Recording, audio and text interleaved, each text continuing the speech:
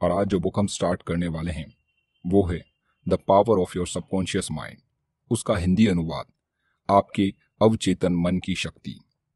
Self confidence पर दुनिया में सबसे ज़्यादा बिकने वाली ये बुक डॉक्टर जोसेफ मर्फी के द्वारा लिखी गई है। इसका हिंदी अनुवाद मैं आप सभी को सुनाने वाला हूँ। तो चलिए स्टार्ट करते हैं। तो सबसे पहले इस पुस्तक का टाइटल यह पुस्तक आपके जीवन में चमत्कार कैसे कर सकती है? डॉक्टर जोसेफ मर्फी कहते हैं कि मैंने दुनिया भर के सभी तरह के लोगों के जीवन में चमत्कार होते देखे हैं। चमत्कार आपके साथ भी हो सकते हैं। बशर्ते आप अपने अवचेतन मन की जादुई शक्ति का इस्तेमाल शुरू कर दें। यह पुस्तक आपको यह सिखाने के लिए लिखी गई है कि आप अपने अवचेतन मन की शक्ति से अपनी तकदीर खुद कैसे बनाएँ। इंसान अपने अवचेतन मन में जैसा सोचता है, वैसा ही बन जाता है। क्या आप इन सवालों के जवाब जानते हैं? एक व्यक्ति दुखी क्यों होता है? जबकि दूसरा खुश क्यों होता है? एक व्यक्ति सुखी और समृद्ध क्यों होता है, जबकि दूसरा गरीब और दुखी क्यों होता है? एक व्यक्ति भयभीत और तनावग्रस्त क्यों होता है, जबकि दूसरा आस्थावान और आत्मविश्वासी क्यों होता है? एक व्यक्ति के पास सुंदर, आलिशान बंगला क्यों होता है, जबकि दूसरा झोपड़पट्टी में रहता है? एक व्यक्ति बहुत सफल क्यों होता है, जबकि दूसरा बुरी तरह सफल क्यों होता है? एक वक्ता उत्कृष्ट और असाधारण रूप से लोकप्रिय क्यों होता है? जबकि दूसरा औसत और अलोकप्रिय होता है। एक व्यक्ति अपने काम या पेशे में जीनियस क्यों होता है, जबकि दूसरा ज़िंदगी भर मेहनत करने के बावजूद कुछ हासिल क्यों नहीं कर पाता? एक व्यक्ति तथाकथित असाध्य बीमारी से ठीक क्यों हो जाता है, जबकि दूसरा नहीं हो पाता? इतने सारे अच्छे, दयालु और धार्मिक लोग इतनी ज़्यादा मानसिक और शारीरिक यातना क्यों झेलते हैं? कई अनैतिक और उद्धर्मी लोग सफल, समृद्ध तथा स्वस्थ क्यों होते हैं? एक व्यक्ति का वैवाहिक जीवन सुखमय क्यों होता है, जबकि दूसरे का दुखी और कुंठित क्यों होता है? क्या आप अपने चेतन और अवचेतन मन की कार्यशैली में इन सवालों का कोई जवाब मिल सकता है? निश्चित रूप से मिल सकता है। यह पुस्तक क्यों लिखी गई? इस तरह के बहुत से सवालों के जवाब बताने की गहरी इच्छा के कारण ही मुझे यह पुस्तक लिखने की प्रेरणा मिली। मैंने मस्तिष्क की आधारभूत सच्चाइयों को सरलतर भाषा में समझाने की कोशिश की है। मैं मानता हूँ कि जीवन और मस्तिष्क के मूलभूत तथा आधारभूत नियमों की रोज़मर्रा की सरल भाषा में पूरी तरह समझाना संभव है। आप इस पुस्तक में वही भाषा पाएँगे जो अखबारों पत्र पत्रिकाओं ऑफिसों और घरों में मिलती है। मैं आपसे इस पुस्तक का अध्ययन करने और इसमें बताई तकनीकों को अमल में लाने का आग्रह करता हूँ। मुझे पूरा यकीन है कि ऐसा करने पर आप उस चमत्कारी शक्ति को जान जाएँगे जो आपको दुविधा, दुख, उदासी और असफलता के कुचक्र से बाहर निकालेगी। यह शक्ति आपको अपनी सच्ची मंजिल तक पहुँचने का मार्गदर्शन देगी। आपकी समस्याएँ सुलझाएगी। आपको भावनात्मक तथा शारीरिक बीड़ियों से मुक्त करेगी और आपको स्वतंत्रता, खुशी, वो मानसिक शांति के राजसी मार्ग पर पहुँचा देगी। आपके अवचेतन मन की यह चमत्कारी शक्ति आपकी हर बीमारी ठीक कर सकती है। आपको यह दोबारा स्वस्थ, उत्साही और शक्तिशाली बना सकती है। जब अपनी आंतरिक शक्तियों का प्रयोग करना सीख लेंगे तो आप डर से कैद से मुक्त हो जाएँगे। और ऐसे आनंददायी जीवन का स्वाद चखेंगे जिसे पॉल ने ईश्वर की संतानों की आनंददायक मुक्ति कहा है। चमत्कारी शक्ति कैसे पाएँ? हमारे लिए अवचेतन मन की चमत्कारी शक्ति का सबसे बड़ा प्रमाण यह होगा कि हमारी बीमारी ठीक हो जाए। तब हमें इस पर भरोसा हो जाएगा। कई साल पहले मैंने अपने एक ट्यूमर का इलाज किया। जिसे डॉक्टरों की भाषा में सरकोमा कहा जाता है।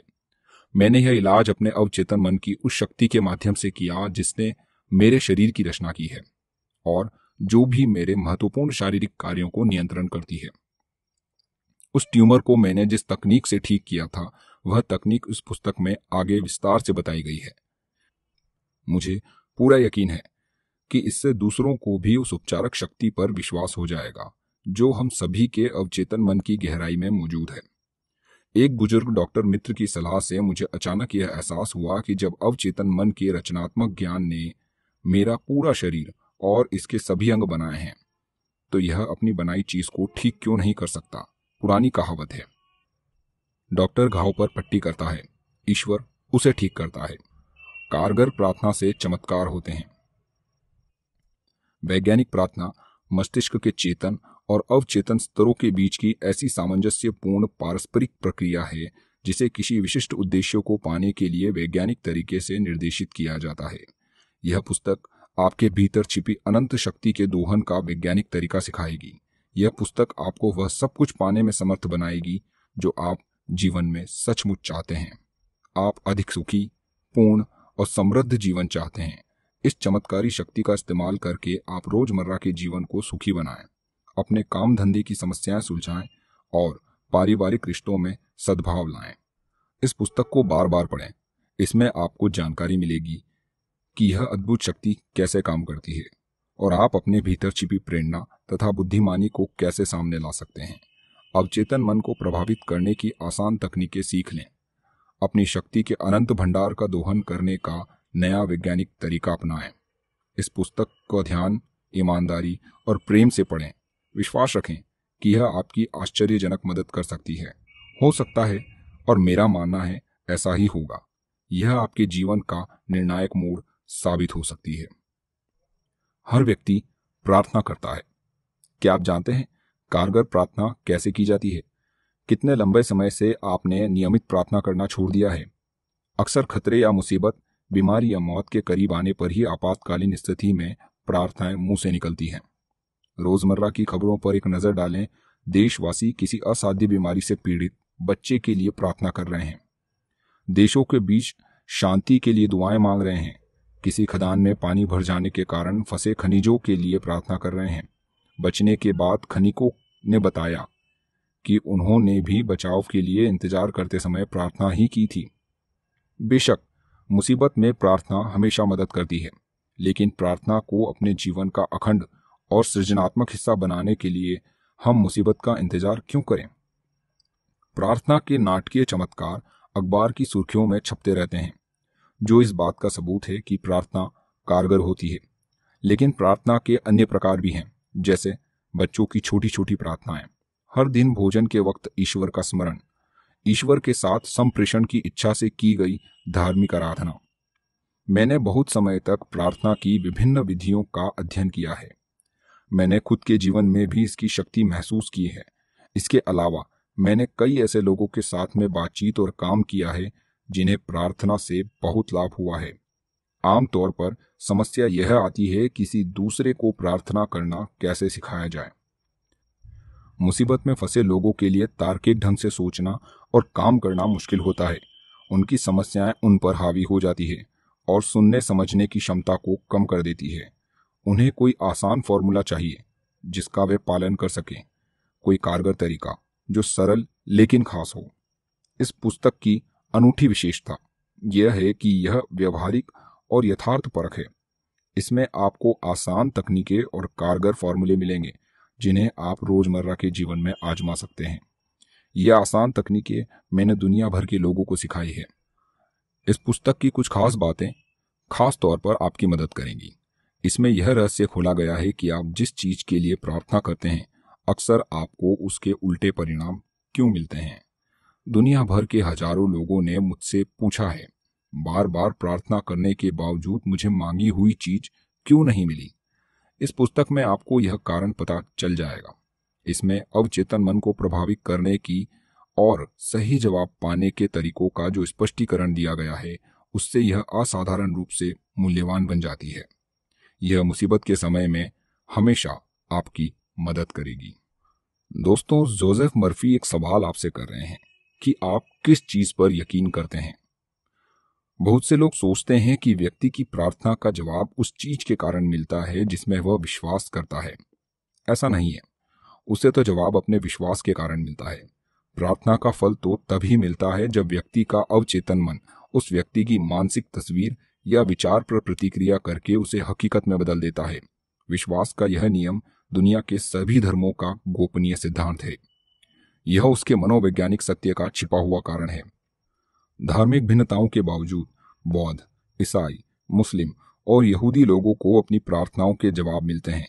ऐसा कैसे हो सकता है?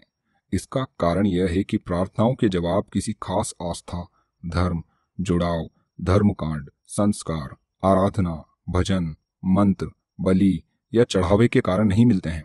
जवाब तो उस आस्था या मानसिक स्वीकृति के कारण मिलते हैं जिसके साथ प्रार्थना की जाती है।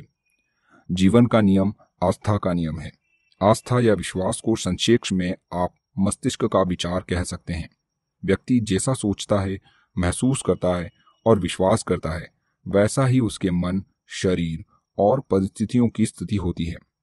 आप क्या कर रहे हैं और क्यों कर रहे हैं? यह जान लेने के बाद अवचेतन मन की मदद से आप ऐसी तकनीकें तैयार कर सकते हैं जो आपको जीवन की सभी अच्छी चीज़ें दिलाएँ। सफल प्रार्थना का मूल अर्थ मनोकामना पूरी होना है। इच्छा ही प्रार्थना है। हर व्यक्ति सेहत, खुशी, सुरक्षा, मानसिक शांति और सच्ची अभिव्यक्ति की इच्छा रखता है, लेकिन हम में से कितने लोग इन्हें पा लेते हैं? यूनिवर्सिटी के एक प्रोफेसर ने कुछ समय पहले मुझसे कहा था, मैं जानता हूँ कि अगर मैं अपने मानसिक नज़रिए को बदल लूँ और अपने भावनात्मक जीवन को नई दिशा दे दूँ तो मेरे हृदय की स्थिति सुधर जाएगी। मैं यह भी जानता हूँ, दिक्कत यह है कि मेरे पास ऐसा करने की कोई तकनीक नहीं है। प्रक्रिया और कार्यविधि भी नहीं है। मेरा मस्तिष्क कई समस्याओं पर इधर उधर भटकता रहता है और मैं कुंठित, दुखी तथा पराजित महसूस करता हूँ। इस प्रोफेसर के मन में संपूर्ण स्वास्थ्य की इच्छा थी। उसे तो सिर्फ़ यह ज्ञान नहीं था कि उसका दिमाग कैसे काम करता था। इस ज्ञान से वह अपनी मनोकामना पूरी कर सकता था। और यही हुआ। इस पुस्तक में बताई उपचारक विधियों के इस्तेमाल से वह पूर्ण स्वस्थ हो गया। सभी व्यक्तियों में शाश्वत मस्तिष्क अंश है। आपके अवचेतन मन की चमत्कारी शक्तियाँ उस समय में भी मौजूद थी जब आप या मैं पैदा भी नहीं हुए थे। जब कोई चर्च नहीं था, जब दुनिया ही नहीं थी। जीवन की महान शाश्वत सच्चाइयों और सिद्धांत उस समय भी मौजूद थे, जब कोई धर्म शुरू नहीं हुआ था।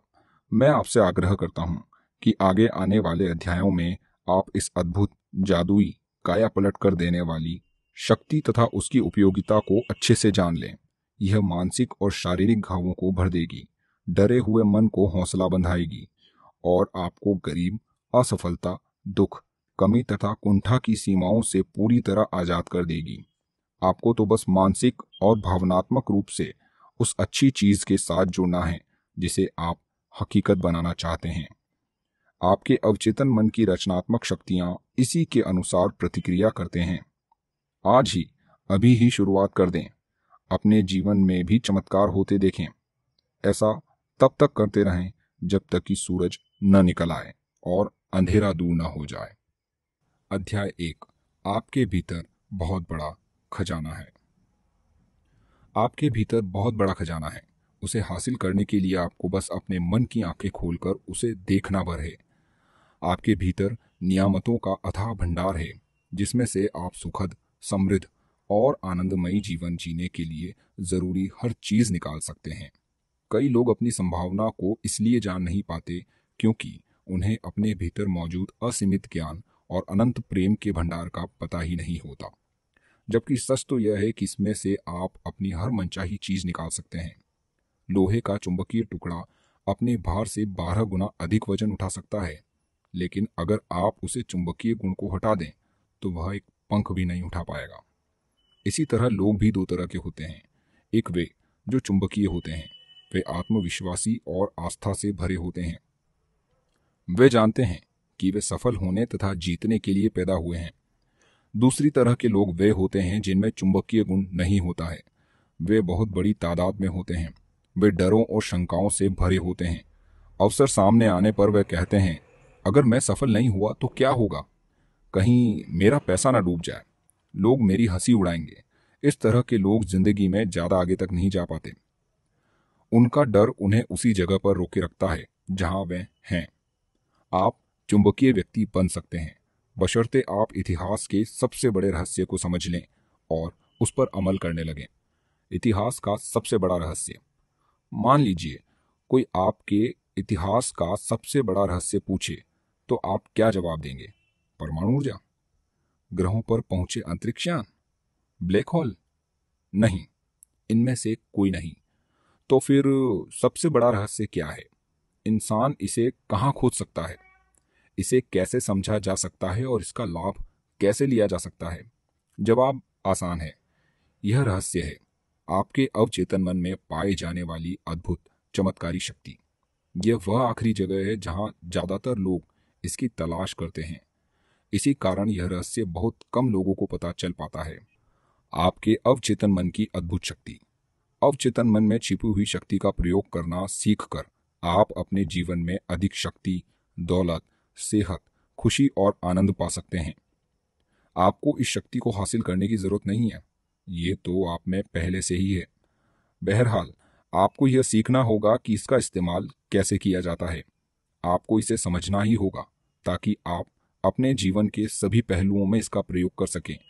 अगर आप इस पुस्तक में दी गई आसान तकनीकों और प्रक्रियाओं का पालन करेंगे तो आपको आवश्यक जानकारी तथा समझ मिल जाएगी। एक नया प्रकाश आपको प्रेरित कर देगा। आप एक नई शक्ति उत्पन्न कर सकते हैं, जिसकी बदौलत आप अपनी सभी आशाओं और सपनों को साकार कर सकते हैं। इसी समय फैसला करें कि आप अपने जीवन को पहले से ज़्यादा व्यापक, महान, समृद्ध और उद्वत बनाएँगे। आप अवचेतन गहराइयों में सभी आवश्यक चीज़ों के बारे में सीमित ज्ञान, शक्ति और आपूर्ति का भंडार है। आपका अवचेतन मन इस बात का इंतज़ार कर रहा है कि आप इसे विकसित करें और अभिव्यक्ति दें। अगर आप अपने अवचेतन मन की क्षमता को पहचान लें तो आपकी इच्छाएँ बाहरी जगत में साकार हो सकती हैं। अगर आप खुले दिमाग की ओर ग्रहणशील हैं तो आपके अवचेतन मन में मौजूद असीमित ज्ञान आपको वह हर चीज़ बता सकता है, जिसकी आपको कभी भी, कहीं भी ज़रूरत हो। आप नए विचार पा सकते हैं, आविष्कार कर सकते हैं, खोजे कर सकते हैं और नई कलाकृतियाँ बना सकते हैं। आपके अवचेतन मन का असीमित ज्ञान आपको आश्चर्यजनक नई जानकारी दे सकता है। इसे अपने सामने प्रकट होने दें। यह आपके जीवन में आदर्श अभिव्यक्ति और सही जगह का रास्ता खोल देगा। आपके अवचेतन मन की बुद्धिमानी से आप आदर्श जीवन साथी को आकर्षित कर सकते हैं। सही बिज़नेस पार्टनर या सहयोगी को भी। यह आपको दौलतमंद बनने का रास्ता बता सकती है। यह आपको वित्तीय रूप से आज़ाद भी बना सकती है, ताकि आप अपने दिल की इच्छा के अनुसार बने, करें और रहें। विचार, भावना, शक्ति, प्रकाश, प्रेम और सौंदर्य के इस आंतरिक जगत को खोजना आपका बुनियादी अधिकार है। ये शक्तियाँ अदृश्य हैं, लेकिन बहुत शक्तिशाली हैं। आपके अवचेतन मन में हर समस्या का समाधान और हर परिणाम का कारण होता है। जब आप इन छिपी हुई शक्तियों का प्रयोग करना सीख लेंगे तो आपको प्रचुरता, सुरक्षा, खुशी और नियंत्रण बढ़ाने के लिए आवश्यक शक्ति तथा बुद्धिमानी मिल जाएगी। मैंने अवचेतन मन की शक्ति को देखा है। मैंने इस शक्ति से अपाहिजों को पूर्ण स्वस्थ होते देखा है। अवचेतन मन के सहारे उन्होंने खुशी, सेहत और आनंद की भावनाओं को हकीकत में बदला। यकीनन आपके अवचेतन में ऐसी चमत्कारी उपचारक शक्ति है, जो परेशान दिमाग और टूटे हुए दिल का इलाज कर सकती है। यह आपके मस्तिष्क की जेल का दरवाज़ा खोलकर आपको आज़ाद कर सकती है। यह आपको सभी तरह के भौतिक और शारीरिक बंधनों से मुक्त कर सकती है। कार्यकारी आधार की आवश्यकता। अगर आप किसी भी क्षेत्र में प्रगति करना चाहते हैं तो इसके लिए एक अनिवार्य पहला कदम है। आपको एक शाश्वत कार्यकारी आधार वर्किंग बेसिस का पता लगाना होगा। आपके अवचेतन मन की कार्यनिधि में निपुण बनने के लिए आपको इसके सिद्धांतों को समझना होगा। तभी आप इसकी शक्तियों का इस्तेमाल करते समय जान पाएँगे कि आपको कौन से परिणाम मिलेंगे। आप जिन विशिष्ट लक्ष्यों को हासिल करना चाहते हैं, आप उन्हें इन शक्तियों की मदद से साकार कर सकते हैं। कई साल तक मैंने केमिस्ट का काम किया था। अपने शुरुआती प्रशिक्षण में मैंने यह सीखा था कि जब आप हाइड्रोजन के दो परमाणुओं और ऑक्सीजन के एक परमाणु को मिलाते हैं तो परिणाम हमेशा पानी होता है। कभी कभार या अक्सर नहीं, हमेशा। जब आप ऑक्सीजन के एक परमाणु और कार्बन के एक परमाणु को मिलाते हैं तो कार्बन मोनोऑक्साइड नामक जहरीली गैस उत्पन्न होती है। लेकिन अगर आप ऑक्सीजन का एक और परमाणु जोड़ देते हैं तो आपको कार्बन डाइऑक्साइड मिल जाती है, जो प्राणियों के लिए हानि रहित और पौधों के लिए जीवनदायी होती है। ये शाश्वत और अपरिवर्तनीय तथ्य हैं, इन्हें हम सिद्धांत कहते हैं। काम करने की दृष्टि से आपके अवचेतन मन के सिद्धांत केमिस्ट्री फिजिक्स और गणित के सिद्धांतों से अलग नहीं है। अगर आप रासायनिक या भौतिक शक्तियों का प्रयोग करना चाहते हैं तो आपको इन क्षेत्रों के सिद्धांत को सीखना होगा। इसी तरह अगर आप अपने अवचेतन मन की शक्ति का प्रयोग करना चाहते हैं तो आपको इसके सिद्धांतों को सीखना होगा। आमतौर पर इस सिद्धांत को सभी स्वीकार करते हैं। पानी, अपना स्तर, खुद खोज लेता है। यह एक शाश्वत सिद्धांत है। यह हर जगह, हर समय पानी और पानी जैसे द्रवों पर लागू होता है। प्राचीन मिस्र के लोग इस सिद्धांत को जानते थे। इसका प्रयोग उन्होंने महान पिरामिडों की नींव को आदर्श रूप से समतल बनाने में किया था। आज भी सिंचाई तंत्र से लेकर हाइड्रो इलेक्ट्रिक पावर स्टेशन बनाते समय इंजीनियर्स इसका प्रयोग करते हैं। या यह सिद्धांत लें, गर्म होने पर पदार्थ फैलता है। यह हर जगह, हर समय और हर परिस्थिति में सच है। अगर आप स्टील के टुकड़े को गर्म करेंगे तो यह फैलेगा, चाहे यह स्टील चीन, इंग्लैंड, भारत में हो या पृथ्वी का चक्कर लगा रहे अंतरिक्ष यान में हो। गर्म होने पर पदार्थ फैलता है। यह एक शाश्वत सत्य है। यह भी एक शाश्वत सत्य है कि आप अपने अवचेतन मन पर जो छाप छोड़ते हैं, वह परिस्थिति, अनुभव और घटना के रूप में व्यक्त होती है। आपकी प्रार्थना का जवाब मिलता है, क्योंकि आपके अवचेतन मन की शक्ति सिद्धांत है। सिद्धांत, यानी वह तरीका जिसमें कोई चीज़ काम करती है, उदाहरण के लिए बिजली एक महत्वपूर्ण सिद्धांत है कि यह उच्च क्षमता से निम्न क्षमता की ओर काम करती है। जब आप बल्ब चालू करते हैं या इलेक्ट्रिक स्टोव पर खाना पकाते हैं तो आप बिजली के इस सिद्धांत को नहीं बदलते हैं। आप इस सिद्धांत का लाभ लेते हैं। प्रकृति के अनुसार सहयोग करके आप अद्भुत खोजों और आविष्कारों को साकार कर सकते हैं, जो मानवता को अनंत तरीकों से सुख प्रदान करते हैं। आपका अवचेतन मन सिद्धांत है। यह विश्वास के नियम पर काम करता है। आपको जानना होगा कि विश्वास क्या है। यह क्यों और कैसे काम करता है। बाइबल सरल, स्पष्ट और सुंदर तरीके से बताती है। जो भी इस पहाड़ से कहेगा, तुम हट जाओ तथा समुद्र में चले जाओ, और वह अपने दिल में शंका नहीं करेगा, बल्कि विश्वास रखेगा कि जो वह कहता है अवश्य होगा तो वो जो कहेगा, वह अवश्य होगा। आपके मन का नियम विश्वास का नियम है। इसका मतलब है अपने मन की कार्यनिधि में विश्वास करना, स्वयं विश्वास पर विश्वास करना। आपके मन की विश्वास का और कुछ नहीं, आपके मस्तिष्क का विचार है। आपका अवचेतन मन आपके विचारों पर प्रतिक्रिया करता है और उन्हीं के अनुरूप अनुभवों, कार्यों, घटनाओं तथा परिस्थितियों को उत्पन्न कर देता है। याद रखें, आपको सफलता उस चीज़ के कारण नहीं मिलती है जिसमें आप विश्वास करते हैं। सफलता तो मन के विश्वास के कारण मिलती है। मानव जाति को जकड़ने वाले झूठ विश्वासों, रायों, अंधविश्वासों तथा डरों को स्वीकार करना बंद कर दें। शाश्वत सत्यों और जीवन की उन सच्चाइयों पर विश्वास करना शुरू करें जो कभी नहीं बदलती है। इस मोड़ पर पहुँचने के बाद आप आगे, ऊपर और ईश्वर की तरफ़ बढ़ने लगेंगे। जो लोग इस पुस्तक को पढ़ेंगे और अवचेतन मन के सिद्धांतों पर आस्था के साथ अमल करेंगे। वे वैज्ञानिक तथा कारगर प्रार्थना करने की काबिलियत हासिल करेंगे। अपने लिए भी और दूसरों के लिए भी। आपकी प्रार्थना का जवाब क्रिया और प्रतिक्रिया के शाश्वत नियम के अनुसार मिलता है। विचार निहित क्रिया है। प्रतिक्रिया आपके अवचेतन मन का वह जवाब है, जो आपके विचार की प्रकृति से मेल खाता है। अपने मन को स्वास्थ्य, सुख, शांति और सद्भाव की अवधारणाओं से भर दें। आपके जीवन में चमत्कार होने लगेंगे। दो मस्तिष्क। आपका मस्तिष्क एक है, लेकिन इसके दो स्पष्ट और विशिष्ट कार्यकारी भाग हैं। इन दोनों का कार्य विभाजन मस्तिष्क के सभी विद्यार्थियों को काफ़ी अच्छी तरह मालूम है। आपके मस्तिष्क के ये दोनों हिस्से एक दूसरे से मूलतः अलग हैं। इन दोनों के अपने विशिष्ट गुण और शक्तियाँ हैं, जो एक दूसरे से अलग हैं। मस्तिष्क के इन दोनों कार्यों में भेद करने के लिए कई नामों का प्रयोग किया जाता है, जैसे वस्तुनिष्ठ, यानी ऑब्जेक्टिव और व्यक्तिनिष्ठ, यानी कि सब्जेक्टिव मन, चेतन और अवचेतन मन, जागृत और सुषुप्त मन, सहती और गहरा, स्वैच्छिक, यानी कि वॉलेंटियरी और अनैच्छिक, यानी कि इनवॉलेंटियरी मन, पुरुष तथा स्त्री मन आदि। नाम चाहे जो भी दिया जाए, इससे मस्तिष्क के मूल द्वैत का पता चलता है।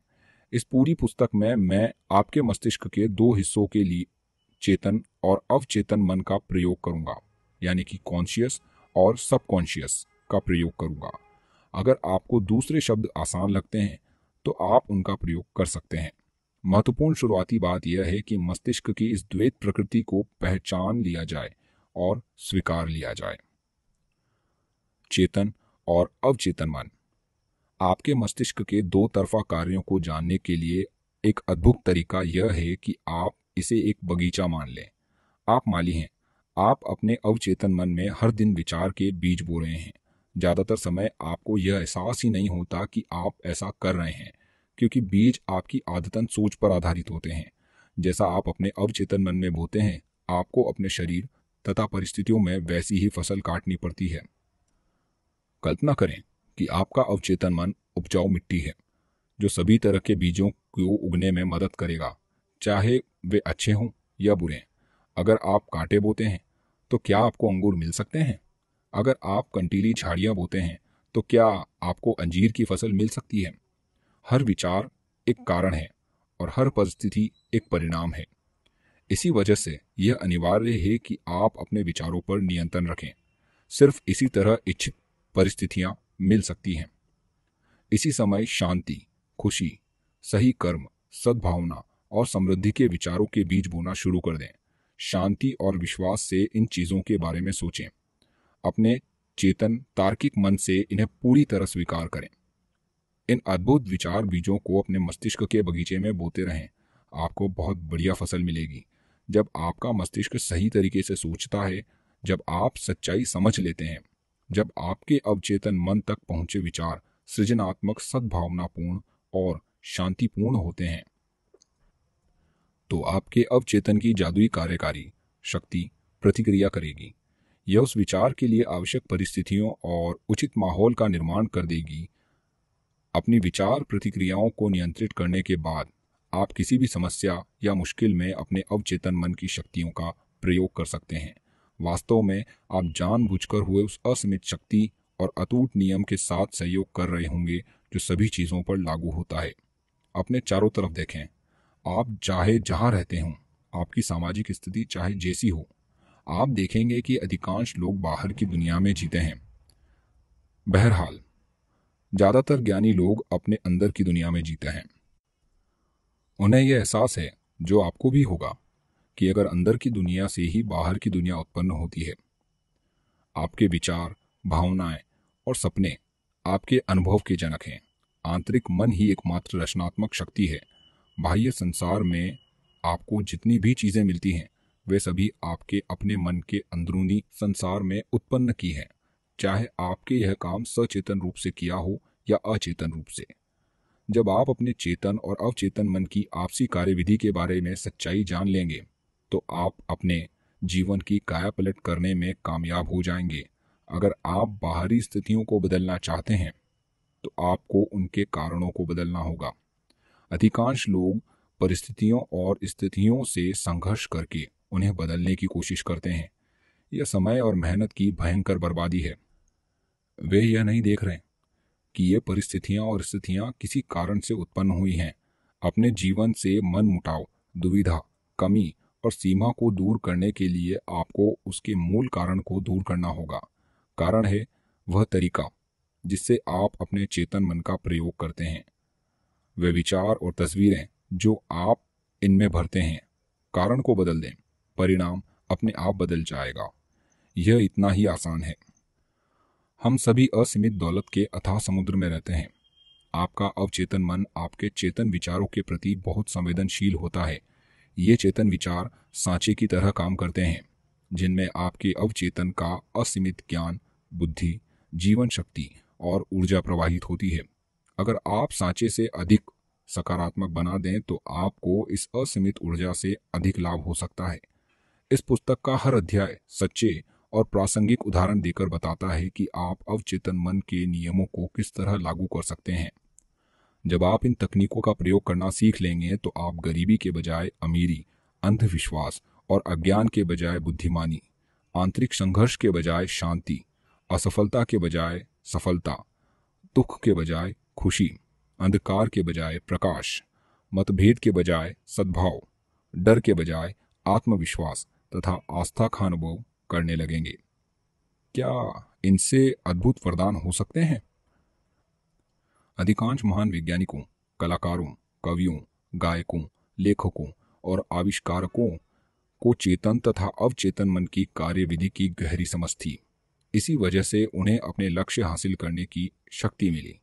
एक बार महान ओपेरा गायक एनरिको केरूसो मंच पर जाने से घबरा रहे थे। डर के मारे उनके गाल की मांसपेशियाँ ऐट गई थी। ऐसा लग रहा था जैसे उनके वाक तंतुओं को लकवा मार गया हो और वे बेकार हो गए हों। वे मंच के पीछे गायक की पोशाक पहने खड़े थे और उनके चेहरे पर पसीना बह रहा था। कुछ ही पल बाद उन्हें हज़ारों प्रशंसकों की भीड़ के सामने मंच पर जाकर गाना था। कांपते हुए उन्होंने कहा, मैं नहीं गा सकता। सब मुझ पर हंसेंगे। मेरा कैरियर खत्म हो जाएगा। वे अपने ड्रेसिंग रूम में जाने के लिए मुड़े। तभी अचानक वे रुककर चिल्लाए। छोटा मैं, मेरे भीतर के बड़े का गला दबाने की कोशिश कर रहा है। वे दोबारा मंच की ओर मुड़े और तनकर खड़े हो गए। उन्होंने छोटे मैं को आदेश दिया, बाहर निकल जाओ। बड़ा मैं गाना गाना चाहता है। बड़ा मैं से केरूसो का मतलब अपने अवचेतन मन की असीमित शक्ति और बुद्धि से था। वे चिल्लाने लगे, बाहर निकल जाओ, बाहर निकल जाओ, बड़ा मैं गाने वाला है। अवचेतन मन की प्रतिक्रियाओं करते हुए उनके भीतर की असीमित शक्तियों को मुक्त कर दिया। समय आने पर वे मंच पर गए और उन्होंने शानदार तरीके से गाया, जिससे श्रोता मंत्रमुग्ध हो गए। आपने अब तक जो सीखा, उससे आप समझ सकते हैं कि केरूसो मस्तिष्क के दो स्तरों को समझते थे, चेतन या तार्किक स्तर, और अवचेतन या अतार्किक स्तर।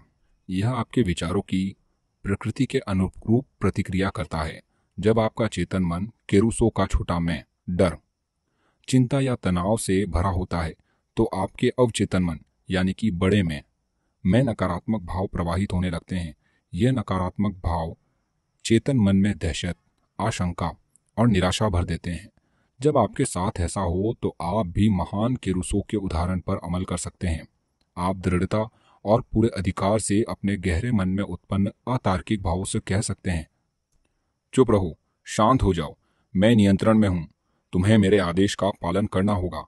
तुम्हें मेरी आज्ञा का पालन करने के लिए विवश हो। तुम वहाँ दखल नहीं दे सकते, जो तुम्हारा क्षेत्र नहीं है। जब आप अपने अधिक गहरे स्वरूप की अतार्किक भावनाओं से दृढ़ता और अधिकार से यह बोलेंगे तो परिणाम देखकर आप मंत्र मुक्त हो जाएँगे। आपका मन शांति और सद्भाव से भर जाएगा। अवचेतन मन, चेतन मन के अधीन रहता है। इसलिए इसे अवचेतन कहा जाता है। कार्य विधि का बड़ा अंतर। चेतन मन समुद्री जहाज़ का कप्तान है। वह जहाज़ को दिशा देता है। वह इंजन रूम के लोगों को आदेश देता है। तभी वह बॉयलर, यंत्रों और बाकी उपकरणों को नियंत्रित करते हैं। उन्हें यह पता नहीं होता कि वे कहाँ जा रहे हैं। वे सिर्फ़ कप्तान के आदेशों का पालन करते हैं। अगर कप्तान कंपास और बाकी यंत्रों के आधार पर गलत या दोषपूर्ण निर्देश जारी कर दे तो जहाज़ चट्टानों से टकरा सकता है। इंजन रूम के लोग कप्तान के आदेशों का पालन करने के लिए बाध्य हैं, क्योंकि वही बॉस है। चूँकि उसे यह पता होना चाहिए कि वह क्या कर रहा है, इसीलिए इंजन रूम के लोग कप्तान से बहस नहीं करते हैं या पलट कर कुछ नहीं करते हैं। वे तो बस चुपचाप उसके आदेशों की पालना करते हैं। कप्तान अपने जहाज़ का मालिक होता है। और बाकी लोग उसके आदेशों का पालन करते हैं। इसी तरह आपके चेतन मन, आपके जहाज़ का कप्तान और मालिक होता है। आपके शरीर, आपके परिवेश और आपसे जुड़े सभी मामलों का। चेतन मन आपके विश्वास तथा अनुमानों के आधार पर आदेश देता है और आपका अवचेतन मन चुपचाप उन आदेशों को मान लेता है। यह आदेशों पर सवाल नहीं करता या यह नहीं पूछता कि वे किस आधार पर दिए जा रहे हैं, लेकिन आप खुद से बार बार कहें, मेरे पास चीज़ को खरीदने के लिए पैसे नहीं हैं तो आपका अवचेतन मन इसी बात को मान लेता है। वह यह सुनिश्चित कर देता है कि आपके पास अपनी मन चाही चीज़ खरीदने के लिए कभी पैसे न रहें। जब तक आप यह कहते रहेंगे, मेरे पास उस कार, छुट्टियाँ, उस घर के लिए पैसे नहीं है, तब तक आपका अवचेतन मन आपके आदेशों का पालन करता रहेगा। आप जीवन में इन चीज़ों को कभी नहीं खरीद पाएँगे। आप सोचेंगे कि ऐसा परिस्थितियों के कारण हुआ है। आपको यह लगेगा ही नहीं कि आपने अपने नकारात्मक विचारों से ये परिस्थितियाँ खुद निर्मित की हैं। पिछले क्रिसमस ईव पर नीना डब्ल्यू नाम की एक युवती, जो दक्षिणी कैलिफ़ोर्निया यूनिवर्सिटी की छात्रा है, बेवर्ली हिल्स के एक बेहतरीन शॉपिंग इलाके से गुजर रही थी। उसके मन में उमंग थी। वह बफेलो, न्यूयॉर्क में अपने परिवार के साथ छुट्टियाँ मनाने जाने वाली थी। जब नीना एक दुकान के पास से गुजरी तो उसकी निगाह डिस्प्ले विंडो में रखे एक सुंदर स्पेनिश लेदर बैग पर पड़ी। उसने उसे हसरत से देखा। फिर कीमत देखते ही उसके मुँह से आह निकल गई। वह खुद से कहने ही वाली थी, मैं इतना महँगा बैग कभी नहीं खरीद पाऊँगी। तभी उसने मेरे लेक्चर का यह वाक्य याद आया। कभी भी किसी भी नकारात्मक वाक्य को पूरा मत करो। इसे तत्काल उलटकर सकारात्मक कर दो और आपके जीवन में चमत्कार हो जाएँगे। कांच से पार रखे बैग को घूरते हुए उसने कहा, यह मेरा बैग है और यह बिक्री के लिए है। मैं मानसिक रूप से स्वीकार करती हूँ कि यह मुझे मिलेगा और मेरा अवचेतन मन यह सुनिश्चित करेगा कि यह मुझे मिल जाए। उसी शाम को नीना अपने मंगेतर से डिनर पर मिली। वह रैपर में लिपटा हुआ एक सुंदर तोहफा लाया था। सांस रोककर नीना ने उसे खोला। वहाँ पर वही लेदर बैग था जिसे उसने उसी दोपहर में देखा था और अपना मान लिया था। उसने अपने मन को उम्मीद से भर लिया था। इस तरह उसने इस मामले को अधिक गहरे मन, यानी अवचेतन मन में पहुँचा दिया था, जिसके पास उपलब्धि की शक्ति है। बाद में नीना ने मुझे बताया, मेरे पास उस बेग को खरीदने लायक पैसे नहीं थे, लेकिन इसके बावजूद यह मुझे मिल गया। अब मैं जान चुकी हूँ कि मुझे धन और बाकी चाही गई चीज़ें कहाँ मिलेगी। वे सब मुझे अपने भीतर के शाश्वत खजाने से मिलेगी। उसके अवचेतन ने किस तरह प्रतिक्रिया की? कुछ महीने पहले मुझे रूथ एम नामक महिला का पत्र मिला, जिसने मेरे भाषण सुने थे। उसने लिखा था, मैं पिछहत्तर साल की विधवा हूँ। मेरे बच्चे बड़े होने के बाद शहर चले गए थे। मैं अकेली रह रही थी और सोशल सिक्योरिटी तथा थोड़ी सी पेंशन पर गुजारा कर रही थी। मेरा जीवन बहुत ही सूना और निराशाजनक था। फिर मुझे अवचेतन मन की शक्तियों पर आपका भाषण याद आया। आपने कहा था कि दोहराव, आस्था और उम्मीद के ज़रिए हम अपने विचार अवचेतन मन तक कैसे पहुँचा सकते हैं? क्या यह सच हो सकता है? मैंने आजमाने का फैसला किया। मेरे पास खोने के लिए कुछ भी नहीं था। मैं बार बार पूरी भावना से दोहराने लगी। कोई मुझे चाहता है, कोई मुझसे प्यार करता है। मैं शादीशुदा हूँ और मेरा पति दयालु, प्रेमपूर्ण तथा आध्यात्मिक मानसिकता वाला है। मैं सुरक्षित और सुखी हूँ। मैं लगभग दो हफ़्ते तक, हर दिन, यही बात कई बार दोहराती रही। एक दिन नुक्कड़ वाली दवाई की दुकान पर एक रिटायर्ड फार्मासिस्ट से मेरी मुलाकात हुई। वे दयालु, समझदार और बहुत धार्मिक थे। वे मेरी प्रार्थना का आदर्श जवाब थे। एक हफ़्ते के भीतर ही उन्होंने मेरे सामने शादी का प्रस्ताव रख दिया। इस समय हम यूरोप में हनीमून मना रहे हैं। मैं जानती हूँ कि मेरे अवचेतन मन की बुद्धिमत्ता ही हम दोनों को इतने करीब लाई थी। रूथ ने पाया कि खजाना उसी के भीतर था। उसकी प्रार्थना, उसके दिल को सच्ची लगी और उसकी सकारात्मकता उसके अवचेतन मन में उतर गई। जो रचनात्मक साधन है, जिस पल उसने दृढ़ता से यह तस्वीर देखी, उसके अवचेतन मन में आकर्षण के नियम द्वारा जवाब खोज लिया। बुद्धिमानी और साझेदारी से भरा अवचेतन मन उसे और उसके नए पति को एक साथ ले आया। आप इस बारे में ज़रूर सोचें। जो भी चीज़ें सच्ची हैं, जो भी चीज़ें ईमानदार हैं, जो भी चीज़ें न्यायपूर्ण हैं, जो भी चीज़ें शुद्ध हैं या जो भी चीज़ें प्यारी हैं, जो भी चीज़ें अच्छी हैं, अगर कोई आस्था है और अगर कोई प्रशंसा है तो इन चीज़ों के बारे में सोचें। याद रखने लायक विचार।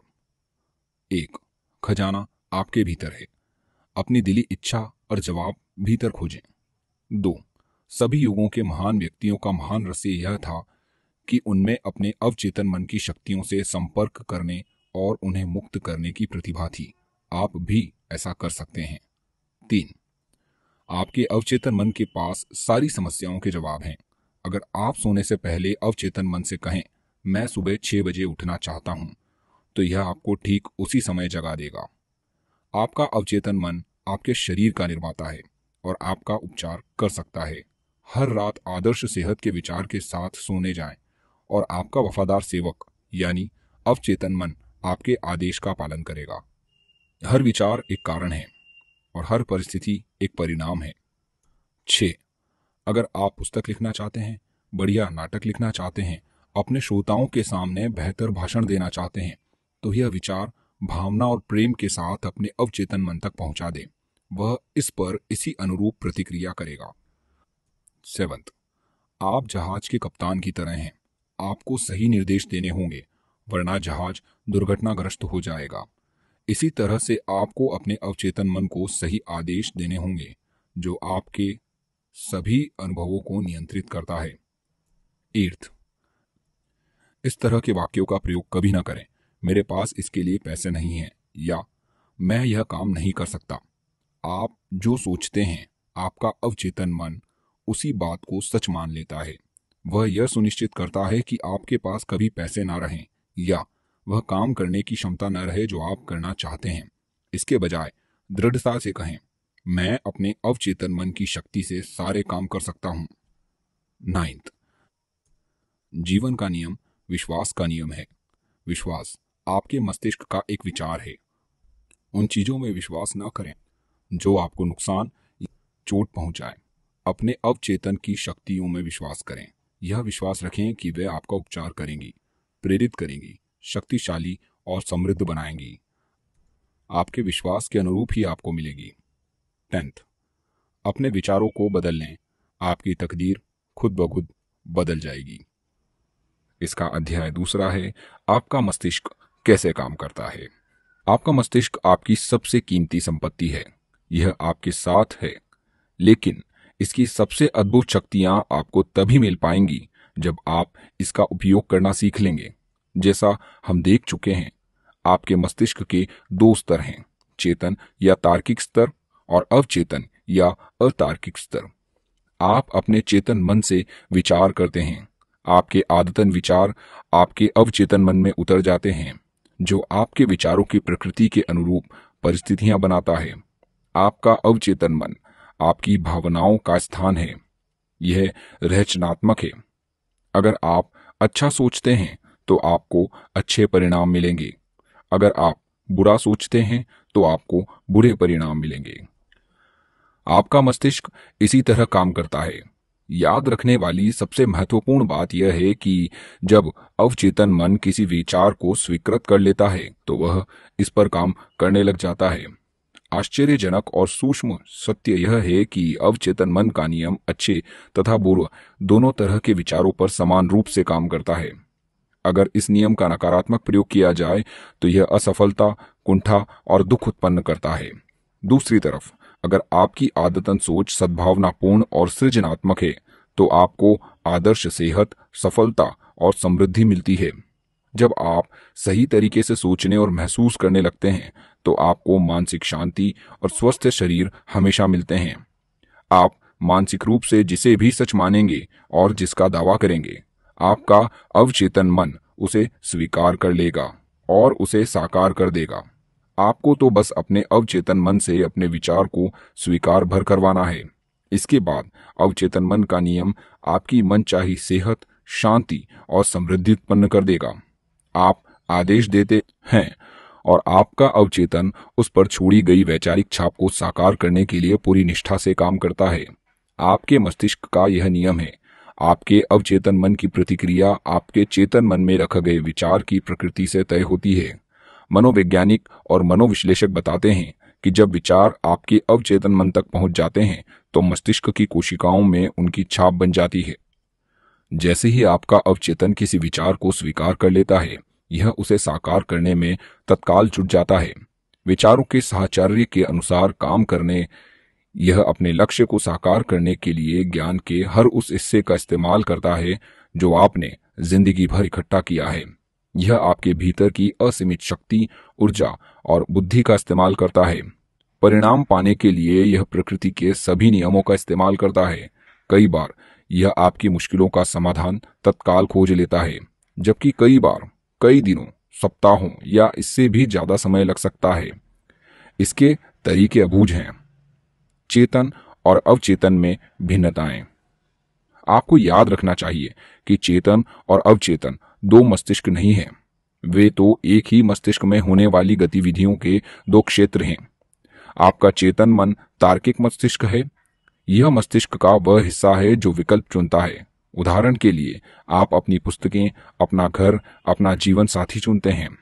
आप अपने सारे निर्णय चेतन मन से करते हैं। दूसरी तरफ़, आपके सचेतन चुनाव के बिना ही आपका हृदय अपने आप काम करता है और पाचन, रक्त संचार तथा सांस लेने की अनिवार्य प्रक्रियाएँ चलती रहती हैं। ये सारे काम आपका अवचेतन मन करता है। इन प्रक्रियाओं के लिए आपके चेतन नियंत्रण की ज़रूरत नहीं होती है। आप अपने अवचेतन मन में जो भी छाप छोड़ते हैं या आप उसमें भी प्रबल विश्वास करते हैं, आपका अवचेतन मन उसे स्वीकार कर लेता है। यह आपके चेतन मन की तरह तर्क नहीं करता या बहस नहीं करता। आपका अवचेतन मन उस मिट्टी की तरह है जो किसी भी तरह के बीज को स्वीकार कर लेती है, चाहे वह अच्छा हो या बुरा। आपके विचार सक्रिय हैं, वे बीज हैं। नकारात्मक या विध्वंसात्मक विचार आपके अवचेतन मन में नकारात्मक रूप से काम करते हैं।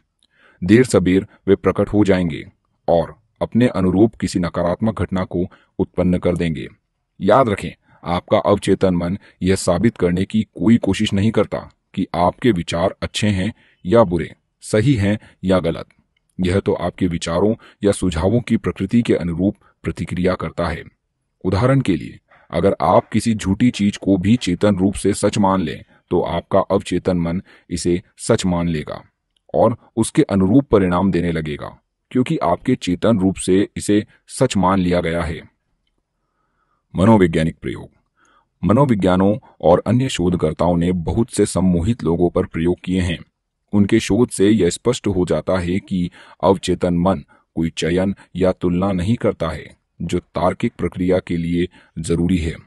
आपका अवचेतन मन किसी भी सुझाव को स्वीकार कर लेगा, भले ही वह सरासर झूठा हो, और सुझाव मानने के बाद यह उसकी प्रकृति के अनुसार प्रतिक्रिया करेगा। आपका अवचेतन मन कितना सुझावशील है यह समझने के लिए एक उदाहरण देखें। अगर कोई सम्मोहन विशेषज्ञ किसी को यह सुझाव दे कि वह नेपोलियन बोनापार्ट है, या कुत्ता, या बिल्ली है तो वह व्यक्ति पूरी सटीकता से उस भूमिका को निभाने लगेगा। कुछ समय के लिए उसका पूरा व्यक्तित्व बदल जाएगा। वह व्यक्ति खुद को ही मान लेगा, जिसका सुझाव सम्मोहन विशेषज्ञ ने दिया है। निपुण सम्मोहन विशेषज्ञों की अवस्था में अपने किसी विद्यार्थी को यह सुझाव दे सकता है कि वह अपनी पीठ खुजाए। दूसरों को यह सुझाव दे सकता है कि उसकी नाक से खून बह रहा है। तीसरे को यह सुझाव दे सकता है कि वह संगमरमर की मूर्ति है। तथा चौथे को यह सुझाव दे सकता है कि तापमान शून्य से कम है और वह बर्फ़ की तरह जम गया है। हर विद्यार्थी उसे दिए गए विशिष्ट सुझाव के अनुरूप काम करेगा। वह उन सभी परिस्थितियों को नजरअंदाज कर देगा जो उस सम्मोहन के सुझाव के अनुरूप हों। यह आसान उदाहरण आपके चेतन मन या तार्किक मस्तिष्क और आपके अवचेतन मन के अंदर को रेखांकित करता है। आपका अवचेतन मन भाववाचक और चयनहीन है। यह हर उस चीज़ को सच मान लेता है, जिसे आपका चेतन मन सच मानता है। इसलिए यह महत्वपूर्ण है कि आप ऐसे विचार और आधार वाक्य चुनें, जो आपको सुख पहुँचाए। आपका उपचार करें और आपकी आत्मा को खुशी से भरें। यथार्थवादी और कल्पनावादी का स्पष्टीकरण। चेतन मन को कई बार यथार्थवादी मन कहा जाता है, क्योंकि इसका संबंध बाहरी वस्तुओं से होता है। यथार्थवादी मन, यानी कि ऑब्जेक्टिव माइंड बाहरी दुनिया के प्रति जागरूक रहता है। इसके अवलोकन के साधन आपकी पाँच शारीरिक इंद्रियाँ हैं। आपका यथार्थवादी मन आपके परिवेश से संपर्क का मार्गदर्शन और निर्देशक है। आप अपनी पाँच इंद्रियों के ज़रिए ज्ञान हासिल करते हैं। आपका यथार्थवादी मन अवलोकन, अनुभव और शिक्षा से सीखता है, जैसा पहले बताया जा चुका है। यथार्थवादी मन का सबसे बड़ा कार्य तर्क करना है। मान लें, आप उन हज़ारों लाखों पर्यटकों में से एक हैं जो हर साल ग्रांड कैनियोन की सैर करते हैं। आप इस निष्कर्ष पर पहुँचेंगे कि यह दुनिया के सबसे अद्भुत प्राकृतिक आश्चर्यों में से एक है। यह निष्कर्ष इस अविश्वसनीय गहराई, चट्टानों के जटिल आकार भिन्न भिन्न स्थानों पर रंग की अद्भुत चित्रकारी के अवलोकन पर आधारित होगा। यह आपके यथार्थवादी मन का काम है। अवचेतन मन को अक्सर कल्पनावादी मन भी कहा जाता है। आपका कल्पनावादी मन अपने माहौल के प्रति जागरूक रहता है। लेकिन शारीरिक इंद्रियों के माध्यम से नहीं, आपका अवचेतन मन अंतर्ज्ञान से महसूस करता है। यह आपकी भावनाओं का स्थान और यादों का भंडार है। आपका कल्पनावादी मन अपने उच्चतम कार्य तब करता है जब आपका यथार्थवादी इंद्रियाँ काम न कर रही हों। दूसरे शब्दों में, जब यथार्थवादी मन शिथिल हो या उनिंदी अवस्था में हो, तब कल्पनावादी बुद्धि सबसे अधिक तरह काम करती है। आपका कल्पनावादी मन आँखों की इंद्रिय के बिना देखता है। यह अतिद्रिय क्षमता है। यह कहीं और हो रही घटनाओं को देख व सुन सकता है। आपका कल्पनावादी मन आपके शरीर से बाहर निकलकर दूर देशों की यात्रा कर सकता है और अक्सर बहुत सटीक तथा सच्ची जानकारी ला सकता है। कल्पनावादी मन के माध्यम से आप दूसरों के विचार जान सकते हैं, बंद चिट्ठियों के मजमून पढ़ सकते हैं या कंप्यूटर डिस्क पर डिस्क ड्राइव के प्रयोग के बिना जानकारी भाप सकते हैं। जब आप अपने यथार्थवादी और कल्पनावादी मन की आपसी कार्यविधि को समझ लेते हैं तो आप प्रार्थना की सच्ची कला सीखने की बेहतर स्थिति में पहुँच जाते हैं। अब चेतन मन मन की तरह तर्क नहीं कर सकता। आप अपने अवचेतन मन को चाहे जो बताएँ, उससे बहस या विरोध करने की क्षमता नहीं होती। अगर आप इसे गलत जानकारी देंगे तो भी यह उसे सच मान लेगा। फिर यह उस जानकारी को सही बनाने के लिए काम करेगा। यह आपके गलत सुझावों को भी परिस्थितियाँ, अनुभवों और घटनाओं में साकार कर देगा। आपके साथ जो भी हुआ है, इसलिए हुआ है क्योंकि आपने विश्वास के माध्यम से अवचेतन मन पर उसकी छाप छोड़ी है। अगर आप गलत संप्रेषण किया है या अपने अवचेतन मन तक विकृत अवधारणाएँ पहुंचाई है तो उन्हें जल्द से जल्द सुधारना सबसे महत्वपूर्ण है। इसे करने का सबसे निश्चित तरीका अपने अवचेतन मन को लगातार सृजनात्मक तथा सद्भावनापूर्ण विचार देते रहना है। बार बार दोहराने पर आपका अवचेतन मन इन्हें स्वीकार कर लेता है। इस प्रकार आप विचार और अपने जीवन की नई तथा ज़्यादा अच्छी आदतें डाल सकते हैं, क्योंकि आपका अवचेतन मन आदत का स्थान है। आपके चेतन मन में आदतन विचार आपके अवचेतन मन में गहरे खांचे बना देते हैं। अगर आपके ये विचार सद्भावनापूर्ण, शांत और सृजनात्मक हैं तो आपका अवचेतन मन प्रतिक्रिया करते हुए सद्भाव, शांति और सृजनात्मक परिस्थितियाँ उत्पन्न करेगा। क्या आप डर, चिंता और अन्य किसी प्रकार की विनाशक सोच के शिकार हैं? इलाज है अपने अवचेतन मन की शक्ति को पहचान कर उसे स्वतंत्रता, खुशी और संपूर्ण स्वास्थ्य के आदेश देना। आपका अवचेतन मन रचनात्मक है। और देवी स्रोत के साथ एक रूप है।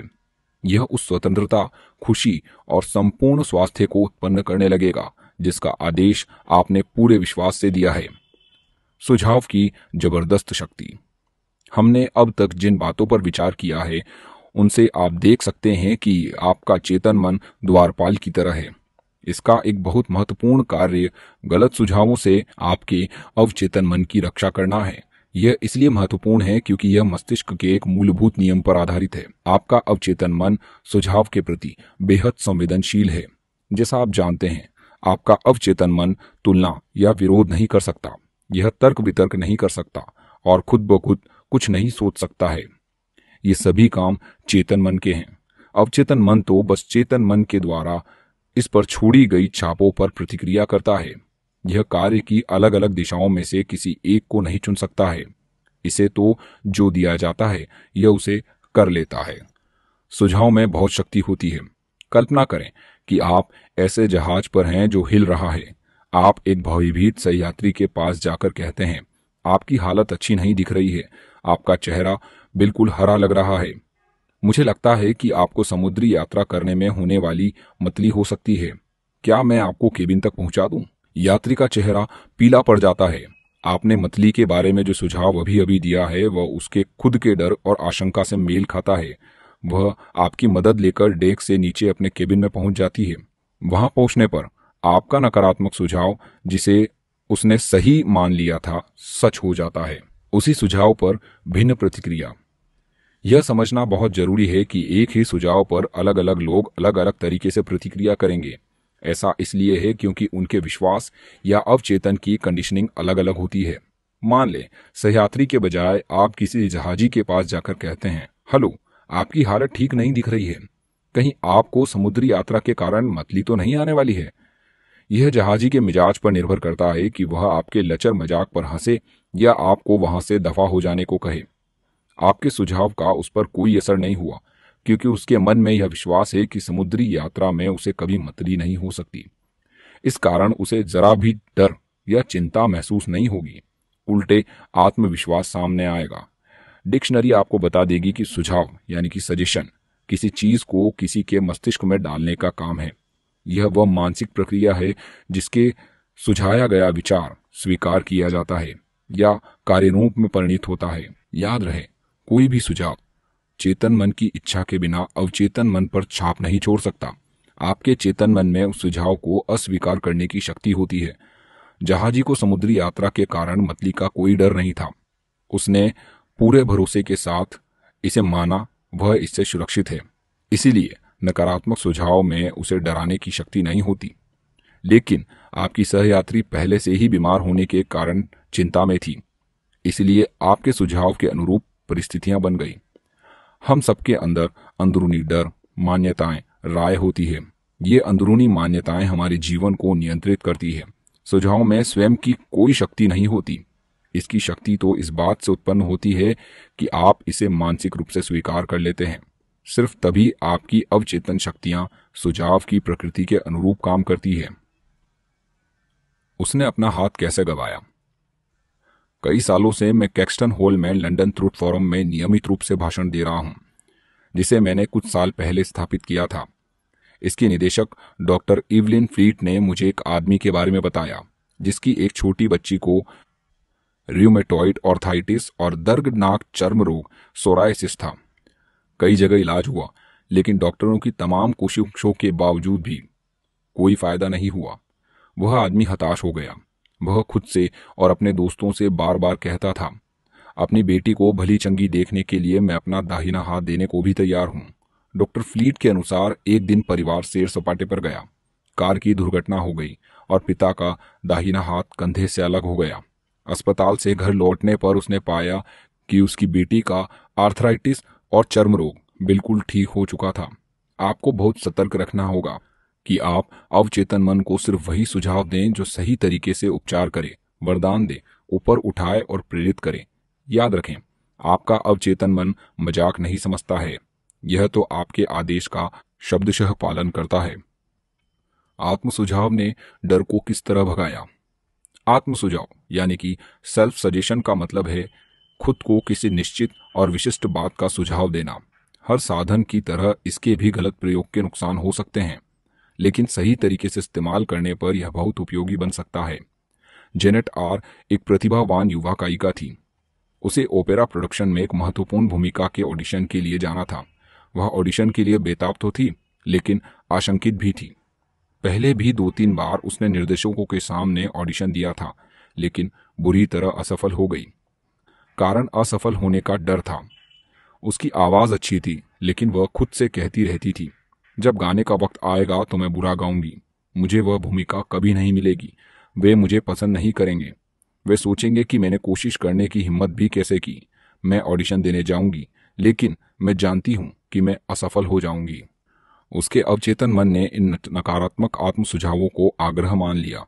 यह उन्हें सच साबित करने में जुट गया और उन्हें परिस्थितियों में बदल दिया, कारण अनचाह आत्म सुझाव था। उसका डर हकीकत में बदल गया। और उसके विचार सच हो गए। यह युवा गायिका आखिरकार अपने नकारात्मक आत्म सुझावों से उबरने में सफल हुई। उसने सकारात्मक आत्म सुझावों के माध्यम से उसका विरोध करके यह काम किया। हर दिन तीन बार वह एक शांत कमरे में अकेली जाती थी। वह एक कुर्सी पर आराम से बैठ जाती थी। अपने शरीर को ढीला छोड़ देती थी और आँखें बंद कर लेती थी। वह अपने मस्तिष्क और शरीर को यथासंभव स्थिर कर लेती थी। शारीरिक निष्क्रियता मानसिक निष्क्रियता को प्रेरित करती है। और मस्तिष्क को सुझाव के प्रति अधिक ग्रहणशील बना देती है। डर के सुझाव का प्रतिकार करने के लिए वह खुद से बार बार कहती थी, मैं बहुत अच्छा गाती हूँ। मैं शांत, संतुलित, आत्मविश्वासी हूँ। हर बार वह इस कथन को धीरे धीरे शांति से और भावना के साथ पाँच से दस बार दोहराती थी। वह दिन में तीन बार यह काम करती थी और एक बार रात में सोने से ठीक पहले। एक सप्ताह बाद वह बहुत शांत और आत्मविश्वासी हो गई। जब निर्णायक दिन आया तो उसने बहुत बढ़िया ऑडिशन दिया और उसे भूमिका मिल गई। उसकी याददाश्त कैसे लौटी? पचहत्तर साल की एक महिला को हमेशा से अपनी याददाश्त पर गर्व था। हालाँकि, बाकी सबकी तरह वह भी कभी कभार चीज़ें भूल जाती थी, लेकिन वह इस तरफ़ ध्यान नहीं देती थी। बहरहाल, जब उसकी उम्र बढ़ी तो वह भूलने के मौकों पर ध्यान देने लगी और उसके बारे में चिंता करने लगी। जब वह कोई चीज़ भूल जाती थी तो हर बार खुद से कहती थी बुढ़ापे के कारण मेरी याददाश्त कमज़ोर होती जा रही है। इस नकारात्मक आत्म सुझाव के कारण वह और ज़्यादा नाम और घटनाएँ भूलने लग गई। वह हताश हो गई। सौभाग्य से उसे यह एहसास हो गया कि खुद को किसी तरह नुकसान पहुँचा रही है। उसने इस प्रक्रिया को उलटने का संकल्प लिया। जब भी वह सोचने लगती थी, मेरी याददाश्त कमज़ोर होती जा रही है तो वह रुक जाती थी। यही नहीं, वह जानबूझकर इस प्रक्रिया को उलट देती थी। दिन में कई बार वह सकारात्मक आत्म सुझाव का अभ्यास करती थी। वह खुद से कहती थी, आज से मेरी याददाश्त हर तरह से सुधर रही है।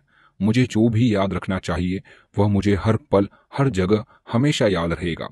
मुझे घटनाएँ स्पष्टता से याद रहेंगी।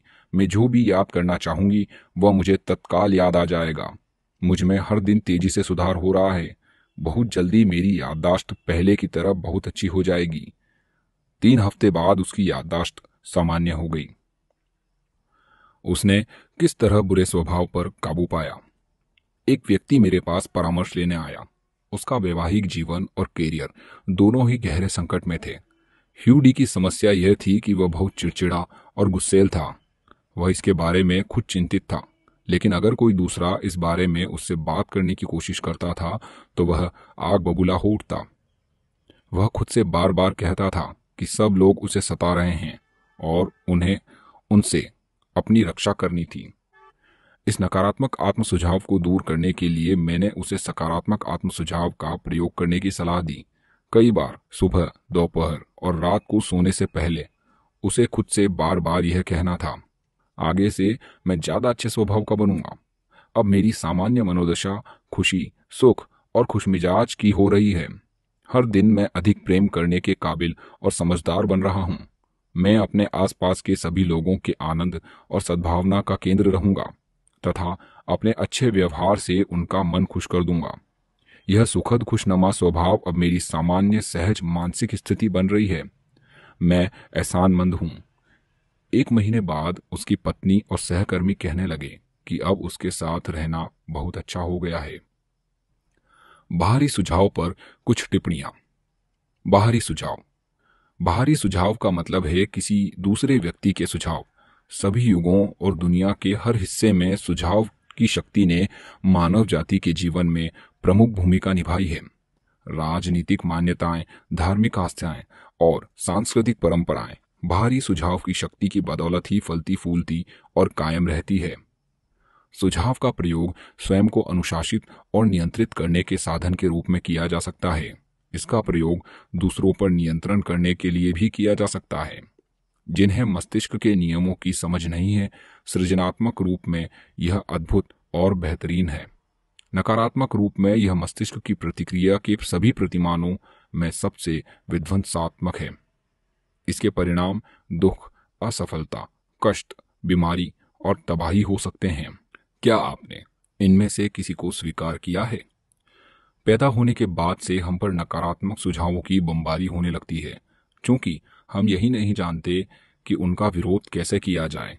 इसलिए अवचेतन रूप से हम उन्हें स्वीकार कर लेते हैं और अपने अनुभव में बदल देते हैं। नकारात्मक सुझावों के कुछ उदाहरण हैं।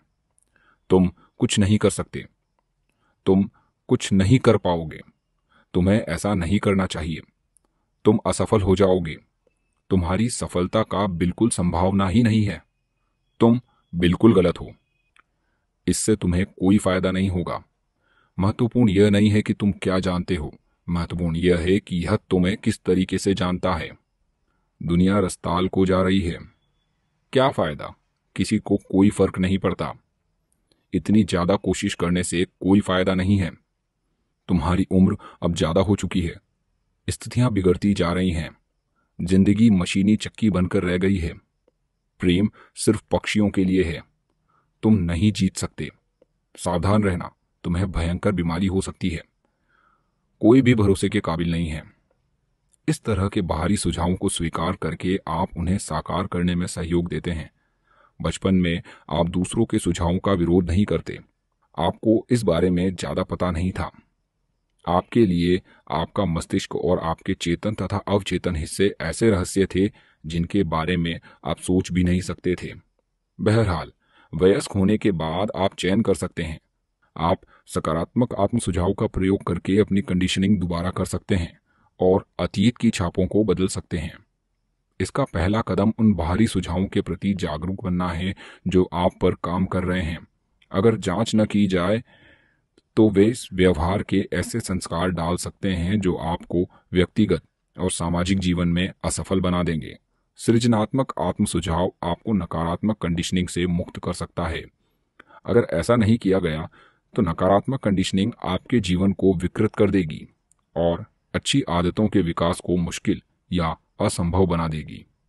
आप नकारात्मक सुझावों का विरोध कर सकते हैं। अखबार उठा लें या टीवी पर न्यूज़ देखें। हर दिन आप दर्जनों ऐसी खबरें सुनेंगे जो निरर्थकता, डर, चिंता और भावी तबाही के बीच बो सकती है। अगर आप उन्हें सच मान लें और अपने भीतर जगह दे दें तो डर के ये विचार आपके जीवन की, जीने की इच्छा को खत्म ही कर देंगे। बहरहाल, जब आप यह समझ लेते हैं कि आपको इन्हें स्वीकार करने की ज़रूरत नहीं है तो आपके सामने विकल्प खुल जाते हैं। आपके अवचेतन मन को सृजनात्मक आत्म सुझाव देकर आप में इन सभी विध्वंसात्मक विचारों का विरोध करने की शक्ति है। नियमित रूप से दूसरों के थोपे गए नकारात्मक सुझावों की जाँच करते रहें। आपको इन विनाशक आत्म सुझावों की दया पर रहने की ज़रूरत नहीं है। हम सभी ने अपने बचपन, किशोरावस्था, वयस्क जीवन में इसी की वजह से कष्ट भोगे हैं। अगर आप पीछे मुड़कर देखें तो आसानी से याद कर सकते हैं कि माता पिता दोस्तों, रिश्तेदारों टीचर्स और सहयोगियों ने किस तरह आपके नकारात्मक सुझाव दिए गए थे। उनकी कई बातों का विश्लेषण करें और उनमें छिपे अर्थ की गौर से जाँच करें। आप पाएँगे कि उनमें से ज़्यादातर बातें झूठ थी। उनका छिपा हुआ उद्देश्य आप में डर पैदा करके आपको नियंत्रित करना था और है। बाहरी सुझाव की यह प्रक्रिया हर घर, ऑफ़िस, फैक्ट्री और क्लब में चलती है। धीरे धीरे आपको पता चल जाएगा कि जाने अनजाने में लोगों के सुझावों का उद्देश्य होता है कि आप वैसा ही सोचें और महसूस करें। और काम करें जैसा चाहते हैं, ताकि उन्हें फ़ायदा पहुँचे, भले ही आपको नुकसान हो जाए। किस तरह एक सुझाव ने एक आदमी की जान ली? मेरे दूर के एक रिश्तेदार ने भारत की एक मशहूर महिला भविष्य वक्ता से अपना भविष्य पूछा। ज्योतिष ने उसे बताया कि उसका दिल बहुत कमज़ोर है और वह अगली अमावस्या को मर जाएगा। मेरा रिश्तेदार स्तब्ध रह गया। उसने अपने परिवार के हर व्यक्ति को भविष्यवाणी बताई। उसने अपने वकील से मिलकर वसीयत ठीक करवा ली। जब मैंने उसे उसके विश्वास से डिगाने की कोशिश की तो उसने मुझे बताया कि उस भविष्य वक्ता में अद्भुत परलौकिक शक्तियाँ हैं। वह भविष्य वक्ता लोगों का बहुत भला या बुरा कर सकती है। उसे भविष्यवाणी की सच्चाई पर पूरा भरोसा था। जब अमावस्या करीब आने लगी तो वह खोया खोया रहने लगा। एक महीने पहले यह आदमी खुश, स्वस्थ, उत्साही और जोशीला था। अब वह बीमार दिखने लगा। अमावस्या के दिन उसे बहुत बुरा हार्ट अटैक आया, वह मर गया। हालाँकि उसे यह पता ही नहीं था कि अपनी मौत का कारण वह खुद है। हम में से कितनों ने इस तरह की कहानियाँ सुनी हैं और यह सोचकर थोड़े कांपे हैं। लेकिन यह दुनिया रहस्यमयी अनियंत्रित शक्तियों से भरी पड़ी है। हाँ दुनिया शक्तियों से भरी पड़ी है, लेकिन वे न तो रहस्यमय है और न ही अनियंत्रित। मेरे रिश्तेदार ने खुद अपनी जान ले ली, क्योंकि उसने एक सशक्त सुझाव को अपने अवचेतन मन में दाखिल होने दिया। उसे भविष्य व्यक्ता की शक्तियों पर भरोसा था, इसलिए उसने उसकी भविष्यवाणी को पूरा स्वीकार कर लिया। आइए, अवचेतन मन की कार्यविधि की जानकारी के आधार पर इस घटना को देखें। व्यक्ति का चेतन या तार्किक मस्तिष्क जिन बात पर यकीन करता है, अवचेतन मन उसे स्वीकार कर लेता है और उसके अनुरूप कार्य करता है। मेरा रिश्तेदार जब उस भविष्य वक्ता के पास गया तो वह सुझाव ग्रहण करने की मन दशा में था। भविष्य वक्ता ने उसे ऐसा एक नकारात्मक सुझाव दिया, जिससे उसने सच मान लिया। वह दहशत में आ गया। उसे पूरा विश्वास था कि अगली अमावस्या को वह मरने वाला है। उसने इसके बारे में सबको बता दिया और अपनी मौत की तैयारी करने लगा। मौत के बारे में उसके डर और आशंका को उसके अवचेतन मन ने सही मान लिया तथा उसकी मौत को हकीकत में बदल दिया। जिस महिला ने उसकी मौत की भविष्यवाणी की थी, उसकी शक्ति मैदान के पत्थरों और लकड़ियों से ज़्यादा नहीं थी। उसके सुझाव में जान लेने की शक्ति नहीं थी। अगर वह आदमी के मन के नियमों को जानता तो वह इस नकारात्मक सुझाव को पूरी तरह से अस्वीकार कर देता और भविष्य वक्ता के शब्दों पर जरा भी ध्यान नहीं देता। अगर वह जानता कि वह अपने ही विचारों और भावनाओं द्वारा नियंत्रित है तो वह ज़िंदा रह सकता था। तब भविष्य वक्ता की भविष्यवाणी बरखत बंद टैंक पर फेंकी गई रबड़ की गेंद जैसी होती। वह आसानी से उसके सुझाव को नकार सकता था और हवा में उड़ा सकता था, जिससे उसे कोई नुकसान नहीं होता। इसके बजाय, जागरूकता और समझ की कमी के कारण उसने अपनी मौत को खुद ही बुला लिया। दूसरों के सुझावों में अपनी कोई शक्ति नहीं होती। आप अपने विचारों द्वारा उन्हें शक्ति देते हैं। आपको अपनी मानसिक सहमति देनी होगी। आपको उस विचार को स्वीकार करना होगा, तब वह विचार आपका बन जाता है और आपका अवचेतन उसे साकार करने के लिए काम करता है। याद रखें, आपके पास चुनने की क्षमता है। ज़िंदगी चुने, प्रेम चुने, सेहत चुने। माने गए प्रमुख आधार वाक्यों की शक्ति। प्राचीन यूनान के जमाने से दार्शनिक और तर्कशास्त्रियों ने सिलोजिज्म नामक तर्क का अध्ययन किया। सिलोजिज्म में मस्तिष्क व्यवहारिक संदर्भ में तर्क करता है। इसका मतलब यह है कि आपका चेतन मन जिस प्रमुख आधार वाक्य को सच मानता है, उसी से वह निष्कर्ष तय होता है, जिस पर आपका अवचेतन मन पहुंचाएगा। इस बात से कोई फ़र्क नहीं पड़ता कि वह सवाल या समस्या कौन सी है। अगर आधार वाक्य सही है तो निष्कर्ष अवश्य सही होगा। उदाहरण के लिए, हर गुण प्रशंसनीय है। दयालुता एक गुण है। इसीलिए दयालुता प्रशंसनीय है। या यह, सभी निर्मित चीज़ें बदलती और खत्म होती हैं। मिस्र के पिरामिड निर्मित चीज़ें हैं, इसीलिए पिरामिड बदलेंगे और खत्म होंगे। पहले वाक्य को प्रमुख आधार वाक्य कहा जाता है, और सही आधार वाक्य से सही निष्कर्ष निकलते हैं। कॉलेज के एक प्रोफेसर ने न्यूयॉर्क सिटी के टाउन हॉल में मस्तिष्क विज्ञान पर मेरे कुछ भाषण सुने। वे बाद में मुझसे मिलने आए। उन्होंने मुझसे कहा मेरे जीवन में हर चीज़ गड़बड़ है। मैं अपनी सेहत, दौलत और मित्र गंवा चुका हूँ।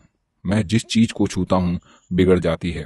मैंने उन्हें समझाया कि उनकी समस्याएँ तार्किक रूप से उनके आत्मविनाशक प्रमुख आधार वाक्य से उत्पन्न हुई है। अपने जीवन को बदलने के लिए उन्हें अपने चिंतन में एक नया प्रमुख आधार वाक्य स्थापित करना होगा। उन्हें इस विश्वास को सही मानना होगा कि उनके अवचेतन मन की असीमित बुद्धिमता उन्हें आध्यात्मिक मानसिक, भौतिक मार्गदर्शन दे रही है, निर्देशित कर रही है और समृद्ध बना रही है। जब ऐसा कर लेंगे तो उनका अवचेतन मन अपने आप उन्हें समझदारी से निर्णय लेने के लिए निर्देशित करेगा। उनके शरीर का उपचार कर देगा और उनकी मानसिक शांति लौटा देगा। प्रोफेसर ने अपने जीवन की मनचाही तस्वीर बनाई। उनका प्रमुख आधार वाक्य यह था। असीमित बुद्धिमता हर तरीके से मुझे मार्गदर्शन दे रही है। मैं पूरी तरह स्वस्थ हूँ और मेरे मस्तिष्क तथा शरीर में सामंजस्य का नियम काम करता है। मेरे पास सौंदर्य, प्रेम, शांति और प्रचुरता है। सही कर्म और देवी विधान के सिद्धांत मेरे जीवन में पूरी तरह शासन करते हैं। मैं जानता हूँ कि मेरा प्रमुख आधार वाक्य जीवन के शाश्वत नियमों पर आधारित है और मैं जानता हूँ, महसूस करता हूँ तथा विश्वास करता हूँ कि मेरा अवचेतन मन मेरे चेतन मन की विचार प्रकृति के अनुरूप प्रतिक्रिया करेगा। बाद में उन्होंने मुझे अपनी प्रगति की जानकारी देते हुए लिखा। मैंने अपने प्रमुख आधार वाक्य को धीरे धीरे शांति से और प्रेम से कई दिन में बार बार दोहराया। मैं जानता था कि वे मेरे अवचेतन मन की गहराई में उतर रहे हैं। मुझे यकीन था कि मुझे मस्तिष्क के नियम के आधार पर परिणाम मिलेंगे। मैं आपके साथ हुई बातचीत के लिए बहुत कृतज्ञ हूँ और मैं यह भी कहना चाहूँगा कि मेरे जीवन के सभी क्षेत्रों में बहुत सुधार हो रहा है। यह कारगर है। अवचेतन मन बहस नहीं करता है। अवचेतन मन बहुत समझदार है। यह सभी सवालों के जवाब जानता है। बहरहाल, इसे पता नहीं होता कि यह जानता है। यह आपके साथ बहस नहीं करता, या पलटकर जवाब नहीं देता है। यह ऐसा इसलिए नहीं कहता आप मुझ पर इस तरह के सुझावों की छाप ना छोड़ें। जब आप कहते हैं, मैं यह नहीं कर सकता। मेरी उम्र बहुत ज़्यादा हो गई है। मैं इस ज़िम्मेदारी को नहीं निभा सकता। मैं गलत जगह, गलत घर में पैदा हो गया था। मैं सही नेताओं को नहीं जानता हूँ। तो आप इन नकारात्मक विचारों को अपने अवचेतन मन में भर रहे हैं। यह इनके अनुरूप प्रतिक्रिया करता है। आप दरअसल अपनी ही भलाई का रास्ता रोक रहे हैं। आप अपने जीवन में कमी, सीमा और कुंठा उत्पन्न कर रहे हैं। जब आप अपने चेतन मन में बाधा, अवरोध और विलंब की कल्पना करते हैं तो आप अपने अवचेतन मन की बुद्धिमता और ज्ञान का लाभ नहीं ले पाते। आपको दरअसल यह विश्वास होता है कि आपका अवचेतन मन आपकी समस्या को नहीं सुलझा सकता। इसका परिणाम होता है मानसिक और भावनात्मक संकुलन, जिसके बाद बीमारी और न्यूरोटिक प्रवृत्तियाँ आती हैं। अपनी इच्छाओं को साकार करने और कुंठा से उभरने के लिए दिन में कई बार दृढ़ता से कहें। असीमित बुद्धिमता ने मुझे यह मनोकामना दी है और यही मुझे साकार करने की आदर्श योजना की राह दिखाती है। उस और ले जाती है और आवश्यक बातें बताती हैं। मैं जानता हूँ कि मेरे अवचेतन की अधिक गहरी समझ अब प्रतिक्रिया कर रही है और जो मैं हूँ, जो मैं महसूस करता हूँ तथा जिस पर मैं मन से दावा करता हूँ, वह बाहर व्यक्त होती है। संतुलन और समबुद्धि हर और है। दूसरी तरफ़, अगर आप कहते हैं, अब कोई रास्ता नहीं बचा, अब मेरा खेल खत्म हो गया, इस उलझन से बाहर निकलने का कोई तरीका नहीं है, मैं बाधित हूँ, अवरुद्ध हूँ तो आपको आपके अवचेतन मन से कोई जवाब या प्रतिक्रिया नहीं मिलेगी। अगर आप चाहते हैं कि आपका अवचेतन मन आपके लिए काम करे तो इसका सहयोग पाने के लिए आपको इससे सही आग्रह करना होगा। यह आपके लिए हमेशा काम कर रहा है। यह इस समय भी आपके हृदय की धड़कन और सांस को नियंत्रित कर रहा है। जब आपकी उंगली कट जाती है तो यह उपचार की जटिल प्रक्रिया शुरू कर देता है। इसकी सबसे मूलभूत प्रवृत्ति जीवन की ओर है। यह हमेशा आपकी देखभाल करता है और आपको सुरक्षित रखता है। आपके अवचेतन के पास अपनी खुद की बुद्धि है, लेकिन यह आपके विचारों और छवियों के पैटर्न को स्वीकार कर लेता है। जब आप किसी समस्या का जवाब तलाशते हैं तो आपका अवचेतन प्रतिक्रिया करेगा। लेकिन यह आपसे उम्मीद करेगा कि आप अपने चेतन मन में किसी सच्चे निर्णय के फैसले पर पहुँच जाएँ। आपको यह मानना होगा कि आपके अवचेतन मन के पास जवाब है। अगर आप कहते हैं, मुझे मालूम ही नहीं कि कोई रास्ता है भी या नहीं। मैं पूरी तरह दुविधा और उलझन में हूँ। मुझे जवाब क्यों नहीं मिलता? तो आप अपनी प्रार्थना को नकार रहे हैं। समय काटते सैनिक की तरह आप ऊर्जा का प्रयोग कर रहे हैं लेकिन आगे नहीं बढ़ते हैं। अपने मस्तिष्क के पहिए को विराम दें। आराम से बैठ जाएँ, शिथिल हो जाएँ, शांति से कहें मेरा अवचेतन मन जवाब जानता है। यह इस समय भी प्रतिक्रिया कर रहा है। मैं धन्यवाद देता हूँ क्योंकि मैं जानता हूँ कि मेरे अवचेतन मन की असीमित बुद्धिमता सारी बातें जानती हैं और मुझे इस वक्त आदर्श जवाब दे रही हैं। मेरा सच्चा विश्वास मेरे अवचेतन मन की बुद्धिमता और ज्ञान को मुक्त कर रहा है। मुझे खुशी है कि ऐसा हो रहा है। याद रखने लायक विचार। पहला अच्छा सोचेंगे तो अच्छा होगा, बुरा सोचेंगे तो बुरा होगा। आप वही बनेंगे जो आप दिन भर सोचते हैं। दूसरा, अवचेतन मन आपके साथ बहस नहीं करता। यह आपके चेतन मन के आदेश को चुपचाप मान लेता है। अगर आप कहते हैं, मैं इसका खर्च नहीं उठा सकता तो आपका अवचेतन इसे सच बनाने के लिए काम करने लगता है।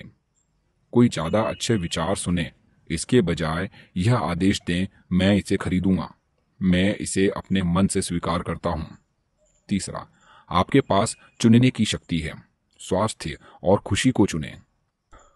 आप दोस्ताना या गैर दोस्ताना होने का चुनाव कर सकते हैं। सहयोगी, खुश, दोस्ताना।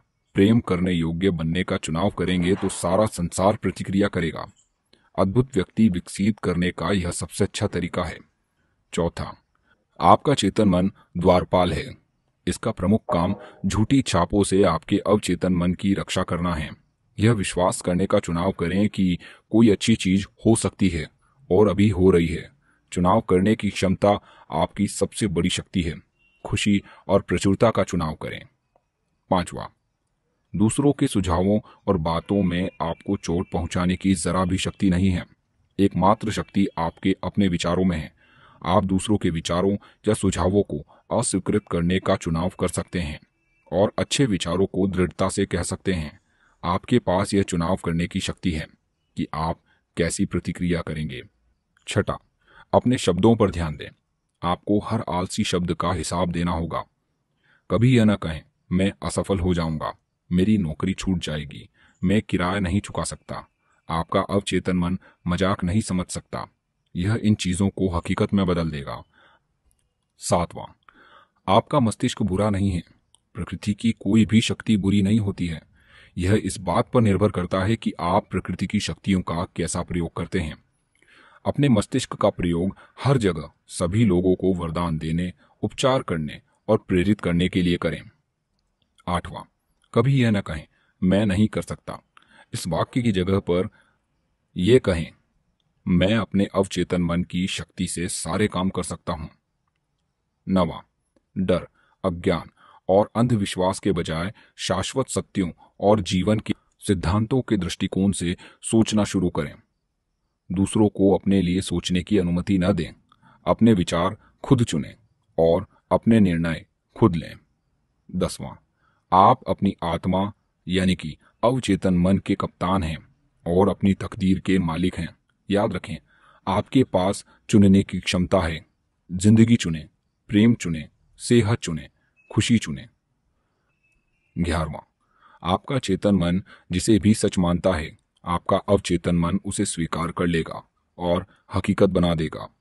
खुशकिस्मती, देवी मार्गदर्शन, सही कर्म और जीवन की सभी नियामतों में विश्वास करें। तीसरा अध्याय। इसका तीसरा अध्याय है, आपके अवचेतन मन की चमत्कारी शक्ति। आपका अवचेतन मन आपको प्रेरित करता है और मार्गदर्शन देता है। यह यादों के भंडार से तस्वीरें और दृश्य निकाल कर लाता है।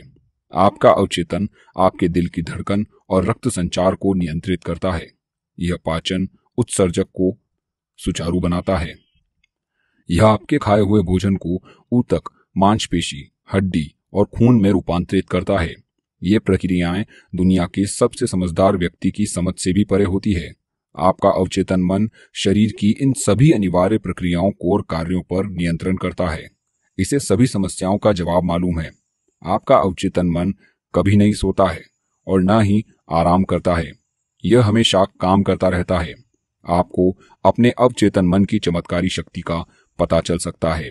बशर्ते आप सोने से पहले इसे यह कह दें कि आप किसी विशिष्ट चीज़ को हासिल करना चाहते हैं। आपको यह जानकर हैरानी और खुशी होगी कि इसके बाद आपके भीतर ऐसी शक्तियाँ सक्रिय हो जाएँगी जो आपको मन चाहे परिणाम की ओर ले जाएँगी। यहाँ शक्ति और बुद्धिमानी ऐसा स्रोत है जो आपको सीधे सर्वशक्तिमान के संपर्क में रखता है। यह ऐसी शक्ति है जो दुनिया को चलाती है, ग्रहों को उनकी कक्षा में रखती है। और सूरज को चमकाती है। आपका अवचेतन मन आपके आदर्शों, महत्वाकांक्षाओं और परोपकारी इच्छाओं का स्रोत है। अवचेतन मन के ज़रिए ही शेक्सपियर ने उन महान सच्चाइयों को जाना और व्यक्त किया जो उनके युग के आम आदमी को पता ही नहीं थी। अवचेतन मन की बदौलत ही यूनानी मूर्तिकार फिडियस ने संगमरमर और कांसे में सुंदरता, व्यवस्था, सुडोलपन और अनुपात उकेरने में इतनी निपुणता और कुशलता हासिल की। दरअसल, अवचेतन मन वह गहरा कुआँ है जिसे महान कलाकारों ने आश्चर्यजनक इसने महान इतालवी कलाकार रैफेल को उनकी अमर कलाकृति, मेडोना बनाने और महान जर्मन संगीतज्ञ बीथोवन को उनकी सिम्फनी की रचना करने में समर्थ बनाया। कुछ साल पहले मुझे भारत में ऋषिकेश की योगा फॉरेस्ट यूनिवर्सिटी में भाषण देने के लिए आमंत्रित किया गया। वहाँ मुंबई की एक सर्जन से मेरी लंबी बातचीत हुई। उसने, मैंने डॉक्टर जेम्स एडल की आश्चर्यजनक कहानी सुनी। एसडेल एक स्कॉटिश सर्जन थे, जिन्होंने 1840 के दशक में बंगाल में काम किया था। उस जमाने में बेहोश करने के लिए ईथर था या रासायनिक एंथेसीसिया की अन्य आधुनिक विधियों का इस्तेमाल नहीं होता था। बहरहाल 1843 और 1846 के बीच डॉक्टर एजडेल ने सभी तरह के कुल मिलाकर 400 बड़े ऑपरेशन किए। इनमें आँख, नाक और गले के ऑपरेशनों के अलावा अंग कटने, ट्यूमर हटाने और कैंसर की गांठें हटाने का ऑपरेशन शामिल थे। इन सभी ऑपरेशनों में सिर्फ़ मानसिक एंथेसिसिया ही दिया गया। मरीजों का कहना था कि उन्हें कोई दर्द नहीं हुआ और ऑपरेशन के दौरान उनमें से कोई भी नहीं मरा। आश्चर्य की बात यह भी थी कि ऑपरेशन के बाद भी एसडेल के बहुत कम मरीज़ मरे। यह उस वक्त की बड़ी बात थी। जब लुई पास्चर और जोसेफ लिस्टर ने यह साबित नहीं किया था कि संक्रमण बैक्टीरिया से फैलता था। किसी को भी यह एहसास नहीं था कि ऑपरेशन के बाद होने वाले संक्रमण दूषित औजारों और हानिकारक विषाणुओं के कारण होते हैं। बहरहाल, जब एसडेल और मरीजों को सम्मोहन की अवस्था में यह सुझाव देते थे कि उन्हें कोई संक्रमण या सेप्टिक नहीं होगा तो उनके अवचेतन मन इस सुझाव पर प्रतिक्रिया करते थे। वे संक्रमण के जीवन घाती खतरों से लड़ने की प्रक्रिया शुरू कर देते थे। जरा इस बारे में सोचें। डेढ़ सौ साल पहले एक स्कॉटिश सर्जन ने यह खोज लिया था कि अवचेतन मन की चमत्कारी शक्ति का इस्तेमाल कैसे किया जाए। इस बात पर विस्मय और श्रद्धा होना स्वाभाविक है।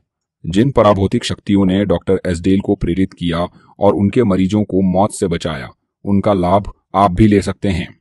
आपका अवचेतन मन आपको समय और स्थान के बंधन से परे कर सकता है। यह आपको हर दर्द और कष्ट से मुक्त कर सकता है। यह आपको सभी समस्याओं के जवाब दे सकता है, चाहे वे जो भी हों। आपके भीतर ऐसी शक्ति और ज्ञान है, जो आपकी बुद्धि से परे है। और आप इसके चमत्कार पर हैरान हो सकते हैं। ये सारे अनुभव आपको अवचेतन मन की चमत्कारी शक्तियों में यकीन दिलवाएँगे और खुशी से भर देंगे। आपका अवचेतन आपके जीवन की पुस्तक है। आप अपने अवचेतन मन पर जो भी विचार, विश्वास, राय सिद्धांत, या मत लिखते हैं, उकेरते हैं, या छाप छोड़ते हैं, वे परिस्थितियों, स्थितियों और घटना के रूप में प्रकट हो जाते हैं। आप भीतर जो लिखेंगे, बाहर भी आपको वही अनुभव होगा।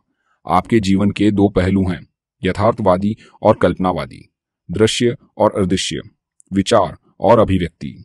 आपका विचार तांत्रिकीय आवेग के रूप में, सेरिब्रल कॉर्टेक्स में पहुँचता है, जो आपके चेतन तार्किक मन का अंग है। जब आपका चेतन या यथार्थवादी मस्तिष्क विचार को पूरी तरह स्वीकार कर लेता है तो यह मस्तिष्क के दूसरे हिस्से तक पहुँचता है, जहाँ यह साकार हो जाता है और परिस्थिति का रूप ले लेता है। जैसा पहले बताया जा चुका है, आपका अवचेतन बहस नहीं कर सकता। यह तो सिर्फ़ उसी पर अमल करता है जो आपने इस पर लिखा है। यह आपके चेतन मन के निष्कार्यों या आपके फैसले को अंतिम मान लेता है। इसीलिए आप हमेशा अपने जीवन की पुस्तक पर लिख रहे हैं। क्योंकि आपके विचार ही अंततः आपके अनुभव बन जाते हैं। अमेरिकी दार्शनिक राल्फ वाल्डो इमरसन ने कहा था, मनुष्य वही बन जाता है जो वह दिन भर सोचता रहता है। अवचेतन पर जो छाप पड़ती है, वह व्यक्त होती है।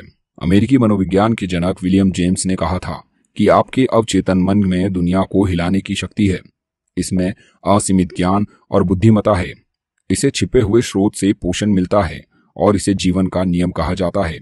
आप अपने अवचेतन मन पर जो भी छाप छोड़ते हैं, यह उसे साकार करने के लिए ज़मीन आसमान एक कर देगा।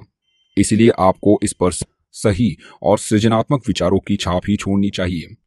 दुनिया में इतनी अवस्थाएँ और दुख इसलिए हैं क्योंकि अधिकांश लोग अपने चेतन और अवचेतन मन के आपसी संबंध को नहीं समझते हैं।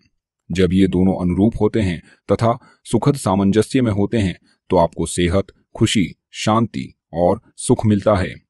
जब चेतन और अवचेतन मन सामंजस्य और शांति से मिलकर काम करते हैं तो कोई रोग या मतभेद नहीं होता है। प्राचीन जगत में हर्मिस ट्रिसमेगिस्टस को दुनिया का सबसे महान और शक्तिशाली जादूगर कहा जाता था। उनकी मौत के सदियों बाद, जब उनकी कब्र खोली गई तो प्राचीन जगत को जानने वाले लोगों में बहुत उत्सुकता थी। कहा जा रहा था कि कब्र के भीतर युगो युगों का सबसे बड़ा रहस्य मिलेगा, और यह मिला भी, यह रहस्य था, जैसा भीतर, वैसा ऊपर। जैसा ऊपर, वैसा नीचे। दूसरे शब्दों में, आप अपने अवचेतन मन पर जो भी छाप छोड़ेंगे, वह बाहर व्यक्त होगी। मोजेस, ईसाइया, ईसा मसीह, बुद्ध, जोरोआस्ट्र लॉत्से और युगो युगों से सभी प्रख्यात दूरदर्शी हस्तियों ने भी इसी सत्य की घोषणा की है। आप व्यक्तिगत रूप से जिसे सच मानते हैं, वह स्थितियों, अनुभवों और घटनाओं के रूप में व्यक्त होता। गति और भावना में संतुलन होना ही है। जैसा स्वर्ग यानी कि आपके अपने मस्तिष्क में है वैसा ही धरती पर, आपके शरीर और परिवेश में होगा। यही जीवन का महान नियम है। क्रिया और प्रतिक्रिया, स्थिरता और गति का यह नियम आपको समूची प्रकृति में मिलेगा। इन दोनों में संतुलन होने पर ही सामंजस्य और संतुलन बनेगा। आप दुनिया में इसलिए हैं ताकि जीवन का सिद्धांत आपके भीतर लयबद्ध तरीके और सामंजस्य से प्रवाहित हो सके। अंदर जाने और बाहर निकलने वाली चीज़ें बराबर होनी चाहिए। अंदर की और बाहर की अभिव्यक्तियाँ बराबर होनी चाहिए। आपकी सारी कुंठाओं का कारण अपूर्ण इच्छाएँ हैं। अगर आप नकारात्मक, विनाशक और दुष्ट विचार रखते हैं तो ये विनाशक विचार भाव पैदा करते हैं। ये भाव बाहर निकलने का कोई ना कोई रास्ता खोज लेंगे और किसी न किसी तरह व्यक्त होंगे। चूँकि इन भावों की प्रकृति नकारात्मक है, इसलिए यह प्राय अल्सर, हृदय रोग, तनाव और चिंता के रूप में व्यक्त होते हैं। अपने बारे में आपकी क्या सोच या भावना है? अपने अस्तित्व का हर हिस्सा उसी सोच की अभिव्यक्ति है। आपकी स्फूर्ति, शरीर, वित्तीय स्थिर, दोस्त और सामाजिक प्रतिष्ठा उन विचारों का प्रतिबिंब है, जो आपके अपने बारे में है। इस बात का सच्चा अर्थ यह है कि आप अपने अवचेतन मन पर भीतर जो छाप छोड़ते हैं, वह आपके जीवन के सभी क्षेत्रों में बाहर व्यक्त होती है। हम अपनी नकारात्मक सोच से खुद को नुकसान पहुंचाते हैं। आपने कितनी बार गुस्सा होकर डर कर जलकर या बदले की भावना से खुद को नुकसान पहुँचाया है। ये जहर आपके अवचेतन मन में दाखिल हो जाते हैं। आप इन नकारात्मक नज़रिए के साथ पैदा नहीं हुए थे। अपने अवचेतन मन को जीवनदायी विचार बना देंगे तो इसके भीतर के सभी नकारात्मक विचार मिटने लगेंगे। यह काम लगातार करने पर और अवचेतन मन उसे भुला देगा। अवचेतन चर्म रोग ठीक करता है। अवचेतन मन की उपचार शक्ति का सबसे विश्वसनीय प्रमाण व्यक्तिगत उपचार है। चालीस साल पहले मुझे चर्म रोग हुआ। मैं सबसे अच्छे डॉक्टर के पास गया, जिन्होंने सबसे आधुनिक उपचार आजमाए। किसी से भी फ़ायदा नहीं हुआ। चर्म रोग बिगड़ता गया। फिर एक दिन वृहद मनोवैज्ञानिक ज्ञान वाले एक धर्मगुरु ने एक भजन का गूढ़ मतलब समझाया। उन्होंने मेरा ध्यान इस वाक्य की तरफ़ दिलाया। आपकी पुस्तक से मेरे सभी अंग हैं। जो लगातार बनाए गए हैं, जब उनमें से कोई भी नहीं था। उन्होंने स्पष्ट किया कि पुस्तक का मतलब मेरा अवचेतन मस्तिष्क है, जिसमें एक छोटी सी मूल कोशिश से मेरे सभी अंग बनाए गए हैं। उन्होंने इशारा किया कि चूँकि मेरे अवचेतन मन में मेरे शरीर को बनाया है, इसलिए यह उसे दोबारा नहीं बना सकता और अंतर्निहित आदर्श रूपरेखा के अनुरूप इसका उपचार कर सकता है। इस धर्मगुरु ने मेरी अपनी घड़ी की तरफ़ इशारा किया। उन्होंने मुझे बताया इस घड़ी को देख रहे हो। इसे किसी ने बनाया था, लेकिन इसके मूर्त रूप में आने के पहले घड़ी बनाने वाले के दिमाग में इसका स्पष्ट विचार था। अगर किसी कारण से घड़ी सही काम न करे तो इसके मूल विचार की मदद से घड़ी बनाने वाले को यह ज्ञान मिल जाएगा, जिससे वह इसे सुधार कर सकता है। मैं समझ गया कि इस तुलना से वे मुझे क्या समझाने की कोशिश कर रहे थे। मेरे शरीर की रचना करने वाले अवचेतन बुद्धि घड़ी बनाने वाले की तरह है। यह ठीक ठीक जानती है कि मेरे शरीर की सभी महत्वपूर्ण क्रियाओं और प्रक्रियाओं का उपचार कैसे किया जाए, शरीर को दोबारा कैसे बनाया जाए और मार्गदर्शन कैसे दिया जाए। लेकिन इस काम को वह तरीके से करवाने के लिए मुझे इसे स्वास्थ्य का आदर्श विचार देना होगा। यह आदर्श विचार वह कारण बन जाएगा जिसका परिणाम उपचार होगा। मैंने एक बहुत आसान और सीधी प्रार्थना तैयार की। मेरा शरीर और इसके सभी अंग मेरे अवचेतन मन की असीमित बुद्धि ने बनाए हैं। यह जानता है कि मेरा उपचार कैसे किया जाए। इसकी बुद्धि ने मेरे सभी अंग, ऊतक, मांसपेशियाँ और हड्डियाँ बनाई हैं। मेरे भीतर की यह असीमित उपचारक शक्ति मेरे अस्तित्व की हर कोशिका को रूपांतरित कर रही है और मुझे संपूर्ण बना रही है। मैं उस उपचार के लिए धन्यवाद देता हूँ, जो मैं जानता हूँ कि समय हो रहा है। मेरे भीतर की रचनात्मक बुद्धि में अद्भुत शक्तियाँ हैं। मैंने इस आसान प्रार्थना को पाँच मिनट तक हर रोज दो तीन बार ज़ोर ज़ोर से दोहराया। लगभग तीन महीने बाद मेरी त्वचा पूरी तरह ठीक हो गई। चर्म रोग गायब हो गया। मेरा डॉक्टर चकरा गया, लेकिन मैं जानता था कि क्या हुआ था। मैंने अपने अवचेतन मन को संपूर्णता, सुंदरता और पूर्णता की जीवनदायी रूपक रेखा दे रखी थी। इसने मेरे अवचेतन मन से उस नकारात्मक विचारों और छवियों को बाहर निकाल दिया, जो मेरी सारी समस्या का कारण थी। आपके शरीर पर कोई भी चीज़ तब तक प्रकट नहीं होती जब तक वह अपने पहले से आपके मस्तिष्क में न हो।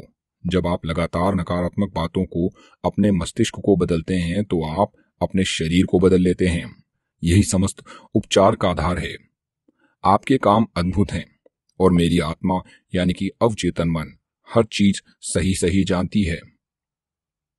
अवचेतन शरीर के सभी कार्यों को कैसे नियंत्रित करता है? चाहे आप जागें या सोएँ, आपके अवचेतन मन की अथक शक्ति आपके शरीर के सभी महत्वपूर्ण कार्यों को नियंत्रित करती है। इसमें आपके चेतन मन के किसी तरह के दखल की ज़रूरत नहीं होती। जब आप सो जाते हैं, तब भी आपका हृदय धड़कता रहता है। आपके सीने और फेफड़े की मांसपेशियाँ फेफड़ों में हवा भरती और निकलती रहती है। आपके शरीर की कोशिकाओं के काम के कारण निकली कार्बन डाइऑक्साइड के बदले में ताजी ऑक्सीजन भर ली जाती है, जिसकी आपको कार्य करने के लिए ज़रूरत होती है। आपका अवचेतन मन आपकी पाचक प्रक्रियाओं और ग्रंथियों के स्राव के अलावा आपके शरीर में अन्य सभी अद्भुत जटिल कार्यों को नियंत्रित करता है। यह सब लगातार होता रहता है, चाहे आप जाग रहे हों या सोए हुए हों। अगर आपको अपने शरीर के सभी काम चेतन मन से करने पड़े तो आप निश्चित ही मशीन असफल हो जाएँगे। आप शायद बहुत जल्दी मर जाएँगे। ये प्रक्रियाएँ बहुत जटिल है और आपस में बहुत बुरी तरह गुथी हुई है। हार्ट लंग मशीन, जिसका इस्तेमाल ओपन हार्ट सर्जरी में किया जाता है, आधुनिक चिकित्सा तकनीक का चमत्कार है। बहरहाल, इसके काम अपने अवचेतन मन की तुलना में बहुत आसान है। जो साल में तीन सौ पैंसठ दिन काम करता है, वह भी चौबीसों घंटे। मान लें, आप किसी सुपरसोनिक जेटलाइनर में बैठकर समुद्र के ऊपर से गुजर रहे हों और कोकपिट में घुस जाए। निश्चित ही आपको हवाई जहाज़ उड़ाना नहीं आता है, लेकिन आप पायलट का ध्यान भटकाकर परेशानी ज़रूर खड़ी कर सकते हैं। इसी तरह से आपका चेतन मस्तिष्क शरीर को तो नहीं चला सकता, लेकिन यह इसके सही तरीके से काम करने के रास्ते में बाधा बनकर ज़रूर बन सकता है। चिंता, तनाव, डर और निराशा। हृदय फेफड़ों, अमाशय और आंतों के सामान्य कार्यों में बाधा डाल सकती है। डॉक्टर अब इस बात पर ध्यान देने लगे हैं कि तथाकथित तनाव संबंधी बीमारियाँ कितनी गंभीर है। कारण यह है कि तनावपूर्ण विचार आपके अवचेतन मन के सामंजस्यपूर्ण काम में बाधा डालते हैं। जब आप शारीरिक और मानसिक रूप से विचलित महसूस करते हैं तो आप जो अपने सबसे अच्छे काम कर सकते हैं, वह है शिथिल होना, आराम करना और विचार प्रक्रिया को रोक देना। अपने अवचेतन मन से बात करें। इससे कहें कि यह शांत रहे, सामंजस्य और देवी विधान को स्थापित करें। ऐसा करने पर आप पाएँगे कि आपके शरीर की समूची कार्यप्रणाली दोबारा सामान्य हो गई है। अपने अवचेतन मन से अधिकार और विश्वास के साथ बोलें, यह आपके आदेश का पालन करके प्रतिक्रिया करेगा। आप अपने अवचेतन से अपने लिए किस तरह काम करवा सकते हैं? पहली बात तो यह एहसास करना है कि आपका अवचेतन मन हमेशा काम करता है। यह दिन रात सक्रिय रहता है। चाहे आप इस पर काम करें या ना करें। आपका अवचेतन आपके शरीर का निर्माता है, लेकिन आप इस खामोश प्रक्रिया को चेतन रूप से देख या सुन नहीं सकते। आपका पाला हर बार अपने अवचेतन मन के बजाय अपने चेतन मन पर पड़ता है। बस, अपने चेतन मन से सर्वश्रेष्ठ की आशा करते हुए यह पक्का करें कि आपका आदतन विचार अच्छी, सुंदर, सच्ची, न्यायपूर्ण और सद्भावनापूर्ण चीज़ों पर केंद्रित हो। अपने चेतन मन का ध्यान रखें और दिल में जान लें कि आपका अवचेतन मन आपके ही आदतन विचारों के अनुरूप परिणाम दे रहा है, व्यक्त कर रहा है और परिस्थितियाँ बना रहा है। याद रखें, जिस तरह पानी उसी पाइप का आकार ले लेता है जिसमें से यह बहता है, उसी तरह आप में जीवन सिद्धांत आपके विचारों की प्रकृति के अनुरूप प्रवाहित होता है।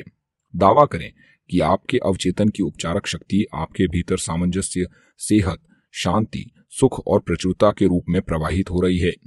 ज्ञानी व्यक्ति या प्यारे मित्र के रूप में इसकी कल्पना करें। दृढ़ता से यकीन करें कि यह आपके भीतर लगातार प्रवाहित हो रही है। आपको सजीव बना रही है, प्रेरित कर रही है और समृद्ध बना रही है। यह इसी तरीके से प्रतिक्रिया करेगा। जैसा आप यकीन करेंगे, वैसा ही आपको मिलेगा। अवचेतन का उपचारक सिद्धांत आँखों की रोशनी लौटाता है। दुनिया के सबसे मशहूर उपचारक धर्मस्थलों में से एक, दक्षिण पश्चिम फ्रांस का लूडेस है। लूडेस के चिकित्सा विभाग में बहुत सी फाइलें हैं, जिनमें चमत्कारिक उपचारों का विस्तृत विवरण है। इनमें से एक मैडम बायर का उपचार था। मैडम बायर नेत्रहीन थी। उनकी चक्षु तंत्रिकाएँ क्षीण और बेकार हो चुकी थी। लूडेस आने के बाद उनकी आँखों की रोशनी लौट आई। उनकी जाँच करने वाले कई डॉक्टरों ने प्रमाणित किया कि उनकी चक्षु तंत्रिकाएँ अब भी बेकार थीं। लेकिन इसके बावजूद वह देख सकती थी। एक महीने बाद दोबारा जाँच में यह पाया गया कि उनका चक्षु तंत्र दोबारा ठीक होकर सामान्य हो गया था। मुझे पूरा यकीन है कि मैडम बायर धर्म स्थल के पानी से ठीक नहीं हुई थी। उनका उपचार तो उनके ही अवचेतन मन ने किया था, जिससे उनका विश्वास पर प्रतिक्रिया की। उनके अवचेतन मन के भीतर के उपचारक सिद्धांत ने उनके विचार की प्रकृति के अनुरूप प्रतिक्रिया की। विश्वास, अवचेतन मन तक पहुँचा विचार है। विश्वास का अर्थ है किसी भी चीज़ को सच मानना। जिस चीज़ पर विश्वास हो जाता है, वह अपने आप हो जाती है। निस्संदेह मैडम बायर इस धर्म स्थल पर बड़ी उम्मीद और आस्था के साथ गई थी। वे अपने दिल में जानती थी कि वे ठीक हो जाएँगी।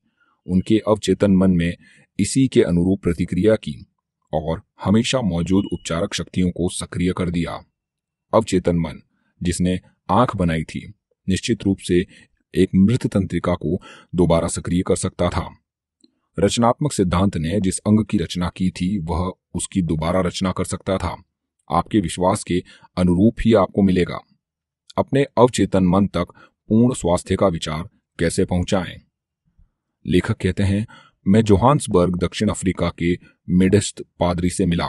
उन्होंने मुझे बताया कि वह पूरी तरह फेल हो चुके फेफड़ों के कैंसर से उभरे।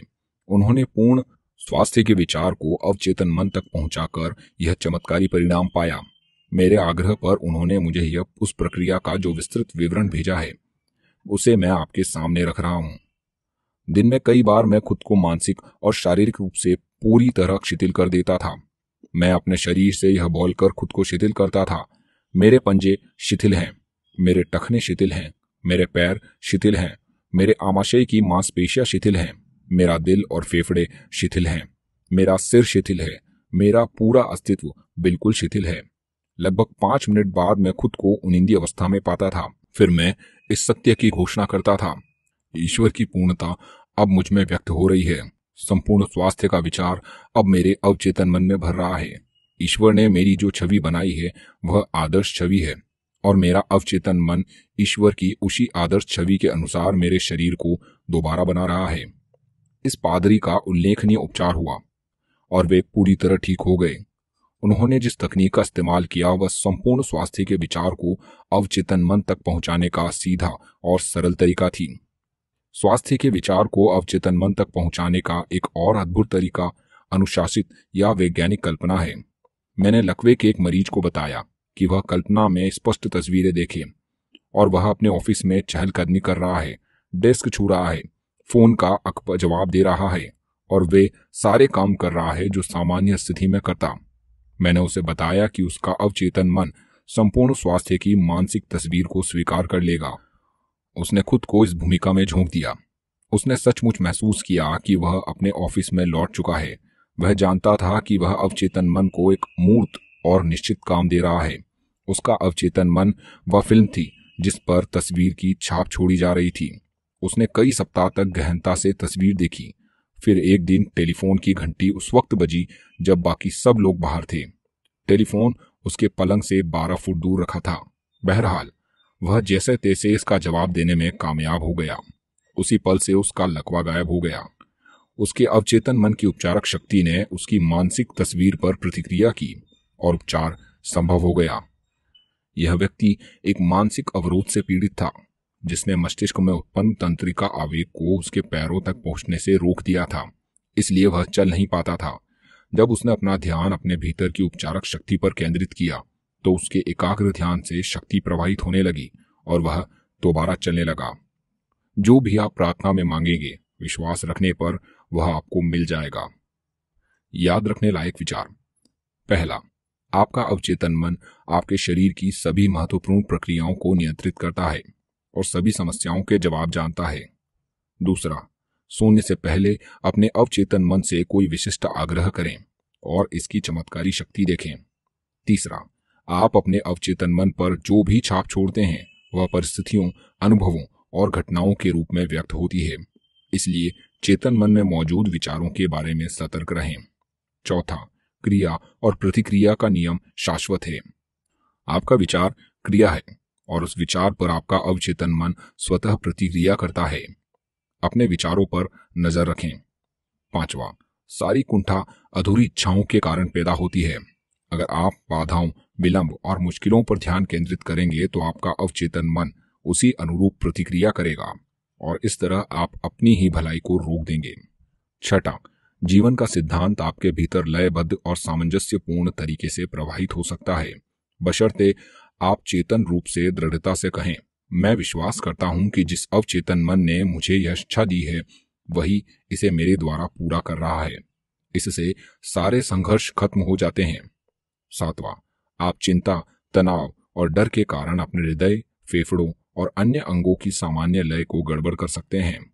अपने अवचेतन में सद्भाव, सेहत और शांति के विचार भरें। इससे आपके शरीर की समूची कार्यप्रणाली दोबारा सामान्य हो जाएगी। आठवां, अपने चेतन मन से सर्वश्रेष्ठ की उम्मीद करते रहें। आपका अवचेतन मन निष्ठा से आपके आदतन विचारों को साकार कर देगा। नौवा, अपनी समस्या के सुखद अंत या समाधान की कल्पना करें। उपलब्धि के रोमांच को महसूस करें। आप जो भी कल्पना करेंगे या महसूस करेंगे, उसे आपका अवचेतन मन स्वीकार करके परिणाम में बदल देगा। चौथा अध्याय, प्राचीन काल में मानसिक उपचार। युगों युगों से हर महाद्वीप, परिवेश और संस्कृति के लोग जानते थे कि कहीं ना कहीं एक उपचारक शक्ति है, जो व्यक्ति की शारीरिक क्षमताओं को दोबारा लौटा सकती है और बीमारी को ठीक कर सकती है। वे ये मानते थे कि यह रहस्यमय शक्ति कुछ विशेष स्थितियों में जागृत की जा सकती है और इसे सही तरीके से जागृत करने पर मानवीय कष्ट कम हो जाता है। सभी देशों का इतिहास इस विश्वास की पुष्टि करता है। दुनिया के शुरुआती इतिहास में मनुष्यों को भले या बुरे के लिए गोपनीय तरीके से प्रभावित करने का ज्ञान, जिसमें बीमारी का उपचार भी शामिल था। पुजारियों और धर्मगुरुओं तक ही सीमित था। यह दावा किया जाता था कि ईश्वर ने उन्हें कुछ विशेष शक्तियाँ दी है, जिनमें उपचारक शक्ति भी शामिल थी। उपचार के तरीके और कर्म कांड दुनिया भर के अलग अलग थे, लेकिन आमतौर पर उनमें ईश्वर की आराधना और चढ़ावा शामिल होता था। इसके अलावा विभिन्न धार्मिक अनुष्ठान भी किए जाते थे। जैसे हाथ पर हाथ रखना और मंत्रों का प्रयोग। ताबीजों, जंतर, अंगूठियों, स्मृति चिन्हों और तस्वीरों का प्रयोग भी किया जाता था। उदाहरण के लिए, प्राचीन मंदिरों में पुजारी रोगियों को नशीले पदार्थ खिलाते थे और उनके मूर्छित हो जाने पर सम्मोहन के सुझाव देते थे। मरीजों को आश्वासन दिया जाता था कि नींद में ईश्वर दिखेगा और उनका उपचार हो जाएगा। इस तरह बहुत से रोगी स्वस्थ भी हुए। हिकेट के भक्तों से कहा गया कि वे राल, लोबान और गंध रस को छिपकलियों के साथ मिलाकर दूज के चाँद की रोशनी में खुली हवा के साथ कूटें। इस अजीब और रहस्यमयी रस्म के बाद वे देवी की प्रार्थना करते थे और अपना बनाया हुआ काढ़ा पीते और सो जाते थे। अगर उनकी आस्था दृढ़ होती थी तो वे सपने में देवी नज़र आती थी। हालाँकि यह अनुष्ठान हमें अजीब संभवतः अति कल्पनाशील भी लगे, लेकिन इसके बावजूद इससे अक्सर रोग ठीक हो जाते थे। प्राचीन समय के लोगों ने अवचेतन मन की अविश्वसनीय शक्ति के दोहन से कई कारगर तरीके खोज लिए थे, जिनसे वे उपचार करते थे। हालाँकि वे जानते थे कि ये कारगर थे, लेकिन वे यह नहीं जानते थे कि कैसे या क्यों कारगर थे। आज हम देख सकते हैं कि वे अवचेतन मन को सशक्त सुधाव देकर उपचार कर रहे थे। धार्मिक अनुष्ठान और काढ़े तथा तावीज लोगों की कल्पना पर गहरा असर डालते थे। इनके कारण उनका अवचेतन मन उपचारक के प्रबल सुझावों को आसानी से स्वीकार कर लेता था। बहरहाल, उपचार का काम मरीज़ का अवचेतन मन ही करता था। सभी युगों में ऐसा हुआ कि जहाँ अधिकृत उपचारक असफल हो गए और मरीजों ने उम्मीद छोड़ दी, वहाँ अनधिकृत उपचारों का उल्लेखनीय सफलता मिलती है। यह सोचने पर मजबूर करता है, दुनिया के सभी हिस्सों में इन उपचारकों ने ये इलाज कैसे की इसका जवाब आसान है। ये उपचार इसलिए हुए क्योंकि रोगी के अंधे विश्वास, यानी कि ब्लाइंड फैथ ने उसके अवचेतन मन में निहित उपचारक शक्तियों को मुक्त कर दिया। उपचारों के इलाज और तरीके जितने कल्पनाशील और अजीब होते थे, इस बात की उतनी ही ज़्यादा संभावना होती थी कि रोगी यह यकीन कर ले कि जितनी अजीब चीज़ निश्चित रूप से असाधारण शक्तिशाली होगी। उत्तेजित भावनात्मक अवस्था के कारण उनके लिए चेतन और अवचेतन मन में स्वास्थ्य के सुझाव को स्वीकार करना आसान हो जाता था। इस विषय पर हम अगले अध्याय में और विस्तार से बात करेंगे। अवचेतन शक्तियों के प्रयोग पर बाइबल के प्रसंग। जिन भी चीज़ों की आप इच्छा करते हैं, प्रार्थना करते समय यह विश्वास करें कि वे आपको मिल रही हैं और वे आपको मिल जाएँगी। इस वाक्य को दोबारा पढ़ें और काल, यानी कि टेंस के फ़र्क पर गौर करें। विश्वास, बिलीव और मिल रहा है, वर्तमान काल में है। लेकिन मिल जाएगी। भविष्य काल में है। प्रेरित लेखक हमें व्याकरण के इस छोटे से अंतर से बहुत ही महत्वपूर्ण बात बता रहा है। अगर हम इस तथ्य को सच मान लें और स्वीकार कर लें कि हमारी वह इच्छा वर्तमान में ही पूरी हो चुकी है, यह तो भविष्य में अवश्य पूरी होगी। इस तकनीक की सफलता इस विश्वास में निहित की विचार या तस्वीर मन में वास्तविकता का रूप ले चुकी है। मस्तिष्क के क्षेत्र में किसी चीज़ को साकार करने के लिए इसे सचमुच मौजूद बनाना होगा। ये गूढ़ विचार शब्द की रचनात्मक शक्ति के प्रयोग द्वारा अवचेतन मन पर अपनी मन चाही चीज़ की छाप छोड़ने का संक्षिप्त और विशिष्ट तरीका सुझाते हैं। आपका विचार, योजना या उद्देश्य आपके स्तर पर उतना ही वास्तविक है जितना कि आपका हाथ या हृदय। बाइबल की इस तकनीक का पालन करने पर आप अपने मन से परिस्थितियों, स्थितियों या किसी ऐसी चीज़ के सारे विचार बिल्कुल खत्म कर देते हैं जिससे नकारात्मक परिणाम मिल सकता हो। आप अपने मन में एक बीज बो रहे हैं, जिसे अगर आप जो का तो छोड़ दें तो यह हमेशा बाहरी फल में अंकुरित होगा। ईसा मसीह जिस महत्वपूर्ण नींव पर ज़ोर देते थे, वह थी आस्था। आप बाइबल में यह बात बार बार पढ़ते हैं। आपकी आस्था के अनुसार आपको दिया जाएगा। अगर आप ज़मीन में निश्चित प्रकार के बीज बोते हैं तो आप आस्था रखें। कि आपको उसी चीज़ का फल मिलेगा, जिसका बीज आपने बोया है। यह बीजों का तरीका है। विकास तथा कृषि के नियमों के आधार पर आप जानते हैं कि आपको बीज का वही फल मिलेगा। बाइबल में जिस आस्था का वर्णन है, वह सोचने का एक तरीका है। मानसिक नज़रिया है, आंतरिक निश्चय है। आप जानते हैं कि जिस विचार का आप अवचेतन मन में पूरी तरह स्वीकार कर लेते हैं, वह आपके अवचेतन मन में साकार और प्रकट होगा। आस्था एक तरह से उसे सच मानना है। जिसे आपकी तर्क शक्ति और इंद्रियाँ अस्वीकार करती है। यह अपने छोटे तार्किक विश्लेषणात्मक चेतन मन की बात सुनने से इनकार करना है। यह तो अपने अवचेतन मन की आंतरिक शक्ति पर पूरे विश्वास का नज़रिया रखना है। यहाँ बाइबल की उपचार तकनीक का एक बहुत मशहूर उदाहरण है, और जब वे घर में आए तो उनके पास अंधे आदमी आए, और ईसा मसीह ने उनसे पूछा, तुम्हें विश्वास है कि मैं यह कहने में सक्षम हूँ? उन्होंने कहा हाँ प्रभु फिर उन्होंने उन अंधों की आँखें छूकर कहा, तुम्हारी आस्था के अनुरूप तुम्हें मिले। और उनकी आँखें खुल गई, और ईसा मसीह ने उन्हें सख्त हिदायत दी कि यह बात किसी को पता नहीं चलनी चाहिए। तुम्हारी आस्था के अनुरूप तुम्हें मिले, यह कहकर ईसा मसीह अंधे व्यक्तियों के अवचेतन मन में सहयोग मांग रहे थे।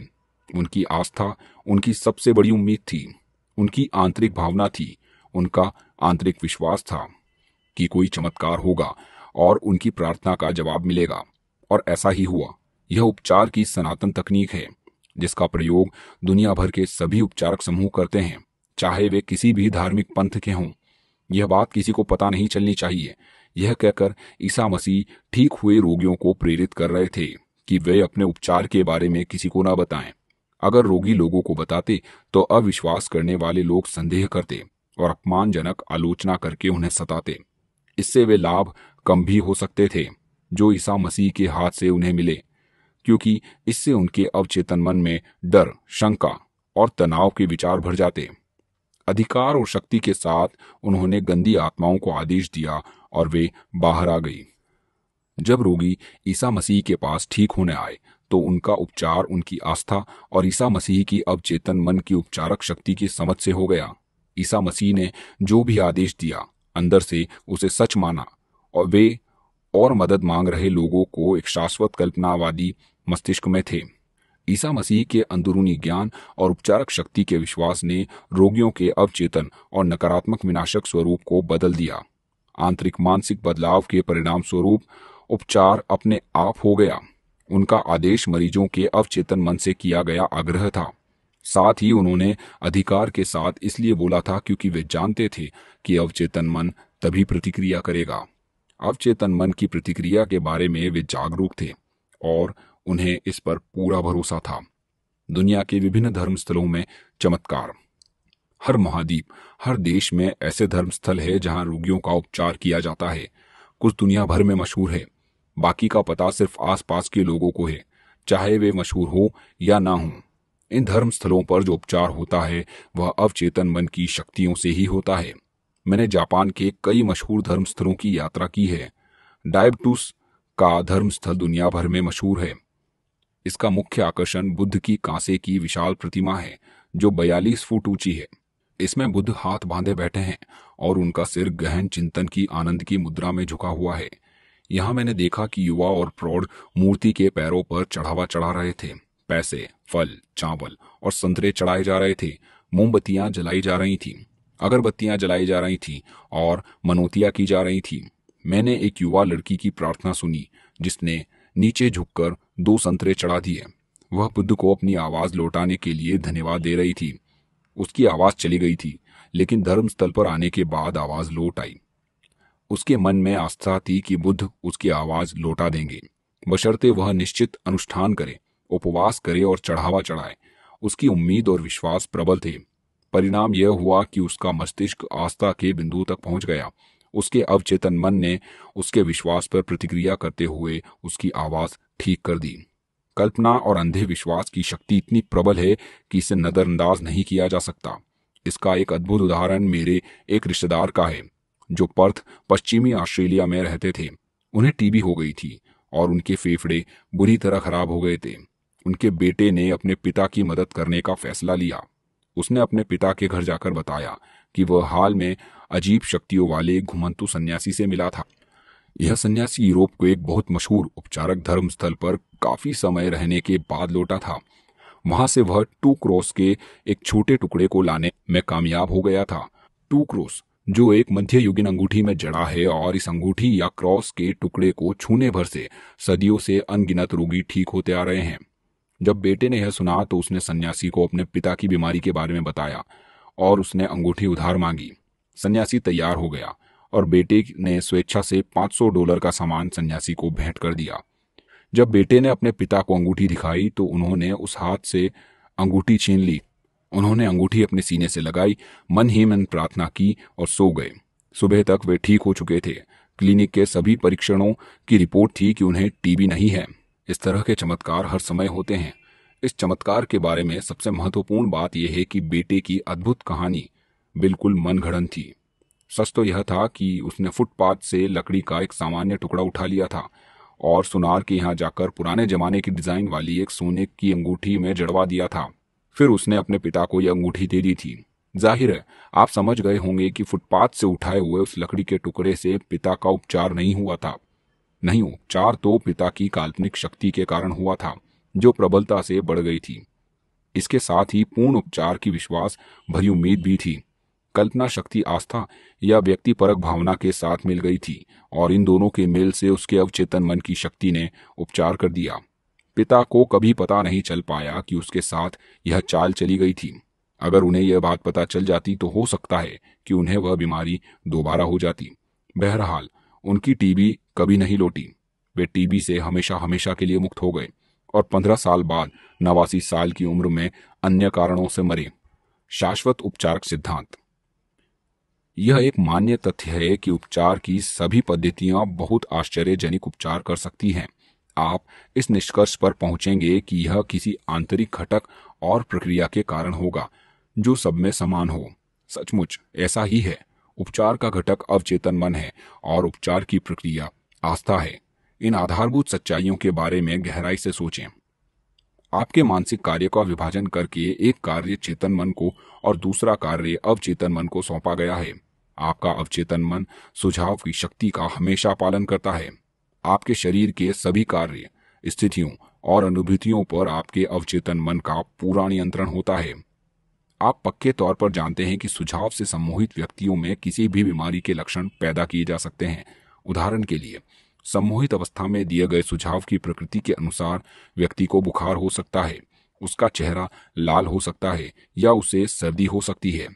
आप व्यक्ति को सुझाव दे सकते हैं कि उसे लकवा मार गया है और वह चल नहीं सकता, और ऐसा ही होगा।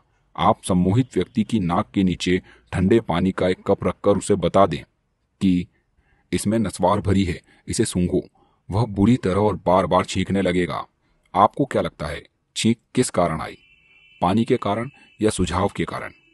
अगर कोई आपको बताता है कि उसे घास से एलर्जी है तो आप सम्मोहित अवस्था में उसकी नाक के सामने कोई कागज़ या फूल या खाली गिलास रखकर उससे कहते हैं कि यह घास है।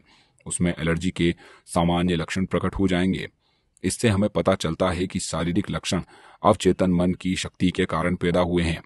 इन लक्षणों का इलाज भी अवचेतन मन की शक्ति के द्वारा ही होता है। विभिन्न चिकित्सा पद्धतियों जैसे ऑस्टियोपैथी कायरोप्रैक्टिस चीकवांग एक्यूपंचर और नेचुरोथेरेपी उल्लेखनीय उपचार का दावा करती है। यही दावा दुनिया भर के विभिन्न धर्मों के अनुष्ठान और कर्मकांड करते हैं। यह स्पष्ट है कि ये सभी उपचार अवचेतन मन द्वारा किए जाते हैं, जो एक मात्र उपचारक है। ध्यान दें कि अवचेतन मन आपकी उंगली के घाव को किस तरह भरता है। यह जानता है कि इसे कैसे करना है। डॉक्टर घाव पर पट्टी बांधकर कहता है प्रकृति इसे ठीक कर देगी, लेकिन प्रकृति और कुछ नहीं, बल्कि प्राकृतिक नियम का दूसरा नाम है, जो अवचेतन मन का नियम है। आत्मरक्षा की सहज भावना प्रकृति का पहला नियम और आत्मरक्षा अवचेतन मन का सबसे प्रमुख काम है। आपकी सबसे प्रबल सहज भावना आपके सशक्त आत्म सुझाव हैं। बहुत अलग सिद्धांत। विभिन्न धार्मिक पंथों और प्रार्थना उपचार समूहों ने उपचार के कई अलग अलग सिद्धांत दिए हैं। बहुत से लोग यह दावा करते हैं कि उनका सिद्धांत ही सही है, क्योंकि उनके तरीके से अच्छे परिणाम मिलते हैं। जैसा हम इस अध्याय में पढ़ चुके हैं, यह सही नहीं हो सकता। जैसा आप जानते हैं कि उपचार के बहुत से तरीके हैं। फ्रेंच एंटन मैस्मर, एक ऑस्ट्रियन चिकित्सक थे, जो पेरिस में इलाज करते थे। उन्होंने पाया कि वे बीमार के शरीर पर चुंबक लगाकर उसे चमत्कारिक तरीके से ठीक कर सकते हैं। उन्होंने कांच और कई धातुओं के टुकड़ों से भी इलाज करके दिखाया। बाद में उन्होंने इन वस्तुओं का प्रयोग छोड़ दिया और रोगी के शरीर पर हाथ फेर कर इलाज करने लगे। उनका दावा था कि उनके उपचार की असली स्रोत प्राणी चुंबकीयता था। उनका सिद्धांत था कि उपचार के हाथ से रहस्यमयी चुंबकीय ऊर्जा प्रवाहित होती और रोगी के शरीर में पहुँच जाती है। मैस्मर ने उपचार के इस तरीके को मैस्मेरिज्म नाम दिया। आज हम इसे सम्मोहन के नाम से जानते हैं। मैस्मर की सफलता से जलने वाले दूसरे डॉक्टरों का दावा था कि सिर्फ़ सुझाव देकर ही उन्होंने अपने सभी उपचार किए थे।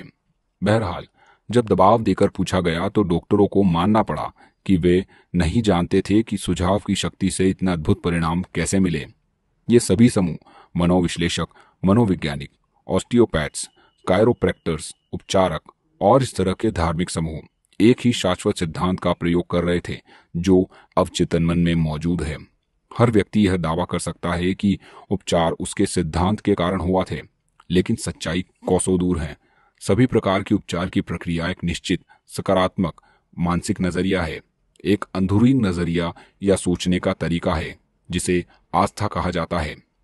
उपचार विश्वासपूर्ण उम्मीद के कारण होता है, जो अवचेतन मन की सशक्त सुझाव देती है। इसी से उपचारक शक्ति मुक्त होती है। एक व्यक्ति जिस तरीके से ठीक होता है, दूसरा भी उसी तरीके से ठीक होता है।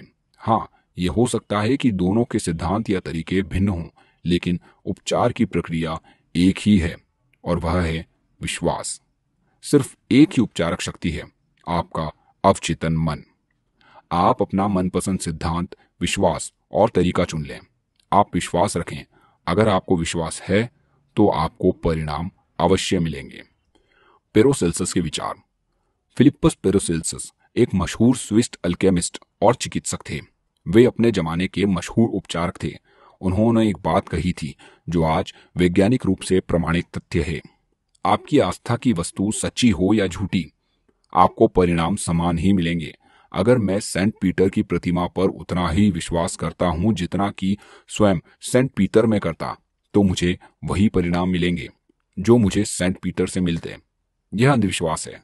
बहरहाल आस्था चमत्कार करती है, और आस्था सच्ची हो या झूठी, यह हमेशा ही चमत्कार करेगी। पेरासेल्सस के विचारों को सोलहवीं सदी में इतालवी दार्शनिक पियत्रो पोम्पोनेज ने दोहराया था। उन्होंने लिखा था, हम आसानी से उन अद्भुत परिस्थितियों की कल्पना कर सकते हैं जो आत्मविश्वास और कल्पना से उत्पन्न हो सकती है, खासकर जब ये दोनों ही चीज़ें रोगी और उससे प्रभावित करने वाले के बीच प्रवाहित हों। निश्चित स्मृति चिन्हों के प्रभाव से होने वाले उपचार, उनकी कल्पना और आत्मविश्वास के प्रभाव हैं। नीम हकीम और दार्शनिक जानते हैं कि अगर किसी संत की अस्थियों की जगह किसी सामान्य इंसान की अस्थियों को रख दिया जाए, तब भी बीमारी को उतने ही लाभकारी परिणाम मिलेंगे। बशर्ते उन्हें यह यकीन हो कि यही सच्चे स्मृति चिन्ह है। जरा सोचें कि इसका क्या मतलब है। अगर आप संत की अस्थियों की शक्तियों या किसी जगह के पानी के उपचारक गुणों या मेरे ऑस्ट्रेलियाई रिश्तेदार की लकड़ी के टुकड़े के चमत्कारी परिणामों में यकीन करते हैं तो आपको परिणाम ज़रूर मिलेंगे, क्योंकि आपके अवचेतन मन को सुझाव दिया गया है। आखिर उपचार तो अवचेतन मन ही करता है। बर्नहीम के प्रयोग। हिप्पोलाइट बर्नहीम 20वीं शताब्दी की शुरुआत के फ्रांस के नैन्सी के प्रोफेसर ऑफ़ मेडिसिन थे। वे उन शुरुआती लोगों में से थे जिन्होंने यह स्पष्ट किया कि चिकित्सक द्वारा रोगी को दिए गए सुझाव अवचेतन मन की शक्ति के कारण परिणाम देते हैं। बर्नहीम ने एक आदमी की कहानी बताई, जिसकी जीप को लकवा मार गया था। इस हर तरह का इलाज किया, लेकिन कोई फ़ायदा नहीं हुआ। फिर एक दिन उस आदमी ने डॉक्टर को बताया कि उसे ऐसा यंत्र मिला है जो उसकी समस्या को बिल्कुल ठीक कर देगा। इसके बाद डॉक्टर ने उसके मुँह में एक जेबी थर्मामीटर लगा दिया। मरीज़ को लगा कि यह वही यंत्र है जो उसे ठीक कर देगा। कुछ ही पलों में वह खुशी से चिल्लाने लगा कि अब वह फिर से अपनी जीप घुमा सकता है। बर्नहीम आगे कहते हैं, हमारे प्रकरणों में इस तरह के कुछ तथ्य मिलेंगे। एक युवती मेरे ऑफ़िस में आई। चार हफ्तों से उसकी आवाज़ पूरी तरह चली गई थी। जाँच पड़ताल के बाद मैंने विद्यार्थियों को बताया कि कई बार बोलने की क्षमता बिजली के प्रयोग से तत्काल लौट आती है, क्योंकि इससे सुझाव दिया जा सकता है। मैंने अपना इंडक्शन एपरेटस बुलवाया। मैंने उसके स्वर यंत्र को थोड़ा हिलाया और कहा, अब तुम बोल सकती हो। एक ही पल में मैंने उससे ए बुलवा लिया, और फिर बी, और फिर मारिया। वह स्पष्टता से बोलती रही। उसकी आवाज़ दोबारा लौट आई। यहाँ बर्नहीम आस्था की शक्ति और रोगी की आशा के बारे में बता रहे हैं, जिसने अवचेतन मन को सशक्त सुझाव दिया। सुझाव से फोड़े उत्पन्न करना। बर्नहीम बताते हैं कि उन्होंने एक मरीज़ की पीठ पर डाक टिकट चिपकाकर उसे सुझाव दिया कि उसे फोड़ा हो गया है। इस तरह के प्रदर्शनों की पुष्टि दुनिया के कई हिस्सों में कई डॉक्टर के प्रयोगों और अनुभवों में हुई है। प्रमाणों को देखते हुए शंका की कोई गुंजाइश नहीं है कि मौखिक सुझाव देकर रोगियों के शरीर में संरचनात्मक परिवर्तन किए जा सकते हैं। खून निकलने के कारण। सुझाव से खून भी निकलवाया जा सकता है। इसे प्रदर्शित करते हुए डॉक्टर एम बोरू ने एक व्यक्ति पर सम्मोहन करके उसे यह सुझाव दिया, आज दोपहर चार बजे तुम मेरे ऑफ़िस में आओगे, इस कुर्सी पर बैठोगे और सीने पर हाथ बाँध लोगे। इसके बाद तुम्हारी नाक से खून बहने लगेगा। दोपहर को उस व्यक्ति ने ठीक वही किया, जैसा उसे सुझाव दिया गया था। जब उसने अपने हाथ बाँध लिए तो उसके बाएँ नथुने से खून की कुछ बूंदें टपक गई और मौके पर एक बुरू ने एक रोगी को सम्मोहित करके उसका नाम उसकी बाह पर एक औज़ार की भौंतरी नोक से लिख दिया। फिर बुरू ने कहा, आज दोपहर चार बजे तुम सो जाओगे। मेरी खींची लाइनों पर तुम्हारे हाथ से खून निकलेगा, जिससे तुम्हारा नाम हाथ पर उभर आएगा उस दोह पर रोगी पर नज़र रखी गई। चार बजे वह सो गया। उसकी बाई हाथ पर अक्षर चमकने लगे और कई जगहों पर खून की बूंदें दिखने लगी। हालाँकि अक्षर धीरे धीरे मिट गए, लेकिन तीन महीने बाद भी वे धुंधले दिख रहे थे। ये तथ्य पहले बताई गई दो आधारभूत मान्यताओं को सही साबित करते हैं।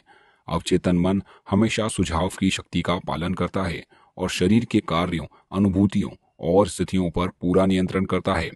पूर्व बताए गए सभी उदाहरण बताते हैं कि नाटकीय तरीके से दिए गए सुझाव बहुत असामान्य स्थितियों को प्रेरित कर सकते हैं। ये इस बात का सबूत है कि व्यक्ति अपने दिल में जैसा सोचता है, वह वैसा ही बन जाता है। याद रख लेना एक विचार। पहला, खुद को बार बार याद दिलाएँ कि उपचारक शक्ति आपके अवचेतन मन में है। दूसरा, जान लें कि आस्था ज़मीन में बोए बीज की तरह है। यह अपनी तरह के फल देती है। अपने मन के विचार का बीज बोलें। इसे उम्मीद का पानी और खाद दें। यह वास्तविकता में बदल जाएगी। किसी पुस्तक, नए आविष्कार या नाटकीय का विचार अपने मस्तिष्क में हकीकत है। इसलिए आप इस बात पर यकीन कर सकते हैं कि यह इस समय आपके पास है। अपने विचार, योजना या आविष्कार की वास्तविकता पर यकीन करें। जब आप ऐसा करेंगे तो यह प्रकट हो जाएगा। चौथा, किसी और के लिए प्रार्थना करते समय यह जान लें कि पूर्णता, सुंदरता और आदर्श का आपका आंतरिक ज्ञान किसी दूसरे के अवचेतन मन में नकारात्मक रूप को बदल सकता है तथा अद्भुत परिणाम दे सकता है। पांचवा आप विभिन्न धर्म स्थलों पर जिन चमत्कारी उपचारों के बारे में सुनते हैं, वे कल्पना शक्ति और अंधी आस्था के कारण होते हैं, जो अवचेतन मन पर कार्य करके उपचारक शक्ति को मुक्त करती है। छठा, सारे रोग मस्तिष्क में पैदा होते हैं। कोई भी चीज़ शरीर से तब तक प्रकट नहीं होती जब तक कि उसके अनुरूप मानसिक संरचना न हो। सातवां, सम्मोहन के सुझाव से लगभग हर रोग के लक्षण उत्पन्न किए जा सकते हैं। इससे पता चलता है कि आपके विचार कितने शक्तिशाली हैं। आठवां, उपचार की शक्ति एक ही प्रक्रिया है, और वह है आस्था। सिर्फ़ एक ही उपचारक शक्ति है, और वह है आपका अवचेतन मन। नवा, चाहे आपकी आस्था की वस्तु सच्ची हो या झूठी, आपको परिणाम मिलेंगे। आपका अवचेतन मन आपके मस्तिष्क के विचार पर प्रतिक्रिया करता है। आस्था को अपने मस्तिष्क के विचार के रूप में देखें, इतना ही काफ़ी है। पांचवा अध्याय आधुनिक युग में मानसिक उपचार। वह कौन सी चीज़ है जो उपचार करती है? यह उपचारक शक्ति कहाँ रहती है और इसका लाभ कैसे लिया जा सकता है? ये सभी सवाल हमारे लिए बहुत अहम हैं।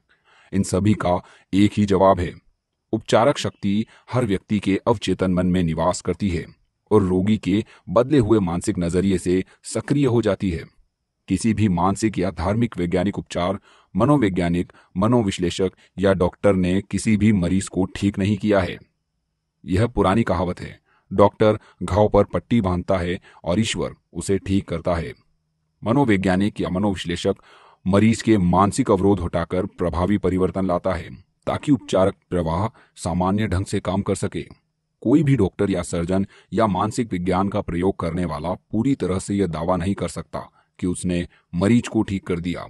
उपचारक शक्ति एक ही, हालाँकि इसके अलग अलग नामों से पुकारा जाता है। प्रकृति, ईश्वर, जीवन, रचनात्मक ज्ञान, लेकिन वास्तविकता में ये सभी अवचेतन मन की शक्ति की ओर इशारा करने के भिन्न भिन्न तरीके हैं। जैसा हम पहले देख चुके हैं, हम स्वयं में मौजूद उपचारक जीवन सिद्धांत के प्रभाव के मानसिक, भावनात्मक और शारीरिक अवरोधों को कई तरीकों से हटा सकते हैं। आपके अवचेतन मन में रहने वाला ये उपचारक सिद्धांत आपको सभी मानसिक तथा शारीरिक रोगों से मुक्त कर सकता है और करेगा। बशर्ते आप या कोई दूसरा व्यक्ति इसे सही दिशा दे। यह उपचारक सिद्धांत सभी लोगों के काम करता है, भले ही उनका पथ, रंग या जाति कोई भी हो। इसका प्रयोग करने वाले और इस उपचारक प्रक्रिया का लाभ लेने के लिए आपको किसी विशेष चर्च का सदस्य बनने की ज़रूरत नहीं है। आपका अवचेतन आपके हाथ के जले हुए या कटे हुए हिस्से को ठीक कर देगा। भले ही आप नास्तिक या संशयवादी हों। आधुनिक मानसिक चिकित्सा इस सच्चाई पर आधारित है कि जैसी आपकी आस्था होगी, आपके अवचेतन मन की असीमित बुद्धिमता और शक्ति की प्रतिक्रिया भी वैसी ही होगी। मानसिक विज्ञान का प्रयोग करने वाले या पादरी बाइबल के आदेश का पालन करते हैं, यानी वे अपने कमरे में जाकर दरवाज़ा बंद कर लेते हैं। जिसका मतलब है कि वे अपने मस्तिष्क को स्थिर कर लेते हैं, शिथिल कर लेते हैं और असीमित उपचारक शक्ति के बारे में सोचने लगते हैं। अपने भीतर मौजूद वे अपने मस्तिष्क का द्वार सभी बाहरी व्यवधानों तथा वस्तुओं के लिए बंद कर लेते हैं। फिर वे अपना आग्रह या इच्छा अपने अवचेतन मन को इस विश्वास के साथ बताते हैं कि उनके मस्तिष्क का ज्ञान उन्हें सही जवाब देगा। जानने की सबसे अद्भुत बात यह है, इच्छित परिणाम की परिकल्पना करें। और इसकी वास्तविकता को महसूस करें। असीमित जीवन सिद्धांत आपके चेतन चुनाव और आपके चेतन आग्रह पर प्रतिक्रिया करेगा। यही इस वाक्य का अर्थ है कि विश्वास रखें कि आपको मिल गया है और आपको मिल जाएगा। प्रार्थना, चिकित्सा का प्रयोग करते समय आधुनिक मानसिक वैज्ञानिक यही काम करता है। उपचार की एक प्रक्रिया। दुनिया की हर चीज़ में सिर्फ़ एक ही शाश्वत उपचारक सिद्धांत काम कर रहा है। चाहे वह बिल्ली, कुत्ता, पेड़, घास, हवा या धरती हो, क्योंकि हर चीज़ सजीव है। यह जीवन सिद्धांत, प्राणी, वनस्पति और खनिज साम्राज्यों में सहज बोध और विकास के नियम के रूप में काम करता है चूँकि मनुष्य इस जीवन सिद्धांत के बारे में चेतन रूप से जागरूक होता है। इसलिए हम खुद को अनगिनत तरीकों से लाभ पहुँचाने के लिए इसका सचेतन प्रयोग कर सकते हैं। इस शाश्वत सिद्धांत का प्रयोग करने के कई भिन्न तरीके, तकनीकें और विधियाँ हैं, लेकिन उपचार की एक ही प्रक्रिया है, और वह है आस्था, क्योंकि आपकी आस्था के अनुरूप ही आपको परिणाम मिलेगा। विश्वास का नियम। दुनिया के सभी धर्म विश्वास के रूप हैं, और ये विश्वास कई तरीकों से स्पष्ट किए जाते हैं। जीवन का नियम विश्वास है। अपने जीवन और ब्रह्मांड के बारे में आपके क्या विश्वास हैं? जैसा आपको विश्वास होगा, वैसा ही आपको मिलेगा। विश्वास आपके मस्तिष्क का एक विचार है। जिस कारण अवचेतन की शक्ति आदतन सोच के अनुसार जीवन के सभी क्षेत्रों में गुजरती है। आपको एहसास करना चाहिए कि जब बाइबिल आस्था का ज़िक्र करती है तो यह किसी अनुष्ठान, समारोह, रूप, संस्था या फॉर्मूले में विश्वास के बारे में नहीं बोल रही।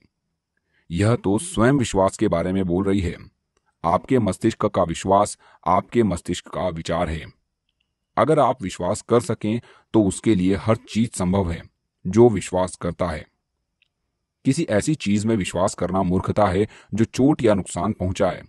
याद रखें, जिस चीज़ में आप विश्वास करते हैं, वह आपको नुकसान या चोट नहीं पहुंचाती है। यह तो आपके मस्तिष्क का विश्वास या विचार है, जो परिणाम उत्पन्न करता है। आपके सभी अनुभव, सभी कार्य तथा जीवन की सभी घटनाएँ व परिस्थितियाँ, आपके ही विचार की प्रतिक्रियाएँ और प्रतिबिंब हैं। प्रार्थना, चिकित्सा चेतन और अवचेतन मन का संयुक्त कार्य है। जिसे वैज्ञानिक तरीके से निर्देशित किया जाता है। प्रार्थना चिकित्सा। मस्तिष्क के चेतन और अवचेतन स्तरों का क्रमबद्ध, सामंजस्यपूर्ण और बुद्धिमतापूर्ण कार्य है, जिसे किसी निश्चित उद्देश्य के लिए विशेष रूप से निर्देशित किया जाता है। वैज्ञानिक प्रार्थना या प्रार्थना चिकित्सा के लिए आपको पता होना चाहिए कि आप क्या कर रहे हैं और क्यों कर रहे हैं। आप उपचार के नियम में विश्वास करते हैं। प्रार्थना चिकित्सा को कई बार मानसिक उपचार या वैज्ञानिक प्रार्थना भी कहा जाता है। प्रार्थना चिकित्सा में आप किसी निश्चित विचार, मानसिक तस्वीर या योजना को चुनते हैं, जिसे आप अनुभव करना चाहते हैं। आप इस विचार या मानसिक छवि को अपने अवचेतन तक पहुँचा देते हैं और काल्पनिक अवस्थाएँ की वास्तविकता अनुभव करते हैं। जब आप अपने मानसिक नज़रिए में पूर्ण आस्था रखेंगे तो आपको अपनी प्रार्थना का जवाब मिल जाएगा। प्रार्थना चिकित्सा किसी विशिष्ट उद्देश्य के लिए मानसिक कर्म है। मान लें, आप प्रार्थना चिकित्सा से किसी समस्या के उपचार का फैसला करते हैं। आप जानते हैं कि आपकी समस्या या बीमारी, चाहे वह जो भी हो, आपके अवचेतन मन में रहने वाले भयाक्रांत नकारात्मक विचारों के कारण ही उत्पन्न हुई है। आपको एहसास है कि अगर आप अपने मस्तिष्क से इन विचारों की सफ़ाई कर दें तो आप ठीक हो जाएँगे। इसलिए आप अपने अवचेतन मन की उपचारक शक्ति की ओर मुड़ते हैं। आप खुद को इसकी असीमित शक्ति और बुद्धिमता याद दिलाते हैं। आप खुद को यह भी याद दिलाते हैं कि यह हर बीमारी का उपचार करने में सक्षम है। जब आप इन सच्चाइयों पर लगातार सोचते हैं तो आपका डर धीरे धीरे कम होने लगता है। इन सच्चाइयों की याद गलत विश्वासों से झूठती है और अंततः उन्हें परास्त कर देती है। आप उस उपचार के लिए धन्यवाद देते हैं जो आप जानते हैं कि अवश्य होगा। फिर आप अपने मस्तिष्क में उस समस्या से तब तक दूर रहते हैं। जब तक कि कुछ समय बाद आपके मन में दोबारा प्रार्थना करने की इच्छा प्रबलता से महसूस नहीं होती है। प्रार्थना करते समय आप नकारात्मक स्थितियों को जरा सी भी शक्ति नहीं देते हैं, या पल भर के लिए भी नहीं सोचते कि उपचार नहीं होगा। इस तरह के मानसिक नज़रिए से चेतन और अवचेतन मन का सामंजस्यपूर्ण मेल बनता है, जो उपचारक शक्ति को सक्रिय कर देता है। आस्था उपचार का क्या मतलब है? और अंधी आस्था किस तरह काम करती है? जिसे लोग आस्था उपचार के नाम से जानते हैं, वह दरअसल बाइबल में बताई गई आस्था नहीं है, जिसका मतलब चेतन और अवचेतन मन के आपसी संबंधों का ज्ञान होता है। आस्था उपचारक वह व्यक्ति होता है जो उपचार में शामिल शक्तियों की वैज्ञानिक समझ के बिना उपचार करता है। हो सकता है कि वह उपचार की विशेष क्षमता का दावा करे और उसमें या उसकी शक्तियों में रोगी की अंधी आस्था उसे ठीक कर दे। दुनिया के कई हिस्सों में पारंपरिक उपचार अपने रोगियों को नृत्य मंत्रों और आत्माओं को बुलाकर ठीक करते हैं। हो सकता है कोई व्यक्ति किसी संत के स्मृति चिन्ह छूकर खास गंडा बांधकर अगरबत्ती या धूप जलाकर या विशेष जड़ियों के काढ़े को पीकर स्वस्थ हो गया हो। जो भी चीज़ रोगी को उस तरीके या प्रक्रिया में सच्चा विश्वास दिलाएगी, वह उपचार को अधिक संभव बना देगी। जो भी चीज़ आपको डर और चिंता से हटकर आस्था और आशा की ओर ले जाएगी, आपका इलाज कर देगी। कई लोग दावा करते हैं कि चूँकि उसके सिद्धांत परिणाम देते हैं, इसलिए वे सही और सच हैं। जैसा हम पहले देख चुके हैं, यह सच नहीं हो सकता। अंधी आस्था किस तरह काम करती है? इसके लिए स्विस उपचारक फ्रेंच एंटन मेस्मर के बारे में सोचें, जिन्हें का ज़िक्र हम पहले कर चुके हैं। सत्रह सौ छिहत्तर में उन्होंने अपने मरीजों के शरीर से चुंबक छूकर इलाज करने का दावा किया था। बाद में उन्होंने चुंबक छोड़कर मरीज़ से कुछ दूरी पर अपना हाथ घुमाकर इलाज किया। यह तरीका भी कारगर हुआ। इस नई तकनीक की सहायता को समझने के लिए मैस्मर ने प्राणी चुंबकीयता का सिद्धांत दिया। उनका मानना था कि जैसे द्रव, वैसे पूरे ब्रह्मांड में फैला हुआ है, लेकिन इंसान के शरीर में सबसे सक्रिय है। उनका दावा था कि यह चुंबकीय द्रव उनके हाथों से बीमार शक्ति की ओर संप्रहित होता है। और प्राणी चुंबकीयता का यह स्थानांतरण उसका उपचार कर देता है। इसके बाद हज़ारों लाखों लोग उनके पास आने लगे और कई अद्भुत उपचारों का दावा किया गया। मेस्मर पेरिस आ गए। वहाँ की सरकार ने उनके इलाजों की जाँच के लिए एक आयोग गठित किया। इस आयोग में प्रख्यात चिकित्सक और अकेडमी ऑफ़ साइंस के सदस्य थे, जिनमें ब्रेंजामिन फ्रैंकलिन भी शामिल थे। सघन जाँच पड़ताल के बाद आयोग ने स्वीकार किया कि मैस्मर ने बीमारों को सचमुच ठीक किया था। हालाँकि यह भी कहा गया था कि उनके चुंबकीय द्रव सिद्धांत को सही साबित करने वाला एक भी प्रमाण नहीं है। यह अनुमान लगाया जा सकता है कि इलाज मरीजों की कल्पना की वजह से हुआ था। इसके बाद मैस्मर को निर्वासित कर दिया गया। 1815 में उनकी मृत्यु हो गई। इसके कुछ समय बाद इंग्लैंड के मैनचेस्टर के डॉक्टर जेम्स ब्रेड ने यह साबित करने का बीड़ा उठाया कि चुंबकीय द्रव का डॉक्टर मैस्मर के उपचारों से कोई लेना देना नहीं था। डॉक्टर ब्रेड ने पाया कि रोगी को सुझाव देकर सम्मोहित तंद्रा या निंद्रा में भेजा जा सकता था। रोगियों के सम्मोहित तंद्रा में रहते समय वे कई अद्भुत परिणाम उत्पन्न करने में सफल हुए, जिनका श्रेय मैस्मर ने प्राणी चुंबकीयता को दिया। आप देख सकते हैं कि ये सभी उपचार निस्संदेह रोगियों की सक्रिय कल्पना और अवचेतन मन को दिए गए स्वास्थ्य के सशक्त सुझावों द्वारा संभव हुए थे। इसे अंधी आस्था कहना अनुचित नहीं होगा, क्योंकि न तो मरीज़ और न ही उपचारक को यह समझ थी कि ये उपचार कैसे हुए हैं। कल्पनावादी आस्था और इसका अर्थ, किसी व्यक्ति का कल्पनावादी अवचेतन मन उसके चेतन या यथार्थवादी मन के नियंत्रण के अधीन रहता है। यह दूसरों के सुझावों के प्रति भी अति संवेदनशील होता है। इसका मतलब यह है कि जो भी आपका यथार्थवादी विश्वास है, अगर आप उसमें सक्रियता या निष्क्रियता से आस्था रखेंगे तो आपका चेतन या अवचेतन मन उस सुझाव द्वारा नियंत्रित होगा और आपकी इच्छा पूरी हो जाएगी। मानसिक उपचारों के लिए विशुद्ध कल्पनावादी आस्था की ज़रूरत होती है। इसे हासिल करने का तरीका यथार्थवादी या चेतन मन के सक्रिय विरोध का अंत करना है। ज़ाहिर है, शरीर के प्रभावी उपचार के लिए सबसे अच्छा तो यह रहेगा कि चेतन और अवचेतन मन दोनों ही मन को पूरी तरह स्वीकार करने की अवस्था में हो। बहरहाल यह हमेशा ज़रूरी नहीं होता कि आप अपने मन और शक्ति की शिथिल करके उनिंदी अवस्था में पहुँच सकते हैं और निष्क्रियता तथा ग्रहणशीलता की स्थिति में दाखिल हो सकते हैं। उस उनिंदी अवस्था में आपको निष्क्रियता, कल्पनावादी छाप के प्रति ग्रहणशील बन जाती है। एक व्यक्ति ने मुझसे एक बार पूछा, ऐसा कैसे हो गया कि उस पादरी ने मुझे ठीक कर दिया? जब उसने मुझे बताया कि रोग जैसी कोई चीज़ नहीं होती और इसका कोई अस्तित्व ही नहीं होता। तो मैंने उसके एक भी शब्द पर यकीन नहीं किया। मुझे लगा कि वह मेरी बुद्धि का अपमान कर रहा है, लेकिन इसके बावजूद मैं ठीक हो गया। ऐसा कैसे हो सकता है?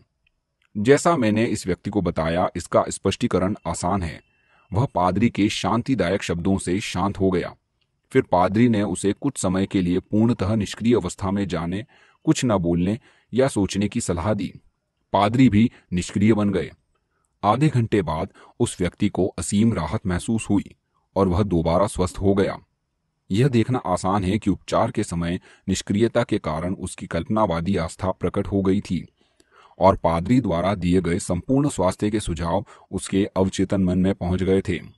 दोनों कल्पनावादी मन तालमेल में थे। अगर इस व्यक्ति ने उपचारक की शक्ति और उसके सिद्धांत के सही होने के बारे में अपनी शंकाओं को उस वक्त उबरने दिया होता तो यह विरोधी आत्म सुझाव के रूप में काम करता। उस स्थिति में पादरी के सुझाव बहुत कम असर दिखाते या बिल्कुल असफल हो जाते। बहरहाल, उनिंदी निष्क्रिय अवस्था में चेतन मन का विरोध न्यूनतम हो गया था। रोगी का अवचेतन मन पादरी के सुझावों के प्रति ग्रहणशील था। इसने उन सुझावों के अनुरूप कार्य किया और उपचार हो गया। अनुपस्थिति उपचार का अर्थ है, मान ले, आप लॉस एंजलिस में रहते हैं। और आपको यह खबर मिलती है कि आपकी माँ न्यूयॉर्क सिटी में बहुत बीमार है। आपकी पहली इच्छा तो यह होती कि आप घर परिवार और नौकरी छोड़कर उनके पास पहुँच जाएँ। लेकिन अगर यह संभव न हो तो क्या आप अपनी माँ के ठीक होने की प्रक्रिया में अपनी आस्था की शक्ति का प्रयोग नहीं कर पाएँगे? ऐसा नहीं है। भले ही आप शारीरिक रूप से मौजूद ना हो, लेकिन आपकी प्रार्थनाएँ उन तक अवश्य पहुँच जाती हैं। परम पिता सबके भीतर रहते हैं। रचनात्मक मस्तिष्क एक ही है। मस्तिष्क का रचनात्मक नियम आपको लाभ पहुंचाता है। आपको तो बस अपने मन में स्वास्थ्य और सामंजस्य का आंतरिक एहसास भरना है। इसकी प्रतिक्रिया स्वतः होती है। आपके अवचेतन मन का यह आंतरिक एहसास आपकी माँ के अवचेतन मन पर काम करता है। सेहत, स्फूर्ति और पूर्णता के आपके विचार एक ही शाश्वत कल्पनावादी मन में काम करते हैं। वे जीवन के कल्पनावादी पहलू के नियम को गतिमान कर देते हैं। जो उनके शरीर में उपचारक रूप से प्रकट होता है। मस्तिष्क सिद्धांत के समय में या स्थान में कोई महत्व नहीं होता। वही मस्तिष्क आपकी माँ और आप में काम करता है, चाहे आप कहीं भी रहें। वास्तव में कोई भी अनुपस्थित उपचार नहीं होता जो उपस्थित उपचार का विरोधी हो, क्योंकि शाश्वत मस्तिष्क हर जगह है। आप विचार भेजने या पकड़ने की कोशिश नहीं करते। आपका उपचार आपके विचार की चेतन गति है। जब आपका स्वास्थ्य, कल्याण और आराम के लक्षणों के प्रति जागरूक बन जाते हैं तो ये लक्षण आपकी माँ में प्रकट होंगे। उसके बाद परिणाम अवश्य मिलेंगे। यहाँ असल ज़िंदगी का एक उदाहरण दिया जा रहा है, जिसे गलती से अनुपस्थित विचार, यानी कि एबसेंट ट्रीटमेंट मान लिया गया। लॉस एंजलिस की एक महिला को पता चला कि न्यूयॉर्क में रहने वाली उसकी माँ को कोरोनरी थोम्ब्रोसिस हो गया। वह अपनी माँ के पास नहीं जा सकती थी। इसलिए उसने यह प्रार्थना की, उपचारक शक्ति मेरी माँ के पास है। उनके शरीर की स्थिति, उनके विचार जीवन की वैसा ही प्रतिबिंब है, जिस तरह छाया पर्दे पर पड़ती है। मैं जानती हूँ कि उस पर्दे की छवियों को बदलने के लिए मुझे उन चीज़ों को बदलना होगा, जिनका वे प्रतिबिंब दिखाती हैं। मैं अब अपने मस्तिष्क में अपनी माँ के लिए पूर्णता, सामंजस्य और संपूर्ण स्वास्थ्य की छवि बना रही हूँ। जिस असीमित उपचार शक्ति ने मेरी माँ का शरीर और उनके सभी अंग बनाए हैं। वह उनके अस्तित्व का हर परमाणु में भर रही है और उनके शरीर की हर कोशिश से शांति की धारा प्रवाहित हो रही है। डॉक्टरों को देवी मार्गदर्शन मिल रहा है। जो भी मेरी माँ को छू रहा है, उसे सही काम करने का मार्गदर्शन मिल रहा है। मैं जानती हूँ कि रोग अंतिम सच नहीं है। अगर ऐसा होता तो किसी का उपचार नहीं हो पाता। मैं प्रेम और जीवन के असीमित सिद्धांत की समर्थक हूँ।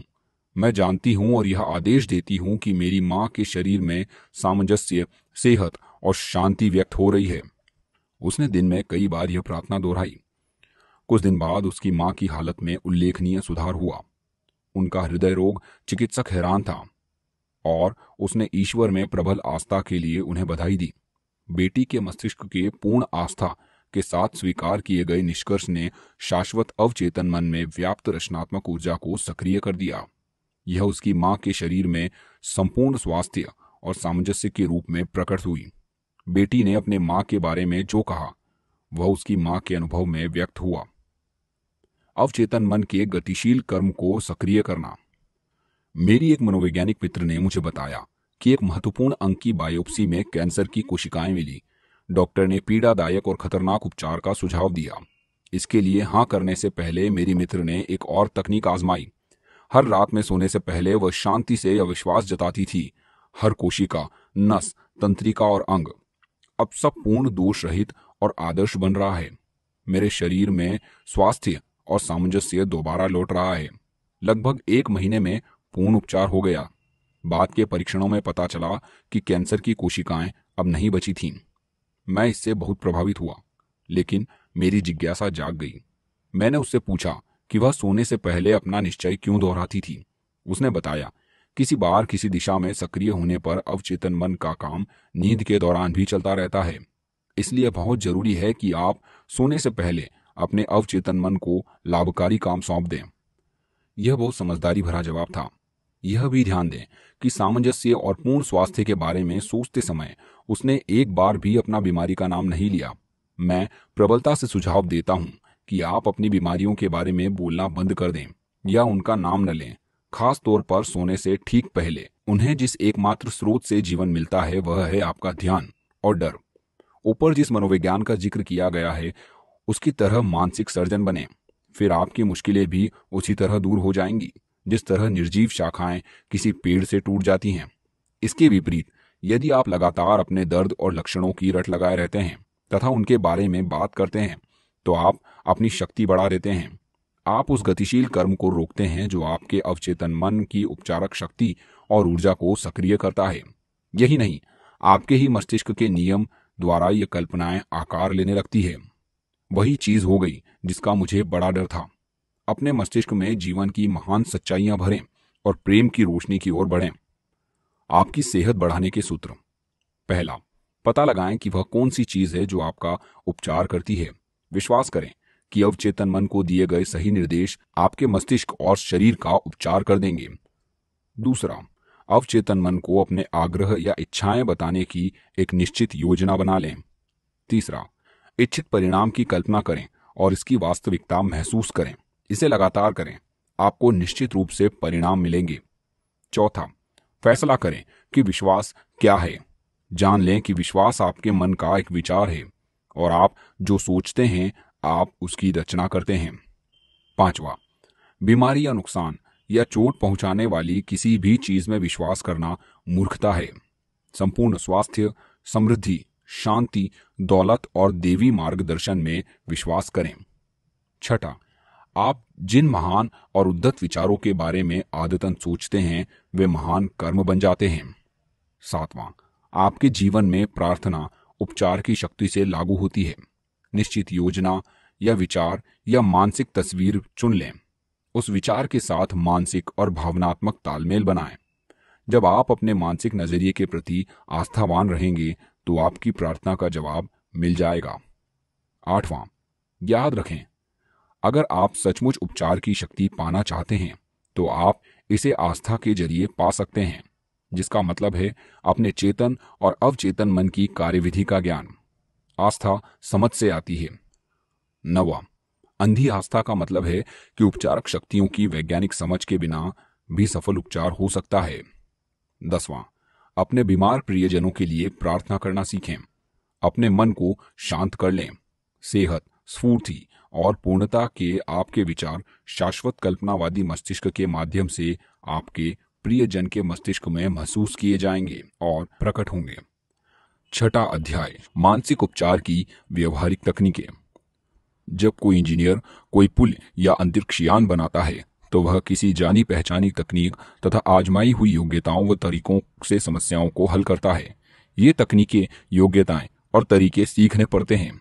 इसी तरह, आपके जीवन को नियंत्रित और निर्देशित करने की भी जानी पहचानी तकनीकें योग्यताएँ और तरीके हैं। ये तरीके और तकनीकें मूलभूत हैं।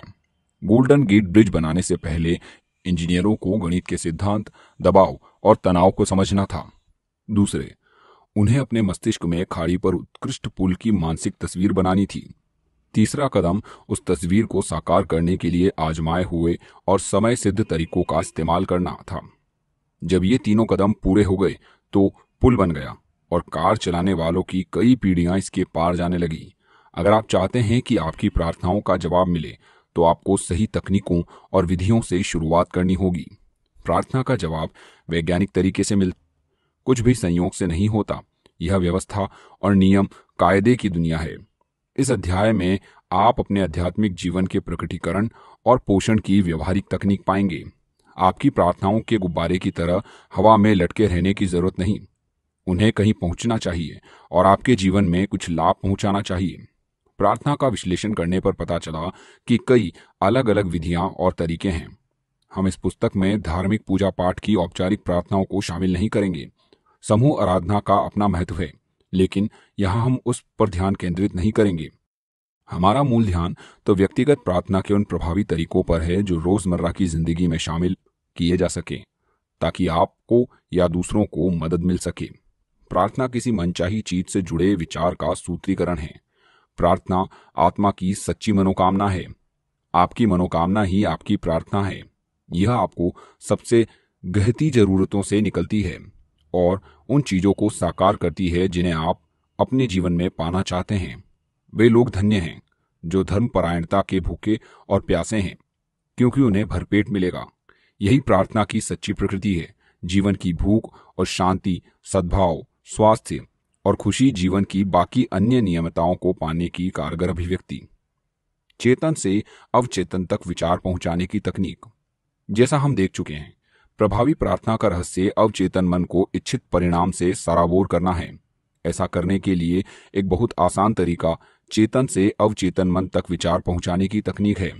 इसमें मूलतः अवचेतन मन को प्रेरित किया जाता है, ताकि यह चेतन मन के आग्रह को उसी रूप में ग्रहण कर ले। यह तकनीक सपने जैसी स्थिति में सबसे अच्छी तरह काम करती है। जान लें कि आपके इस गहरे अवचेतन मन में असीमित बुद्धिमता और असीम शक्ति है। बस शांति से अपनी मनोकामना के बारे में सोचें। इसके साकार होने की तस्वीर इसी पल से देखना शुरू कर दें। उस छोटी लड़की की तरह बने, जिसे बहुत बुरी खांसी थी और गला खराब था। उसने दृढ़ता से बार बार घोषणा की, खांसी अब जा रही है। यह अब जा रही है। चमत्कार यह हुआ कि खांसी एक घंटे में सचमुच गायब हो गई। इस तकनीक का पूरा इस्तेमाल पूरी ईमानदारी और सहजता से करें। आपका अवचेतन आपके ब्लूप्रिंट को स्वीकार कर लेगा। अगर आप अपने और अपने परिवार के लिए नया घर बनवा रहे हैं तो आप उसके ब्लूप्रिंट में गहरी रुचि लेंगे। आप यह सुनिश्चित करना चाहेंगे कि भवन निर्माता आपके ब्लूप्रिंट का अक्षरशः पालन करे। आप उसके द्वारा लगाई जाने वाली निर्माण सामग्री पर भी नज़र रखेंगे। आप जानते हैं कि आपके भावी मकान का जीवन इस सामग्री की गुणवत्ता पर निर्भर करता है। इसलिए आप सर्वश्रेष्ठ सीमेंट, बिजली के तार, छत की सामग्री आदि चुनेंगे। क्या इसमें समझदारी नहीं होगी कि आप इतना ही ध्यान अपने मस्तिष्क का घर रखें? क्या इसमें समझदारी नहीं होगी कि आप इतनी चिंता, खुशी और समृद्धि पाने के अपने मानसिक ब्लूप्रिंट की करें? आपके सभी अनुभव और जीवन में दाखिल होने वाली हर चीज़ उन मानसिक ईंटों की प्रकृति पर निर्भर करती है, जिनका प्रयोग आप अपने मानसिक घर को बनाने में करते हैं। अगर आपका मानसिक ब्लूप्रिंट डर, चिंता, तनाव या कमी से बना हो, अगर आप निराश, शंकालु और दोषदर्शी हों तो आपकी इस मानसिक सामग्री के कारण आपके जीवन में अधिक थकान, शंका, तनाव, चिंता और सभी तरह की सीमाएँ प्रकट हो जाएँगी। जीवन में सबसे मूलभूत और दूरगामी चीज़ वह है जो आप हर घंटे अपनी मानसिकता में बनाते हैं। आपके शब्द खामोश और अदृश्य, लेकिन वास्तविक होते हैं। आप हर समय अपना मानसिक घर बना रहे हैं और आपके विचार तथा मानसिक तस्वीरें आपके ब्लूप्रिंट को दर्शाती हैं। हर घंटे, हर पल आप बेहतरीन सेहत, सफलता और खुशी का निर्माण कर सकते हैं। उन विचारों से आप जो सोचते हैं या रखते हैं उन विश्वासों से आप स्वीकार कर सकते हैं और उन दृश्यों से जिनकी आप अपने मस्तिष्क में छिपे हुए स्टूडियो में रिहर्सल करते हैं। जिस राजसी महल के निर्माण में आप लगातार जुटे हुए हैं, वह आपका व्यक्तित्व है। इस धरती पर आपकी पहचान है। इस दुनिया में आपके जीवन की पूरी कहानी है। एक नया ब्लूप्रिंट बनाएँ। वर्तमान पल में शांति, खुशी और सद्भावना के एहसास द्वारा इसे खामोशी से बनाएँ। इन चीज़ों का दावा करें कि आपका अवचेतन मन आपके ब्लूप्रिंट को स्वीकार कर लेगा और इन चीज़ों को उत्पन्न कर देगा। उनके फलों से आप उन्हें पहचान जाएँगे। सच्ची प्रार्थना का विज्ञान और कला। विज्ञान का अर्थ संयोजित, व्यवस्थित और क्रमबद्ध ज्ञान है। आइए सच्ची प्रार्थना के विज्ञान और कला के बारे में ज़्यादा गौर से सोचें। यह ज्ञान जीवन के बुनियादी सिद्धांत के बारे में है। इनमें उन तकनीकों और प्रक्रियाओं का वर्णन है, जो आपके या अन्य किसी व्यक्ति के जीवन में प्रदर्शित की जा सकती है, जो पूरे विश्वास से उन्हें लागू करता है। आपकी तकनीक या प्रक्रिया और इसके पीछे का विज्ञान, आपकी मानसिक तस्वीर या विचार पर आपके रचनात्मक मन की निश्चित प्रतिक्रिया है। मांगो और तुम्हें मिल जाएगा। खोजो और तुम पालोगे। खटखटाओ और तुम्हारे लिए दरवाज़ा खुल जाएगा। यह बेहतरीन पंक्ति हमें क्या बताती है? इसका स्पष्ट अर्थ है कि आप जो चीज़ मांगेंगे, वह आपको मिल जाएगी। जब आप खटखटाएँगे तो आपके लिए दरवाज़ा खुल जाएगा और आप जिसे खोज रहे हैं, उसे पा लेंगे। इस सबक में मानसिक और आध्यात्मिक नियमों की निश्चितता निहित है आपके चेतन चिंतित और आपके अवचेतन मन की असीमित बुद्धिमता हमेशा सीधी प्रतिक्रिया करती है। अगर आप रोटी मांगेंगे तो आपको पत्थर नहीं मिलेगा। आपको पूरे विश्वास से मांगना होगा, तभी आपको मिलेगा। आपका मन विचार से वस्तु की ओर चलता है। जब तक मन में तस्वीर नहीं होगी, तब तक मन नहीं चल सकता, क्योंकि आगे बढ़ने के लिए कुछ नहीं होगा। आपकी प्रार्थना, जो आपका मानसिक कर्म है, को पहले से आपकी मानसिक तस्वीर को बनाना होगा। तभी आपके अवचेतन मन की शक्ति इस पर काम कर सकती है, और इसे साकार कर सकती है। आपको अपने मस्तिष्क में स्वीकृति के बिंदु पर पहुँचना होगा, अविवादित और पूर्ण स्वीकृति। इसके अलावा, अपनी मनोकामना की पूर्ति को पहले से देखने की खुशी तथा सुख की भावना होनी चाहिए। सच्ची प्रार्थना की कला और विज्ञान का दमदार आधार आपका यह ज्ञान तथा पूर्ण विश्वास है कि आपके चेतन मन की गतिविधि पर आपका अवचेतन मन निश्चित प्रतिक्रिया करेगा, जिसमें असीमित ज्ञान और असीम शक्ति है। इस तरीके से आपको अपनी प्रार्थनाओं का जवाब मिल जाएगा। तस्वीर की तकनीक। किसी विचार के सूत्रीकरण का सबसे सरल और स्पष्ट तरीका है इसकी तस्वीर देखना। अपने मन की आँख से उसे उतनी ही स्पष्टता से देखना जैसे यह साकार हो। आप आँख से सिर्फ़ वही देखते हैं जो बाहरी जगत में पहले से मौजूद है। इसी तरह आप मन की आँख से जो तस्वीर देख सकते हैं, वह पहले से आपके मन के दृश्य नेत्रों में मौजूद होती है। जो भी तस्वीर आपके मन में है, वह चाही गई अदृश्य चीज़ों का प्रमाण है। आप अपनी कल्पना में जो करते हैं वह आपके शरीर के किसी अंग जितना ही वास्तविक होता है। विचार वास्तविक होते हैं और वे एक दिन आपकी यथार्थवादी दुनिया में अवश्य प्रकट होंगे। शर्त सिर्फ़ इतनी है कि आपको अपनी मानसिक तस्वीर के प्रति निष्ठावान रहना होगा। चिंतन की यह प्रक्रिया आपके दिमाग पर छाप छोड़ देती है। यह छाप बाद में आपके जीवन में तथ्य और अनुभव के रूप में सामने आती है। आर्किटेक्ट जिस तरह की इमारत बनाना चाहते हैं, पहले उसे तस्वीर से देखते हैं। और वे उसे इस तरह देखते हैं जिस तरह वे पूरा करना चाहते हैं। उसकी कल्पना और विचार प्रक्रिया एक प्लास्टिक का सांचा बन जाती है, जिससे इमारत उभरेगी। यह सुंदर या बदसूरत हो सकती है। गगनचुंबी अट्टालिका या एक मंजिला मकान हो सकता है, लेकिन यह सब तस्वीर की कल्पना से शुरू होता है। आर्किटेक्ट की मानसिक तस्वीर कागज़ पर आकार लेती है। अततः कॉन्ट्रैक्टर और भवन निर्माता आवश्यक सामग्री इकट्ठी करते हैं। और इमारत बनाने लगती है।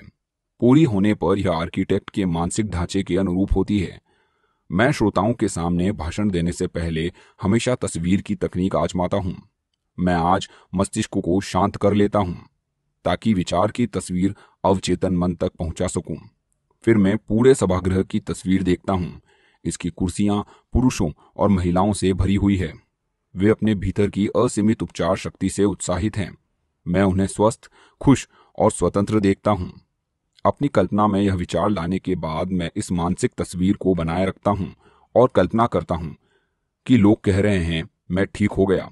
मुझे बहुत अच्छा लग रहा है। मेरा काया पलट हो गया। मैं लगभग दस मिनट तक ऐसा करता हूँ। मैं खुद को यह एहसास दिलाता हूँ कि हर व्यक्ति का मन और शरीर प्रेम प्रमूणा सुंदरता से भरा हुआ है। मेरा एहसास उन बिंदु पर पहुँच जाता है जहाँ मैं मन में जनता की आवाज़ें सुन सकता हूँ, जो उनकी सेहत और खुशी की घोषणा करती है। फिर मैं पूरी तरह से तस्वीर को मुक्त कर देता हूँ और मंच पर पहुँच जाता हूँ। इस तकनीक का प्रयोग करने के बाद मैं जब भी बोलता हूँ तो हर बार कुछ लोग बाद तक रुककर मुझे बताते हैं कि उनकी प्रार्थनाओं का उन्हें जवाब मिल गया।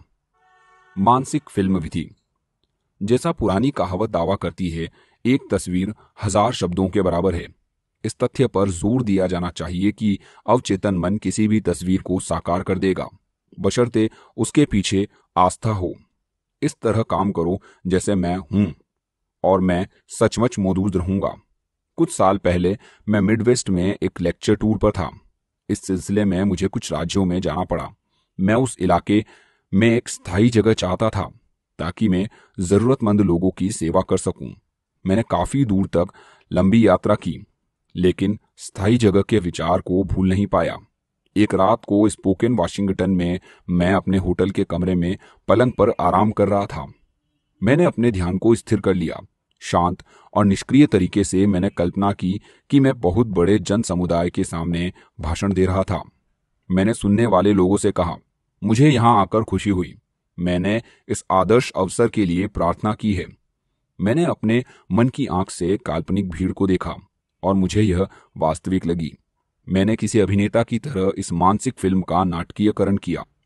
मैंने संतुष्टि महसूस की कि यह तस्वीर मेरे अवचेतन मन तक पहुँच रही है, जो अपने तरीके से इसे वास्तविकता में बदल देगा। अगली सुबह जागने पर मुझे काफ़ी शांति और संतुष्टि का एहसास हुआ। कुछ दिन बाद मेरे पास मिडवेस्ट के एक संस्थान का फ़ोन आया। वे मुझे अपना डायरेक्टर बनाना चाहते थे। मैंने प्रस्ताव स्वीकार कर लिया और कई साल तक वहाँ पर बहुत ही संतुष्टिदायक काम करने का आनंद लिया। जिस तरीके का वर्णन मैंने किया है, उसे अक्सर मानसिक फ़िल्म विधि, यानी कि मेंटल मूविंग मेथड कहा जाता है। मुझे बहुत से लोगों के पत्र मिलते हैं, जिन्होंने मेरी पुस्तकें पढ़ी हैं या मेरे भाषण सुने हैं। वे मुझे इस तकनीक से हासिल हुए आश्चर्यजनक परिणामों के बारे में बताते हैं। मानसिक फ़िल्म विधि एक क्षेत्र में खास उपयोगी लगती है। जायदाद बेचना अगर आप कोई मकान या जायदाद बेचना चाहते हैं तो मेरा सुझाव है कि आप पहले तो अपने मन में यह संतुष्टि कर लें कि आपके द्वारा तय कीमत सही है और आपके तथा खरीददार दोनों के हिसाब से न्यायपूर्ण है आपके बाद आपके मस्तिष्क को शांत कर लें शिथिल हो जाएँ, विश्राम कर लें और उनिंदी निष्क्रिय अवस्था में चले जाएँ, ताकि समस्त मानसिक प्रयास न्यूनतम हो जाएँ। जब अपने हाथों में चेक की तस्वीर देखें, चेक पाने की खुशी मनाएँ, चेक के लिए धन्यवाद दें और अपने मस्तिष्क में बनी पूरी मानसिक फ़िल्म की सहजता अनुभव करते हुए सो जाएँ। आपको इस तरह काम करना है, जैसे यह सचमुच हो चुका है। ऐसा करने से अवचेतन मन पर इसकी छाप बन जाएगी। फिर असीमित बुद्धिमता उस खरीदार को आपकी ओर आकर्षित करेगी, जो उसे उस जायदाद को सचमुच चाहता है और जो इसे प्रेम करेगा। तथा इसमें समृद्ध होगा। मस्तिष्क के अधिक गहरे प्रभाव से खरीदने और बेचने वाले एक साथ आ जाते हैं। आस्था होने पर मन में रखी मानसिक तस्वीर हकीकत बन जाएगी। बडोइन तकनीक। चार्ल्स बडोइन फ्रांस के रूसो इंस्टीट्यूट में प्रोफेसर थे। वे New Nancy School of Healing के कुशल साइकोथेरेपिस्ट और शोध निदेशक थे। उन्होंने पाया कि अवचेतन मन को प्रभावित करने का सबसे अच्छा तरीका उनिंदी निष्क्रिय या नींद जैसी अवस्था में पहुँचना है, जहाँ सारे प्रयास कम से कम हो जाएँ। फिर चिंतन द्वारा यह विचार शांत, निष्क्रिय, ग्रहणशील तरीके से अवचेतन तक पहुँचाया जाता है। जैसा बाडोइन ने स्पष्ट किया, ऐसा करने का एक आसान तरीका सुझाई वस्तु के विचार को सघन करना है। इसे तत्काल याद होने वाले संक्षिप्त वाक्यांश में व्यक्त करना है और लोरी की तरह बार बार दोहराना है। कुछ साल पहले लॉस एंजलिस की एक युवा विधवा लंबे और कटु पारिवारिक विवाद में उलझ गई थी। उनके स्वर्गीय पति ने पूरी जायदाद उनके नाम कर दी थी। लेकिन पहली शादी से उसके बेटे बेटियों ने वसीयत को गैर कानूनी ठहराने के लिए मुकदमा दायर कर दिया था। उन्होंने विधवा के समझौते के प्रस्तावों को ठुकरा दिया था। जब इस विधवा ने मेरी मदद मांगी तो मैंने उसे बाडोइन तकनीक बताई। मैंने उसे कहा कि वह अपनी आवश्यकता के कुछ शब्दों में भर ले। ताकि यह उसकी याद पर आसानी से अंकित हो। उसने जो वाक्यांश चुना, वह था, यह देवी इच्छा के अनुरूप हुआ। इन शब्दों से उसका मतलब था कि असीमित बुद्धि, जो उसके अवचेतन मन के नियमों द्वारा काम कर रही थी, सामंजस्य के सिद्धांत द्वारा सामंजस्यपूर्ण निष्कर्ष निकालेगी। दस रातों तक हर रात वह कुर्सी पर बैठी और अपने शरीर को सुनियोजित तरीके से शिथिल करके उनिंदी अवस्था में पहुँचती। फिर उसने धीरे धीरे शांति और भावना से यह वाक्य बार बार दृढ़ता से कहा। यह देवी इच्छा के अनुरूप पूर्ण हुआ। उसे आंतरिक शांति का एहसास हुआ। फिर वह गहरी, सामान्य नींद में सो गई। ग्यारहवें दिन सुबह जागने पर उसे सुखद एहसास हुआ। उसे विश्वास था कि यह सचमुच पूर्ण हो गया था। उसी दिन उसके वकील ने उसे फ़ोन किया। विपक्षी वकील और उसके मुक्किल समझौते के लिए तैयार हो गए थे। सामंजस्यपूर्ण समझौता हो गया और मुकदमा वापस ले लिया गया। नींद की तकनीक। उनिंदी निष्क्रिय अवस्था में प्रयास न्यूनतम हो जाते हैं। उनिंदी अवस्था में चेतन मन काफ़ी हद तक निष्क्रिय हो जाता है। इसका कारण यह है कि अवचेतन सोने से ठीक पहले और जागने के ठीक बाद ही सबसे शक्तिशाली होता है। इस अवस्था में आपकी इच्छा को अवचेतन मन तक पहुँचने से रोकने वाले नकारात्मक विचार मौजूद नहीं होते हैं। मान लें, आप किसी विनाशक आदत से छुटकारा पाना चाहते हैं। इसके लिए आरामदेह मुद्रा अपना लें। आपके शरीर को शिथिल कर दें और स्थिर हो जाएँ। उनिंदी अवस्था में जाएँ और बार बार किसी लॉरी की तरह दोहराते रहें। मैं इस आदत से पूरी तरह आज़ाद हूँ। मैं सद्भाव और पूर्ण मानसिक शांति महसूस कर रहा हूँ। इन शब्दों को रात और सुबह पाँच दस मिनट तक धीरे धीरे शांति और प्रेम से दोहराएँ। बार बार दोहराने से शब्दों का भावनात्मक महत्व बढ़ जाता है। जब नकारात्मक आदत ज़ोर मारे तो इस फॉर्मूले को दोहरा ले। इस तकनीक से आप अवचेतन को विचार स्वीकार करने के लिए प्रेरित करते हैं और उपचार हो जाता है। धन्यवाद तकनीक। बाइबल में पॉल सुझाव देते हैं कि हम अपने आग्रहों के साथ प्रशंसा करें और धन्यवाद दें। प्रार्थना के इस आसान तरीके से असाधारण परिणाम मिलते हैं।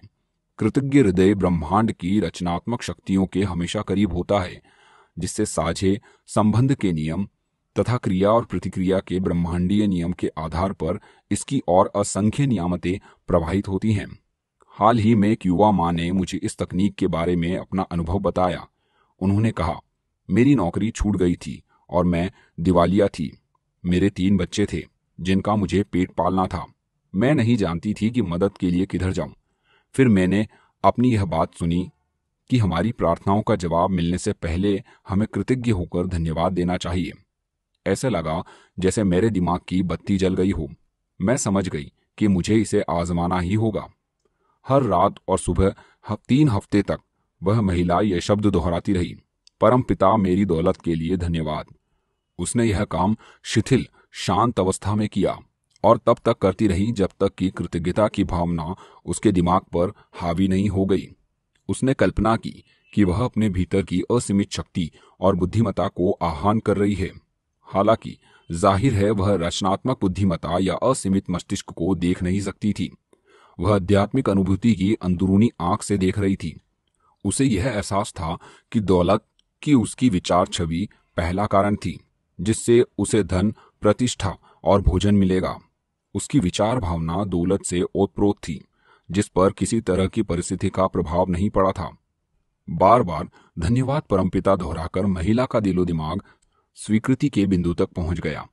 जब उसके मन में कमी, गरीब और रोग के विचार आते थे तो वह आवश्यकता अनुसार बार बार कहती थी, धन्यवाद परमपिता। वह जानती थी कि अगर वह कृतज्ञ नज़रिया रखेगी तो उसका दिमाग दौलत के विचार को ग्रहण कर लेगा। यही हुआ। उस महिला की प्रार्थना का एक रोचक परिणाम था। प्रार्थना शुरू करने के कुछ समय बाद उसे रास्ते में एक पूर्ण नियोक्ता मिला, जिससे वह पाँच साल से नहीं मिली थी। पूर्व नियोक्ता ने उसके सामने अच्छी तनख्वाह वाली नौकरी देने का प्रस्ताव रखा। उसने उसे कर्ज भी दिया, ताकि वह पहली तनख्वाह मिलने तक काम चला सके। उस महिला ने मुझे कहा, मैं धन्यवाद परमपिता की अद्भुत शक्ति को कभी नहीं भूल पाऊँगी। इसने मेरे लिए चमत्कार किया है। सकारात्मक घोषणा का तरीका। सकारात्मक घोषणा का प्रभाव काफ़ी हद तक इसके शब्दों में निहित सत्य और अर्थ की आपकी समझ से तय होता है। प्रार्थना में निरर्थक दोहराव न करें। सकारात्मक घोषणा की शक्ति निश्चित और स्पष्ट सकारात्मक बातों के बुद्धिमत्तापूर्ण अमल में है। मान लें, स्कूल का कोई बच्चा तीन और तीन को जोड़कर ब्लैकबोर्ड पर सात लिख देता है। गणित टीचर की निश्चितता से घोषणा करता है कि तीन और तीन छह होते हैं। इसके बाद बच्चा अंकों को बदल देता है। टीचर की घोषणा से तीन और तीन छह नहीं हुए। यह तो पहले से ही गणित की सच्चाई थी। इसी सच्चाई के कारण बच्चे ने ब्लैक बोर्ड के अंक बदल दिए। बीमार होना असामान्य है, स्वस्थ होना सामान्य है। स्वास्थ्य आपके अस्तित्व की सच्चाई है। जब आप स्वास्थ्य, सामंजस्य और खुद के लिए या किसी दूसरे के लिए शांति की सकारात्मक घोषणा करते हैं तथा जब आपको यह एहसास होता है कि आपके अस्तित्व के शाश्वत सिद्धांत हैं तो आप अवचेतन मन के कारगर ढांचे में अपनी आस्था और घोषणा के अनुरूप दोबारा व्यवस्थित कर लेते हैं। प्रार्थना की सकारात्मक घोषणा का परिणाम जीवन के सिद्धांतों पर बल देने पर निर्भर करता है, चाहे स्थिति कैसी भी हो। एक पल के लिए विचार करें। गणित का एक सिद्धांत होता है, लेकिन गलती का कोई सिद्धांत नहीं होता। सच्चाई का एक सिद्धांत होता है। लेकिन बेईमानी का नहीं होता। बुद्धि का एक सिद्धांत होता है, लेकिन अज्ञान का नहीं होता। सद्भाव का एक सिद्धांत होता है, लेकिन मन मुटाव का नहीं होता। स्वास्थ्य का एक सिद्धांत होता है, लेकिन बीमारी का नहीं होता। और समृद्धि का एक सिद्धांत होता है, लेकिन गरीबी का नहीं होता। जब इंग्लैंड के एक अस्पताल में गोल्डस्टोन हटाने का मेरी बहन का ऑपरेशन होने वाला था तो मैंने सकारात्मक घोषणा के तरीके का प्रयोग किया। अस्पताल की जांचों और एक्सरे में उसकी रोग की पुष्टि हो चुकी थी। उसने मुझसे अपनी सेहत के लिए प्रार्थना करने को कहा। मैं छह हज़ार मील से ज़्यादा दूर था, लेकिन इससे मैं विचलित नहीं हुआ। मस्तिष्क सिद्धांत के समय और दूरी का महत्व नहीं होता। असीमित मन या बुद्धिमता एक ही समय में हर बिंदु पर पूरी तरह मौजूद रहती है। दिन में कई बार मैंने अपनी बहन के रोग के लक्षणों और उसके शारीरिक व्यक्तिगत के विचार को दूर किया। शांति और विश्वास से मैंने इस बात की सकारात्मक घोषणा की। यह प्रार्थना मैं अपनी बहन कैथरीन के लिए कर रहा हूँ। वह आराम और चैन से है, संतुलित और पूरी तरह शांत। अवचेतन मन की जिस उपचारक शक्ति ने उसे शरीर को बनाया है, अब वह अब उसके अस्तित्व की हर कोशिका, स्नायु, ऊतक मांसपेशी और अस्थि को बदल रही है। यह बदलाव उसके अवचेतन मन में समाहित सभी अंगों के आदर्श ब्लूप्रिंट के अनुरूप हो रहा है। शांति और खामोशी से उसके अवचेतन मन के सभी विकृत विचार तंत्र हट रहे हैं और घुल रहे हैं। उसके अस्तित्व से हर अणु में जीवन सिद्धांत की जीवंतता, पूर्णता और सुंदरता प्रकट हो रही है। वह अब उन उपचारक तरंगों को ग्रहण कर रही है जो उसने नदी की तरह प्रवाहित हो रही है तथा उसे पूर्ण स्वास्थ्य, सामंजस्य और शांति दे रहे हैं। सारी विकृतियाँ और कुरूप छवियाँ अब उसमें प्रवाहित हो रहे हैं। प्रेम तथा शांति के असीमित समुद्र से घुल रही है। यही हो रहा है। दो सप्ताह बाद मेरी बहन की एक बार फिर जाँच हुई। आश्चर्यजनक बात यह थी कि उसके एक्सरे में कोई गड़बड़ नहीं निकली। उसके डॉक्टर ने कहा कि उसकी हालत में उल्लेखनीय सुधार हुआ था और जब ऑपरेशन की कोई ज़रूरत नहीं थी। सकारात्मक घोषणा का मतलब यह कहना है कि ऐसा ही है। जब आप सारे विपरीत प्रमाणों के बावजूद इस मानसिक नज़रिए को सच मानते हैं तो आपको अपनी प्रार्थना का जवाब ज़रूर मिलेगा। ध्यान दें, आपका विचार नकारात्मक नहीं, सिर्फ़ सकारात्मक घोषणा करता है, क्योंकि अगर आप किसी चीज़ से इनकार करते हैं, तब भी आप दरअसल उस चीज़ की उपस्थिति को स्वीकार कर ही रहे हैं। सकारात्मक घोषणा को दोहराना, यह जानना कि आप क्या कर रहे हैं और क्यों कह रहे हैं। मस्तिष्क की चेतना की उस अवस्था की ओर ले जाता है जहाँ यह आपकी कही हुई बात सच मान लेती है। जीवन की सच्चाइयों की तब तक सकारात्मक घोषणा करते रहें, जब तक कि आपको संतुष्टिदायक अवचेतन प्रतिक्रिया न मिल जाए। तर्कपूर्ण विधि। यह तकनीक इसके नाम के अनुरूप है। यह doctor Phineas Parkhurst Quimby के अद्भुत कार्य से विकसित हुई है। डॉक्टर क्विम्बी मानसिक और आध्यात्मिक उपचार के क्षेत्र में अग्रणी थे। यह सदी से भी पहले बेलफास्ट मैन में इलाज करते थे। वे दरअसल मनोदेहिक चिकित्सा के जनक और प्रथम मनोविश्लेषक थे। उनमें मरीज़ के कष्ट और दर्द के कारण को अतरिंद्रिय तरीके से भांपने की उल्लेखनीय क्षमता थी। संक्षेप में कहा जाए तो तर्कपूर्ण विधि, जिसका प्रयोग फिम्बी ने इतनी सफलता से किया था, आध्यात्मिक तर्क पर आधारित है। आप मरीज़ और खुद को यह विश्वास दिलाते हैं कि रोग आपके अवचेतन मन के झूठे विश्वासों, निराधार डरों और नकारात्मक ढांचों के कारण हैं। आप अपने मस्तिष्क में स्पष्टता से इस पर तर्क करते हैं और रोगी को विश्वास दिला देते हैं कि बीमारी विचार के एक विकृत ऐंठन भरे ढांचे के कारण है, जो शरीर में प्रकट हो गया है। किसी बाहरी शक्ति या कारणों में गलत विश्वास अब रोग के रूप में बाहर आ गया है, लेकिन विचारों को बदलकर रोग का उपचार किया जा सकता है।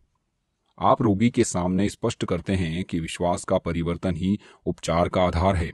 आप यह भी बताते हैं कि अवचेतन मन ने शरीर और सभी अंगों की रचना की है। इसलिए यह जानना है कि कैसे उपचार होता है।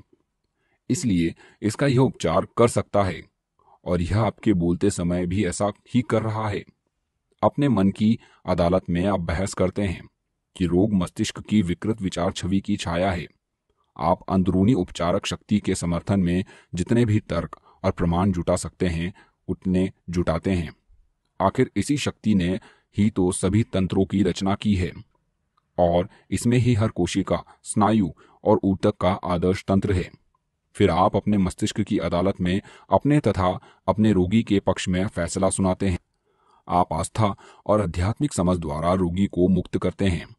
आपका मानसिक और आध्यात्मिक प्रमाण अजेय है। चूँकि सिर्फ़ एक ही मस्तिष्क है, इसलिए आप जिसे सच मानते हैं, वह रोगी के अनुभव में प्रकट हो जाता है और उपचार हो जाता है। परम विधि आधुनिक अल्ट्रासाउंड उपचार की तरह है। दुनिया भर में कई लोग इस विधि से उपचार करते हैं और उन्हें अद्भुत परिणाम मिलते हैं। परम विधि, यानी कि एब्सोल्यूट मेथड का प्रयोग करने वाला व्यक्ति रोगी का नाम लेता है। फिर वह ईश्वर और उसके गुणों के बारे में खामोशी से सोचता है, जैसे, ईश्वर परम आनंद है, असीमित प्रेम है, असीमित बुद्धिमता है, सर्वशक्तिमान है, असीमित ज्ञान है, पूर्ण सद्भाव है, अवर्णनीय सौंदर्य और पूर्णता है। जब वह इस तरह की बातें सोचता है तो उसकी चेतना ऊपर उठकर एक नए आध्यात्मिक धरातल पर पहुँच जाती है। वह महसूस करता है कि ईश्वरीय प्रेम की महासागर रोगी के मन में और शरीर में मौजूद हर गड़बड़ चीज़ को डुबा रहा है, जिसे दूर करने के लिए वह प्रार्थना कर रहा है। वह महसूस करता है कि ईश्वर की सारी शक्ति और प्रेम अब रोगी पर केंद्रित हो रहा है। जो भी कष्टकारी या परेशानी से भरा है, वह जीवन और प्रेम के असीम महासागर की मौजूदगी में अब पूरी तरह गायब हो चुका है। प्रार्थना की परम विधि की तुलना अल्ट्रासाउंड चिकित्सा में हुए नवीनतम शोधों से की जा सकती है। लॉस एंजलिस की विख्यात डॉक्टर ने मुझे हाल ही में इसके बारे में बताया। यह महिला डॉक्टर अपने काम में जिस विधि का प्रयोग करती है, वह हाई फ्रिक्वेंसी की सशक्त स्वर लहरें उत्पन्न करती है। जब इन्हें शरीर के असामान्य ऊतक वाले हिस्सों पर केंद्रित किया जाता है तो प्रभावित कोशिकाएँ अल्ट्रासाउंड के प्रति गूंज व्यक्त करती है। ईश्वर के गुणों पर विचार करके हम चेतना में जितना ऊपर उठते हैं सद्भाव, सेहत और शांति की उतनी ही आध्यात्मिक लहरें उत्पन्न करते हैं, जिन पर ये लहरें केंद्रित हैं। वे उन गूंज के रूप में प्रतिक्रिया करते हैं। प्रार्थना की इस तकनीक से कई उल्लेखनीय उपचार हुए हैं। एक अपंग व्यक्ति चलता है। डॉक्टर क्विम्बी अपने उपचार करियर में परम विधि का प्रयोग अक्सर करते थे। उनकी एक पंडुलिपि बताती है कि उन्होंने किस तरह एक अपंग औरत को ठीक किया। वे उस महिला को देखने गए जो अपाहिज थी, बूढ़ी थी और बिस्तर पर पड़ी थी। वे बताते हैं कि उसकी बीमारी का कारण स्पष्ट था। वह इतने छोटे धर्म मत में कैद थी कि खड़ी नहीं हो सकती थी और चल नहीं सकती थी। वह डर और अज्ञानता की कब्र में रह रही थी। चूँकि उसने बाइबल को शब्दशह लिया, इसलिए इससे डर गई।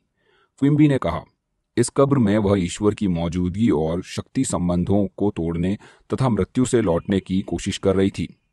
जब महिला ने दूसरों से बाइबल के एक प्रसंग का अर्थ पूछा तो जवाब पत्थर जैसा मिला।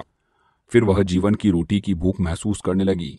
डॉक्टर क्विम्बी ने उसके मामले का निदान करते हुए कहा कि उसका दिमाग रोमांच और डर के कारण अवरुद्ध हो गया है। इसलिए वह बाइबल के उस प्रसंग का अर्थ स्पष्ट नहीं समझ पाई।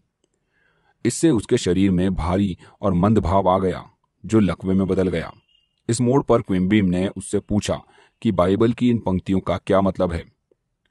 थोड़े समय के लिए मैं तुम्हारे साथ हूँ और फिर मैं उस परम पिता के पास चला जाऊँगा जिसने मुझे भेजा है। तुम मुझे खोजोगे, लेकिन मैं तुम्हें नहीं मिलूँगा, और जहाँ मैं हूँ, वहाँ तुम आ नहीं सकते। उसने जवाब दिया कि इसका मतलब यह है कि ईसा मसीह स्वर्ग चले गए। क्विम्बी ने उसे इसका वास्तविक अर्थ समझाया। उन्होंने बताया कि उसके साथ थोड़े समय रहने का मतलब उसके लक्षणों, भावनाओं और कारणों का स्पष्टीकरण है। उसे उस महिला की हालत पर करुणा और सहानुभूति होती है, लेकिन वह इस मानसिक अवस्था में नहीं रह सकता। अगला कदम उसके पास जाना है, जिसने हमें भेजा है। क्विम्बी ने बताया कि इसका इशारा हम सभी में मौजूद ईश्वर की रचनात्मक शक्ति है। क्विम्बी ने तत्काल अपने मन की यात्रा की और देवी संपूर्णता पर मनन किया, यानी ईश्वर की जीवंतता बुद्धिमता सद्भाव और शक्ति बीमार व्यक्ति में काम कर रही है। उन्होंने महिला से कहा इसलिए जहाँ मैं हूँ, वहाँ तुम नहीं आ सकती, क्योंकि तुम अपने संकरे, संकुचित विश्वास में रोगग्रस्त मौजूद हो, जबकि मैं स्वस्थ हूँ। इस प्रार्थना और स्पष्टीकरण का तत्काल परिणाम मिला, और उस महिला के दिमाग का कायापलट हो गया। वह बिना बैसाखियों के चलने लगी। क्विम्बी ने कहा कि यह उसके सभी उपचारों में सबसे अनूठा था। यह बिल्कुल गलत था, और उसे सजीव करना या सत्य समझना मुर्दे को जीवित करना था। क्विम्बी ने ईसा मसीह के पुनर्जीवन को उस महिला के खुद के स्वास्थ्य पर लागू किया। इसका उस महिला पर सशक्त प्रभाव पड़ा। क्विम्बी ने यह भी स्पष्ट किया कि उसने जो सच स्वीकार किया था, वह ऐसा देवदूत या विचार था जो डर, अज्ञान और अंधविश्वास के पत्थर को लुढ़का देता था। इससे ईश्वर की उपचारक शक्ति मुक्त हुई, जिसने उसे स्वस्थ कर दिया। आदेश विधि। हमारे शब्दों में शक्ति उसके पीछे की भावना और विश्वास के अनुरूप आती है।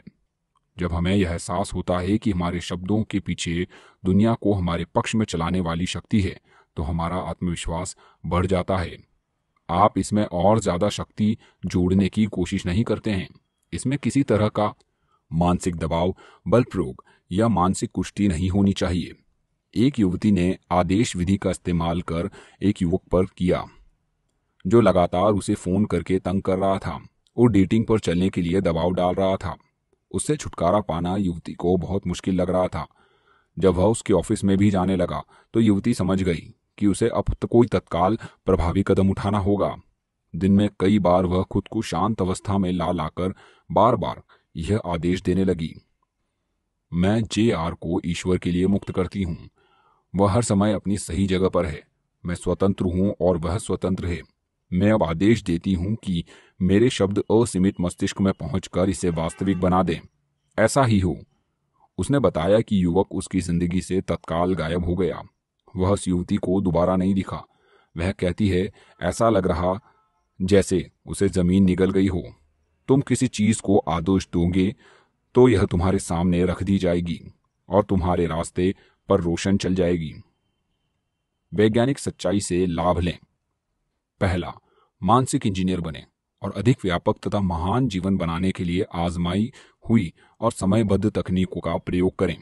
दूसरा, आपकी मनोकामना आपकी प्रार्थना है। इसी समय अपनी मनोकामना पूरी होने की तस्वीर बनाएँ और इसकी वास्तविकता महसूस करें। आपकी मनोकामना सचमुच पूरी हो जाएगी। तीसरा, चीज़ों को आसान तरीके से हासिल करने की इच्छा करें। मानसिक विज्ञान की अचूक मदद से। आप अपने मन के स्टूडियो में सोचे गए विचारों से अच्छी सेहत, सफलता और खुशी की तस्वीरें बना सकते हैं। पांचवा, वैज्ञानिक रूप से प्रयोग करते रहें। जब तक कि आप खुद के सामने यह साबित न कर दें कि आपकी चेतन सोच पर आपके अवचेतन मन की असीमित बुद्धिमत्ता की हमेशा सीधी प्रतिक्रिया होती है। छठा, आपकी मनोकामना की निश्चित उपलब्धि के पूर्वानुमान में खुशी और आराम अनुभव करें। आप अपने मस्तिष्क में जो तस्वीरें रखें, वह उन चीज़ों की होनी चाहिए जिनकी उम्मीद हो तो लेकिन प्रमाण न हो। सातवां, एक मानसिक तस्वीर हज़ार शब्दों के बराबर है। आप आस्था से अपने मन में जिस तस्वीर को रखेंगे, आपका अवचेतन उसे हकीकत में बदल देगा। आठवां, प्रार्थना में किसी तरह की जबरन कोशिश या मानसिक दबाव का प्रयोग न करें।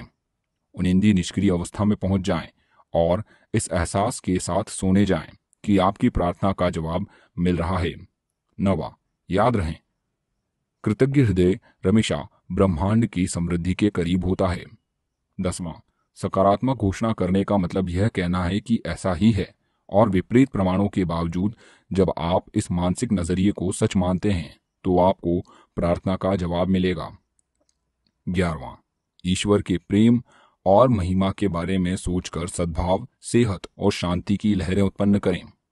बारवा आप जो आदेश देते हैं और जिसे सच महसूस करते हैं, वह सच हो जाएगा। सद्भाव, सेहत, शांति और समृद्धि के आदेश दें। सातवां अध्याय, अवचेतन का झुकाव जीवन की तरफ़ है। आपका नब्बे प्रतिशत से अधिक मानसिक जीवन अवचेतन है। अगर आप इस अद्भुत शक्ति का प्रयोग नहीं करेंगे तो आप बहुत संकीर्ण सीमाओं में जीने के लिए अभिशप्त होंगे। आपके अवचेतन की प्रक्रियाएँ हमेशा सृजनात्मक जीवन की तरफ़ होती है। आपका अवचेतन आपके शरीर का निर्माता है और इसके सभी महत्वपूर्ण कार्य करता है। यह हर दिन चौबीसों घंटे काम करता है और कभी नहीं सोता है। यह हमेशा आपकी मदद करने और आपको नुकसान से बचाने की कोशिश करता है। आपका अवचेतन मन असीम जीवन और असीम बुद्धिमता के संपर्क में रहता है। इसके आवेग और विचार का रुख हमेशा जीवन की ओर होता है। अधिक व्यापक व जीवन की महत्वाकांक्षाएँ, प्रेरणाएँ और सपने अवचेतन से ही उत्पन्न होते हैं। आपके सबसे गहन विश्वास के वे होते हैं, जिनके बारे में आप तर्क वितर नहीं कर सकते। क्योंकि वे आपके चेतन मन से नहीं, बल्कि आपके अवचेतन मन से आते हैं। आपका अवचेतन आपसे अंतर्ज्ञान आवेगों, अनुभूतियों, संकेतों, मनोकामनाओं और विचारों के ज़रिए बात करता है। यह हमेशा आपको प्रेरित करता है कि उठो, बाधाएँ पार करो, विकास करो, आगे बढ़ो, रोमांच हासिल करो और ज़्यादा ऊंचाई पर पहुंचो। प्रेम करने या दूसरों का जीवन बचाने की इच्छा आपके अवचेतन की गहराइयों से आती है। उदाहरण के लिए 18 अप्रैल 1906 को सैन फ्रांसिस्को के भीषण भूकंप आया, तथा अग्निकांड हुआ। जो बीमार और अपाहिज लोग लंबे समय से बिस्तर पर पड़े थे, वे भी संकट की इस घड़ी में उठ बैठे और उन्होंने बहादुरी तथा शक्ति के कई आश्चर्यजनक काम कर दिखाए।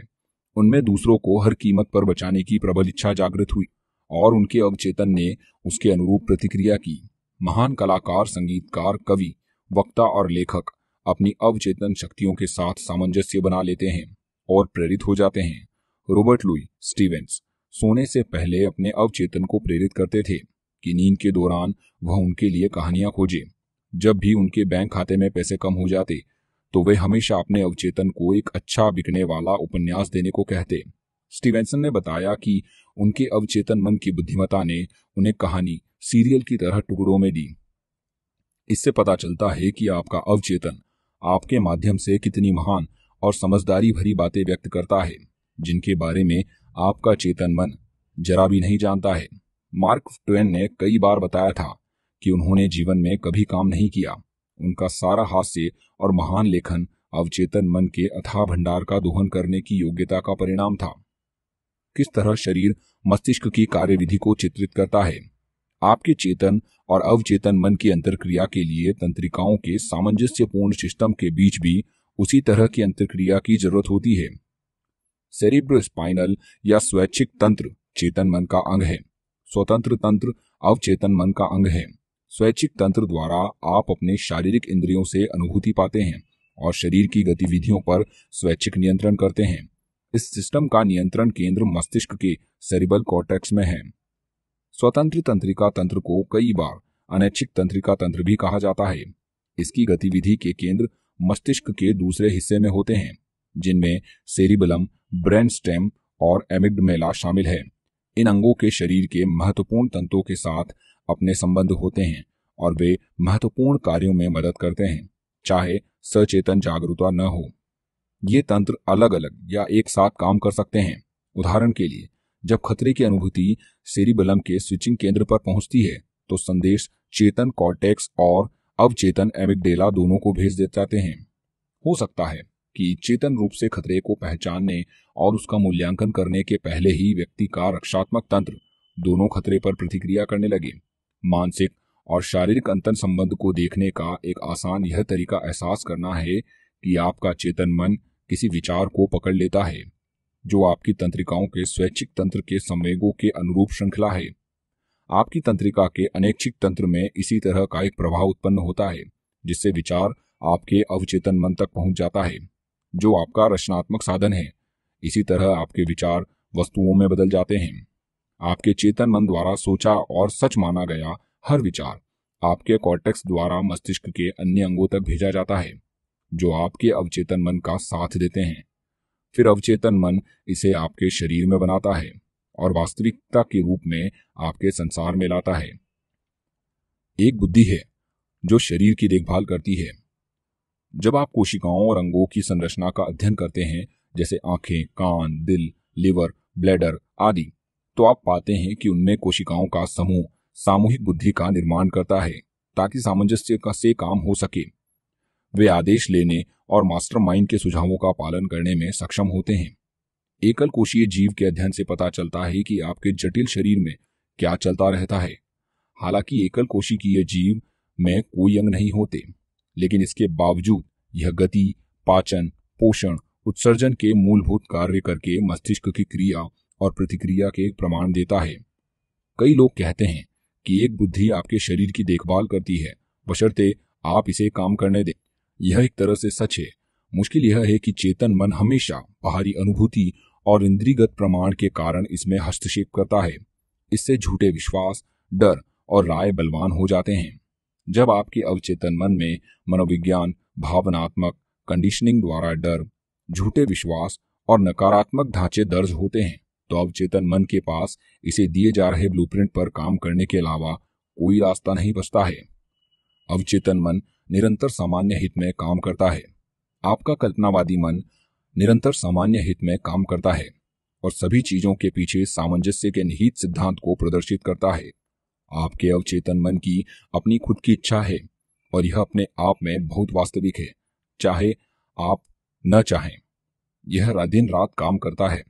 यह आपके शरीर का निर्माता है, लेकिन आप इसके निर्माण को देख, सुन या महसूस नहीं कर सकते। यह बिल्कुल खामोश प्रक्रिया है। आपके अवचेतन का अपना खुद का जीवन है, जो हमेशा सामंजस्य, सेहत और शांति की ओर होता है। इसके भीतर देवी मानदंड हैं। जो आपके माध्यम से हर समय अभिव्यक्ति चाहता है। इंसान सद्भाव के निहित सिद्धांत के साथ कैसे हस्तक्षेप करता है? सही या वैज्ञानिक तरीके से सोचने के लिए हमें सत्य मालूम होना चाहिए, जैसा प्राचीन कहावत कहती है। आपको सच्चाई जाननी होगी, सत्य आपको मुक्त कर देगा।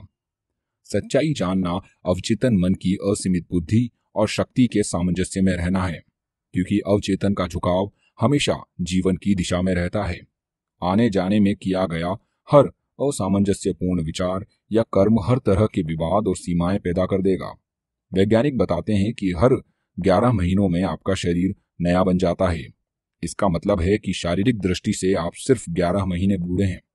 अगर आप डर, क्रोध, ईर्ष्या और दुर्भावना के विचारों से अपने शरीर में दोबारा दोष आने देते हैं तो इसमें आपके सिवा और कोई दोष नहीं है। आप अपने कुल विचारों का योग हैं। आप नकारात्मक विचार और छवियाँ रखने से इनकार कर सकते हैं। अंधेरे से छुटकारा पाने का तरीका रोशनी है। ठंड से उबरने का तरीका गर्मी है। नकारात्मक सोच से उबरने का तरीका सकारात्मक विचार रखना है। अच्छाई की घोषणा करें। बुराई अपने आप गायब हो जाएगी। सेहतमंद, जीवंत और शक्तिशाली बनना स्वाभाविक क्यों है? बीमार होना अस्वाभाविक क्यों है? औसत बच्चा दुनिया में बिल्कुल स्वस्थ आता है। और इसके सभी अंग सटीकता से काम करते हैं। यह सामान्य अवस्था में हमें स्वस्थ, जीवंत और शक्तिशाली होना चाहिए। आत्मरक्षा की अनुभूति मानव स्वभाव की सबसे प्रबल अनुभूति है। यह आपके स्वभाव में निहित, सबसे शक्तिशाली, हमेशा मौजूद और लगातार काम करने वाली सच्चाई है। जब आपके विचार और विश्वास हमेशा आपकी रक्षा करने वाले जीवन सिद्धांत के सामंजस्य में होंगे तो वे अधिक क्षमता से काम करेंगे। इससे यह निष्कर्ष निकलता है कि असामान्य परिस्थितियों के बजाय सामान्य परिस्थितियाँ ज़्यादा आसानी और निश्चितता से वापस पाई जा सकती है। बीमार होना असामान्य है। बीमारी का अर्थ है कि आप जीवन की धारा के विपरीत जा रहे हैं और नकारात्मक सोच रहे हैं। जीवन का नियम, विकास का नियम है। पूरी प्रकृति खामोशी से लगातार धीरे धीरे विकास करके इस नियम के प्रमाण देती है। जहाँ भी विकास और अभिव्यक्ति है, वहाँ जीवन है। जहाँ जीवन है, वहाँ सामंजस्य है और जहाँ सामंजस्य है, वहाँ आदर्श स्वास्थ्य है। अगर आपकी सोच आपके अवचेतन मन के रचनात्मक सिद्धांत के सामंजस्य में है तो आप सामंजस्य के निहित सिद्धांत का लाभ उठा रहे हैं। अगर आपके विचार सामंजस्य के सिद्धांत के अनुरूप नहीं है तो यह आपसे चिपक जाएँगे, आपको सताएँगे, आपको चिंतित करेंगे और अंततः बीमारी उत्पन्न कर देंगे। अगर इसके बाद भी इन विचारों को नहीं छोड़ा गया तो शायद मृत्यु भी उत्पन्न कर देंगे। बीमारी के उपचार में आपको अपने पूरे तंत्र में अवचेतन मन की महत्वपूर्ण शक्तियों का प्रवाह और फैलाव बढ़ाना होगा। डर, चिंता, तनाव, ईर्ष्या, नफरत और अन्य हर विनाशक विचार को हटाकर ऐसा किया जा सकता है। ये विचार आपकी तंत्रिकाओं और ग्रंथियों को कमज़ोर तथा नष्ट कर देते हैं। बॉडी टिश्यू को भी जो सारे अवशिष्ट पदार्थ के उत्सर्जन को नियंत्रित करता है और शरीर को साफ़ रखता है।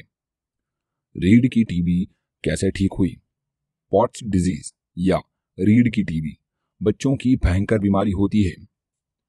इंडियाना के इंडियाना पॉलिस में रहने वाले फ्रेडरिक एंड्रूस को यह बीमारी हो गई। इससे वह अपाहिज हो गया। वह पैरों से नहीं चल सकता था और उसे हाथों तथा घुटनों के बल चलना पड़ता था। डॉक्टर ने इस बीमारी को लाइलाज घोषित कर दिया। एंड्रूस को यह फैसला मंजूर नहीं था। वह प्रार्थना करने लगा। उसने अपनी सकारात्मक घोषणा तैयार की। इसे उसने कई दिन में कई बार दोहराया और मानसिक रूप से आवश्यक गुणों को ग्रहण किया। मैं पूर्ण, आदर्श, सशक्त, शक्तिशाली, प्रेमपूर्ण, सामंजस्यपूर्ण और खुश हूँ। सोते जागते यही प्रार्थना उसके होठों पर रहती थी। वह दूसरों के लिए भी प्रार्थना करता था। और प्रेम तथा सेहत के विचार भेजता था। मानसिक नज़रिया और प्रार्थना का यह तरीका कई गुना होकर उसके पास लौटा। आस्था और लगन से उसे काफ़ी फ़ायदा हुआ। मन में डर, क्रोध, ईर्ष्या या जलन के विचार आने पर वह तत्काल सकारात्मक घोषणा करने लगता था। उसके अवचेतन में उसकी आदतन सोच की प्रकृति के अनुरूप प्रतिक्रिया की। वह सशक्त और स्वस्थ बन गया। बाइबल ने इस कथन का यही अर्थ है अपने रास्ते जाओ। तुम्हारी आस्था ने तुम्हें पूर्ण बना दिया है। अवचेतन शक्तियों में आस्था आपका इलाज करती है। एक युवक, अवचेतन मन की उपचारक शक्ति पर मेरे भाषण सुनने आता था। उसकी आँखों में गंभीर समस्या थी। नेत्र विशेषज्ञ ने उससे कहा कि उसे एक नाजुक और खतरनाक ऑपरेशन कराना होगा। प्रार्थना के वैज्ञानिक आधार के बारे में सीखने के इस पर युवक ने कहा, मेरे अवचेतन ने मेरी आँखें बनाई है। इसलिए यह मेरा उपचार कर सकता है। हर रात को सोने से पहले वह निष्क्रिय ध्यान की अवस्था, यानी नींद जैसी अवस्था में जाता था। उसका ध्यान नेत्र विशेषज्ञ पर केंद्रित था। उसने कल्पना में डॉक्टर को साफ़ देखा और यह कहते सुना, चमत्कार हो गया है। उसने हर रात सोने से पहले पाँच मिनट तक यह बार बार सुना। तीन सप्ताह बाद वह एक बार फिर से नेत्र विशेषज्ञ के पास गया, जिसने उसकी आँखों की जाँच की। डॉक्टर को जब यकीन नहीं हुआ तो उसने उसकी दोबारा जाँच की और हैरानी से बोला, यह तो चमत्कार हो गया। क्या हुआ था? इस व्यक्ति ने नेत्र विशेषज्ञ के काल्पनिक शब्दों के माध्यम से अपने अवचेतन मन पर छाप छोड़ी थी, ताकि इसे विश्वास दिलाया जा सके और विचार पहुँचाया जा सके। दोहराव अवस्था और उम्मीद से उसने अपने अवचेतन मन में यह विचार भरा। उसके अवचेतन मन ने उसकी आँखें ठीक कर दी। अवचेतन मन में आँख की सामान्य, स्वस्थ अवस्था का आदर्श ब्लूप्रिंट था। जब यह आँख को स्वस्थ करने के विचार से भर गया तो तत्काल आँख का उपचार करने लगा। यह उदाहरण इस बात का प्रमाण है कि अवचेतन की उपचारक शक्ति में आस्था आपका इलाज कर सकती है। समीक्षा के बिंदु। पहला, आपका अवचेतन आपके शरीर का निर्माता है और हर दिन 24 घंटे काम करता है। आप नकारात्मक सोच द्वारा इसके जीवनदायी ब्लूप्रिंट में हस्तक्षेप कर सकते हैं। दूसरा, सोने से पहले अपने अवचेतन को किसी समस्या का जवाब खोजने का काम सौंपे। यह उसे कर देगा। तीसरा, अपने विचारों पर नज़र रखें। जिस विचार को सच मान लिया जाता है, उसे आपका चेतन कॉर्टेक्स अवचेतन मस्तिष्क तंत्र तक संकेत भेज देता है। और फिर, यह वास्तविकता बनकर आपकी दुनिया में प्रकट हो जाता है। चौथा जान लें कि आप अपने अवचेतन मन को नया ब्लूप्रिंट देकर खुद को दोबारा बना सकते हैं। पांचवा, आपके अवचेतन का झुकाव हमेशा जीवन की तरफ़ होता है। अपने अवचेतन मन में वही आधार वाक्य भरें जिसे आप सच करना चाहते हैं। आपका अवचेतन हमेशा आपके आदतन, मानसिक, विचार तंत्र के अनुरूप परिणाम देगा। छठा, आपका शरीर हर ग्यारह महीने में नया बन जाता है। अपने दिमाग, अपने विचार बदलकर अपने शरीर को बदल लें। सातवां, स्वस्थ होना सामान्य है, बीमार होना असामान्य है, यही सामंजस्य के निहित सिद्धांत हैं। आठवां, ईर्ष्या, डर, चिंता और तनाव आपकी तंत्रिकाओं तथा ग्रंथियों को कम या नष्ट कर देते हैं, जिससे सभी तरह की मानसिक और शारीरिक बीमारियाँ उत्पन्न होती हैं। नवा, आप चेतन रूप से जिसमें विश्वास करते हैं और जिसे सच मानते हैं, वह आपके मस्तिष्क, शरीर और परिस्थितियों में प्रकट हो जाएगा। अच्छाई की घोषणा करें और जीवन को खुशी पाएँ। आठवां अध्याय। मन चाहे परिणाम कैसे पाएँ?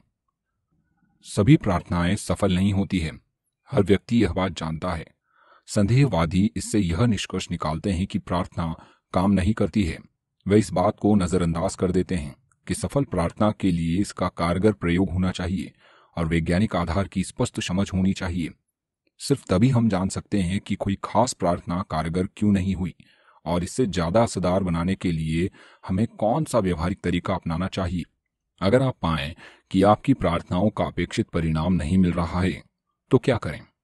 आपको इस असफलता के प्रमुख कारणों को समझ लेना चाहिए। ये हैं विश्वास की कमी और बहुत ज़्यादा कोशिश।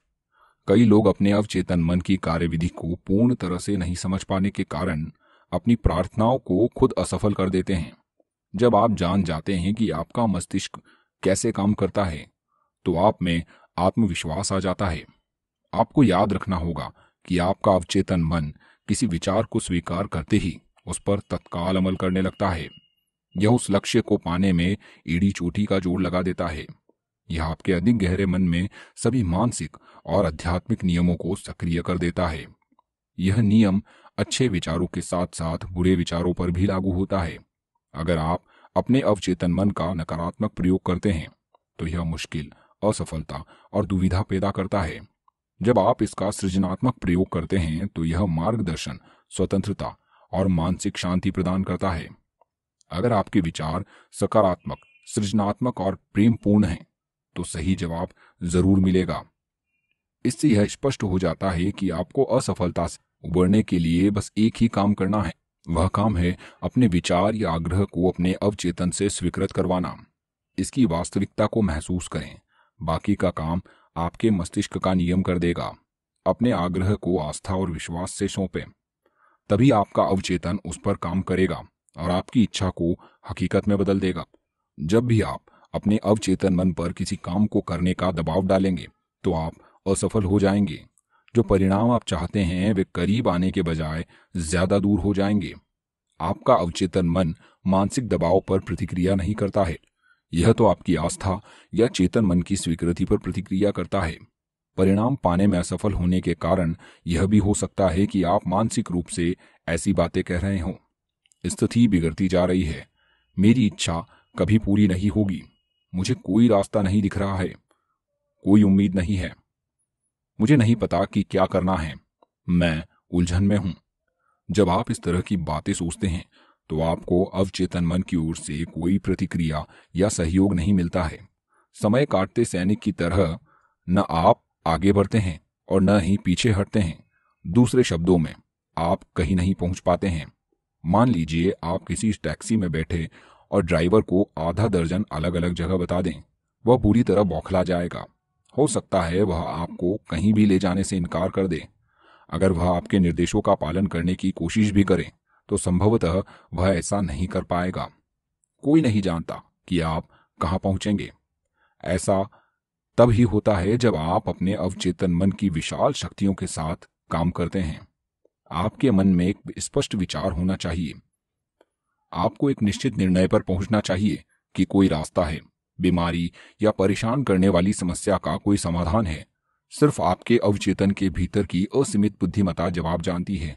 जब आप अपने चेतन मन में इस स्पष्ट निष्कर्ष पर पहुँचते हैं तो आपका मस्तिष्क फैसला कर लेता है और आपको अपने विश्वास के अनुरूप फल मिलता है। आराम से काम अच्छी तरह होता है। एक व्यक्ति की अंगीठी कड़ाके की सर्दी में खराब हो गई। उसने मैकेनिक को बुलाया, जो फ़ौरन आया। उसने आधे घंटे में अंगीठी ठीक कर दी और मालिक को 200 डॉलर का बिल थमा दिया। क्या? बिल देखकर मालिक गुस्से से चिल्लाया। इसमें तुम्हें जरा भी समय नहीं लगा। तुमने क्या किया है? बस एक छोटा सा पुर्जा ही तो बदला है। इस छोटे से पुर्जों के 200 डॉलर मांगने से तुम्हारी हिम्मत कैसे हुई? इसकी कीमत तो पाँच डॉलर की भी नहीं होगी। मैकेनिक कंधे उचकाकर बोला, मैंने उस टूटे पुर्जे के तो सिर्फ़ आपसे दो डॉलर ही लिए हैं। मैंने इसे इतने में ही खरीदा था। मकान मालिक ने उसके चेहरे के सामने बिल लहराया। दो डॉलर। वह चिल्लाया। इसमें तो दो सौ डॉलर लिखे हैं। सही है, मैकेनिक बोला। बाकी एक सौ अंठानवे डॉलर तो यह जानने के हैं कि गड़बड़ी क्या थी और उसे कैसे ठीक किया जाए। आपका अवचेतन मन, मास्टर मैकेनिक है। वह सबसे समझदार है। वह आपके शरीर के किसी भी अंग को ठीक करने के रास्ते और तरीके जानता है। सेहत का आदेश दें। आपका अवचेतन मन सेहत का निर्माण कर देगा। लेकिन इस काम को आराम से करना ज़रूरी है। आराम से अच्छी तरह होता है। विस्तृत विवरण और साधनों के बारे में सोच सोचकर हताश होने की ज़रूरत नहीं है। बस इतना जान लें कि अंतिम परिणाम क्या होगा। अपनी समस्या के सुखद समाधान को महसूस करें। चाहे यह सेहत, पैसे या लोक व्यवहार से संबंधित हो। याद रखें कि गंभीर बीमारी से ठीक होने पर आपको कैसा महसूस हुआ था। यह कभी ना भूलें कि आपकी भावना अवचेतन प्रदर्शन का पैमाना है। आपको नए विचार को साकार रूप में पूरी निष्ठा से महसूस करना है। भविष्य में होने वाली घटना की तरह नहीं, बल्कि इस तरह सोचें जैसे यह दरअसल इसी समय हो रही हो। इच्छा शक्ति नहीं, कल्पना शक्ति का इस्तेमाल करें। अवचेतन मन की शक्तियों की मदद लेना किसी बाधा के खिलाफ संघर्ष लड़ने की तरह नहीं है। ज़्यादा कड़ी मेहनत करने से ज़्यादा अच्छे परिणाम नहीं मिलते हैं। इच्छा शक्ति का जरा भी प्रयोग न करें। इसके बजाय इसके कारण मिलने वाले परिणाम और स्वतंत्रता की साकार तस्वीर देखें। आप पाएँगे कि आपकी बुद्धि टांग अड़ाने, समस्या को सुलझाने के तरीके खोजने और आपके अवचेतन पर उन तरीकों को थोपने की कोशिश करेगी। इसका प्रतिरोध करें। समस्या सुलझाने के अपनी बौद्धिक प्रयासों को दूर हटा दें। बच्चे जैसी चमत्कार करने वाली, सरल आस्था रखने में जुटे रहें। यह तस्वीर देखें कि आपको कोई रोग या समस्या नहीं है। अपनी मन चाही स्थिति की भावनात्मक संतुष्टि की कल्पना करें। इस प्रक्रिया से सारी जटिलताएँ हटा दें। सरल तरीका सबसे अच्छा होता है। अनुशासित कल्पना कैसे चमत्कार करती है? अपने अवचेतन मन से प्रतिक्रिया पाने का एक अद्भुत तरीका, अनुशासित या वैज्ञानिक कल्पना शक्ति का प्रयोग करना है। जैसा हम देख चुके हैं, अवचेतन मन का शरीर का आर्किटेक्टर और निर्माता है। यह आपकी सभी महत्वपूर्ण कार्यप्रणालियों को नियंत्रित करता है। बाइबल कहती है, आप प्रार्थना में जो भी मांगेंगे, विश्वास करने पर आपको मिलेगा। विश्वास करना किसी चीज़ को सच मानना है। इसके होने की उम्मीद में जीना है। जब आप इस अवस्था में रहते हैं तो आपकी प्रार्थना पूरी हो जाएगी। प्रार्थना में सफलता पाने के तीन कदम। सफल प्रार्थना के लिए तीन मूलभूत कदमों की ज़रूरत होती है। पहला, समस्या को स्वीकार करें या माने। दूसरा, समस्या को अवचेतन मन के हवाले कर दें। सिर्फ़ वही इसे सुलझाने का सबसे प्रभावी समाधान जानता है। तीसरा गहन विश्वास की शांत अनुभूति रखें कि यह काम हो चुका है। झिझक और शंकाएँ आपकी प्रार्थना को सिर्फ़ कमज़ोर करती हैं। खुद से यह न कहें, काश मैं ठीक हो जाता या मुझे उम्मीद है यह कारगर होगा। जो काम होना है, उसके बारे में आपकी भावना से ही परिणाम तय होता है। मान लें कि आपको सामंजस्य अवश्य मिलेगा। मान लें कि आपको सेहत अवश्य मिलेगी। अवचेतन मन की असीमित उपचारक शक्ति का ज़रिया बनकर आप प्रभावी बनते हैं।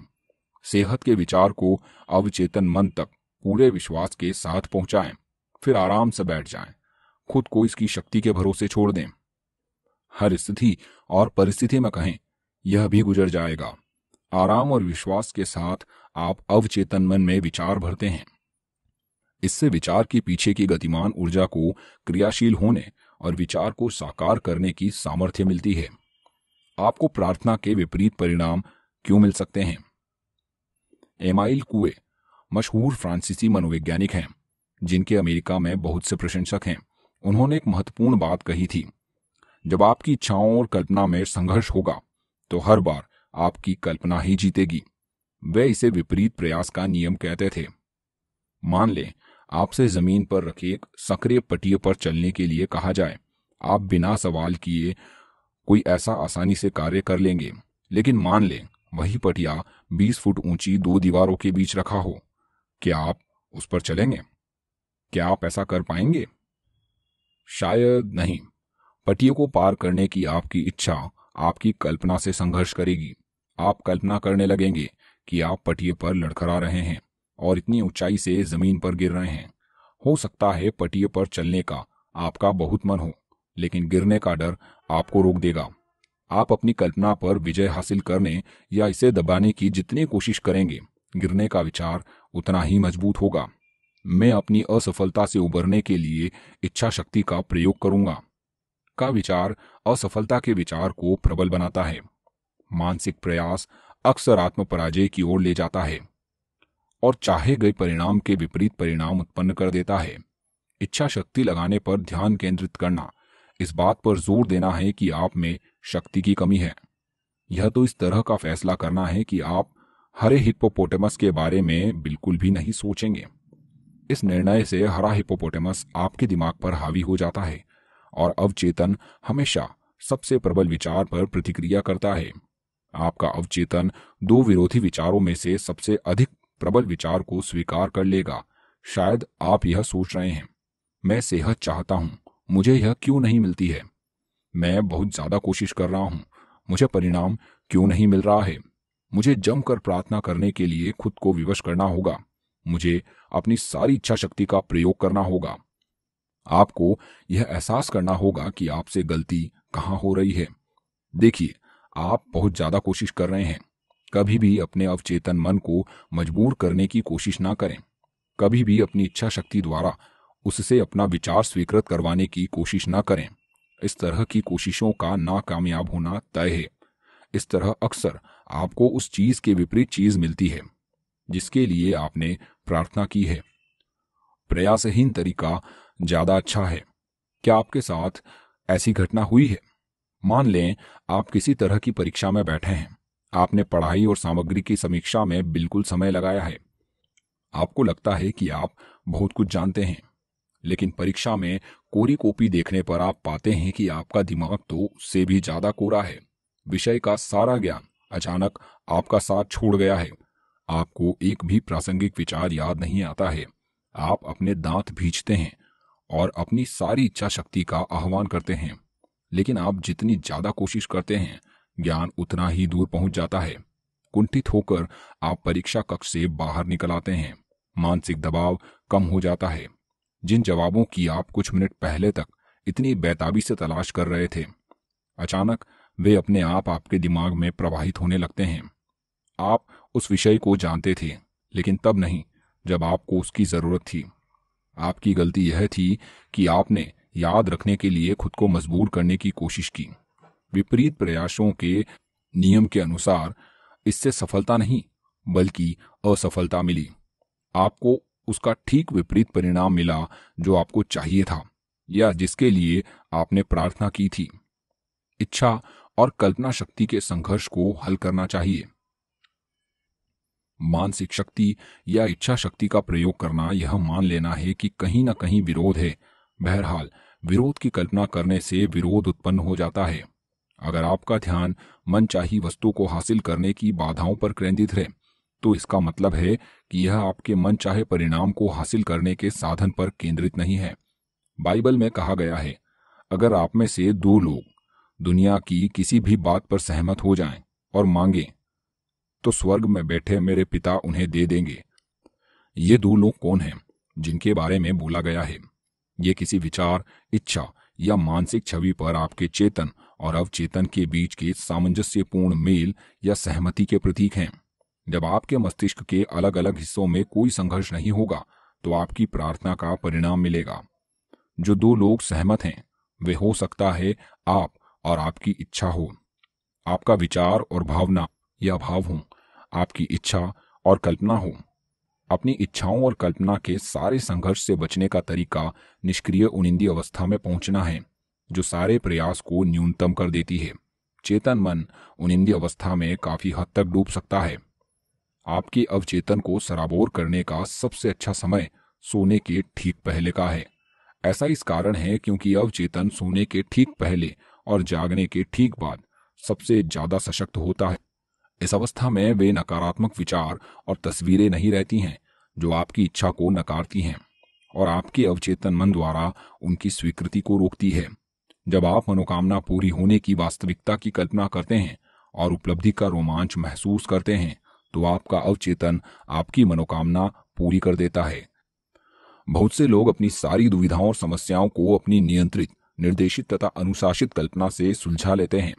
वे जानते हैं कि वे जो कल्पना करते हैं और जिसे सच महसूस करते हैं, वह होगा और अवश्य होगा। शारा जी नामक एक युवा महिला बड़ी हताशा से मेरे पास आई। वह एक लंबे, जटिल मुकदमे में उलझी थी, जिसकी तारीखें बढ़ती जा रही थी, और कोई अंत नज़र नहीं आ रहा था। उसकी सबसे गहरी इच्छा मुकदमे का सामंजस्यपूर्ण समाधान थी। बहरहाल, उसकी मानसिक तस्वीरें असफलता, हानि, दिवालियेपन और गरीबी से भरी थी। परिणाम वैसा ही मिला, जैसी कुएँ ने भविष्यवाणी की थी। उसकी कल्पना शक्ति उसकी इच्छा पर हावी हो गई, और मुकदमा टलता रहा। मेरे सुझाव पर शारा हर रात सोते समय उन, खुद को उनिंदी निष्क्रिय अवस्था में ले जाती थी और अपनी समस्या के सबसे अच्छे संभावित अंत की कल्पना करने लगती थी। वह इसकी भरसक कोशिश करती रही। वह जानती थी कि उसके दिमाग की छवि अंततः उसके दिल की इच्छा के अनुरूप बन जाएगी। निष्क्रिय होने पर वह बहुत चित्रात्मक तरीके से यह कल्पना करने लगी थी कि मुकदमा खत्म होने के बाद वह अपने वकील से मिल रही है। परिणाम के बारे में सवाल पूछ रही थी। और उसके स्पष्टीकरण सुन रही थी। उसने सुना कि वकील उसे बार बार कह रहा था, मुकदमे का कोर्ट से बाहर समझौता हो गया है। यह बिल्कुल उचित समाधान है। दिन में जब डर के विचार उसके दिमाग में आते तो शारा वकील से मुलाकात का मानसिक वीडियो टेप चला देती थी, जिसमें शब्द और हाव भाव भी थे। उसने वकील की मुस्कुराहट, उसके अंदाज, उसकी आवाज़, उसके विशिष्ट शब्दों की कल्पना की। उसने यह इतनी ज़्यादा बार और इतनी निष्ठा से किया कि डर दिमाग में घुसने से पहले ही खत्म हो गया। कुछ सप्ताह बाद उसके वकील ने उसे फ़ोन किया। उसने वही कहा जिसकी वह कल्पना कर रही थी और उसे सच मान रही थी। मुकदमे में समझौता हो गया और वह जानती थी कि समझौता उचित ही होगा। यही भजनकार का मतलब था जब उसने लिखा था, मेरे शब्द और मेरे हृदय का मनन आप स्वीकार करें। हे ईश्वर मेरी शक्ति और मेरे उद्धारक। मेरे शब्द, अर्थात आपके विचार और मानसिक छवियाँ, मेरे हृदय का मनन, अर्थात आपकी भावना, प्रकृति या भाव। हे ईश्वर, यानी कि आपके अवचेतन मन का नियम, मेरी शक्ति और मेरे उद्धारक, यानी कि आपके अवचेतन मन की शक्ति और बुद्धिमता जो बीमारी, बंधन तथा दुख से आपका उद्धार कर सकती है। याद रखने लायक विचार। पहला, मानसिक दबाव या बहुत ज़्यादा कोशिश, तनाव और डर का सूचक है। ये प्रार्थना के जवाब को रोकते हैं।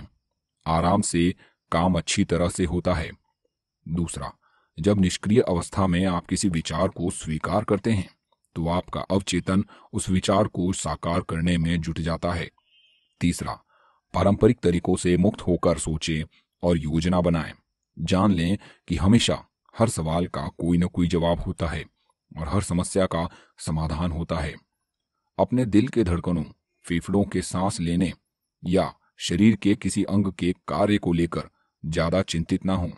अपने अवचेतन पर पूरा भरोसा करें और बार बार दावा करें कि सही काम हो रहा है। पांचवा, सेहत की भावना से सेहत उत्पन्न होती है। दौलत की भावना से दौलत उत्पन्न होती है।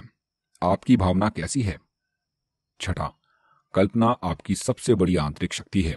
अच्छी और सुंदर चीज़ों से कल्पना करें। आप वैसे ही हैं, जैसा आप खुद के बारे में कल्पना करते हैं। सातवां। उनिंदी अवस्था में चेतन और अवचेतन मन के बीच संघर्ष नहीं होता। सोने से पहले अपनी इच्छा के पूर्ण होने की बार बार कल्पना करें और शांति से सोएँ और खुशी से जागें। अध्याय नौ। दौलत पाने के लिए अवचेतन की शक्ति का प्रयोग कैसे करें? अगर आप आर्थिक संकट में हैं तंगहाली में दिन काट रहे हैं तो इसका मतलब यह है कि आपने अपने अवचेतन मन को यह विश्वास नहीं दिलाया कि आप हमेशा समृद्धि में रहेंगे और बचत भी करेंगे। आप ऐसे लोगों को जानते होंगे, जो सिर्फ़ हफ़्ते में कुछ घंटे काम करते हैं, लेकिन बहुत सारे पैसे कमाते हैं। वे ज़्यादा मेहनत नहीं करते हैं।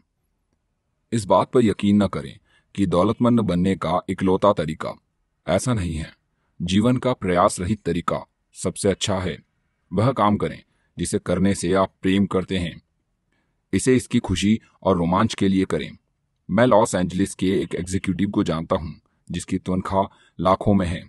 पिछले साल उसने क्रूज से नौ महीने तक दुनिया की सैर की।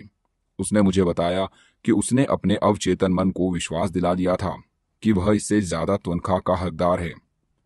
उसने बताया कि उसकी कंपनी में ऐसे लोग हैं जिनकी तनख्वाह उसकी तुलना में दस प्रतिशत है। हालाँकि वे बिज़नेस के बारे में ज़्यादा सोचते हैं और शायद बेहतर प्रबंध भी कर सकते हैं। बहरहाल, उनमें न तो महत्वाकांक्षा है और न ही रचनात्मक विचार। अपने अवचेतन मन के आश्चर्यों में उनकी रुचि नहीं है। दौलत मस्तिष्क में रहती है। दौलत व्यक्ति के अवचेतन के विश्वास से ज़्यादा और कुछ नहीं है। यह आप कहकर लखपति नहीं बन सकते। मैं लखपति हूँ, मैं लखपति हूँ। अपनी मानसिकता में दौलत और समृद्धि के विचार रखकर आप दौलत की चेतना विकसित करते हैं। समर्थन के अदृश्य साधन। अधिकांश लोगों के साथ दिक्कत यह है कि उनके पास अदृश्य सहारे नहीं होते हैं। जब बिज़नेस कमज़ोर हो जाता है, स्टॉक मार्केट गिरने लगता है या उनके निवेशों में नुकसान होता है तो वे बेबस नज़र आते हैं। इनकी असुरक्षा का कारण यह है कि वे अवचेतन मन का दोहन करने की तरीका नहीं जानते हैं। वे ये नहीं जानते कि उनके भीतर कभी न खत्म होने वाला भंडार भरा है।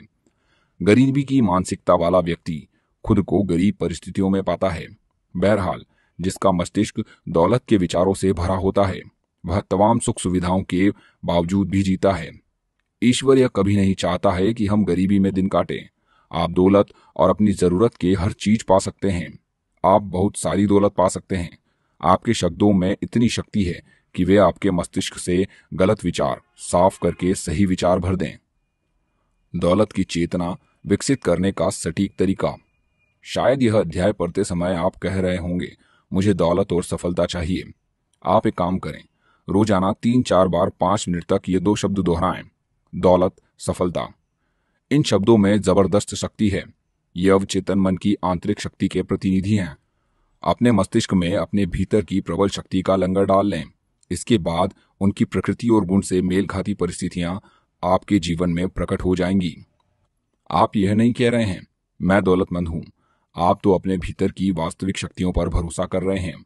दौलत कहने पर आपके मस्तिष्क में कोई दुविधा नहीं होगी।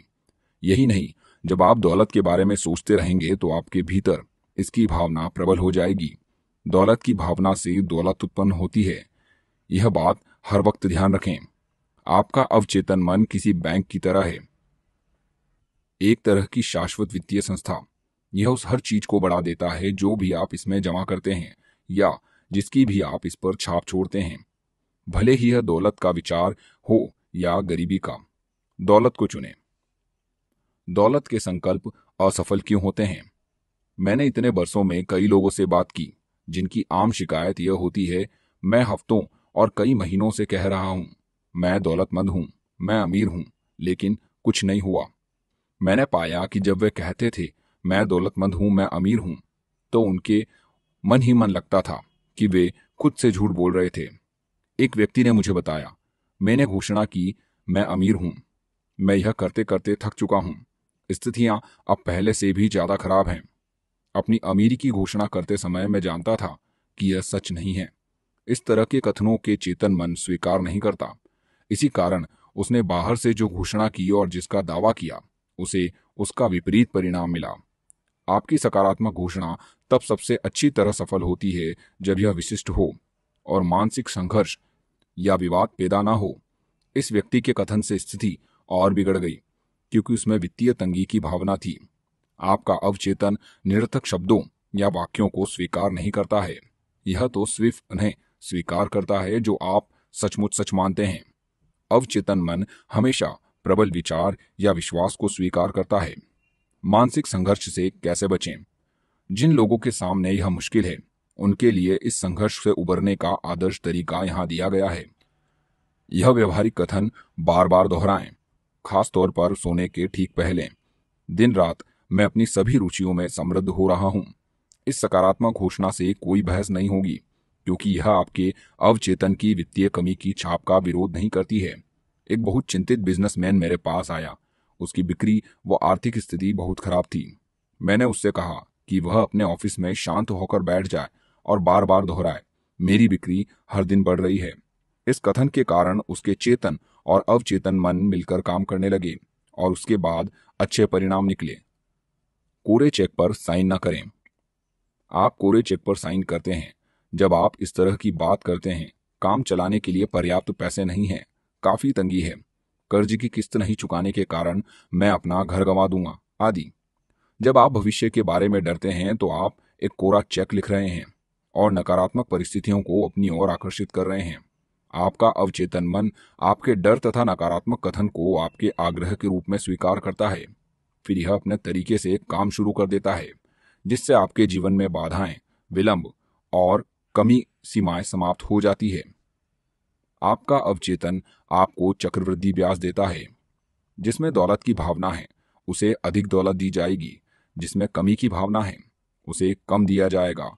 आप जिस चीज़ को अपने अवचेतन मन में जमा करते हैं, यह उस चीज़ को कई गुना कर देता है और बढ़ा देता है।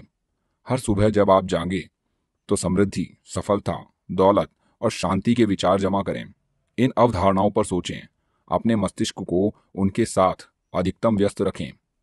ये सृजनात्मक विचार जमा राशि की तरह आपके अवचेतन मन में पहुँच जाएँगे और प्रचुरता तथा समृद्धि ले आएँगे। कुछ क्यों नहीं हुआ? आप शायद कह रहे होंगे, ओह, मैंने यह किया था, लेकिन कुछ नहीं हुआ। आपको परिणाम इसलिए नहीं मिले क्योंकि शायद दस मिनट बाद ही आपका डर और विचार में डूब गए थे, और आपने उस अच्छे विचार को नकार दिया था, जिसकी आपने अभी घोषणा की थी।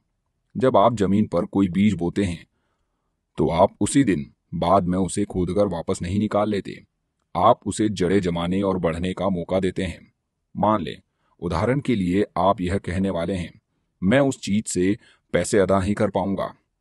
इसमें पहले कि आप मैं से आगे बढ़ें। वहीं रुक जाएँ। इसके बदलकर सृजनात्मक कर दें, जैसे मैं सभी तरीकों से समृद्ध बनूँगा। दौलत का सच्चा स्रोत। आपके अवचेतन मन में विचारों की कभी कमी नहीं होती है। इसके भीतर असंख्य विचार हैं, जो आपके चेतन मन में प्रवाहित होने और असंख्य तरीकों से आपकी जेब में पैसे भरने के लिए तैयार हैं। यह प्रक्रिया आपके दिमाग में चलती रहेगी। भले ही शेयर बाज़ार ऊपर जाए या नीचे, भले ही पॉड स्टर्लिंग या डॉलर का मूल्य कम या ज़्यादा हो जाए दरअसल आपकी दौलत कभी बॉन्ड, स्टॉक या बैंक के पैसे पर निर्भर नहीं रहती है। यह तो सिर्फ़ प्रतीक है। ज़ाहिर है, आवश्यक और उपयोगी भी सिर्फ़ प्रतीक। मैं जिस बात पर ज़ोर देना चाहता हूँ, वह यह है कि अगर आप अपने अवचेतन मन को विश्वास दिला दें कि दौलत आपकी है और यह आपके जीवन में हमेशा प्रवाहित हो रही है तो हमेशा और अंततः यह आपको मिल जाएगी। चाहे यह कैसा ही रूप ले। तंगी में दिन गुजारने के असली कारण। कई लोग यह दावा करते हैं कि वे तंगी में दिन गुजार रहे हैं और महीने का खर्च चलाने के लिए संघर्ष कर रहे हैं। उन्हें अपनी खर्च पूरा करने के लिए बहुत जूझना पड़ता है। कि आपने कभी उनकी बातचीत सुनी? वे लगातार उन लोगों की निंदा करते हैं जो जीवन में सफल हुए हैं और जिन्होंने अपने सिर भीड़ से ऊपर उठाए हैं। कई मामलों में उनकी बातचीत इस तरह से चलती है, ओह, वह आदमी बदमाश है, वह क्रूर है, वह तो धूर्त है। इसलिए उसके पास पैसे की कमी रहती है। वे लगातार उसी चीज़ की निंदा करते हैं, जिसे वे चाहते हैं। वे अपने अधिक दौलतमंद सहयोगियों की आलोचना इसलिए करते हैं, क्योंकि वे उनकी समृद्धि से जलते हैं। दौलत को दूर भगाने का सबसे तीव्र तरीका अपने से ज़्यादा दौलतमंद लोगों की आलोचना और निंदा करना है। दौलत का एक आम अवरोध। एक भावना बहुत से लोगों के जीवन में दौलत की कमी का कारण बनती है। अधिकांश लोग इसे मुश्किल तरीके से सीखते हैं। यह भावना ईर्ष्या है। उदाहरण के लिए, अगर आप अपने किसी प्रतिस्पर्धी को बैंक में बहुत सारे पैसे जमा करते देखें, जबकि आपके पास जमा करने के लिए छोटी राशि है तो क्या इससे आपको जलन होती है? इस भाव से उबरने का तरीका खुद से यह कहना है, कितनी बढ़िया बात है। मुझे इस व्यक्ति की समृद्धि पर खुशी होती है। मैं चाहता हूँ कि वह और अधिक दौलत कमाए। ईर्ष्या के विचार विध्वंसक होते हैं, क्योंकि वे आपको नकारात्मक स्थिति में रखते हैं। इसलिए दौलत आपके पास आने के बजाय आपसे दूर भाग जाती है। अगर आप किसी दूसरे की दौलत या समृद्धि से चिड़ महसूस करें तो तत्काल दावा करें कि आप सचमुच उसे ज़्यादा दौलतमंद देखना चाहते हैं। हर संभव तरीके से यह आपके मस्तिष्क के नकारात्मक विचारों को हटा देगा और अवचेतन मन के नियम द्वारा आपको अधिक दौलत प्रदान कर देगा। दौलत के बड़े मानसिक अवरोध को हटाना। अगर आप इस बारे में चिंता या आलोचना कर रहे हैं कि कोई अपना पैसा बेईमानी से कमा रहा है तो उसके बारे में चिंता करना छोड़ दें। अगर आपकी शंकाएँ सही हैं तो आप जानते हैं कि इस तरह का व्यक्ति मस्तिष्क के नियम का नकारात्मक प्रयोग कर रहा है। समय के साथ मस्तिष्क का नियम उसे परिणाम देगा। बहरहाल, सावधान रहें, उसकी आलोचना न करें। इसके कारण पहले ही बताए जा चुके हैं। याद रखें दौलत की राह में अवरोध आपके अपने मस्तिष्क में है। आप जब उस मानसिक अवरोध को नष्ट कर सकते हैं, इससे आप हर एक के साथ अच्छे मानसिक संबंध भी बना सकते हैं। सोएँ और अमीर बने। रात को सोने जाते समय इस तकनीक का अभ्यास करें। दौलत, शब्द को शांति, सरलता और भावना से दोहराएँ। ऐसा बार बार करें, किसी लोरी की तरह। दौलत शब्द बोलते हुए सोएँ। आप परिणाम देखकर हैरान रह जाएँगे। दौलत बड़े हिमखंडों की तरह आपकी और प्रभावित होगी। यह आपके अवचेतन मन की जादुई शक्ति की एक और मिसाल है। अपने मन की शक्तियों का लाभ लें। पहला, सरलता से दौलतमंद बनने का फैसला करें। अपने अवचेतन मन की अचूक सहायता से अमीर बने। दूसरा, खून पसीने और कड़ी मेहनत से दौलत इकट्ठी करने की कोशिश करना। कब्र में सबसे अमीर आदमी बनना है। आपको कड़ी मेहनत करने की ज़रूरत नहीं है। तीसरा, दौलत अवचेतन विश्वास है। अपनी मानसिकता में दौलत का विचार बनाएँ। चौथा, ज़्यादातर लोगों के साथ दिक्कत यह है कि उनके पास अदृश्य सहारे नहीं हैं।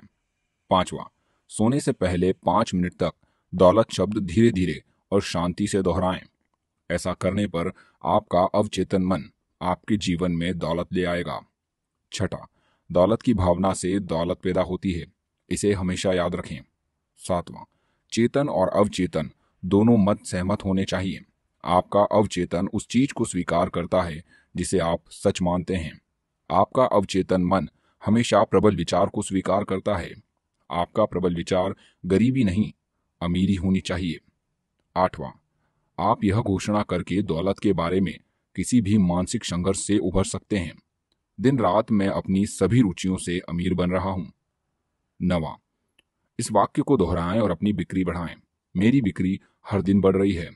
मैं हर दिन तरक्की कर रहा हूँ और हर दिन ज़्यादा दौलतमंद बन रहा हूँ। दसवां कोरे चेक लिखना बंद कर दें। जैसे, काम चलाने के लिए पर्याप्त पैसे नहीं है या बड़ी तंगी है, आदि।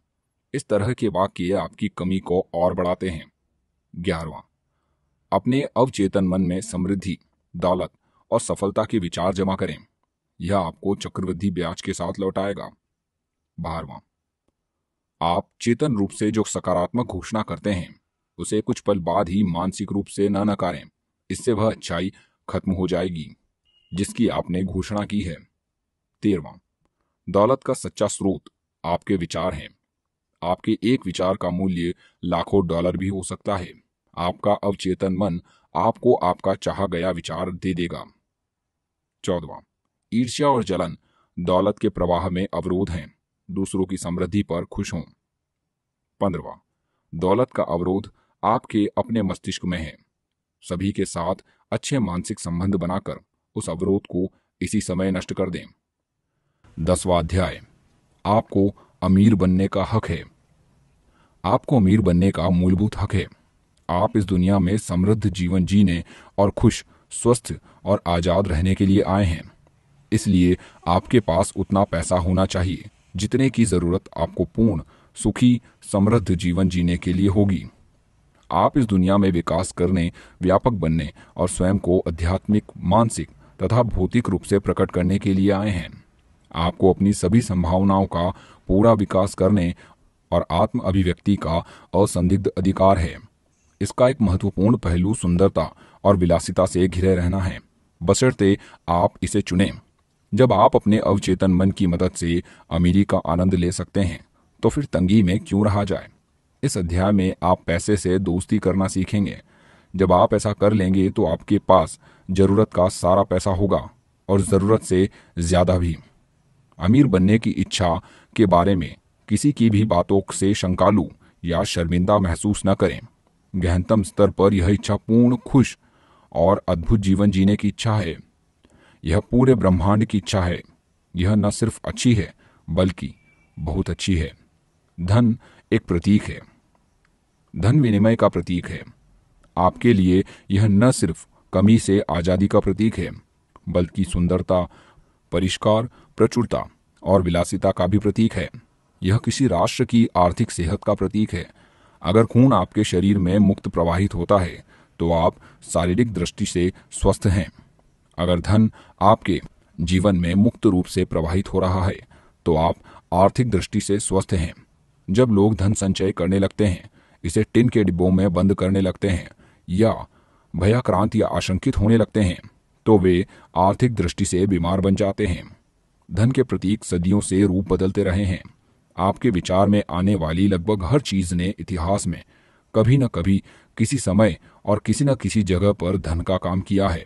ज़ाहिर है, सोना और चांदी का धन का ही रूप थे, लेकिन नमक, मन की और सस्ती चीज़ें भी थी।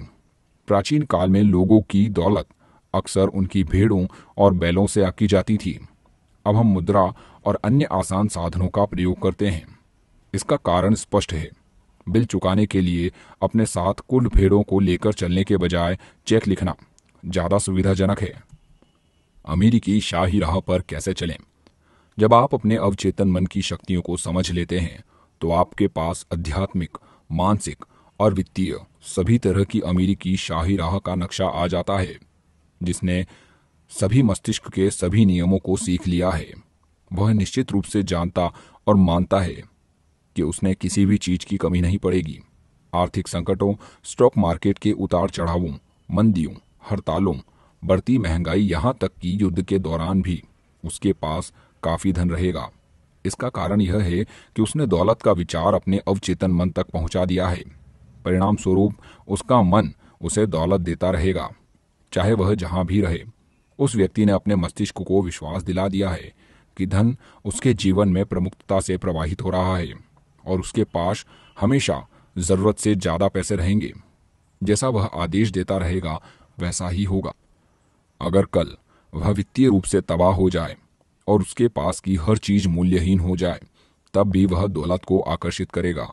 वह संकट से आराम से उबर जाएगा। यही नहीं, वह उसे लाभ भी उठा लेगा। आपके पास अधिक पैसे क्यों नहीं है? यह अध्याय पढ़ते समय शायद आप सोच रहे होंगे, मैं ज़्यादा आमदनी का हकदार हूँ। मेरी राय में यह अधिकांश लोगों के बारे में सही नहीं है।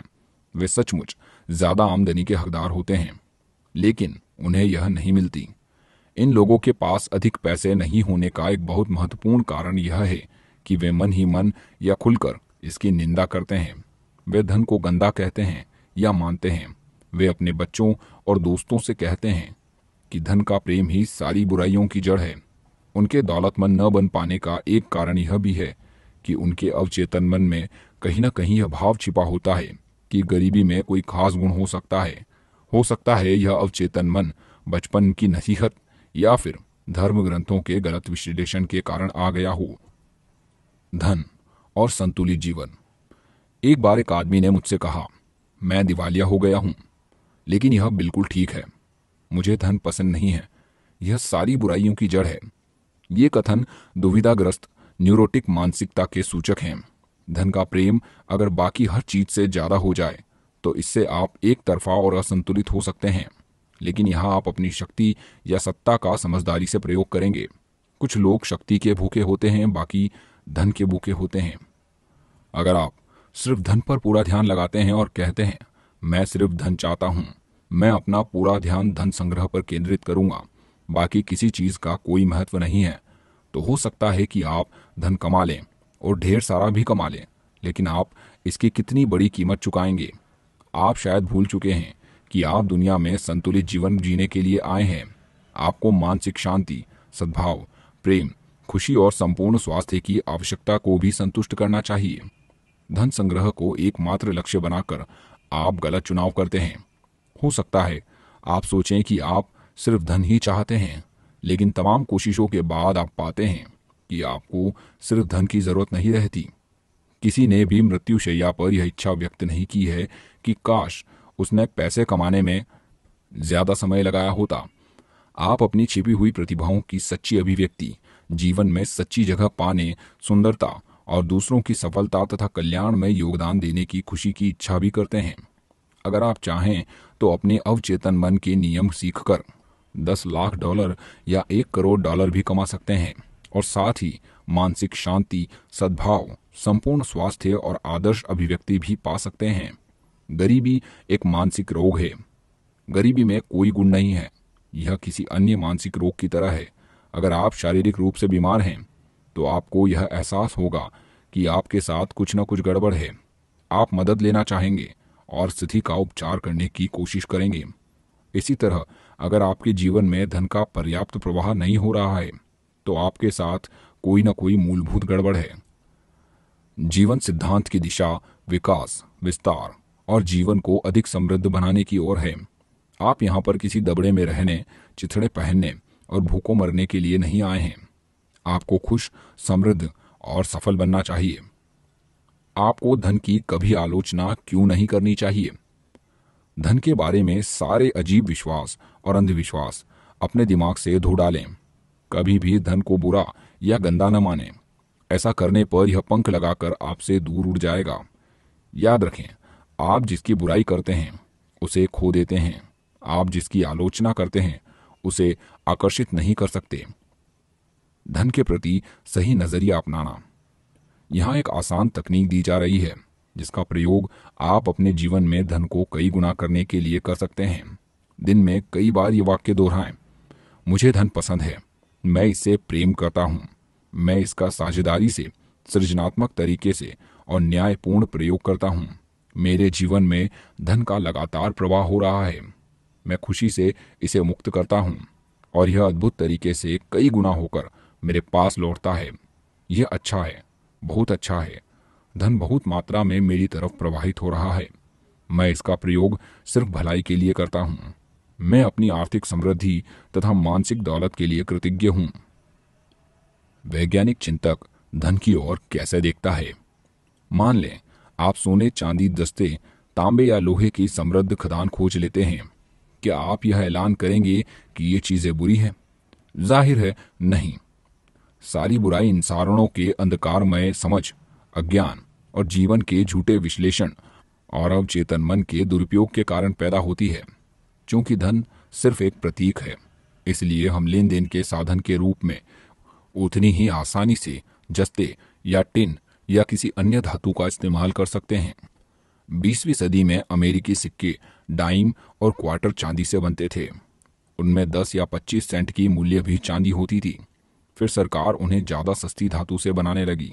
इसके बाद भी क्वार्टर का मूल्य 25 सेंट ही रहा। हालाँकि इसकी धातु का मूल्य इससे कम था। कोई भी भौतिक शास्त्री आपको बता देगा कि एक धातु और दूसरी धातु के बीच इकलौता अंतर, इसके परमाणुओं के प्रारंभिक कणों के प्रकार और संख्या का है। किसी धातु के टुकड़े पर कणों की धारा छोड़कर आप इसे दूसरी धातु में बदल सकते हैं। कीमियागारों ने सस्ती धातुओं को सोने में बदलने का सपना देखा था। लेकिन उससे क्या? सोना जस्ते से ज़्यादा गुणवान या बुरा नहीं है। ये तो भिन्न धातुएँ हैं, जिनके गुण भिन्न हैं। बस इतनी सी बात है। लंबे इतिहास के कारण ही सोने को खास कीमती समझा जाता थे। यही वजह है कि लोग इससे जस्ते से ज़्यादा प्रेम या नफरत करते हैं। आवश्यक धन कैसे अर्जित करें? कई साल पहले मैं ऑस्ट्रेलिया में एक युवक से मिला। उसने मुझे बताया कि उसने डॉक्टर बनने का सपना देखा था। वह विज्ञान की क्लासों में गया और उसका प्रदर्शन बहुत बढ़िया था।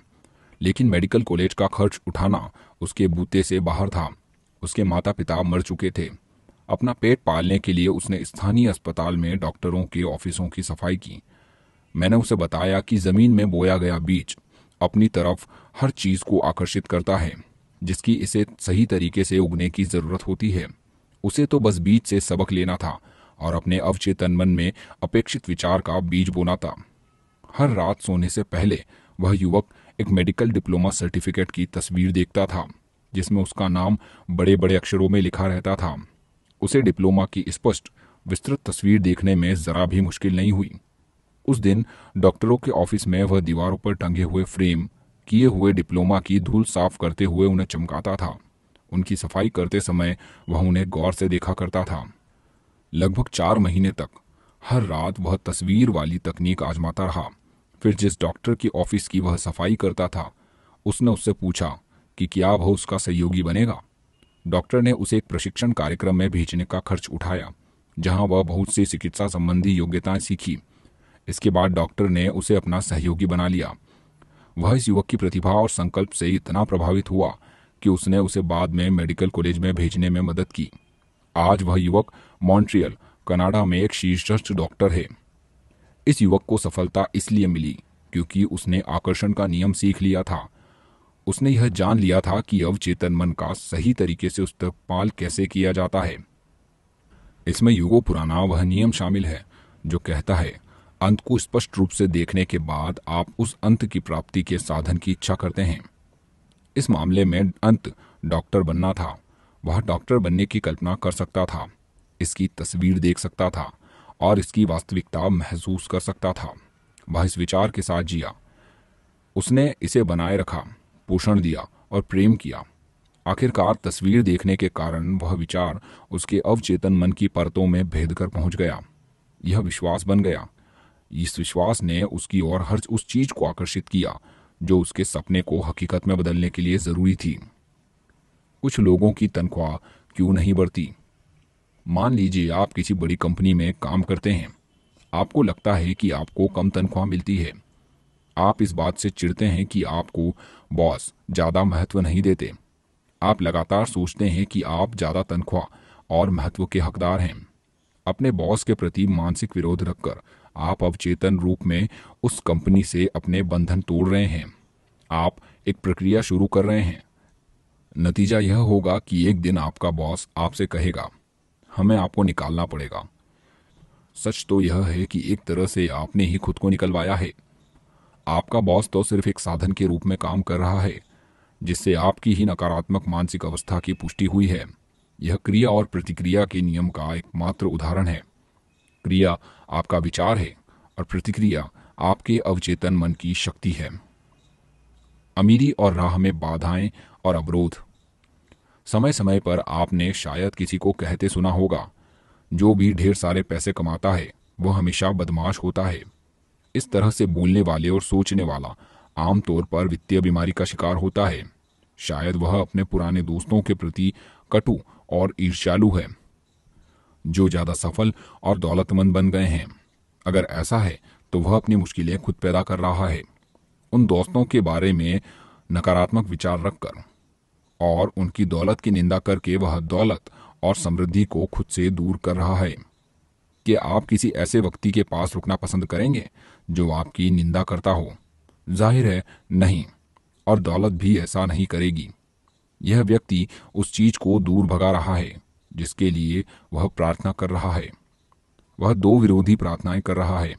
एक तरफ़ तो वह कह रहा है, मैं चाहता हूँ कि अब दौलत मेरी ओर प्रवाहित हो, लेकिन अगली ही सांस में वह कह रहा है, उस आदमी की दौलत गंदी और बुरी चीज़ है। यह विरोध गरीबी और दुख की राह का सूचक है। इस बात का खास ध्यान रखें कि आप दूसरे व्यक्ति की दौलत पर हमेशा खुश हों। अपने निवेशों की रक्षा करें। अगर आप निवेश संबंधी मार्गदर्शन चाहते हैं या अपने शेयरों या बॉन्ड्स के बारे में चिंतित हैं तो धीरे धीरे दावा करें। असीमित बुद्धि मेरे सभी वित्तीय मामलों को निमंत्रित करती है और उनकी निगरानी करती है। मैं जो भी करूँगा, समृद्ध होगा। अगर आप इसे बार बार और पूरी आस्था और विश्वास से करते हैं तो आप पाएँगे कि आपका अवचेतन मन समझदारी भरे निवेशों की ओर आपको मार्गदर्शन देगा। यही नहीं, आपको नुकसान भी नहीं होगा, क्योंकि नुकसान होने से पहले ही आपको जोखिम भरे शेयरों को बेचने का संदेश मिल जाएगा। बिना दिए आपको कुछ नहीं मिल सकता। बड़ी स्टोरों में पहरेदार और जासूसों को रखा जाता है, ताकि वे सामान चुराने वालों को रोक सकें। हर दिन वे कुछ लोगों को चोरी करते हुए पकड़ते हैं। इस तरह की चोरी करने वाले कमी और सीमा के मानसिक माहौल में रहते हैं। दूसरों से चिराने की कोशिश में वे अपनी ही शांति, सद्भाव, आस्था, ईमानदारी, अखंडता, सद्भावना और विश्वास को चुरा लेते हैं। यही नहीं इससे उसके अवचेतन मन में जो संदेश जाता है, उससे उसका बहुत ज़्यादा नुकसान होता है। चरित्र, छवि, सामाजिक प्रतिष्ठा और मानसिक शांति का नुकसान। ये लोग नहीं समझते हैं कि उनका दिमाग कैसे काम करता है। उन्हें आपूर्ति के स्रोत में आस्था नहीं होती है। अगर वे मानसिक रूप से अपने अवचेतन मन की शक्तियों का आह्वान करें और यह दावा करें कि उनकी सच्ची अभिव्यक्ति हो रही है तो उन्हें सफलता और समृद्धि मिलेगी। फिर ईमानदारी और अखंडता और लगन से वे खुद को और समाज को अधिक लाभ पहुँचा सकते हैं। दौलत की सतत आपूर्ति। स्वतंत्रता, आराम और आवश्यक दौलत की सतत आपूर्ति आपके अवचेतन मन की शक्तियों को पहचानने में निहित है। यह आपके विचार या मानसिक छवि की रचनात्मक शक्ति को पहचानने में निहित है। अपने मस्तिष्क में समृद्धि से भरे जीवन को स्वीकार करें। दौलत की मानसिक स्वीकृति और आशा का अपना गणित तथा अभिव्यक्ति का तंत्र होता है। जब आप समृद्धि की मानसिकता में कदम रखते हैं तो समृद्ध जीवन को संभव बनाने वाली चीज़ें होने लगती हैं। इसकी दैनिक घोषणा करें, इसे अपने दिल पर लिख लें। मैं अपने अवचेतन मन की असीमित समृद्धि के साथ एकाकार हूँ। अमीर, खुश और सफल बनना मेरा अधिकार है। धन मेरी ओर मुक्तता से, प्रचुरता से और अनंत रूप से प्रवाहित हो रहा है। मैं हमेशा अपने सच्चे मूल्य के प्रति सचेत हूँ। मैं अपनी प्रतिभाओं को मुक्तता से देता हूँ और मुझे अत्यधिक वित्तीय वरदान मिलते हैं। यह अद्भुत है। अमीरी की राह पर आगे बढ़ने की पायदाने। पहला, यह दावा करने का साहस जुटाएँ कि आपको अमीर बनने का हक है। आपका अवचेतन मन आपके दावों को हकीकत में बदल देगा।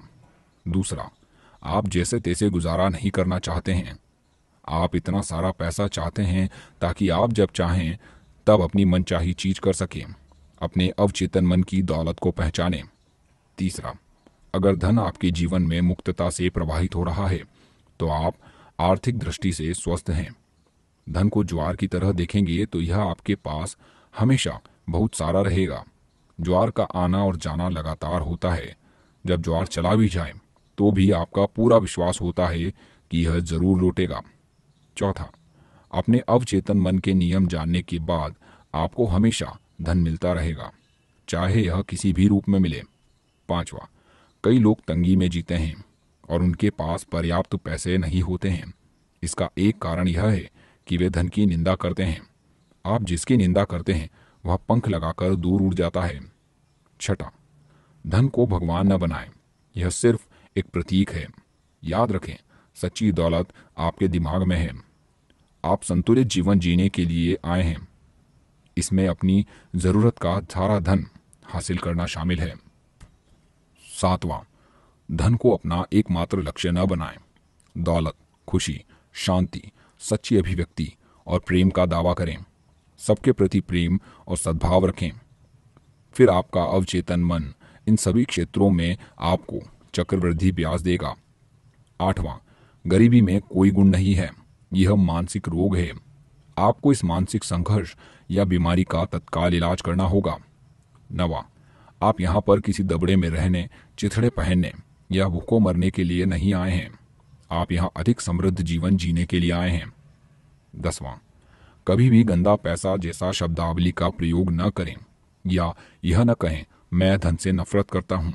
जिसकी आप आलोचना करेंगे, आप उसे खो देंगे। धन अपने आप से बुरा या अच्छा नहीं है। इसके बारे में इस तरह सोचने पर यह वैसा बन जाता है। ग्यारहवा बार बार दोहराएँ। मैं धन को पसंद करता हूँ। मैं इसका प्रयोग समझदारी से, सृजनात्मक तरीके से और न्यायपूर्ण तरीके से करूँगा। मैं इसे खुशी के साथ मुक्त करता हूँ और यह हज़ार गुना होकर मेरे पास लौट आता है। बारहवा धन तांबे, जस्ते, टिन या लोहे से ज़्यादा बुरा नहीं है, जिसे आप ज़मीन में पा सकते हैं। सारी बुराई मस्तिष्क की शक्तियों के अज्ञान और दुरुपयोग के कारण उत्पन्न होती है। तेरहवा अपने मस्तिष्क में अंतिम परिणाम की तस्वीर बना लें। आपका अवचेतन आपकी मानसिक तस्वीर पर प्रतिक्रिया करता है और उसे साकार कर देगा। चौदवा बिना कुछ दिए कुछ पाने की कोशिश छोड़ दें। मुफ़्त लंच जैसी कोई चीज़ नहीं होती है। आपको कुछ पाने के लिए कुछ देना होगा। अगर आप अपने लक्ष्यों, आदर्शों और कामों पर मानसिक ध्यान देंगे तो आपका अवचेतन मन हमेशा आपका साथ देगा। दौलत की कुंजी अवचेतन मन के नियमों को लागू करना और इसमें दौलत के विचार का बीज बोना है। अगला अध्याय। आपका अवचेतन मन सफलता में साझेदार है। सफलता का सच्चा आंतरिक अर्थ जीवन में सफल बनना है। इस धरती पर दीर्घकालीन शांति, खुशी और सुख पाने को सफलता की संज्ञा दी जा सकती है। इनका अनुभव ही वह अनंत जीवन है, जिसके बारे में ईसा मसीह ने कहा है। जीवन की सारी सच्ची चीज़ें, जैसे शांति, सद्भाव, अखंडता, सुरक्षा और खुशी, अमूर्त है।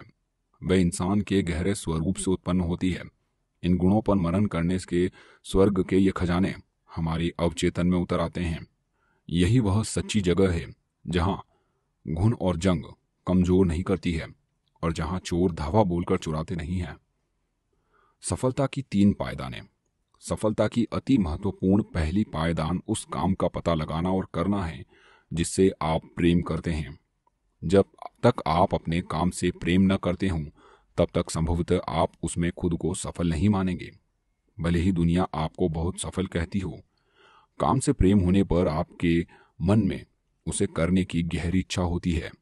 अगर कोई युवती मनोचिकित्सक बनने की इच्छा रखती हो तो डिप्लोमा लेकर उसे दीवार पर टांग लेना ही काफ़ी नहीं है।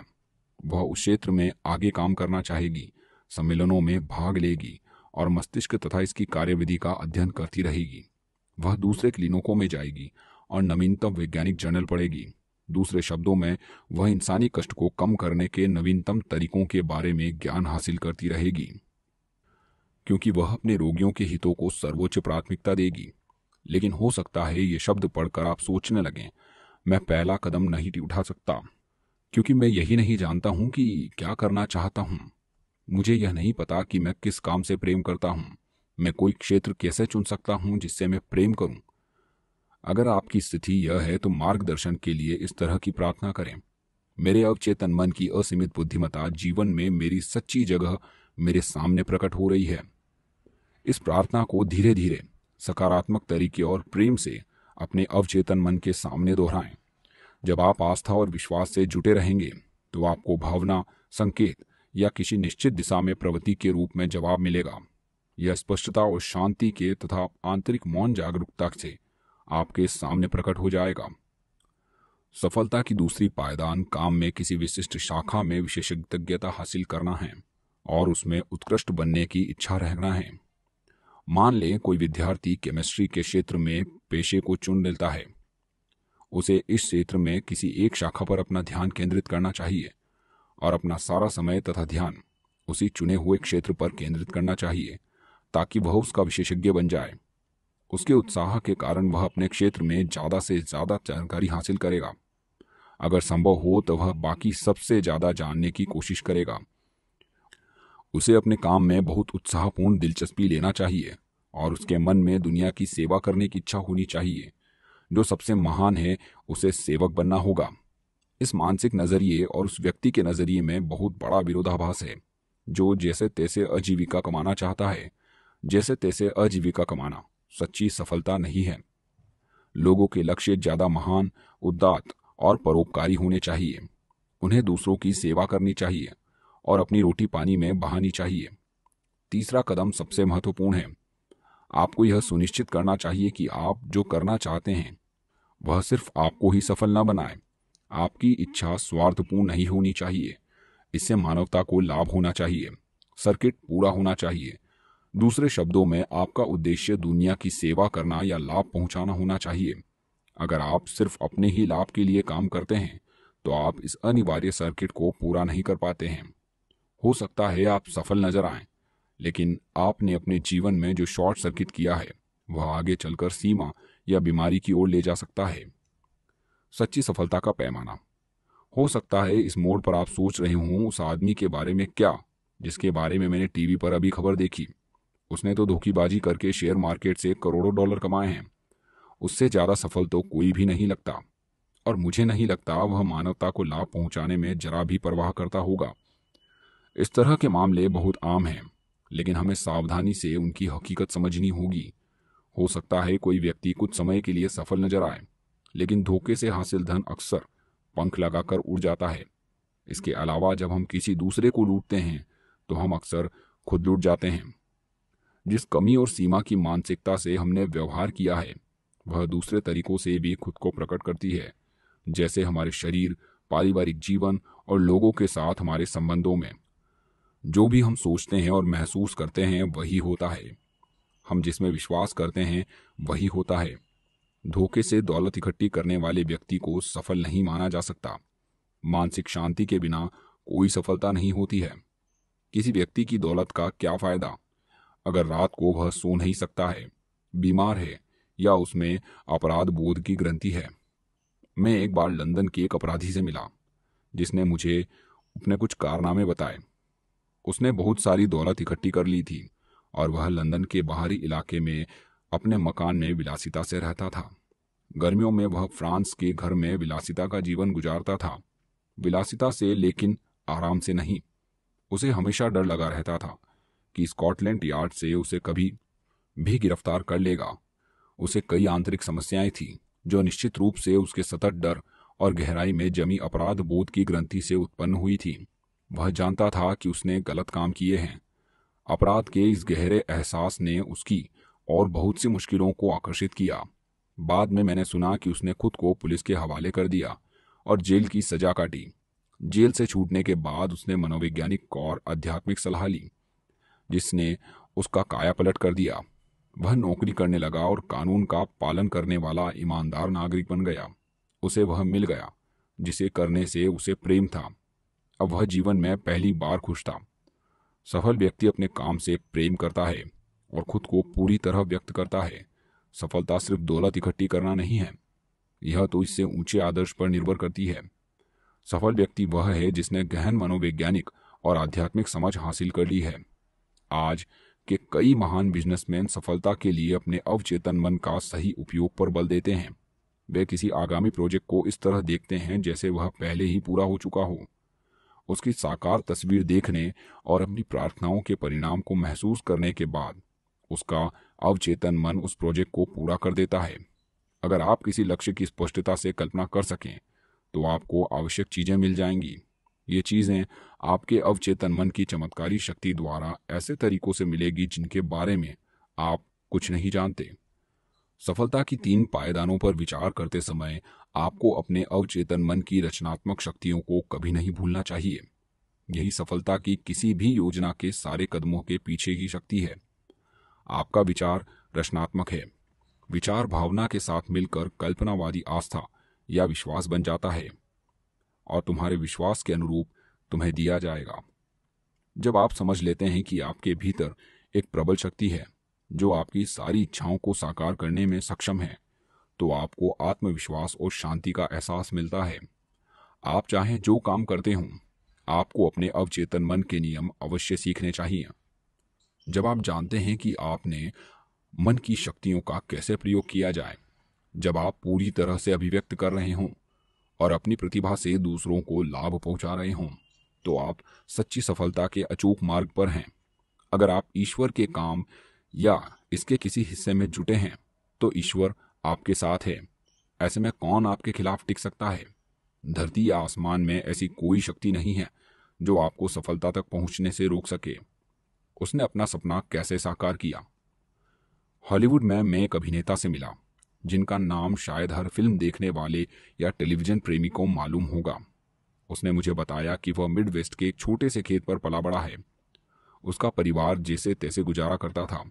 उसके मनोरंजन का एकमात्र साधन पुराना ब्लैक एंड व्हाइट टीवी था, जिस पर मुश्किल से दो चैनल आते थे।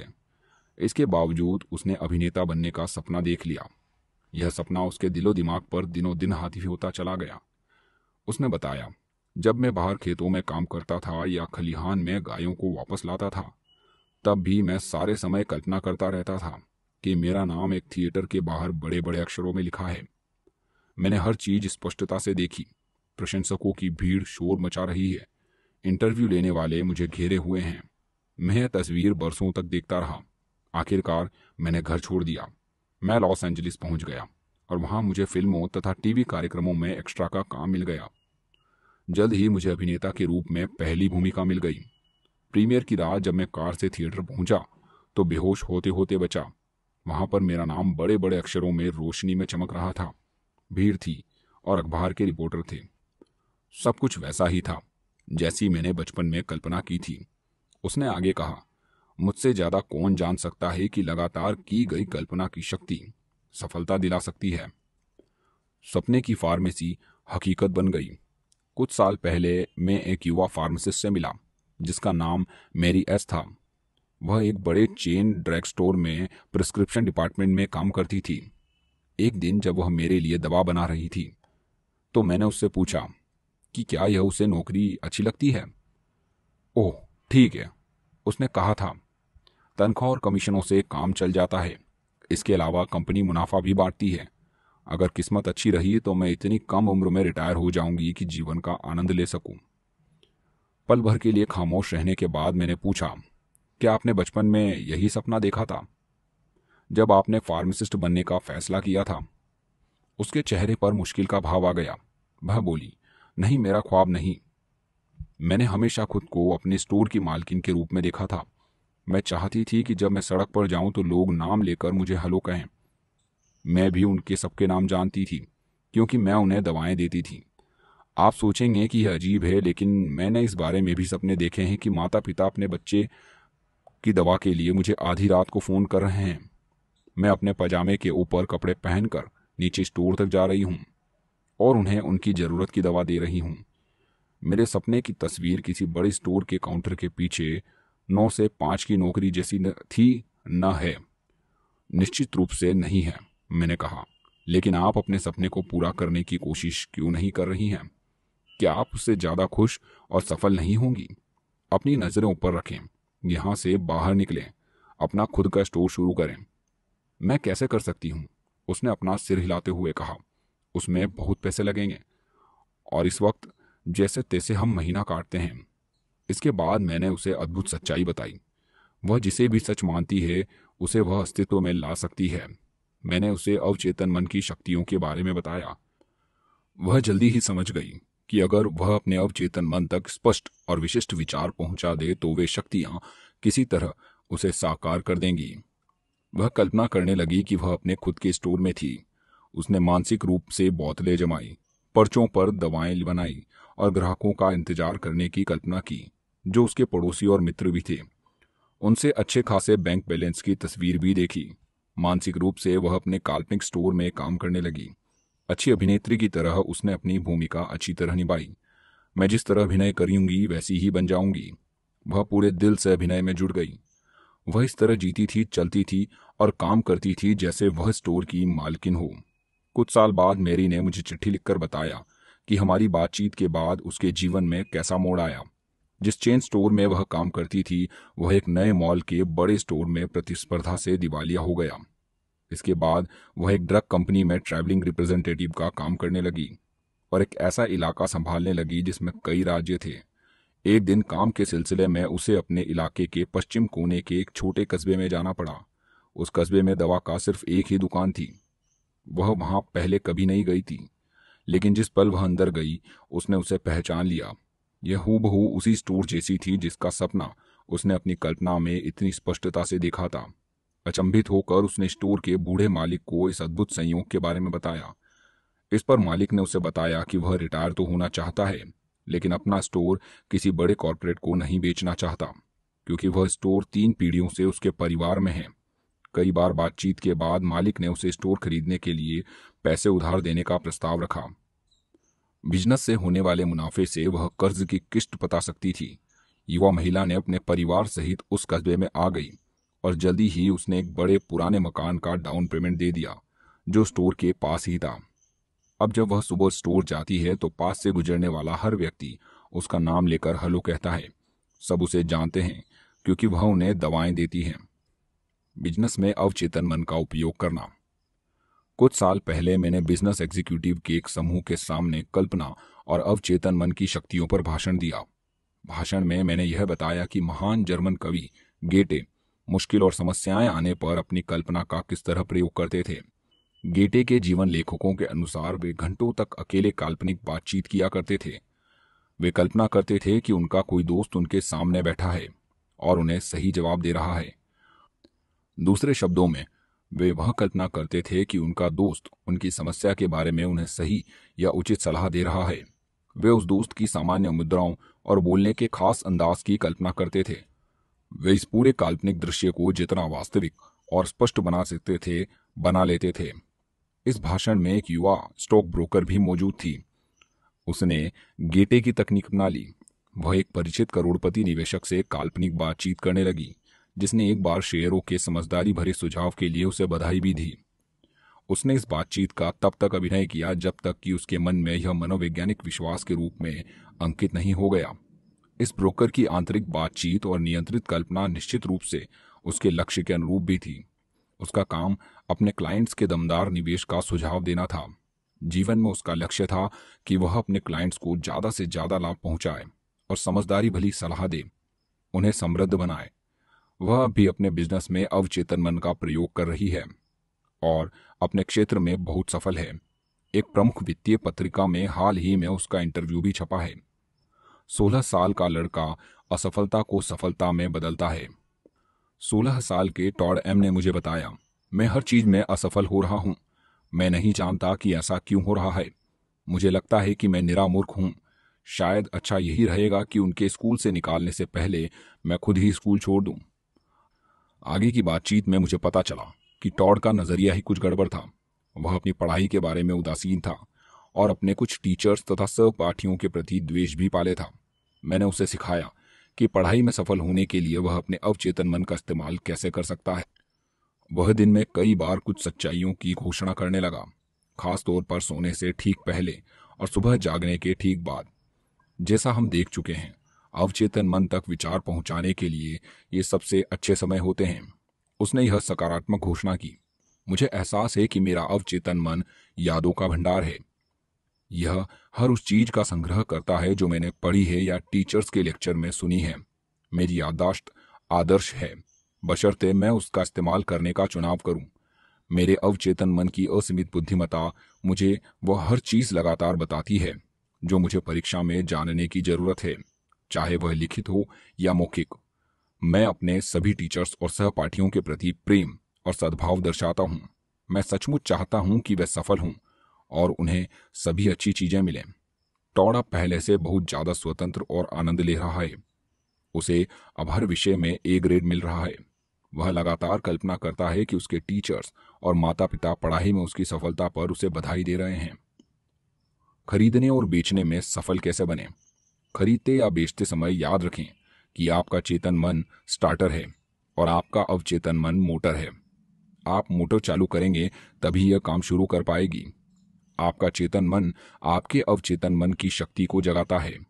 अपनी स्पष्ट इच्छा, विचार या छवि को अपने अवचेतन मन तक पहुँचाने का पहला कदम, उसे शांत करना है। ध्यान को गतिहीन करना है। स्थिर होना है और शांत बनना है। शिथिल, निष्क्रिय और शांत मानसिक नज़रिया, बाहरी मामलों तथा गलत विचारों को अवचेतन मन तक पहुँचने और लक्ष्य में हस्तक्षेप करने से रोकता है। यही नहीं, मस्तिष्क के शांत, निष्क्रिय और ग्रहणशील नज़रिए में न्यूनतम प्रयासों की ज़रूरत होती है। दूसरे कदम, मन चाहे परिणाम की वास्तविकता की कल्पना करना है। उदाहरण के लिए हो सकता है, आप कोई मकान खरीदना चाहते हों। अपनी शिथिल मानसिक अवस्था में आप इस तरह घोषणा करते हैं मेरे अवचेतन मन की असीम बुद्धिमता परम बुद्धिमान है। यह मुझे अपनी सारी जरूरतों को पूरा करने का आदर्श मकान बताती है, जिसे मैं खरीद सकता हूँ। मैं अब इस आग्रह को अपने अवचेतन मन को सौंप रहा हूँ। मैं जानता हूँ कि यह मेरे आग्रह की प्रकृति के अनुरूप प्रतिक्रिया करेगा। मैं इस आग्रह को पूर्ण आस्था और विश्वास के साथ उसी तरह मुक्त कर रहा हूँ, जिस तरह किसान ज़मीन में बीज बोता है। विकास के नियमों में अंदरूनी विश्वास के साथ। आपकी प्रार्थना का जवाब अखबार के किसी विज्ञापन या दोस्त से मिल सकता है, या हो सकता है कि आपको किसी खास मकान की तरफ़ सीधे मार्गदर्शन दिया जाए, जो ठीक वैसा ही होगा, जैसा आप चाहते हो। प्रार्थना का जवाब कई तरीकों से मिल सकता है। मुख्य बात यह है कि जवाब हमेशा मिलता है। बशर्ते आपको अपने अवचेतन मन के काम करने पर पूरा विश्वास हो। मान ले, खरीदने के बजाय आप कोई मकान, ज़मीन या जायदाद बेचना चाहते हों। अवचेतन मन की असीमित बुद्धिमता पर भरोसा करने की यही नीति आपको सटीक मार्गदर्शन देगी। लॉस एंजलिस में अपना मकान बेचते समय मैंने एक तकनीक का इस्तेमाल किया। जब मैंने यह तकनीक अपनी पहचान के कई रियल एस्टेट ब्रोकर्स को बताई तो वे भी इसका इस्तेमाल करने लगे। इससे उन्हें उल्लेखनीय परिणाम मिल रहे हैं। मैंने अपने मकान के सामने घास पर एक साइन बोर्ड लगाया, जिस पर लिखा था, बेचना है। उस रात सोने के ठीक पहले मैंने खुद से पूछा मान लो तुम्हें घर के लिए खरीदार मिल गया तो फिर तुम क्या करोगे?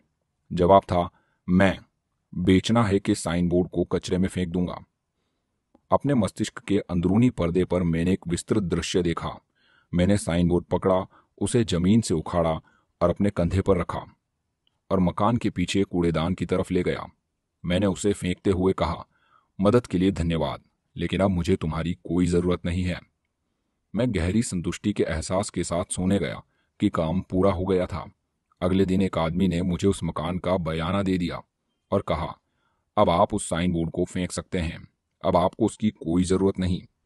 मैंने उसकी सलाह पर अमल किया। मैंने साइन बोर्ड उखाड़ा और उसे फेंक दिया। आंतरिक क्रिया ने बाहरी क्रिया को साकार कर दिया। इसके बारे में नया कुछ नहीं है। जैसा भीतर, वैसा बाहर। दूसरे शब्दों में, आप अवचेतन मन पर छपी तस्वीर जैसी होगी, वैसा ही दृश्य आपके जीवन के पर्दे पर उभरेगा। बाहरी स्वरूप, आंतरिक स्वरूप का प्रतिबिंब दिखाता है। बाहरी कर्म, आंतरिक कर्म का अनुसरण करता है। यहाँ घर, ज़मीन या जायदाद बेचने का एक और प्रभावी तरीका बताया जा रहा है। धीरे धीरे शांति से और भावना के साथ यह सकारात्मक घोषणा करें। असीमित बुद्धिमता इस मकान के उस खरीदार को मेरी ओर आकर्षित कर रही है, जो इसे चाहता है और इसे समृद्ध है। इस खरीदार को मेरे पास मेरे अवचेतन मन के रचनात्मक ज्ञान ने भेजा है, जो कभी गलतियाँ नहीं करता है। हो सकता है वह खरीदार कई और मकान देखे, लेकिन मेरा ही मकान उसे पसंद आएगा और वह इसे ही खरीदेगा, क्योंकि उसके भीतर की असीमित बुद्धिमता उसका मार्गदर्शन करेगी। मैं जानता हूँ कि खरीदार सही है समय सही है और कीमत सही है। इसके बारे में हर चीज़ सही है। मेरे अवचेतन मन का अधिक गहरा प्रभाव हम दोनों को दैवी विधान में एक साथ ला रहा है। मैं जानता हूँ कि ऐसा ही है। हमेशा याद रखें कि जिसे आप खोज रहे हैं, वह भी आपको खोज रहा है। कोई ना कोई हमेशा रहता है। जो उसी मकान या जायदाद को खरीदना चाहता है, जिसे आप बेचना चाहते हैं। अपने अवचेतन मन की शक्तियों का सही इस्तेमाल करके आप अपने मस्तिष्क से प्रतिस्पर्धा का सारा एहसास और खरीदने बेचने की सारी चिंता खत्म कर देते हैं। वह जो चाहती थी, उसे पाने में कैसे सफल हुई?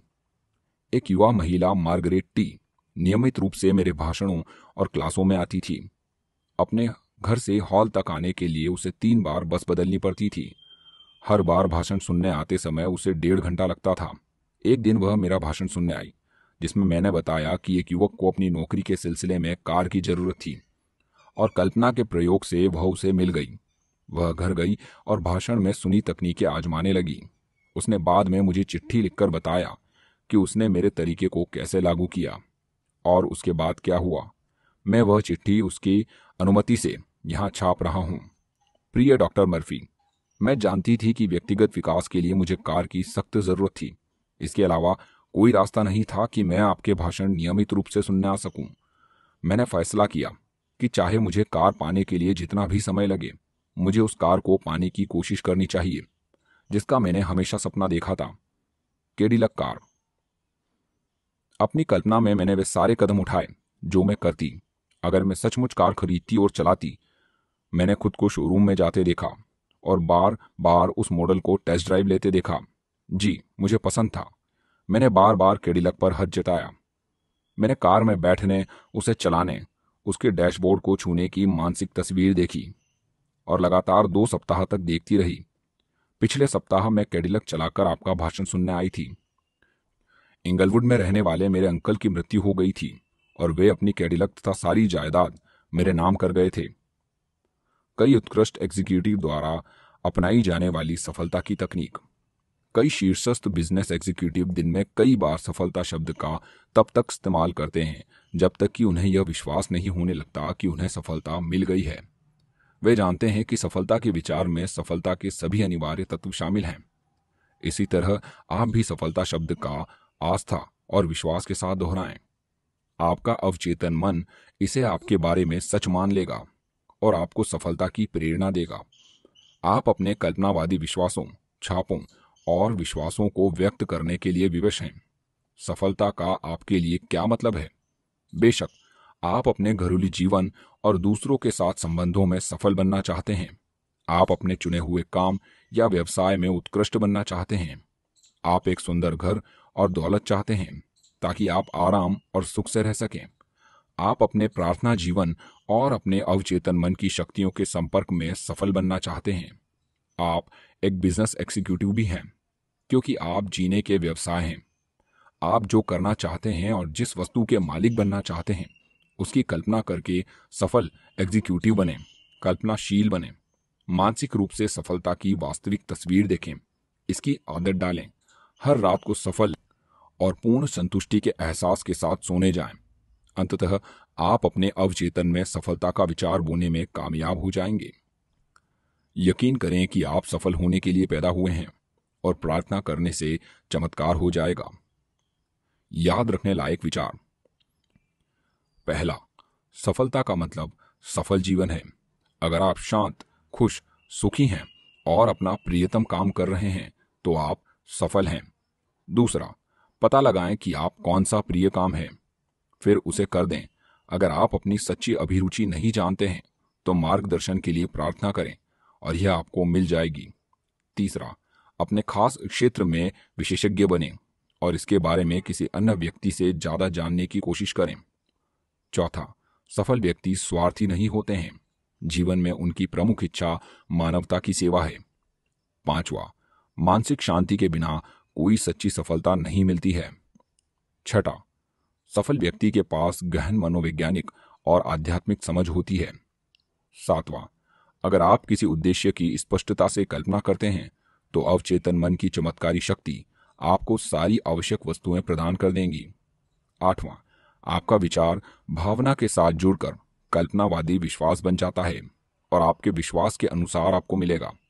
नवा, लगातार कल्पना करते रहने से आपके अवचेतन मन की चमत्कारी शक्तियाँ प्रेरित होती हैं। दसवां, अगर आप नौकरी में प्रमोशन चाहते हैं तो कल्पना करें कि आपका मालिक सुपरवाइजर या कोई प्रियजन प्रमोशन पर आपको बधाई दे रहा है। इस तस्वीर को स्पष्ट और वास्तविक बनाएँ। आवाज़ सुने, मुद्राएँ देखें और इसकी वास्तविकता को महसूस करें। ऐसा करते रहें। बार बार दोहराने से आपकी मनोकामना सुखद रूप से पूरी हो जाएगी। ग्यारहवा, आपका अवचेतन मन यादों का भंडार है।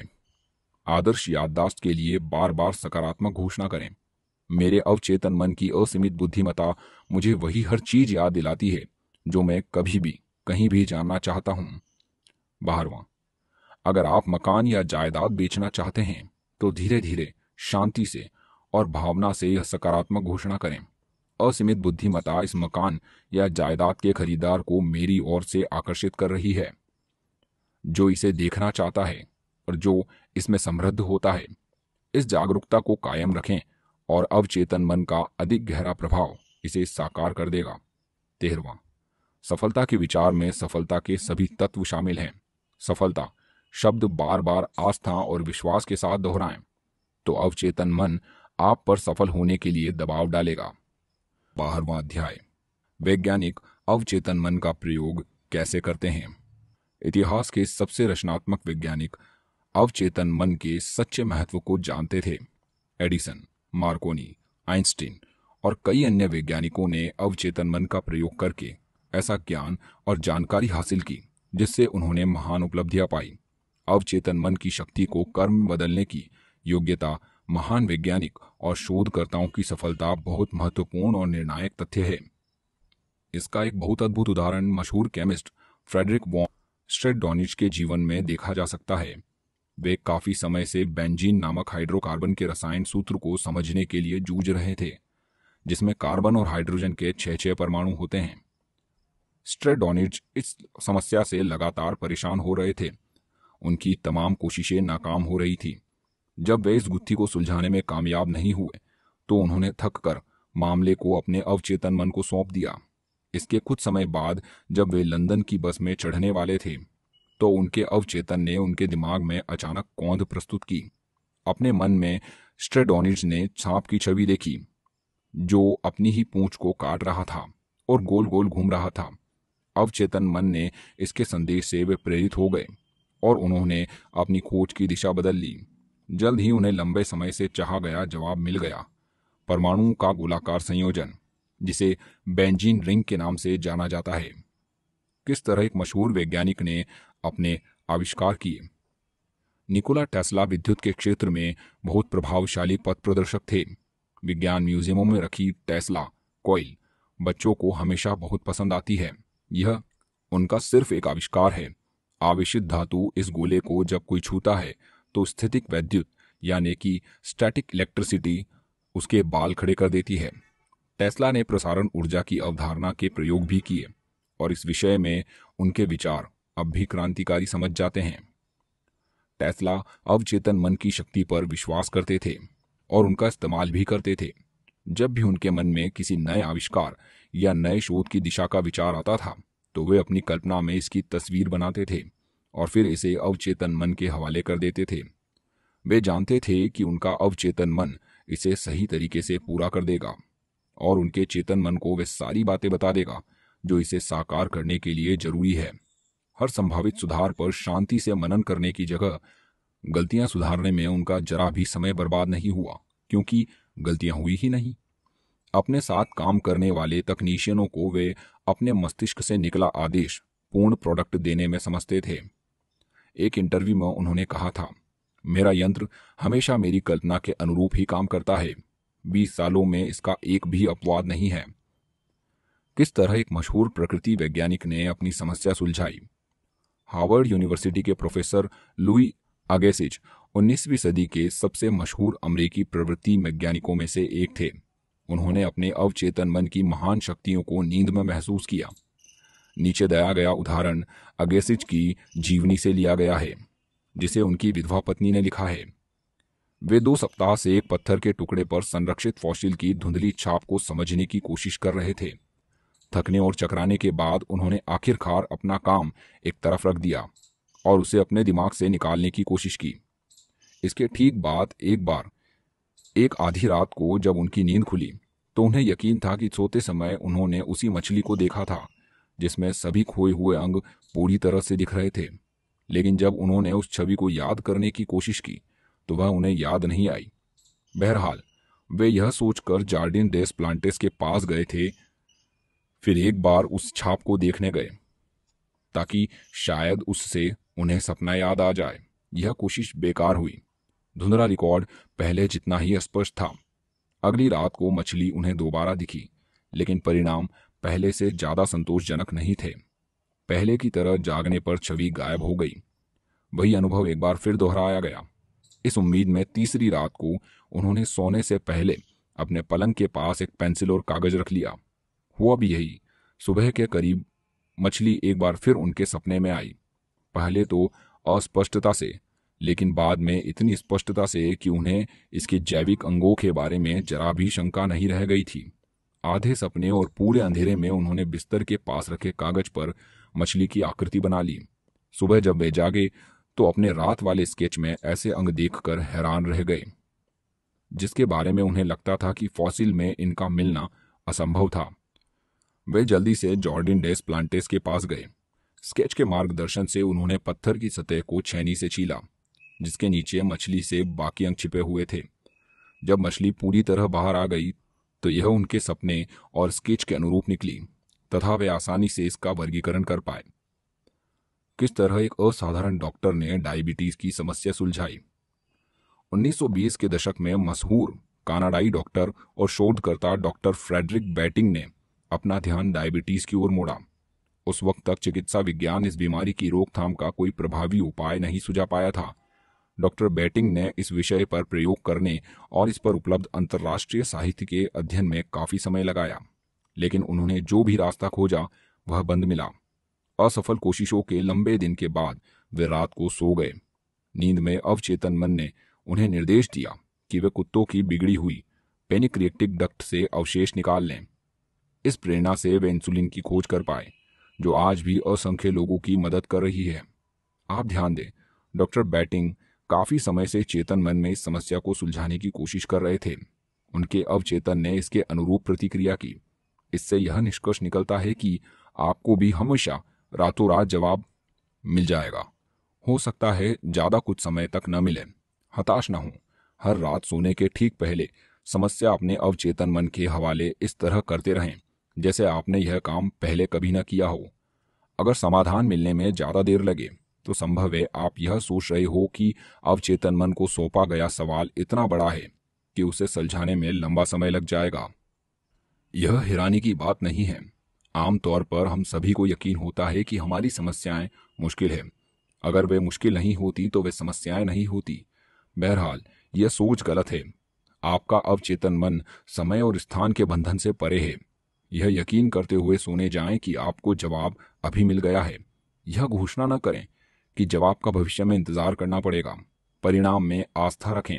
इस पुस्तक को पढ़ते समय अभी विश्वास करें कि आपकी समस्या का एक जवाब है, एक आदर्श समाधान है। किस तरह एक वैज्ञानिक सोवियत कंस्ट्रक्शन कैंप से भागा? Doctor Lothar von Blanck Smith प्रतिभाशाली इलेक्ट्रॉनिक्स इंजीनियर थे। द्वितीय विश्व युद्ध के दौरान उन्हें एक सोवियत कंस्ट्रक्शन कैंप में कैद कर लिया गया था। वे अपने बचाव और अंततः आज़ादी की ओर भाग निकलने का श्रेय अपने अवचेतन मन की शक्तियों को देते हैं। मैं रूस के कोयला खदान में युद्धबंदी था और मैंने जेल में, अहाते में अपने चारों तरफ़ लोगों को मरते देखा। क्रूर पहरेदार दम्भी अफसर और चालाक कम्युनिस्ट अफसर हम पर नज़र रखते थे। घोड़े से मेडिकल चेकअप होने के बाद हर कैदी को कोयले का कोटा तय कर दिया जाता था। मेरा कोटा 300 पाउंड प्रतिदिन था। अगर कोई कैदी अपना कोटा पूरा नहीं करता था तो उससे मिलने वाले थोड़े से राशन से भी कटौती कर जाती थी। और कुछ समय में वह कब्र में पहुँच जाता था। मैं वहाँ से भागने पर ध्यान केंद्रित करने लगा। मैं जानता था कि मेरा अवचेतन मन किसी न किसी तरह से रास्ता खोज लेगा। जर्मनी में मेरा घर तबाह हो गया। मेरा परिवार मिट गया। मेरे सभी मित्र और पूर्व सहयोगी या तो युद्ध में मर चुके थे या फिर कंस्ट्रक्शन कैंपों में थे। मैंने अपने अवचेतन मन से कहा, मैं लॉस एंजलिस पहुँचना चाहता हूँ। और तुम्हें रास्ता खोजना है।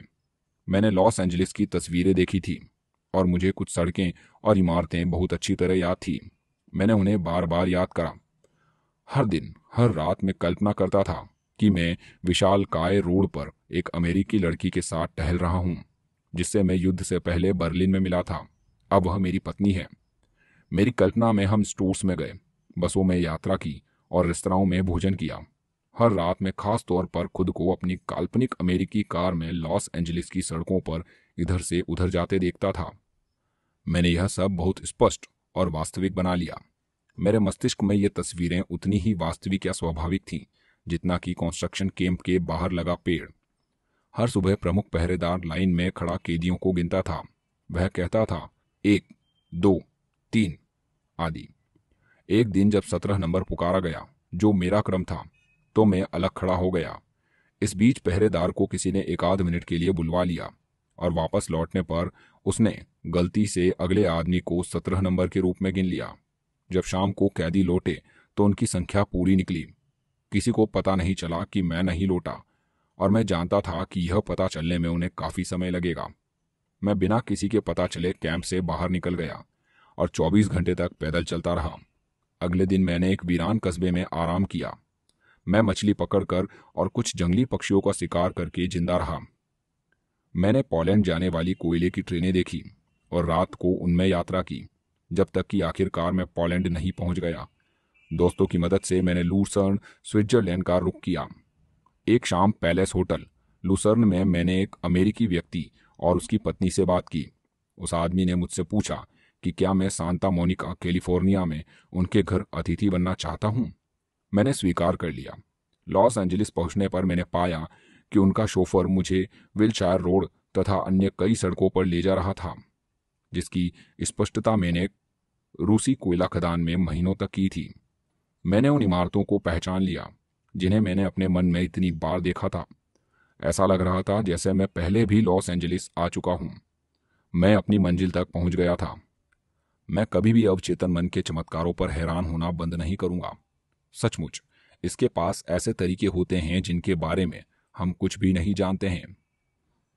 पुरातत्ववेता किस तरह प्राचीन दृश्यों को दोबारा बनाते हैं? आपके अवचेतन मन में मानव जाति के इतिहास की हर चीज़ की स्मृति होती है। प्राचीन खंडहरों और पूर्व संस्कृतियों के लोगों द्वारा छोड़ी गई असंख्य वस्तुओं का अध्ययन करने वाले पुरातत्ववेत्ता अपने काम में काल्पनिक अनुभूति का बेहतरीन प्रयोग करते हैं। उनका अवचेतन मन प्राचीन दृश्यों के पुनर्निर्माण में उनकी सहायता कर सकता है। मृत अतीत दोबारा सजीव बन सकता है। वैज्ञानिक इन प्राचीन इमारतों के टुकड़ों को देखता है और पूर्व सभ्यताओं के बर्तनों, मूर्तियों, औजारों तथा घरेलू सामानों का अध्ययन करता है। अपने शाश्वत मस्तिष्क के डाटा बैंक द्वारा वैज्ञानिक यह जानने में सक्षम होता है कि ये वस्तुएँ कब, कैसे और क्यों बनाई गई। वैज्ञानिक की पैनी एकाग्रता और अनुशासित कल्पना अवचेतन मन की निहित शक्तियों को जगा देती है। यह उसे प्राचीन स्तंभों पर छतों की कल्पना करने में समर्थ बनाती है और इमारत के चारों तरफ़ बगीचों, तालाबों तथा फुम्वारों की कल्पना करने में भी। कंकाल पर आँखें, नसों और मांसपेशियों का लबादा डाल दिया जाता है और वे एक बार फिर बोल तथा चल सकते हैं। मृत अतीत जीवंत वर्तमान बन जाता है। और हम पाते हैं कि मस्तिष्क में समय या स्थान की कोई दूरी नहीं होती। अनुशासित, नियंत्रित और निर्देशित कल्पना से आप हर युग के सबसे महान वैज्ञानिकों और प्रेरित चिंतकों के साथ ही बन सकते हैं। अपने अवचेतन मन से मार्गदर्शन कैसे पाएँ?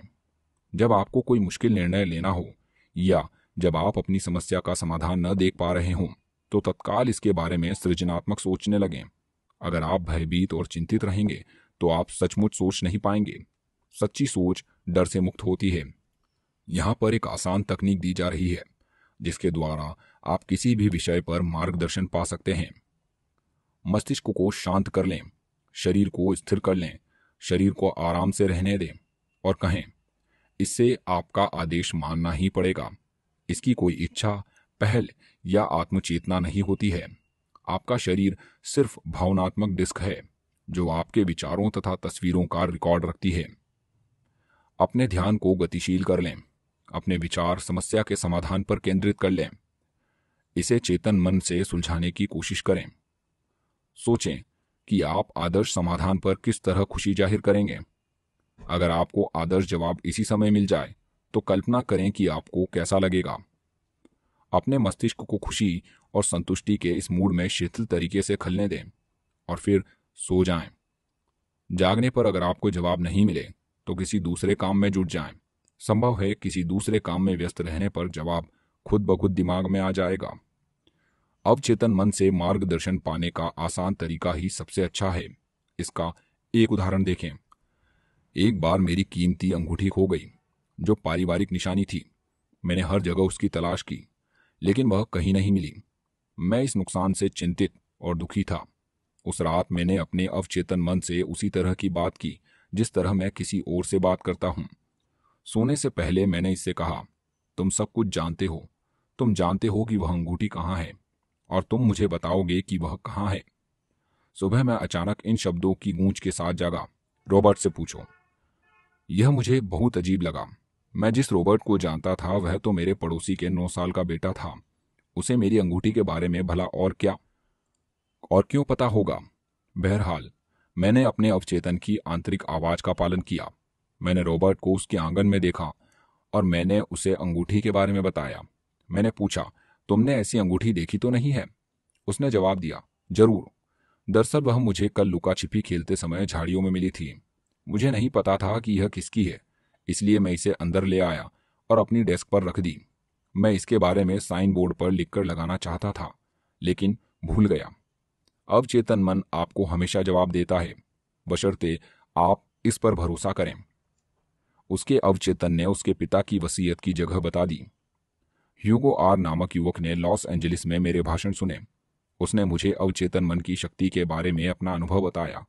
उसके पिता का अचानक देहांत हो गया था और ऐसा लग रहा था कि उसने कोई वसीयत नहीं छोड़ी। बहरहाल, उसकी बहन ने उसे बताया कि उसके पिता ने एक बार अपनी वसीयत बनाने का ज़िक्र किया था। और उसे बताया था कि उन्होंने सब में न्यायपूर्ण बंटवारा किया है। ह्यूगो को एहसास था कि अगर उसके पिता की वसीयत नहीं मिली तो जायदाद राज्य के नियमों के आधार पर बटेगी, जो शायद उसके पिता की इच्छाओं के अनुरूप नहीं होगा। इसके अलावा कानूनी फ़ीस में ज़्यादातर जायदाद चली जाएगी। उसने और उसकी बहन ने हर जगह तलाशी की, लेकिन उन्हें वसीयत कहीं नहीं मिली। हताश होकर वे सोचने लगे कि वसीयत है भी या नहीं। तभी ह्यूगो को अवचेतन मन के प्रयोग के बारे में सीखी बातें याद आई। सोने से पहले उसने अवचेतन मन में कहा, मैं अब इस आग्रह को अपने अवचेतन मन के हवाले करता हूँ। मेरा अवचेतन मन जानता है कि मेरे पिता की वसीयत कहाँ है, और वह मुझे यह जगह बता रहा है। फिर उसने अपने आग्रह को सारांश में कहा, जवाब दो। उसने इसे बार बार लोरी की तरह दोहराया। वह जवाब दो शब्द के साथ सोने गया। अगली सुबह जब वह जागा तो उसके मन में प्रबल इच्छा जागी कि वह डाउनटाउन लॉस एंजलिस के एक बैंक में जाए। इससे वह हैरान हो गया। क्या उसके पिता ने कभी इस बैंक का ज़िक्र किया था? क्या उसके पिता की डाक में इस बैंक का पत्र देखा था? वह नहीं जानता था, लेकिन वह इतना ज़रूर जानता था कि उसे अवचेतन द्वारा दिए गए संकेत की जाँच करनी थी। वह सुबह बैंक गया। अंततः एक बैंक अफसर ने इस बात की पुष्टि की कि बैंक में उसके स्वर्गीय पिता के नाम पर एक लॉकर था। जब उस लॉकर को खोला गया तो अंदर वसीयत मिली। जब आप सोने जाते हैं तो आपका विचार आपके भीतर की निहित शक्तियों को जगा देता है। मान लें, आप सोच रहे हो कि क्या आपको मकान बेच देना चाहिए? कोई शेयर खरीद लेना चाहिए? किसी पार्टनरशिप को तोड़ देना चाहिए? न्यूयॉर्क जाकर बसना चाहिए या फिर लॉस एंजलिस में ही रहना चाहिए? वर्तमान अनुबंध को खत्म कर देना चाहिए या नया अनुबंध ले लेना चाहिए? ऐसी उलझन हो तो यह करें। शांति से अपनी कुर्सी या ऑफ़िस के डेस्क पर बैठ जाएँ। याद रखें, यह क्रिया और प्रतिक्रिया का शाश्वत नियम है। क्रिया आपके विचार हैं। इस पर आपका अवचेतन मन प्रतिक्रिया करेगा। अवचेतन मन प्रतिक्रियाशील है। यह इसकी प्रवृत्ति है। यह जवाब देता है, पुरस्कार देता है, लौटाता है। यह अनुरूपता के नियम का पालन करता है। यह विचार के अनुरूप प्रतिक्रिया करता है। जब आप सही कर्म पर मनन करते हैं तो आपको अपने भीतर ऐसी प्रतिक्रिया महसूस होगी, जो आपके अवचेतन मन का मार्गदर्शन या जवाब होगी। मार्गदर्शन चाहते समय आप शांति से सिर्फ़ सही कर्म के बारे में सोचें। इसका मतलब है कि आप अपने अवचेतन मन में रहने वाली असीमित बुद्धिमत्ता का उस बिंदु तक प्रयोग कर रहे हैं, जहाँ यह आपकी प्रयोग शुरू कर दे। उसके बाद आपके कार्य की दिशा। आपके कल्पनावादी ज्ञान द्वारा निर्देशित और नियंत्रित होती है, जो सब कुछ जानता है और सर्वशक्तिमान है। आपका निर्णय सही होगा, सही काम ही होगा, क्योंकि सही काम करने के लिए आप पर अवचेतन का दबाव है। मैं दबाव शब्द का प्रयोग करता हूँ क्योंकि दबाव ही अवचेतन का नियम है। मार्गदर्शन का रहस्य। मार्गदर्शन या सही कर्म का रहस्य मानसिक रूप से खुद को सही जवाब देने के प्रति निष्ठावान बनाना है। जब तक कि आपको अपने भीतर इसकी प्रतिक्रिया न मिल जाए। प्रतिक्रिया एक भावना है, एक आंतरिक एहसास है, एक सशक्त संकेत है। इसके द्वारा आप जान सकते हैं कि आपको जवाब मिल गया है। आपने इस शक्ति का उस बिंदु तक प्रयोग कर लिया है कि वह यह जानता है और यह प्रयोग करने लगी है। अपने भीतर की इस व्यक्तिनिष्ठ बुद्धिमत्ता के मार्गदर्शन में काम करते समय आप असफल नहीं हो सकते या एक भी गलत कदम नहीं उठा सकते। आप पाएँगे कि आपके सभी काम खुशी से भरे होंगे और आपको रास्ते भर शांति मिलेगी। याद रखने लायक विचार। पहला, याद रखें, अवचेतन मन ने सभी महान वैज्ञानिकों को अद्भुत सफलता और उपलब्धियाँ प्रदान की है। दूसरा, किसी जटिल समस्या के समाधान की तरफ़ ध्यान और एकाग्रता देकर आपका अवचेतन मन सभी आवश्यक जानकारी इकट्ठा करता है और फिर इसे सुलझाकर चेतन मन को सौंप देता है। तीसरा, अगर आप किसी समस्या के जवाब के बारे में परेशान हो रहे हैं तो इसे वस्तुनिष्ठ तरीके से सुलझाने की कोशिश करें। शोध और दूसरों से जितनी जानकारी हासिल कर सकते हो, हासिल करें। अगर कोई जवाब नहीं मिलता है तो सोने से पहले इसे अवचेतन मन के हवाले कर दें। फिर आपको जवाब हमेशा मिलेगा। यह कभी असफल नहीं होता है। चौथा, आपको हमेशा रातों रात जवाब नहीं मिलता है। अपने अवचेतन से तब तक आग्रह करते रहें जब तक कि सूरज न निकल आए और छायाएँ गायब न हो जाए। पांचवा, जवाब में देरी आपके कारण भी हो सकती है। अगर आप यह सोचने लगें कि इसमें आपको बहुत समय लग जाएगा या बहुत बड़ी समस्या है, आपके अवचेतन के लिए कोई समस्या बड़ी नहीं है। यह हर समस्या का जवाब जानता है। छठा, यकीन माने कि जवाब आपके पास अभी है। जवाब की खुशी उसी तरह महसूस करें, जैसा आप आदर्श जवाब मिलने पर करते। आपका अवचेतन आपकी भावना पर प्रतिक्रिया करेगा। सातवां, आस्था और लगन से देखी जाने वाली हर मानसिक तस्वीर आपके अवचेतन की चमत्कारी शक्तियों के माध्यम से साकार होगी। इस पर भरोसा करें, इसकी शक्ति पर विश्वास करें, और जब आप प्रार्थना करेंगे तो चमत्कार होंगे। आठवां, आपका अवचेतन यादों का भंडार है। और आपके अवचेतन में बचपन से लेकर आज तक के सभी अनुभव दर्ज हैं। नवा, प्राचीन लिपियों, मंदिरों, अवशेषों और अन्य प्रमाणों पर मनन करने वाले वैज्ञानिक अतीत के दृश्यों को दोबारा जीवंत बनाने में समर्थ इसलिए होते हैं क्योंकि उनका अवचेतन मन उनकी सहायता करता है।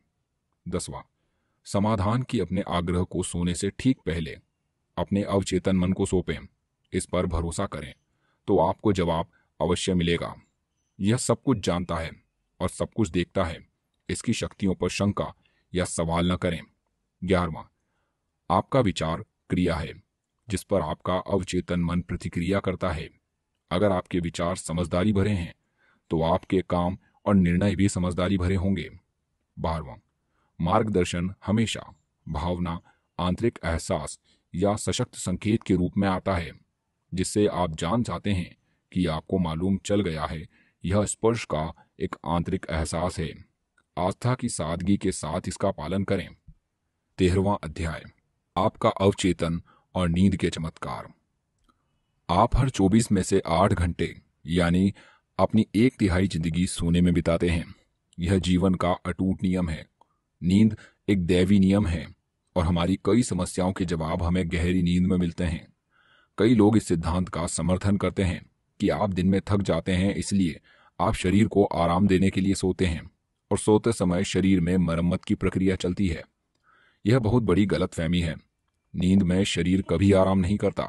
सोते समय भी आपका दिल, फेफड़े और सभी महत्वपूर्ण अंग काम करते रहते हैं। अगर आप सोने से पहले खाते हैं तो खाना पच जाता है और पोषक पदार्थ सभी अंगों तक पहुँच जाते हैं। आपकी चमड़ी पसीना उत्पन्न करती है। आपके नाखून और बाल बढ़ते हैं। इसी तरह से आपका अवचेतन मन कभी नहीं सोता या आराम नहीं करता है। यह हमेशा सक्रिय रहता है और आपकी सभी महत्वपूर्ण शक्तियों को नियंत्रित करता है। नींद में उपचारक प्रक्रिया ज़्यादा तेज़ी से काम करती है, क्योंकि तब आपका चेतन मन कोई व्यवधान नहीं डालता है। आपके सवालों के उल्लेखनीय जवाब आपको नींद में ही मिलते हैं। हम क्यों सोते हैं? नींद के बारे में गंभीर शोध करने वाले शुरुआती वैज्ञानिक शोधकर्ताओं ने डॉक्टर जोन बिजेलो का नाम उल्लेखनीय है। वे यह दिखाने में सफल हुए कि रात को सोते समय आँख, कान, नाक और त्वचा के नीचे की तंत्रिकाओं से आपको लगातार संवेग मिलते रहते हैं। मस्तिष्क का तंत्रिका संचार तंत्र काफ़ी सक्रिय रहता है। डॉक्टर बिजेलो के शोध का निष्कर्ष इस पुस्तक में दी गई जानकारी से काफ़ी मिलता जुलता है।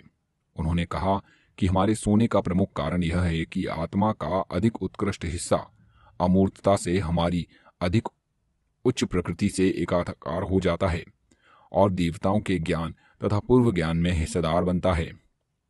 नींद प्रार्थना का एक प्रकार है।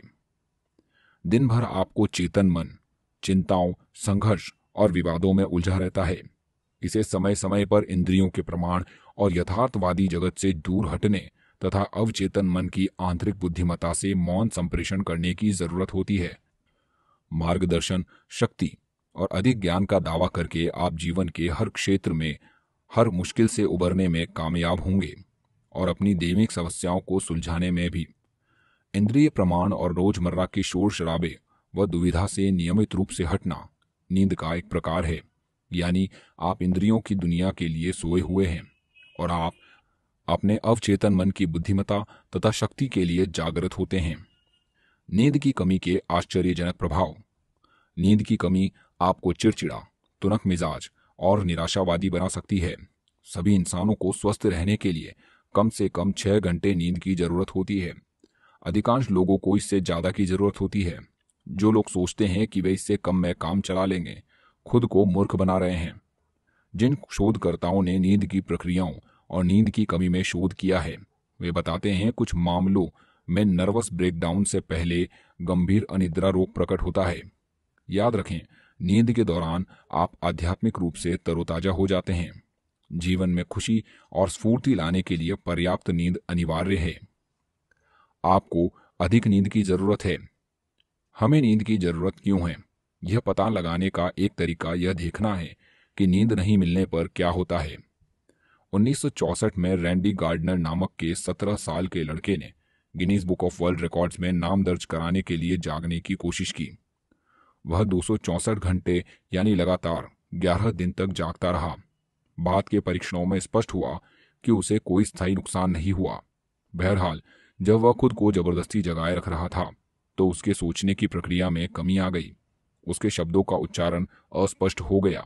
उसकी याददाश्त भी गड़बड़ा गई। बाद में उसे दृष्टिभ्रम भी होने लगा। लंबे समय तक कम नींद लेने वाले ज़्यादातर लोगों को इतने बुरे परिणाम नहीं मिलते। बहरहाल इसके गंभीर प्रभावों से वे मुश्किल में पड़ सकते हैं। National Highway Traffic Safety Administration के मुताबिक, नींद संबंधी बीमारियों के कारण हर साल दो लाख दुर्घटनाएँ होती हैं। पाँच में से एक ड्राइवर गाड़ी चलाते समय कभी कभार झपकी ले लेता है। इस वजह से दिन के बजाय रात को दुर्घटना की आशंका पाँच से दस गुना बढ़ जाती है। वॉलंटियर्स के साथ किए गए प्रयोगों से पता चला कि थका हुआ मस्तिष्क नींद के लिए इतना व्याकुल रहता है कि वह इसे पाने के लिए कोई भी बलिदान देने को तैयार रहता है। प्रयोग के दौरान कुछ घंटों की नींद की कमी के बाद वॉलेंटियर हल्की झपकी लेने लगे। ऐसा एक घंटे में तीन चार बार हुआ। इस दौरान असली नींद की तरह उनकी पलकें बंद हो जाती थी और उनके मस्तिष्क की तरंगे धीमी हो जाती थी। पहले तो ये झपकियाँ सेकंड के हिस्से तक सीमित रहीं, लेकिन जब नींद की कमी के घंटे बढ़ते गए तो ये झपकियाँ ज़्यादा बार आईं और ज़्यादा समय तक चलती रहीं। यहाँ तक कि दो तीन सेकंड तक। भले ही वॉलेंटियर तूफ़ान में हवाई जहाज़ चला रहा हो, लेकिन वह कुछ बेशकीमती सेकंडों की झपकी का प्रतिरोध नहीं कर सकता। नींद सलाह लाती है। सेंड्रा एफ़ लॉस एंजलिस की एक युवा महिला है, जो अक्सर रेडियो पर मेरे भाषण सुनती है। उसने मुझे बताया कि न्यूयॉर्क सिटी में एक नौकरी का प्रस्ताव मिला, जहाँ उसे वर्तमान नौकरी से दो गुनी तनख्वाह देने का प्रस्ताव रखा गया। वह फैसला नहीं कर पा रही थी कि नौकरी स्वीकार करे या नहीं। सोने जाने से पहले उसने इन शब्दों की प्रार्थना की। मेरे अवचेतन मन का रचनात्मक ज्ञान जानता है कि मेरे लिए क्या सबसे अच्छा है। इसकी प्रवृत्ति हमेशा जीवन की ओर है और यह मुझे सही निर्णय बताता है, जिससे मुझे और सभी संबंधित लोगों को लाभ पहुंचेगा। मैं उस जवाब के लिए धन्यवाद देती हूँ, जो मैं जानती हूँ कि मुझे मिलेगा। उसने सोते समय इन आसान प्रार्थना में लोरी की बार बार तरह दोहराया। सुबह उसे प्रबल एहसास हुआ कि उसे नई नौकरी का प्रस्ताव को स्वीकार नहीं करना चाहिए। उसने इसे ठुकरा दिया। बाद की घटनाओं ने उसके अंदरूनी एहसास को सही ठहराया, क्योंकि कुछ महीनों बाद वह कंपनी दिवालिया हो गई। चेतन मन यथार्थवादी तथ्यों के मामले में सही हो सकता है। बहरहाल अवचेतन मन की सहज बोध की क्षमता को कंपनी की समस्याओं का एहसास था। इसलिए उसने उसे सही चेतावनी दी, निश्चित तबाही से बचाया। अगर आप सोने जाते समय सही कर्म के लिए प्रार्थना करते हैं तो अवचेतन मन की बुद्धिमता आपको निर्देश दे सकती है और आपकी रक्षा कर सकती है। कई साल पहले मुझे सुदूर पूर्व में आर्थिक रूप से काफ़ी आकर्षण प्रस्ताव मिला। मैंने मार्गदर्शन और सही निर्णय के लिए इस तरह से प्रार्थना की। मेरे अंदर की असीमित बुद्धिमता सब जानती है। सही निर्णय देवी विधान ने मुझे बताया जाता है। जब जवाब मिलेगा तो मैं उसे पहचान लूँगा। मैंने सोने जाने से पहले इस प्रार्थना को बार बार लोरी की तरह दोहराया। उस रात मैंने एक सपना देखा, जिसमें एक पुराना दोस्त मेरे पास आया। उसके हाथ में एक अखबार था, और वह बोला, इन हेडलाइंस को पढ़ो, मत जाओ। अखबार की हेडलाइंस हिंसा, उपद्रव और युद्धों की खबर से भरी हुई थी, जो सभी कुछ समय बाद उसी इलाके में हुए। जहाँ मुझे जाना था। आपका अवचेतन मन सब कुछ समझता है, यह सारी बातें जानता है। अक्सर यह आपसे बोलेगा, लेकिन ऐसी आवाज़ में जिसे आपका चेतन मन तत्काल मान लेगा।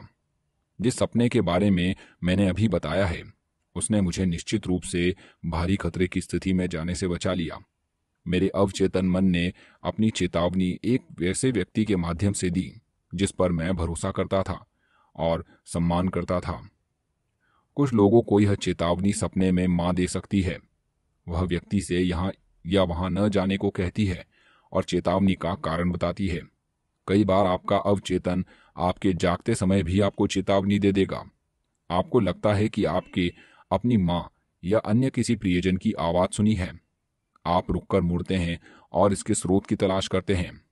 बाद में आप पाते हैं कि अगर आप उसी रास्ते आगे होते तो खिड़की से गिरने वाले आपके सामान से सिर टूट चुका होता। आपका भविष्य आपके अवचेतन मन में है। याद रहे, चूँकि आपका भविष्य आपकी आदतन सोच का परिणाम है, इसलिए यह पहले से ही आपके मन में है, जब तक कि आप इसे प्रार्थना द्वारा बदल न लें। इसी तरह देश का भविष्य भी देशवासियों की सामूहिक अवचेतना में है। अब उसे पाने में कुछ भी अजीब नहीं है। जिसमें मैंने अखबारों की सुर्खियाँ देखी थी, हालाँकि वह घटनाएँ उस समय तक नहीं घटी थीं। बहरहाल वह घटनाएँ उन लोगों के मन में तो पहले ही घट चुकी थी, जिन्होंने उनकी साजिश रची थी। उनकी सभी योजनाएँ पहले से ही उस महान रिकॉर्डिंग यंत्र, यानी शाश्वत मन के सामूहिक अवचेतन पर अंकित थी। आने वाले कल की घटनाएँ आपके अवचेतन मन में हैं। इसी तरह अगले सप्ताह और अगले महीने का भी है। उन्हें बहुत अर्थ इंद्रिय और पराभौतिक व्यक्ति द्वारा ग्रहण किया जा सकता है। अगर आप प्रार्थना करने का कोई फैसला करें तो आपके साथ कोई तबाही या त्रासदी नहीं हो सकती। कोई भी चीज़ पहले से तय नहीं होती है। आपका मानसिक नज़रिया जिस तरह आप सोचते, महसूस करते और यकीन करते हैं, ही आपका भाग्य निर्धारित करता है। वैज्ञानिक प्रार्थना द्वारा आप अपने भविष्य को ढाल सकते हैं, आकार दे सकते हैं और बना सकते हैं। इंसान जैसा बोएगा, वैसा ही उसे काटना पड़ेगा। एक छोटी सी झपकी से उसे पंद्रह हज़ार डॉलर मिले। बरसों पहले मेरे एक विद्यार्थी ने मुझे अखबार की कटिंग भेजी, जिसमें रे हेमस्ट्रॉन्ग नामक व्यक्ति के बारे में लेख था। वह पिट्सबर्ग स्टील की मिल में काम करता था। मिल के विभाग में हाल ही में एक नई मशीन लगाई गई थी, जो बनकर निकलने वाली गर्म स्टील की छड़ों की डिलीवरी नियंत्रित करती थी। मशीन लगाने वालों की सारी कोशिशों के बावजूद मशीन ठीक से काम नहीं कर रही थी। इंजीनियरों ने इस दिशा में कई दिनों तक मेहनत की, लेकिन कोई फ़ायदा नहीं हुआ। हेमस्ट्रोम ने समस्या के बारे में बहुत सोचा। उसने एक नई डिज़ाइन तैयार करने की कोशिश की, जो काम कर सके, लेकिन वह कुछ नहीं सोच पाया। एक दोपहर वह झपकी लेने के लिए लेटा। सोते समय भी वह दोषपूर्ण स्विच की समस्या के बारे में ही सोच रहा था। झपकी के दौरान उसने एक सपना देखा, जिसमें उसे स्विच की आदर्श डिज़ाइन दिख गई। जागने पर उसने सपने की आकृति के अनुसार डिज़ाइन का स्केच बना लिया। इस कल्पनापूर्ण झपटी ने हेमस्ट्रोम को पंद्रह हज़ार डॉलर का एक चेक दिलवा दिया, जो उस फर्म द्वारा किसी कर्मचारी को नए विचार के लिए दिया। सबसे बड़ा पुरस्कार था। किस तरह के एक प्रोफेसर ने अपनी नींद में समस्या सुलझाई? Doctor H V Hilprecht Pennsylvania University में प्रोफेसर ऑफ़ एसीरियन थे। अपने संस्मरणों में वे एक अद्भुत अनुभव बताते हैं। एक शनिवार की शाम में निरर्थक कोशिशों के बाद थक चुका था। मैं गोमेद रत्न के दो छोटे टुकड़ों का रहस्य नहीं सुलझा पा रहा था। उन्हें देखकर लगता था कि वे किसी बेबीलोन वासी की अंगूठी के होंगे। आधी रात के करीब मैं सोने चला गया और मुझे एक अद्भुत सपना दिखा। निपुर नामक जगह पर एक लंबा छरहरा पुजारी, जिसकी उम्र लगभग चालीस साल होगी, मुझे मंदिर के कोष कक्ष तक ले गया। एक छोटा नीची छत वाला कमरा, जिसमें खिड़कियाँ नहीं लगी थी। जहाँ गोमेद और लहसुनिया के टुकड़े ज़मीन पर बिखरे पड़े थे, वहाँ उसने मुझसे कहा, जिन दो टुकड़ों का स्केच तुमने पेज 22 और पेज 26 पर प्रकाशित किया है, वे उंगली की अलग अलग अंगूठियाँ नहीं हैं, वे इकट्ठी हैं। पहली दो अंगूठियाँ देवता की मूर्ति की कान की बालियाँ हैं। जो दो टुकड़े तुम्हारे पास हैं, वे उनके हिस्से हैं। अगर तुम इन्हें इकट्ठा जोड़कर देखोगे तो मेरी बात की पुष्टि हो जाएगी। मैं तत्काल जा गया। मैंने टुकड़ों की जाँच की। और मुझे हैरानी हुई कि मेरा सपना सच था। समस्या आखिर सुलझ गई। इस स्पष्टीकरण से उनके अवचेतन मन का रचनात्मक ज्ञान प्रदर्शित होता है, जो उनकी सभी समस्याओं के जवाब जानता था। किस तरह अवचेतन ने एक मशहूर लेखक के सोते समय काम किया? अपनी एक पुस्तक एक्रोज द प्लेन में रॉबर्ट लुई स्टीवेंसन ने अपने सपनों के विषय में एक पूरा अध्याय लिखा है। वे प्रबल स्वप्नदर्शी थे। उनकी आदत थी कि वे हर रात सोने से पहले अपने अवचेतन को स्पष्ट निर्देश देते थे। वे अपने अवचेतन से आग्रह करते थे कि सोने से पहले उनके लिए कहानियाँ गढ़ें। उदाहरण के लिए, जब उनके बैंक खाते में पैसे कम हो जाते थे तो वे अपने अवचेतन को कुछ इस तरह का आदेश देते थे, मुझे एक बेहतरीन रोमांचक उपन्यास दो, जो बिकाऊ और लाभदायक हो। उनका अवचेतन बहुत अच्छी तरह से प्रतिक्रिया करता था। स्टीवेंसन लिखते हैं, ये छोटे बौने मुझे टुकड़े टुकड़े में किसी धारावाहिक की कहानी बता सकते हैं, और उनका लक्ष्य क्या है? यह मुझे यानी रचयिता को ही पता नहीं होता है। जागृत अवस्था में मैं जो काम करता हूँ, वह भी आवश्यक रूप से मेरा नहीं है, क्योंकि इसमें भी बोनों का हाथ साफ़ नज़र आता है। शांति से सोएँ और खुशी से जागें। अगर आप अनिद्रा से पीड़ित हैं तो आप नीचे दी गई प्रार्थना को बहुत कारगर पाएँगे। इसे सोने से पहले धीरे धीरे शांति से और प्यार से दोहराएँ। मेरे पैरों के अंगूठे शिथिल हैं। मेरे टखने शिथिल हैं। मेरी पेट की मांसपेशियाँ शिथिल हैं। मेरा हृदय और फेफड़े शिथिल हैं। मेरे हाथ शिथिल हैं। मेरी गर्दन शिथिल है। मेरा मस्तिष्क शिथिल है। मेरा चेहरा शिथिल है। मेरी आँखें शिथिल हैं और मेरा पूरा मन और शरीर शिथिल है। मैं पूरी तरह से हर एक को क्षमा कर सकता हूँ और मैं सबके लिए सद्भाव, सेहत, शांति और जीवन की सभी नियमताओं की सच्ची इच्छा करता हूँ। मैं शांति से हूँ। मैं संतुलित और शांत हूँ। मैं सुरक्षा और शांति में विश्राम करता हूँ। एक गहरी शांति मेरे पूरे अस्तित्व को शांत करती है। जब मैं अपने भीतर दैवी उपस्थिति का एहसास करता हूँ, मैं जानता हूँ कि जीवन और प्रेम का एहसास मेरा उपचार करता है। मैं खुद को प्रेम की चादर में लपेटता हूँ और सबके प्रति सद्भावना से भरा सोता हूँ। रात भर शांति मेरे साथ रहती है। और सुबह मैं जब जीवन तथा प्रेम से भरा रहूँगा, मेरे चारों तरफ़ प्रेम का दायरा है, मुझे किसी बुराई का डर नहीं होगा, क्योंकि आप मेरे साथ हैं। मैं शांति से सोऊँगा, खुशी से जागूँगा, और जिनमें मैं जीऊँगा, चलूँगा, और मेरा अस्तित्व होगा। नींद के चमत्कारों का संक्षेप। पहला, अगर आप चिंतित हो कि आप समय पर नहीं उठ पाएँगे तो सोने से पहले अपने अवचेतन मन को वह सटीक समय बता दें। जब आप उठना चाहते हो, यह आपको उठा देगा।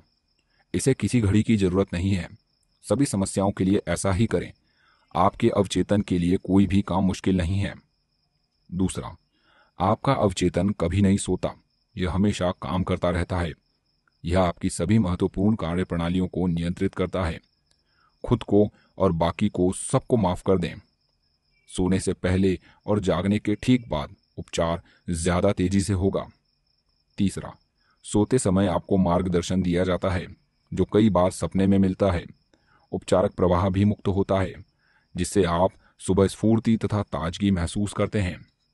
चौथा, जब आप दिन भर की चिंताओं और संघर्ष के कारण कष्ट में हो तो अपने दिमाग को शांत कर लें और अपने अवचेतन मन में वास करने वाली बुद्धिमता तथा ज्ञान के बारे में सोचें, जो आपको जवाब देने के लिए तैयार है।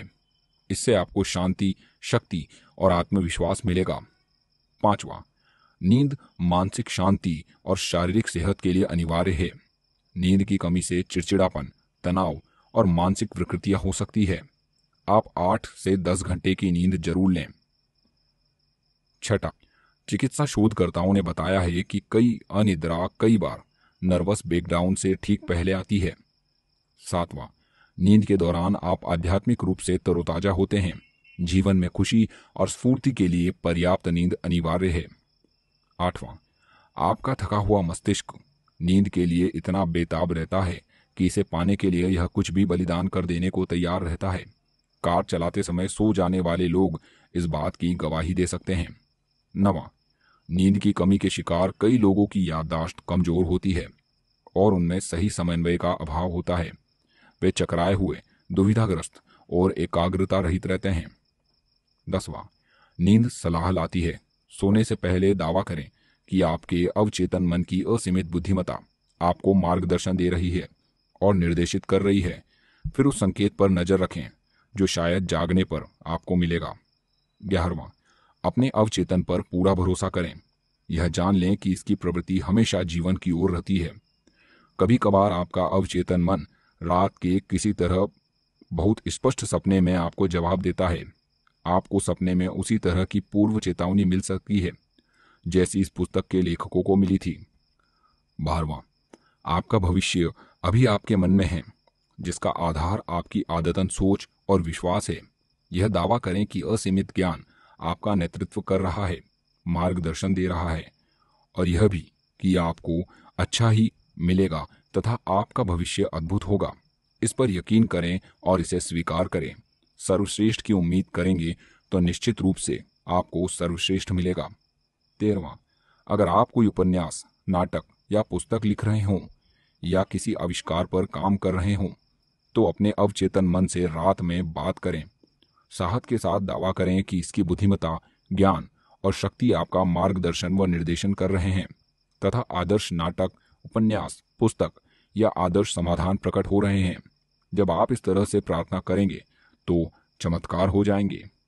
चौदवा अध्याय। आपका अवचेतन मन और वैवाहिक समस्याएँ।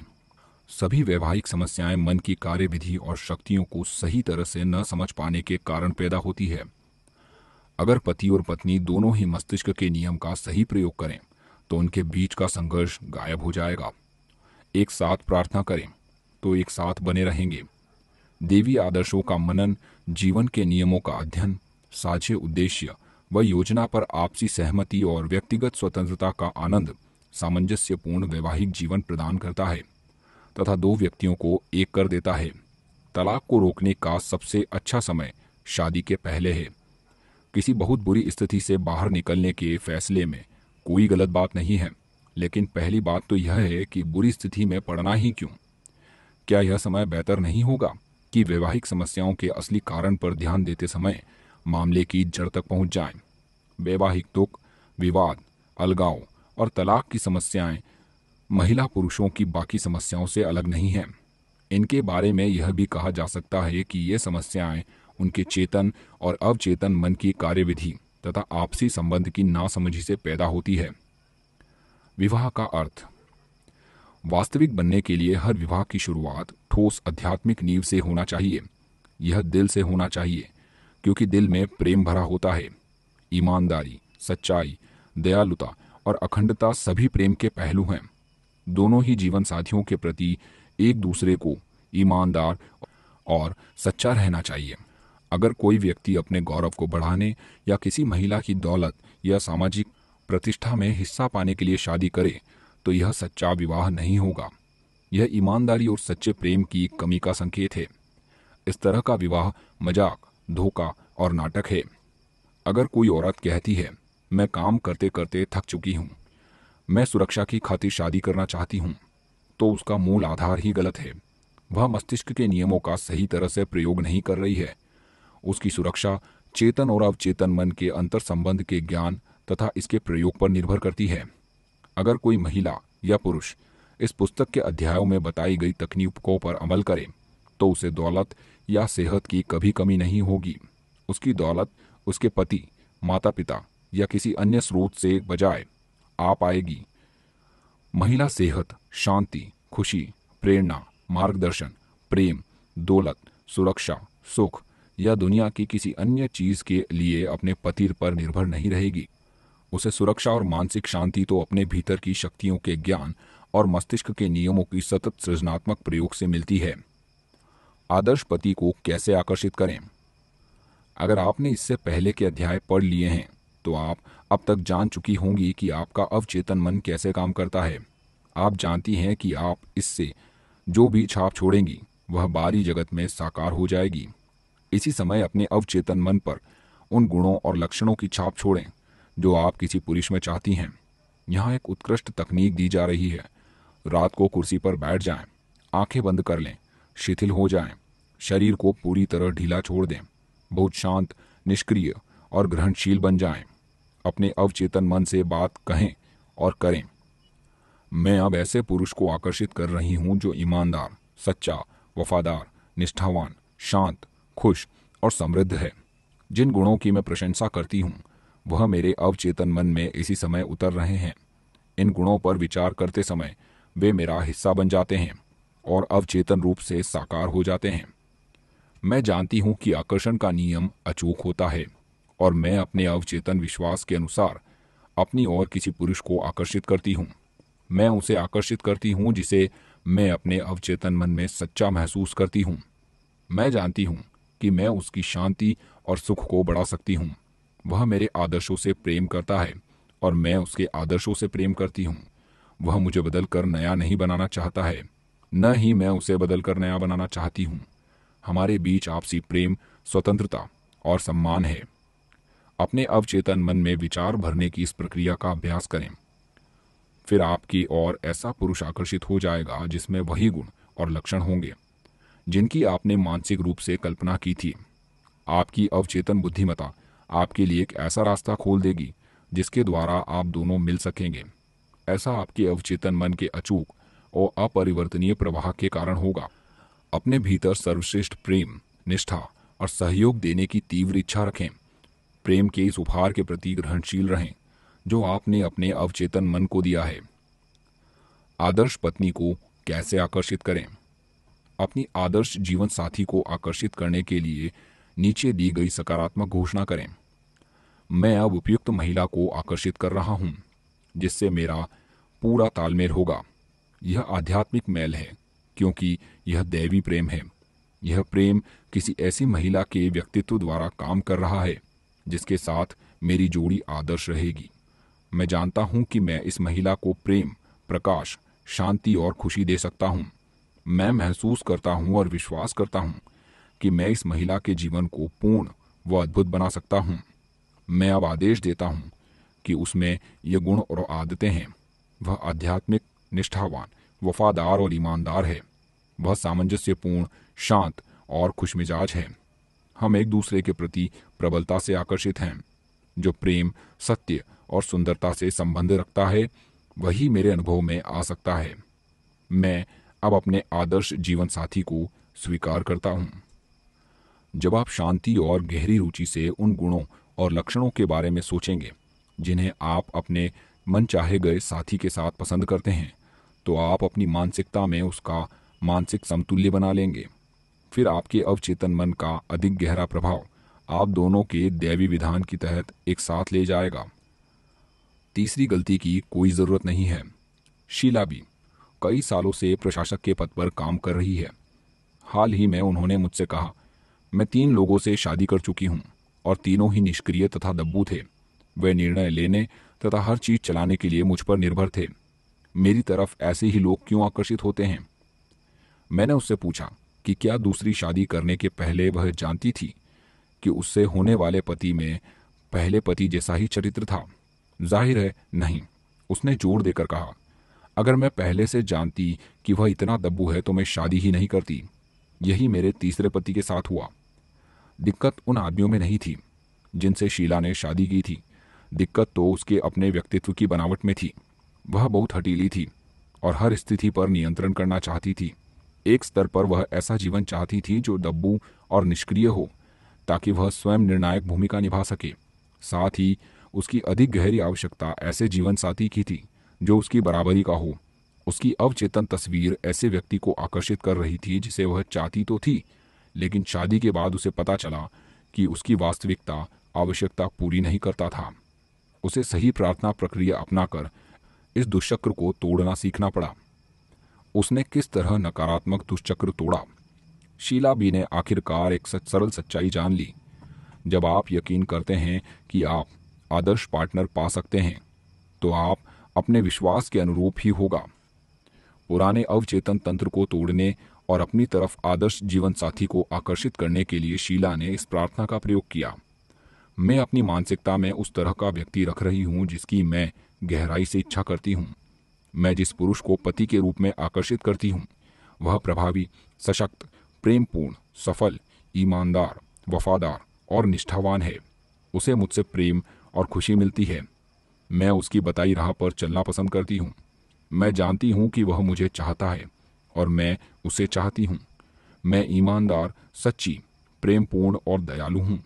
मेरे पास उसे देने के लिए अद्भुत तोहफे हैं।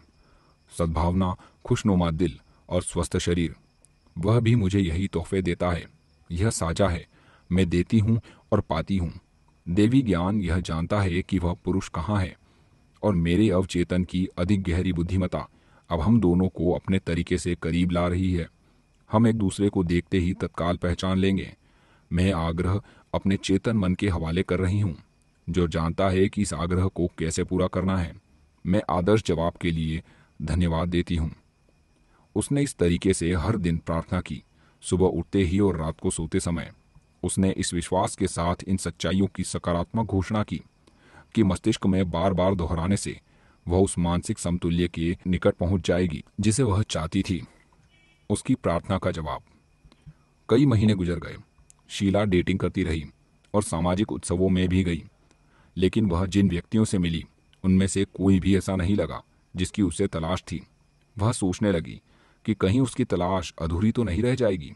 उसने पाया कि वह खुद से सवाल पूछ रही है। डामाडोल हो रही है, शंका कर रही है और ढुलमुल हो रही है। इस मोड़ पर उसने खुद को याद दिलाया कि असीमित बुद्धिमता इस काम को अपने तरीके से कर रही है। इसके बारे में चिंता करने की कोई ज़रूरत नहीं है। जब उसे कोर्ट से तलाक का आखिरी आदेश मिल गया तो उसे मुक्ति और मानसिक स्वतंत्रता का गहरा एहसास हुआ। इसके बाद जल्दी ही उसने एक मेडिकल कंपनी में एक प्रमुख प्रशासक का नया पद मिल गया।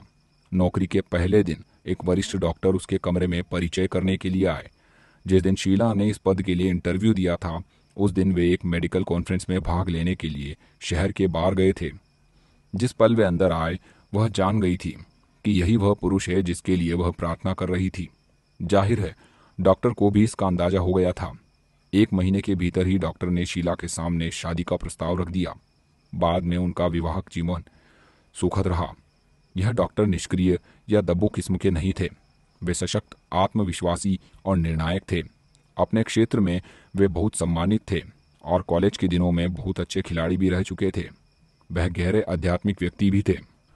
शीला को वह जीवन साथी मिल गया, जिसके लिए उसने प्रार्थना की थी। ऐसा इसलिए हुआ क्योंकि उसने इनका मानसिक रूप से तब तक दावा किया, जब तक कि वे संतृप्ति के बिंदु तक न पहुँच गई हो। दूसरे शब्दों में कहें, वह मानसिक और भावनात्मक रूप से अपने विचार के साथ एकाकार हो गई और यह उसका हिस्सा बन गया। क्या मुझे तलाक ले लेना चाहिए? तलाक नितांत व्यक्तिगत सवाल है। इसका कोई ऐसा आम जवाब नहीं हो सकता, जो सब पर सही बैठता हो। ज़ाहिर है, कुछ मामलों में तो तलाक ही नहीं होनी चाहिए। दूसरे मामलों में तलाक समस्या का समाधान नहीं है। तलाक एक व्यक्ति के लिए सही और दूसरे व्यक्ति के लिए गलत हो सकता है। जिस व्यक्ति को तलाक दिया जा रहा है, वह झूठी ज़िंदगी जी रहे कई विवाहित लोगों से ज़्यादा सच्चा और बेहतर हो सकता है। उदाहरण के लिए एक बार मुझसे एक महिला ने परामर्श लिया। उसका पति उसे मारता पीटता और नशे की लत में उससे पैसे चुरा लेता था। उस महिला को बचपन से सिखाया गया था कि शादी पवित्र और स्थायी होती है तथा तलाक अनैतिक है। मैंने उसे बताया कि सच्चा विवाह दो दिलों का मेल है। अगर दो दिल सामंजस्य, प्रेम और ईमानदारी में एक होते हैं तो यह आदर्श विवाह है। प्रेम करना दिल का पवित्र कर्म है। मेरी बात सुनने के बाद वह जान गई कि उसे क्या करना चाहिए। वह अपने मन में जानती थी कि ऐसी कोई देवी नियम नहीं है। जो उसे मजबूर करता हो कि वह धौस में रहे, डांट खाती रहे और पिटती रहे। सिर्फ़ इसलिए क्योंकि किसी ने एक बार कहा था, आज से तुम दोनों पति पत्नी हो। अगर आप असमंजस में हो कि क्या करना है तो मार्गदर्शन मांगे। जान लें कि हर सवाल का हमेशा कोई ना कोई जवाब होता है और यह आपको मिलेगा। आपकी आत्मा की खामोशी में आपको जो जवाब मिले, उस पर अमल करें। यह आपसे शांति में बोलती है। तलाक तक पहुँचना। मैंने एक बार एक युवा दंपत्ति से बात की, जो शादी के कुछ महीने बाद ही तलाक ले रहे थे। युवक को लगातार डल सताता था कि उसकी पत्नी उसे छोड़कर चली जाएगी। उसे अस्वीकृति की आशंका थी और वह मानता था कि उसकी पत्नी उसके प्रति वफादार नहीं थी। ये विचार उसे बुरी तरह सताने लगे। और उस पर हावी हो गए। उसका मानसिक नज़रिया अलगाव और शंका का था। महिला के प्रति उदासीन महसूस करने लगी। लेकिन यह उस पुरुष की भावना का ही परिणाम था। अलगाव का माहौल पति के अवचेतन मन से संचालित हो रहा था और उसने उसके पीछे के मानसिक पैटर्न के अनुरूप स्थिति या कर्म उत्पन्न कर दिया। यह क्रिया और प्रतिक्रिया का कारण और परिणाम का नियम है। विचार क्रिया है। जिस पर अवचेतन मन प्रतिक्रिया करता है। उसकी पत्नी घर छोड़कर चली गई और उसने तलाक का आवेदन दे दिया। वही हुआ जिसका उस पति को डर और विश्वास था। तलाक मन में शुरू होता है। तलाक सबसे पहले मन में शुरू होता है। कानूनी कार्यवाही बाद में होती है। ये युवा पति पत्नी द्वेष, डर, शंका और क्रोध से भरे थे। इस तरह का नज़रिया पूरे अस्तित्व को कमज़ोर करता है, थका देता है और पस्त कर देता है।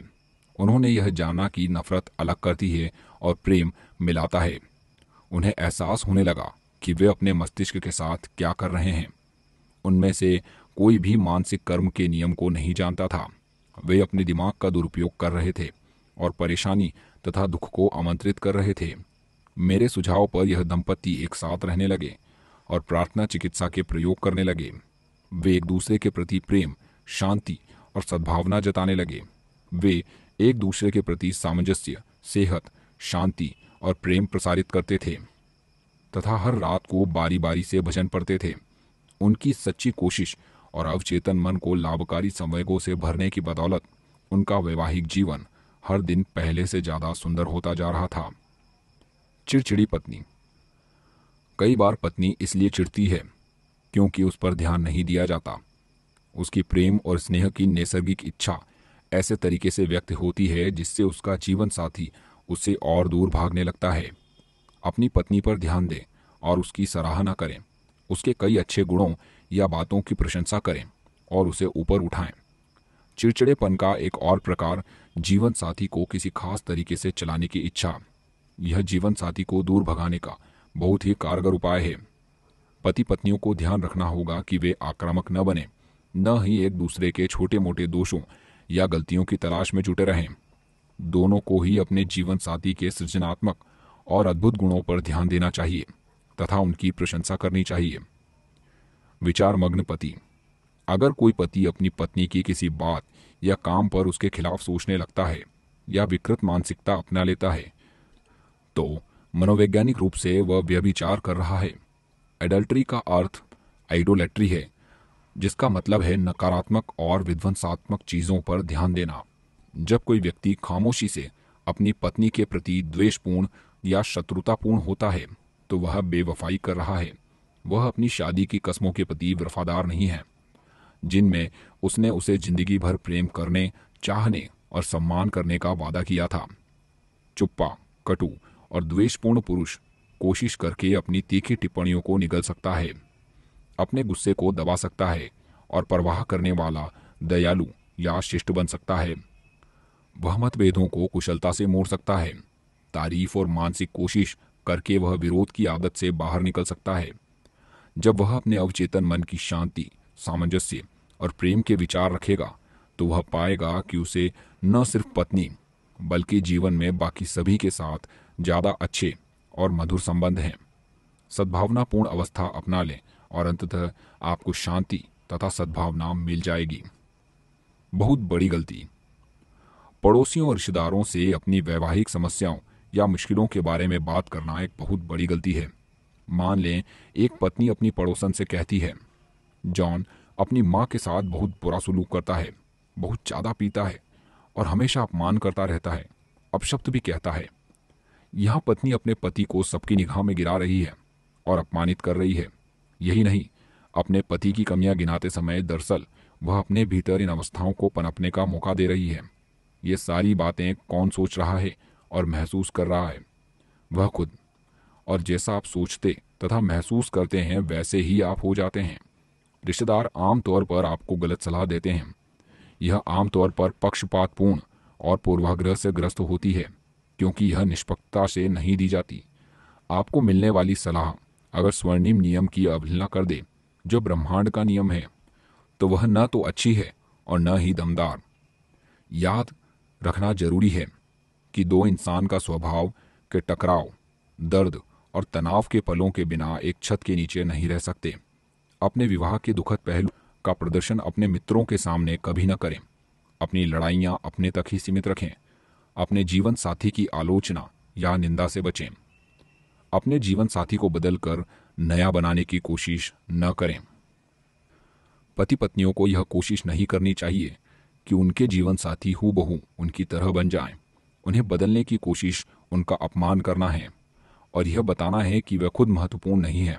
ये कोशिशें हमेशा मूर्खतापूर्ण होती है और कई बार तो वैवाहिक जीवन को तबाह भी कर देती है। किसी को बदलने की कोशिश और उसके गर्व और आत्मसम्मान को नष्ट कर देती है। यह विरोध और द्वेष की भावना जगाती है, जो वैवाहिक संबंध के लिए घातक साबित हो सकता है। इन कदमों द्वारा प्रार्थना करके एक साथ रहें। पहला कदम, कभी भी छोटी मोटी निराशाओं से होने वाली चिड़ को अगले दिन तक न ढोएँ। रात को सोने से पहले एक दूसरे को हर कड़वी बात के लिए माफ़ कर दें। आप सुबह जिस पल जागें, यह दावा करें कि असीमित बुद्धिमता आपको सभी तरीकों से मार्गदर्शन दे रही है। शांति सामंजस्य और प्रेम के विचार अपने जीवन साथी, परिवार के सभी सदस्यों और पूरी दुनिया की तरफ़ प्रेषित करें। दूसरा कदम, नाश्ते के समय भगवान को याद करें। स्वादिष्ट भोजन, समृद्धि और सभी नियामतों के लिए शुक्रिया अदा करें। यह सुनिश्चित करें कि टेबल पर समस्या, चिंता या बहस की बातचीत न हो। यही डिनर पर भी लागू होता है। अपने जीवन साथी से कहें, मैं आपके सभी कार्यों की सराहना करता हूँ और दिन भर आपकी और प्रेम तथा सद्भावना फैलाता हूँ। तीसरा कदम पति पत्नी को हर रात बारी बारी से प्रार्थना करनी चाहिए। अपने जीवन साथी को अनदेखा न करें। अपना प्रेम और सराहना जताएँ। निंदा, आलोचना और चिड़ के बजाय सराहना और सद्भाव के विचार रखें। शांत घर और सुखद वैवाहिक जीवन बनाने का तरीका, प्रेम, सुंदरता, सद्भाव, आपसी सम्मान, ईश्वर में आस्था और सभी अच्छी चीज़ों की नींव रखना है। तेईसवें सत्तावीसवें और इक्यानवे भजन, हिब्रूज के ग्यारहवें अध्याय और वन कॉरिंथियंस के तेरहवें अध्याय को पढ़ें तथा सोने से पहले बाइबल के महान प्रसंग पढ़ें। जब आप इन सच्चाइयों का अभ्यास करेंगे तो आपका वैवाहिक जीवन दिनों दिन बेहतर होता जाएगा। याद रखने लायक विचार। पहला, मानसिक और आध्यात्मिक नियमों की अज्ञान ही सारे वैवाहिक दुखों का कारण है। साथ साथ वैवाहिक प्रार्थना करने पर आप एक साथ बने रहते हैं। दूसरा, तलाक को रोकने का सबसे अच्छा समय विवाह से पहले है। अगर आप सीख लेते हैं कि सही तरीके से प्रार्थना कैसे करना है तो आप अपनी और सही जीवन साथी को आकर्षित करेंगे। तीसरा, विवाह पुरुष और स्त्री का मेल है, जो प्रेम की डोर से आपस में बंधते हैं। उनके दिल एक होकर धड़कते हैं और वे आगे, ऊपर तथा ईश्वर की तरफ़ बढ़ते हैं। चौथा, विवाह खुशी की गारंटी नहीं है। लोग ईश्वर के शाश्वत सत्यों और जीवन के आध्यात्मिक मूल्यों के ज़रिए खुशी पाते हैं। फिर पुरुष और महिला एक दूसरे की खुशी और सुख में योगदान दे सकते हैं। पांचवा, आप उन गुणों और विशेषताओं पर विचार करके सही जीवन साथी को आकर्षित करते हैं, जिनकी प्रशंसा आप किसी पुरुष या महिला में करते हैं। फिर आपका अवचेतन मन आपको दैवी विधान में एक कर देगा। छठा आप जीवन साथी में जो चाहते हैं, उसके मानसिक समतुल्य को अपनी मानसिकता में बना लें। अगर आप जीवन में सच्चे, ईमानदार और प्रेमपूर्ण जीवन साथी को आकर्षित करना चाहते हैं तो आपको खुद ईमानदार, सच्चा और प्रेमपूर्ण बनना होगा। सातवां, आपको शादी में गलतियाँ दोहराने की ज़रूरत नहीं है। जब आप सचमुच यकीन करते हैं कि आपको आदर्श जीवन साथी मिल सकता है तो आपको अपने विश्वास के अनुरूप ही मिलेगा। विश्वास करना किसी चीज़ को सच मानना है। अपने आदर्श साथी को मानसिक रूप से इसी समय स्वीकार करें। आठवां, इस बात पर हैरान ना हो कि जिस जीवन साथी के लिए आप प्रार्थना कर रहे हैं, वह कैसे, क्यों और कहाँ मिलेगा? अपने अवचेतन मन की बुद्धिमता पर पूरा भरोसा रखें। इसके पास अपने लक्ष्य को पाने की शक्ति है। आपको इसमें कोई हस्तक्षेप नहीं करना है। नवा, यदि आप अपने जीवन साथी के प्रति दुर्भावना दुश्मनी, गुबार और चिड़ रखते हैं तो आप मानसिक रूप से तलाकशुदा हैं। आप मानसिक रूप से अपने मस्तिष्क में उसकी गलतियों पर ध्यान केंद्रित कर रहे हैं। अपनी वैवाहिक कस्मों पर चलें। मैं जीवन भर उसे प्रेम और सम्मान देने का वादा करता हूँ। दसवां, अपने जीवन साथी के प्रति डर के विचार रखना बंद कर दें। प्रेम, शांति, सद्भाव और तादाम्य के विचार रखें। आपका वैवाहिक जीवन दिनों दिन अधिक सुंदर और अद्भुत होता जाएगा। ग्यारहवा, एक दूसरे के प्रति प्रेम, शांति और सद्भाव प्रसारित करें। आपका अवचेतन मन इन कंपनों को पकड़ लेता है, जिससे आपसी विश्वास, प्रेम और सम्मान बढ़ता है। बारवा चिड़चिड़ा जीवन साथी आमतौर पर ध्यान और सम्मान चाहता है। वह प्रेम और स्नेह का भूखा होता है। उसके कई अच्छे गुणों की तारीफ़ करें और उसे ऊपर उठाएँ। उसे दिखाएँ कि आप उसे प्रेम करते हैं और उसकी सराहना करते हैं। तेरहवा जो जीवन साथी एक दूसरे से प्रेम करते हैं, वे शब्द, कर्म या मन में कोई प्रेम विरोध या दया रहित काम नहीं करते हैं। प्रेम वही करता है जो प्रेम होता है। चौदवा, वैवाहिक समस्याओं को हमेशा विशेषज्ञ सलाह लें। आप दांत निकलवाने के लिए कारपेंटर के पास नहीं जाते हैं। इसी तरह आपको अपनी वैवाहिक समस्याओं के बारे में रिश्तेदारों या दोस्तों से बातचीत नहीं करनी चाहिए। अगर आपकी सलाह की ज़रूरत हो तो आप किसी प्रशिक्षित सलाहकार के पास जाएँ। पंद्रवा, कभी भी अपने पति या पत्नी को बदलकर दोबारा गढ़ने की कोशिश ना करें। ये प्रयास हमेशा मूर्खतापूर्ण होते हैं और सामने वाले के गर्व तथा आत्मसम्मान को खत्म कर देते हैं। यही नहीं, इससे द्वेष की भावना भी उत्पन्न होती है, जो वैवाहिक संबंध के लिए घातक साबित हो सकती है। अपना दूसरा संस्करण बनाने की कोशिश से बचें। सोलवा, एक साथ प्रार्थना करेंगे तो एक साथ बने रहेंगे। वैज्ञानिक प्रार्थना सभी समस्याएँ सुलझा देती है। मानसिक रूप से अपनी पत्नी की वैसी तस्वीर बनाएँ, जैसी उसे होनी चाहिए। खुश, सुखी, स्वस्थ और सुंदर। अपने पति को उस तरह देखें, जैसा उसे होना चाहिए। सशक्त, शक्तिशाली, प्रेमपूर्ण, सद्भावनापूर्ण और दयालु। मानसिक तस्वीर देखते रहेंगे तो आप अनुभव करेंगे कि आपका वैवाहिक जीवन स्वर्ग बन चुका है, जो सद्भाव और शांति से भरा है। अध्याय पंद्रह। आपका अवचेतन मन और खुशी।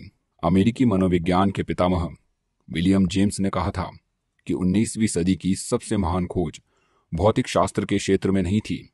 सबसे बड़ी खोज आस्था से प्रेरित अवचेतन की शक्ति थी। हर इंसान में शक्ति का असीमित भंडार है। जो दुनिया की किसी भी समस्या को परास्त कर सकता है। सच्ची और स्थायी खुशी आपके जीवन में उस दिन आएगी, जब आपको स्पष्ट एहसास हो जाएगा कि आप किसी भी कमज़ोरी से उबर सकते हैं। जब आपको यह एहसास हो जाएगा कि आपका अवचेतन आपकी समस्याओं को सुलझा सकता है, आपके शरीर का उपचार कर सकता है और आपको आपके सपनों से भी ज़्यादा समृद्धि दिला सकता है।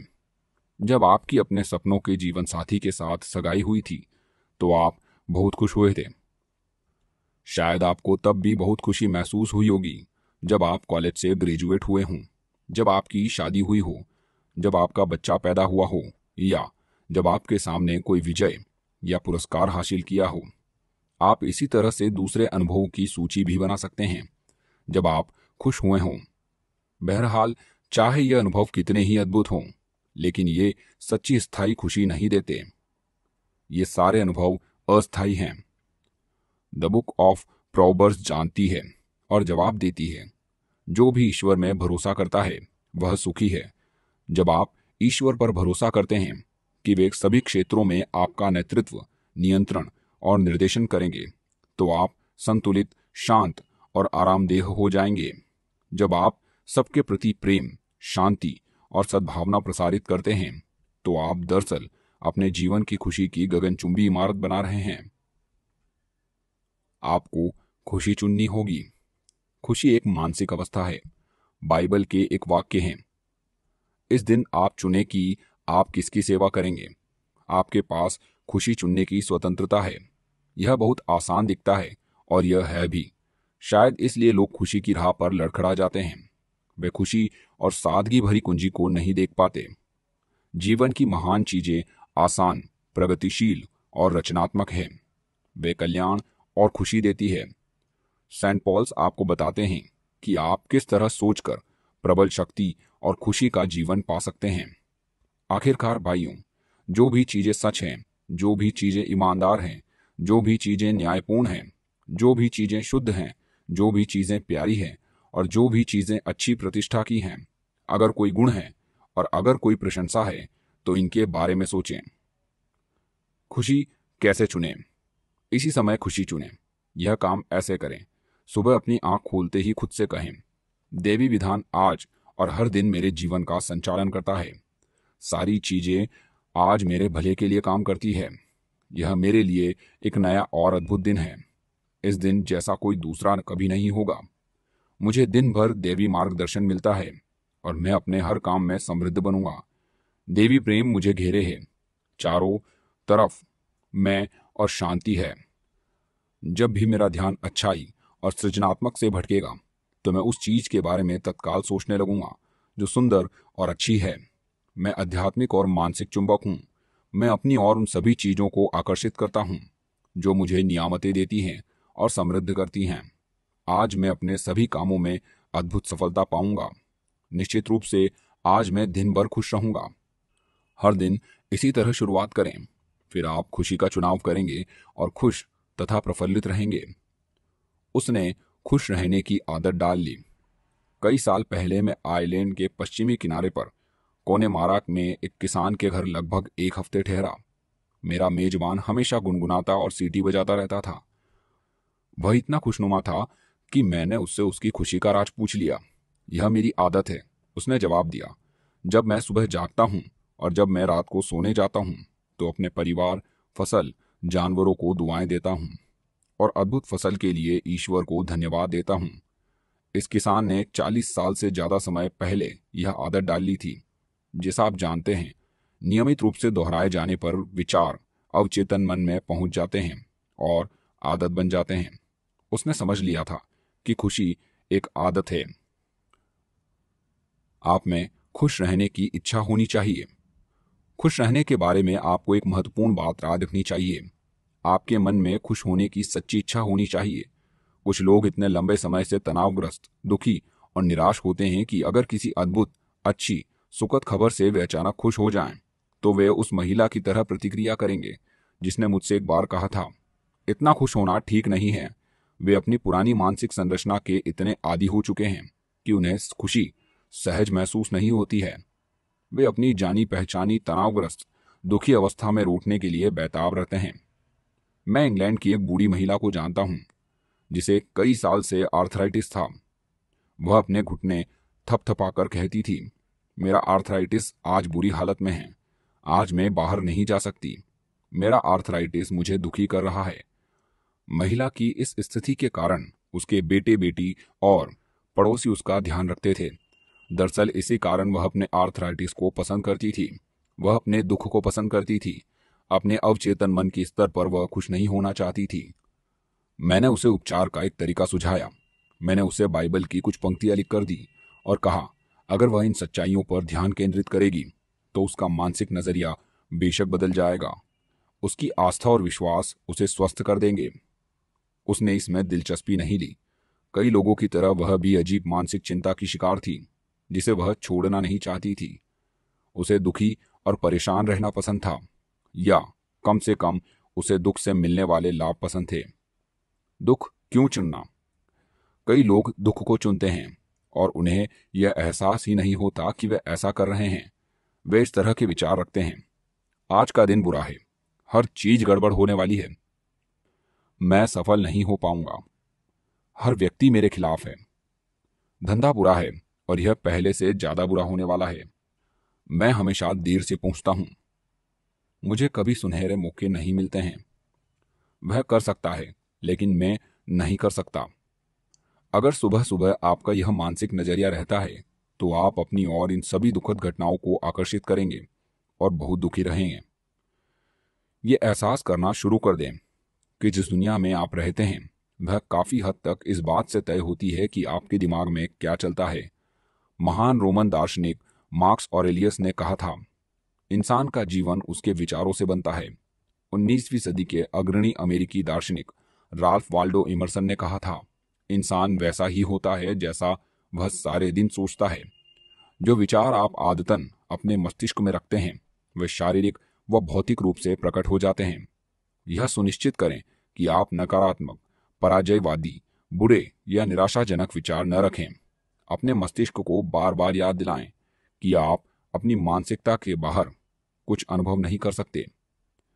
अगर मेरे पास दस लाख डॉलर होते तो मैं सुखी होता। दौलत अपने आप में आपको सुखी नहीं बना सकती। दूसरी ओर, यह सुख में बाधक भी नहीं होती है। आज कई लोग नई चीज़ें खरीदकर सुख पाने की कोशिश करते हैं। बेहतरीन टेलीविज़न, नवीनतम कार, महँगे डिज़ाइनर कपड़े, फार्म हाउस। लेकिन सुख इस तरह से खरीदा या पाया नहीं जा सकता। सुख का साम्राज्य आपके विचार और भावना में है। बहुत सारे लोग सोचते हैं कि सुख उत्पन्न करने के लिए किसी घटना की ज़रूरत होती है। कुछ कहते हैं, अगर मैं मेयर बन जाऊँ, कॉरपोरेशन का सीईओ बन जाऊँ, या अखबार के सोसाइटी पेज पर मेरी फ़ोटो छप जाए तो मैं सुखी हो जाऊँगा। सच तो यह है कि खुशी एक मानसिक और आध्यात्मिक अवस्था है। प्रमोशन या बाहरी सम्मान खुशी नहीं दे सकते। आपकी शक्ति, खुशी और सुख। तो इस बात में निहित है कि आप अवचेतन मन में निवास करने वाले दैवी विधान तथा सही कर्म के नियम का पता लगा लें और इन सिद्धांतों को अपने जीवन के सभी क्षेत्रों में लागू करें।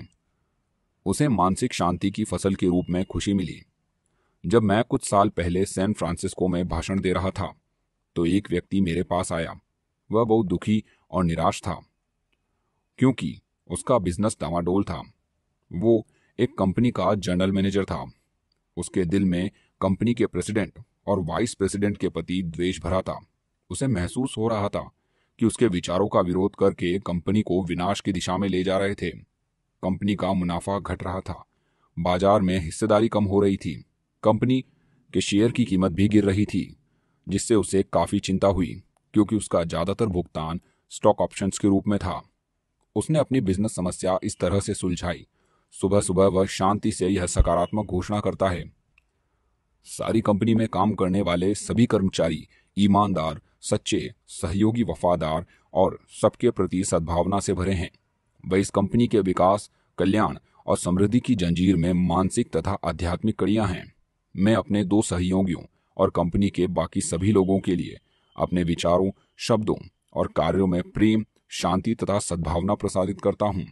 हमारी कंपनी के प्रेसिडेंट और वाइस प्रेसिडेंट को सभी कामों में ईश्वर का मार्गदर्शन मिल रहा है। मेरे अवचेतन मन की असीमित बुद्धिमता मेरे सारे द्वार सारे निर्णय लेती है। हमारे सभी बिज़नेस सौदों और पारस्परिक संबंधों में सद्भाव निहित है। मैं ऑफ़िस जाने से पहले शांति, प्रेम और सद्भावना के संदेशवाहक भेजता हूँ। कंपनी में काम करने वाले सभी लोगों के दिलो दिमाग में शांति और सद्भाव कायम रहे, जिनमें मैं भी शामिल हूँ। मैं अब आस्था, विश्वास और भरोसे के साथ एक नए दिन की शुरुआत करने जा रहा हूँ। इस बिज़नेस एग्जीक्यूटिव ने यह विचार सच मानते हुए सुबह तीन बार धीरे धीरे भावना के साथ दोहराए। दिन में जब भी उसके मन में डर या गुस्से के विचार आते थे, वह खुद से कहता था, शांति, सद्भाव और संतुलन हर समय मेरे मस्तिष्क पर शासन करते हैं। जब वह इस तरीके से अपने मस्तिष्क को अनुशासित कर रहा तो हानिकारक विचार आने बंद हो गए। और उसके मन में शांति आ गई। उसने शांति की फ़सल काटी। बाद में उसने मुझे लिखा कि मस्तिष्क को व्यवस्थित करने के लगभग दो सप्ताह बाद प्रेसिडेंट और वाइस प्रेसिडेंट ने उसे अपने ऑफ़िस में बुलाकर उसके काम तथा नए सृजनात्मक विचारों की प्रशंसा की। उन्होंने यह टिप्पणी भी की कि वे कितने सौभाग्यशाली हैं, जो उन्हें ऐसा जनरल मैनेजर मिला है। उसे यह जानकर खुशी हुई कि व्यक्ति खुद में खुशी पा सकता है। बाधा या ठूंठ महा नहीं है। बरसों पहले एक दोस्त ने मुझे घोड़े की कहानी सुनाई। एक बार यह घोड़ा सड़क के किनारे ठूंठ के पास बैठे सांप से डर गया। उसके बाद वह ठूंठ के पास आते ही घोड़ा बिदक जाता था। किसान ने ठूंठ को खोदा, उसे जला दिया और उस जगह को समतल कर दिया, लेकिन इससे मदद नहीं मिली। बरसों बाद तक घोड़ा ठूंठ वाली जगह के पास पहुंचकर बिदक जाता था। घोड़ा ठूंठ से उसकी याद से बिदक रहा था। आपकी खुशी में आपके विचार जीवन और मानसिक छवि के सिवा कोई बाधा नहीं है। क्या डर या चिंता ने आपको पीछे रोक रखा है?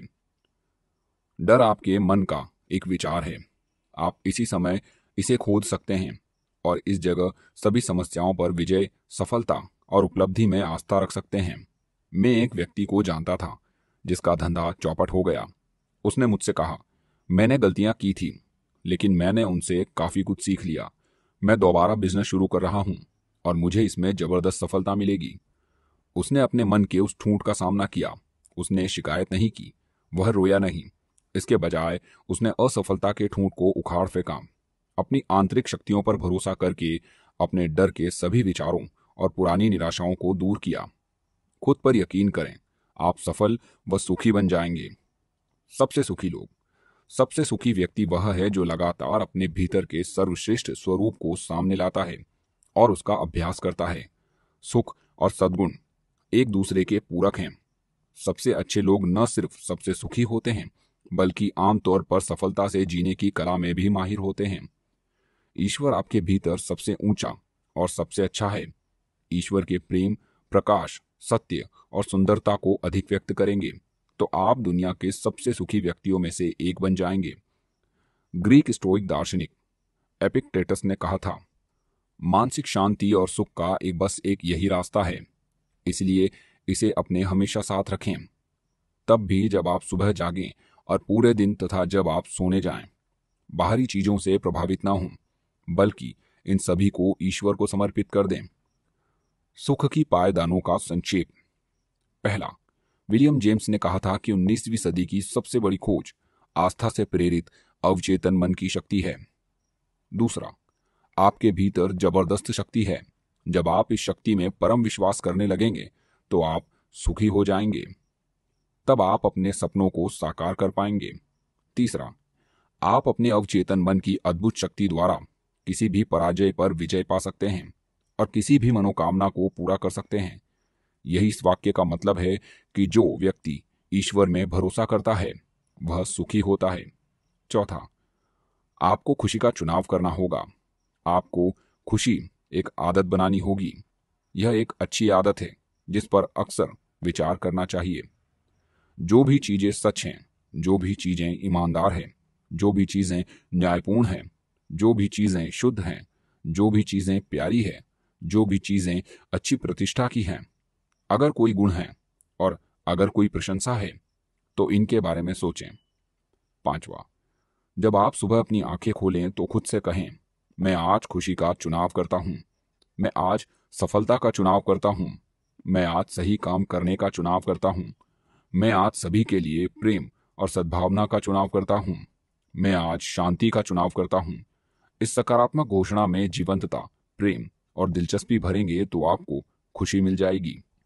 छठा हर दिन कई बार अपनी सभी नियामतों के लिए शुक्रिया अदा करें। इसके अलावा अपने परिवार के सदस्यों, सहयोगियों और सारी दुनिया की शांति, खुशी तथा समृद्धि के लिए प्रार्थना करें। सातवां, आपके मन में खुश रहने की सच्ची इच्छा होनी चाहिए। बिना इच्छा के कुछ हासिल नहीं होता है। इच्छा कल्पना और आस्था के पंखों के साथ की गई कामना है। अपनी इच्छा के साकार होने की कल्पना करें। इसकी वास्तविकता महसूस करें और यह साकार हो जाएगी। खुशी प्रार्थना के जवाब में मिलती है। आठवां। लगातार डर, चिंता, गुस्से, नफरत और असफलता के विचारों को छोड़कर आप निराश और दुखी बन जाएँगे। याद रखें, आपकी ज़िंदगी वैसी ही है, जैसा आपके विचार इसे बनाते हैं। नवा। आप दुनिया के सारे पैसे से भी खुशी नहीं खरीद सकते। कुछ करोड़पति खुश हैं, कुछ दुखी हैं।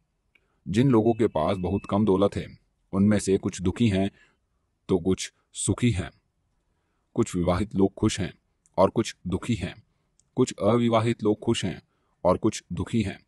खुशी का साम्राज्य आपके विचार और भावना में है। दसवां, खुशी शांत मस्तिष्क की फ़सल है।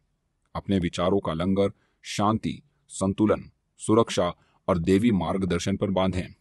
आपका मस्तिष्क खुशी उत्पन्न कर देगा। ग्यारहवा आपकी खुशी में कोई बाधा नहीं है। बाहरी चीज़ें कारण नहीं है, वे कारण नहीं, परिणाम है। अपने भीतर के एकमात्र रचनात्मक सिद्धांत से प्रेरणा लें। आपका विचार कारण है, और नया कारण नया परिणाम उत्पन्न करता है। खुशी का चुनाव करें। बारवा सबसे सुखी व्यक्ति वह है जो अपने भीतर के सबसे ऊँचे और अच्छे स्वरूप को बाहर लाता है। ईश्वर का सबसे ऊँचा तथा सबसे अच्छा है, और आपके भीतर ईश्वर का साम्राज्य है। सोलवा अध्याय। आपका अवचेतन मन और सद्भावनापूर्ण मानवीय संबंध। आपने इस पुस्तक के अध्ययन में एक बहुत महत्वपूर्ण अवधारणा यह सीखी है कि आपका अवचेतन मन एक रिकॉर्डिंग मशीन की तरह है, जो निष्ठापूर्वक इस पर छोड़ी गई हर छाप को दोबारा उत्पन्न कर देता है। यह भी एक कारण है कि स्वर्णिम नियम, यानी कि गोल्डन रूल दूसरों के साथ सद्भावनापूर्ण संबंध बनाने और बनाए रखने में कितना महत्वपूर्ण है। आप दूसरों से अपने लिए जैसा चाहते हैं, उनके साथ वैसा ही करें। इस सबक के बाहरी और आंतरिक दोनों अर्थ हैं। आंतरिक अर्थ आपके चेतन और अवचेतन मन से संबंधित है। बाइबल के इस संदेश के अनुसार, जैसा आप चाहते हो कि लोग आपके बारे में सोचें, वैसा ही आप उनके बारे में सोचें। जैसा आप चाहते हो कि लोग आपके बारे में महसूस करें। वैसा ही आप उनके बारे में महसूस करें। जैसा आप चाहते हो कि लोग आपके प्रति काम करें, वैसा ही आप उनके प्रति काम करें। उदाहरण के लिए, हो सकता है आप ऑफ़िस में किसी के प्रति नम्र और शालीन हो, लेकिन उसकी पीठ पीछे उसके बारे में आलोचनात्मक और द्वेषपूर्ण विचार रखते हैं। इस तरह के नकारात्मक विचार आपके लिए बहुत विनाशकारी हैं। यह जहर खाने की तरह है। आप जो नकारात्मक ऊर्जा उत्पन्न कर रहे हैं, वह आपकी स्फूर्ति उत्साह, शक्ति, मार्गदर्शन और सद्भावना कम कर देती है। जब ये नकारात्मक विचार और भाव आपके अवचेतन में उतर जाते हैं तो वे आपके जीवन में तमाम तरह की मुश्किलें और रोग उत्पन्न कर देते हैं। दूसरों के साथ सुखद संबंधों की सफल कुंजी। मूल्यांकन न करें, ताकि आपका मूल्यांकन न किया जाए, क्योंकि जैसा मूल्यांकन आप करते हैं, वैसा ही आपका मूल्यांकन होगा। और जिस पैमाने पर आप मूल्यांकन करते हैं, उसी पैमाने पर आपका भी मूल्यांकन होगा। दूसरों के साथ सद्भावनापूर्ण संबंधों की कुंजी इन पंक्तियों के करीबी अध्ययन और इनमें छिपी सच्चाई पर अमल करना है। मूल्यांकन करने का अर्थ सोचना और किसी मानसिक फैसले या निष्कर्ष पर पहुँचना है। दूसरे व्यक्ति के बारे में आपके मन में जो विचार हैं, वह आपका है, क्योंकि आप ही उसे सोच रहे हैं। आपके विचार रचनात्मक हैं। इसलिए आप सामने वाले के बारे में जो सोच और महसूस कर सकते हैं, उसे दरअसल अपने अनुभव में उतार रहे हैं। जो सुझाव आप किसी दूसरे को देते हैं, वह आप खुद को भी देते हैं, क्योंकि आपका मस्तिष्क ही रचनात्मक साधन है। इसलिए यह कहा गया है, जैसा आप मूल्यांकन करेंगे, वैसा ही आपका मूल्यांकन होगा। इसका यह मतलब है कि दूसरों पर पैमाने और मानदंड लागू करके आप अपने अवचेतन में उन मानदंडों और पैमानों को उतार रहे हैं। जिन्हें यह आप पर लागू करेगा। जब आप इस नियम को जान जाते हैं और यह समझ लेते हैं कि आपका अवचेतन मन किस तरह काम करता है तो फिर आप दूसरों के प्रति सोचने, महसूस करने, काम करने में हमेशा सावधान रहेंगे, क्योंकि ऐसा करके आप अपने प्रति सही कर्म, भाव और विचार की स्थिति बना रहे हैं। जिस पैमाने से आप मूल्यांकन करेंगे, उसी से आपका मूल्यांकन होगा। आप दूसरों के साथ जो भलाई करते हैं वह उसी पैमाने से आपकी ओर लौटेगी, और आप जो बुराई करते हैं, वह भी आपके मस्तिष्क के नियम के अनुरूप आपकी ओर लौटेगी। अगर कोई किसी को धोखा देता है तो वह दरअसल खुद को धोखा दे रहा है। उसका अपराध बोध और नुकसान का भाव अंततः किसी न किसी तरह, किसी न किसी का उस समय नुकसान की ओर आकर्षित करेगा। उसका अवचेतन उसके मानसिक काम का रिकॉर्ड रखता है, और मानसिक इरादे या प्रेरणा के अनुरूप प्रतिक्रिया करता है। आपका अवचेतन मन निष्पक्ष और अपरिवर्तनीय है। यह न तो व्यक्तियों में भेद करता है और न ही किसी तरह के धार्मिक पंच या संस्था में। यह न तो दयालु है और न ही प्रतिशोधात्मक। आप दूसरों के बारे में जिन तरीके से सोचते हैं, महसूस करते हैं और काम करते हैं, वही अंततः आपकी ओर लौटता है। अखबार के लेखों ने उसे बीमार कर दिया। अब खुद पर नज़र डालें। लोगों, स्थितियों और परिस्थितियों पर अपनी प्रतिक्रियाओं पर गौर करें। बात के अध्ययन के लिए उन्हें किसी नोटबुक में लिख लें। आप दिन की घटनाओं और अखबारों पर कैसी प्रतिक्रिया करते हैं? इससे कोई फ़र्क नहीं पड़ता कि बाकी सब लोग गलत हैं और सिर्फ़ आप ही सही। अगर खबर आपको विचलित करती है तो यह आपकी कमी है, क्योंकि आपके नकारात्मक भावों से ही आप में शांति और सद्भाव छीन लिए गए हैं। एक महिला ने मुझसे अपने पतिनी के मामले में मदद लेने आई। उसने बताया कि अखबार में कुछ कॉलमिस्टों के लेख पढ़ने पर वह बनना जाता था। महिला ने कहा कि गुस्से और उत्तेजना के दबाव में यह सतत प्रक्रिया उसके हाई ब्लड प्रेशर के लिए बहुत बुरी थी। डॉक्टर ने उसे कह दिया था कि उसे भावनात्मक परिवर्तन करके अपने तनाव को कम करने का कोई तरीका खोजना चाहिए। मैंने उस व्यक्ति को बुलाकर समझाया कि उसका मस्तिष्क किस तरह काम करता है। वह समझ गया कि अखबार में छपे लेख पर गुस्सा होना भावनात्मक अपरिपक्वता का सूचक था, लेकिन वह नहीं जानता था कि उसका गुस्सा उसके दिमाग और शरीर को नुकसान पहुँचा रहा था। उसे यह एहसास होने लगा कि उसे लेखक को अपनी बात कहने की स्वतंत्रता देना चाहिए, भले ही वह उसे राजनीतिक, धार्मिक या किसी अन्य तरीके से असहमत हो। इसी तरह से लेखक को उसे यह स्वतंत्रता देना चाहिए। कि वह अखबार को पत्र लिखकर उसकी प्रकाशित टिप्पणियों से असहमति व्यक्त कर दे। उसने सीखा कि नाराज़ हुए बिना असहमत हो सकता है। उसे सरल सच्चाई का पता चल गया कि दूसरों को कुछ कहने या करने का उस पर कोई प्रभाव नहीं पड़ता। इसके बजाय, दूसरों के कहने या करने पर उसकी अपनी प्रतिक्रिया महत्वपूर्ण होती है। इस स्पष्टीकरण से उस आदमी के इलाज में मदद मिली। थोड़े अभ्यास के बाद उसने अपने सुबह के आवेश पर काबू पा लिया। उसकी पत्नी ने बाद में मुझे बताया कि आखिरकार उसने लेखकों की बातों पर हंसना सीख लिया। उसने अपनी प्रबल प्रतिक्रिया पर हंसना भी सीख लिया। अब अखबारों के लेखों में उसे विचलित करने, चिढ़ाने या परेशान करने की शक्ति नहीं रही। अब उसके बढ़े हुए भावनात्मक संतुलन और शांति के कारण उसका ब्लड प्रेशर काबू में है। मुझे औरतों से नफरत है, लेकिन पुरुष पसंद हैं। सिंथिया आर एक बड़ी कंपनी में एग्जीक्यूटिव सेक्रेटरी थी। वह मेरे पास इसलिए आई क्योंकि उसके मन में अपने ऑफ़िस की कुछ महिलाओं के प्रति बहुत कड़वाहट थी। उसे यकीन था कि वह उसके बारे में गपशप करती थी और झूठी अफवाहें फैलाती थी। जब मैंने पूछा तो उसने स्वीकार किया कि उसकी महिलाओं के साथ संबंधों में बहुत सी दिक्कतें आती हैं। उसने कहा, मुझे औरतों से नफरत है, लेकिन पुरुष पसंद हैं। जब मैंने उससे आगे बातचीत की तो मुझे पता चला कि सिंथिया अपने अधीनस्थ कर्मचारियों से बहुत दम्भी अक्खड़ और चिड़चिड़ी आवाज़ में बोलती थी। उसके बोलने के लहजे में घमंड झलकता था और मैं समझ गया कि उसके अंदाज में क्यों लोग चिड़ते थे। हालाँकि उसे इस बात का एहसास भी नहीं था। उसके लिए महत्वपूर्ण मुद्दा यह था कि उसके साथ काम करने वाली औरतों को उसकी समस्याएँ बढ़ाने में मज़ा आता था। अगर आपके ऑफ़िस या फैक्ट्री में सभी लोग आपसे चिड़ होती है तो क्या यह संभव नहीं है कि चिढ़ और परेशानी आपके ही किसी अवचेतन पैटर्न या मानसिक विचार से उत्पन्न हो रही हो। हम सभी जानते हैं कि अगर आप कुत्ते से नफरत करते हो या डरते हो तो वह खूंखार प्रतिक्रिया करेगा। दरअसल जानवर आपके अवचेतन कंपनों को भांप लेते हैं और उसी के अनुसार प्रतिक्रिया करते हैं। क्या यह कहना उचित नहीं होगा कि इस मामले में इंसान भी कुत्तों, बिल्लियों और अन्य प्राणियों जितने संवेदनशील होते हैं औरतों से नफरत करने वाली इस महिला को मैंने प्रार्थना की एक प्रक्रिया सुझाई।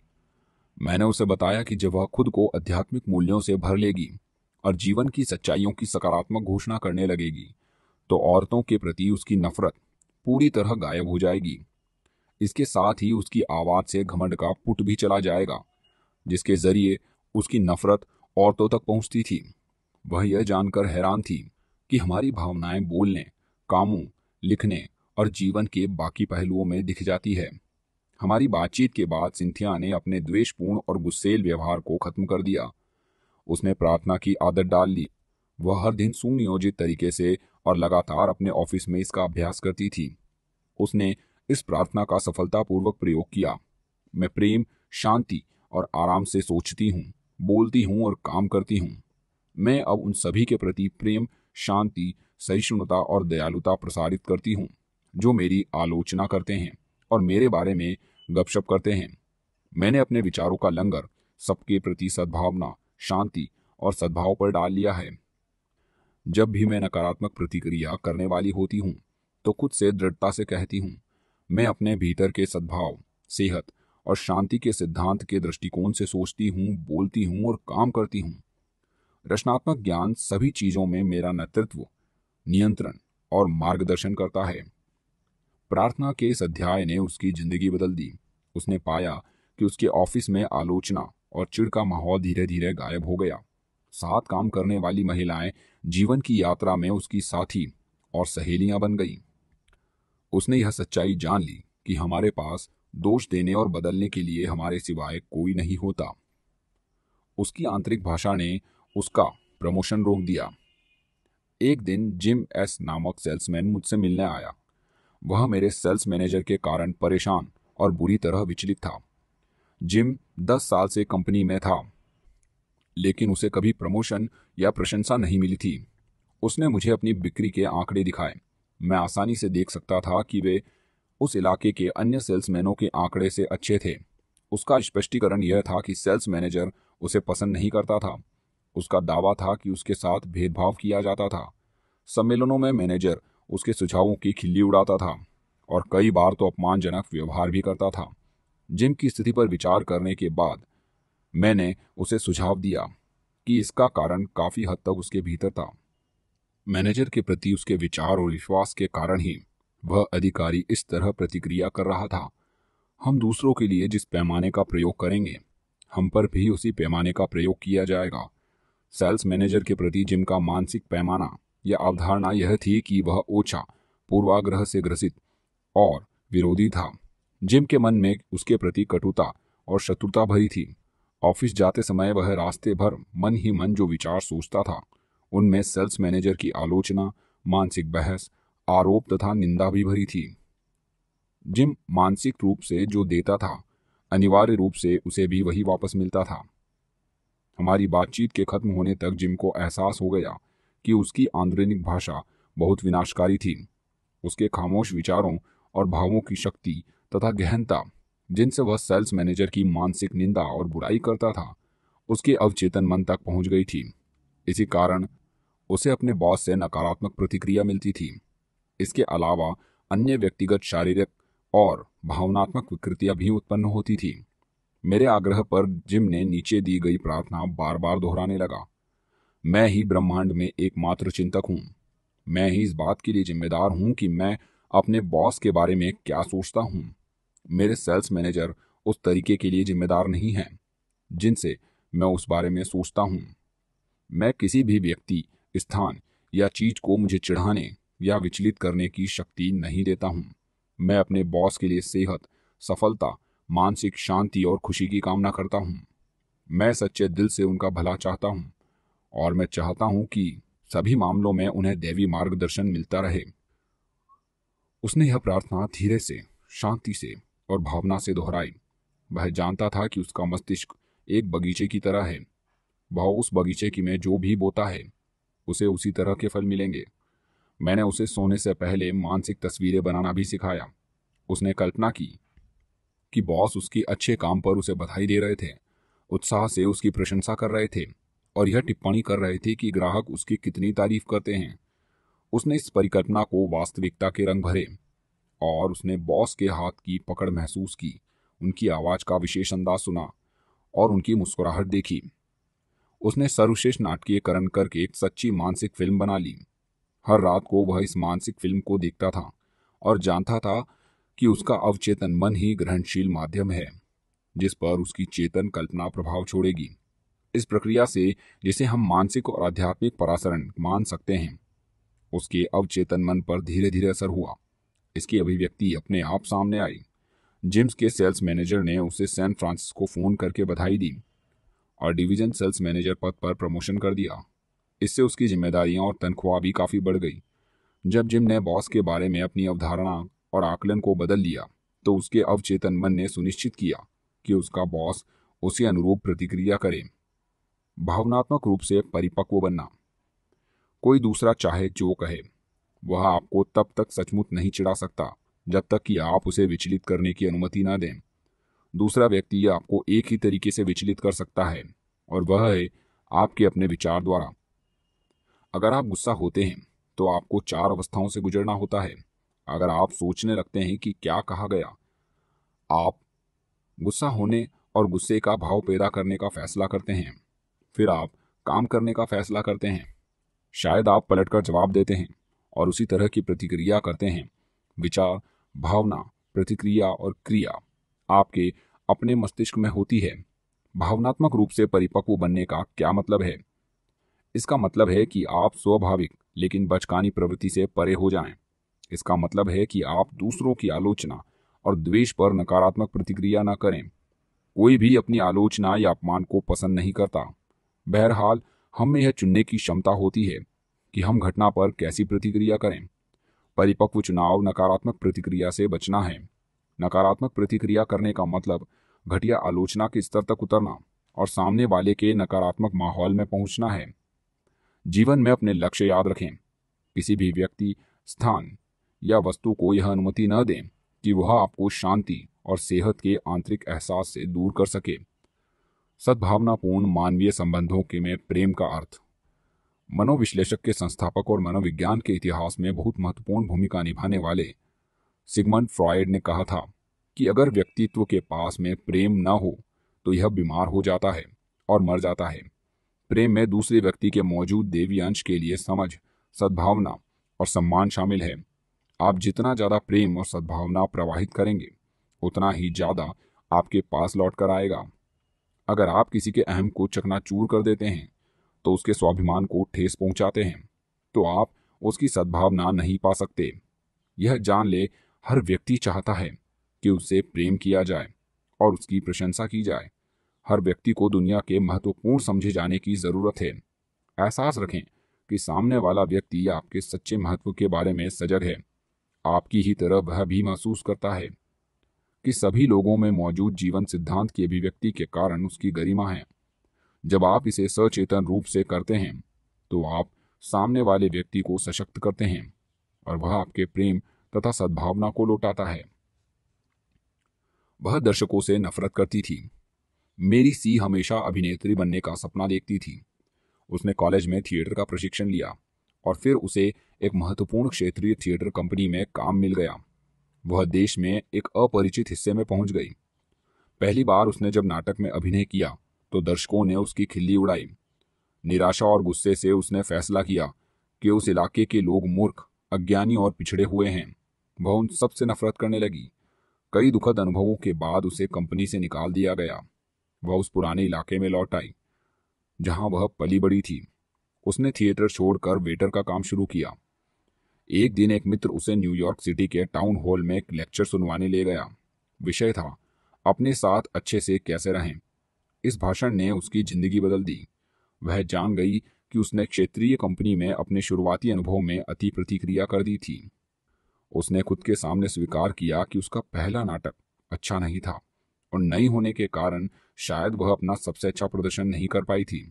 दोष श्रोताओं का नहीं था, बल्कि उस तरीके का था जिससे उसने उनकी प्रतिक्रिया को स्वीकार किया, क्योंकि उसने उनकी नकारात्मक ऊर्जा को उनकी ओर वापस भेज दिया।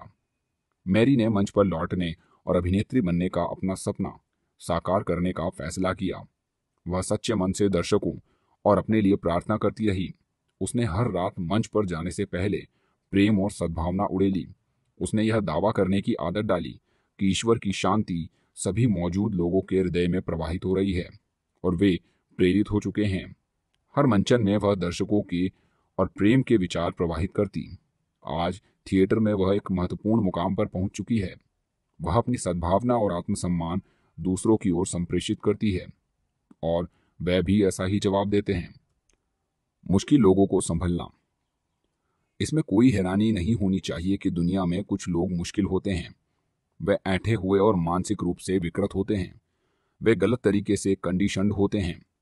कई मानसिक अपराधी हैं, जो विवादशील, असहयोगी, झगड़ालू, दोषदर्शी और जीवन पर बदनुमा दाग बन चुके हैं। वे मनोविज्ञान रूप से बीमार हैं। उनके मस्तिष्क विकृत और बेडौल हो गए हैं। शायद अतीत न मिले अनुभवों के कारण। अगर ऐसे व्यक्ति को आपका पाला पड़े तो आप क्या करें? प्रलोभन यह है कि आप उनकी नकारात्मक ऊर्जा को नापसंदगी के रूप में उन्हीं की ओर लौटा दें। लेकिन ऐसा करने के लिए आपको पहले उनकी नकारात्मकता को अपने भीतर उतारना होगा और सारे बुरे प्रभावों को ग्रहण करना होगा। इसके बजाय, बुराई के बदले भलाई देने की कोशिश करें।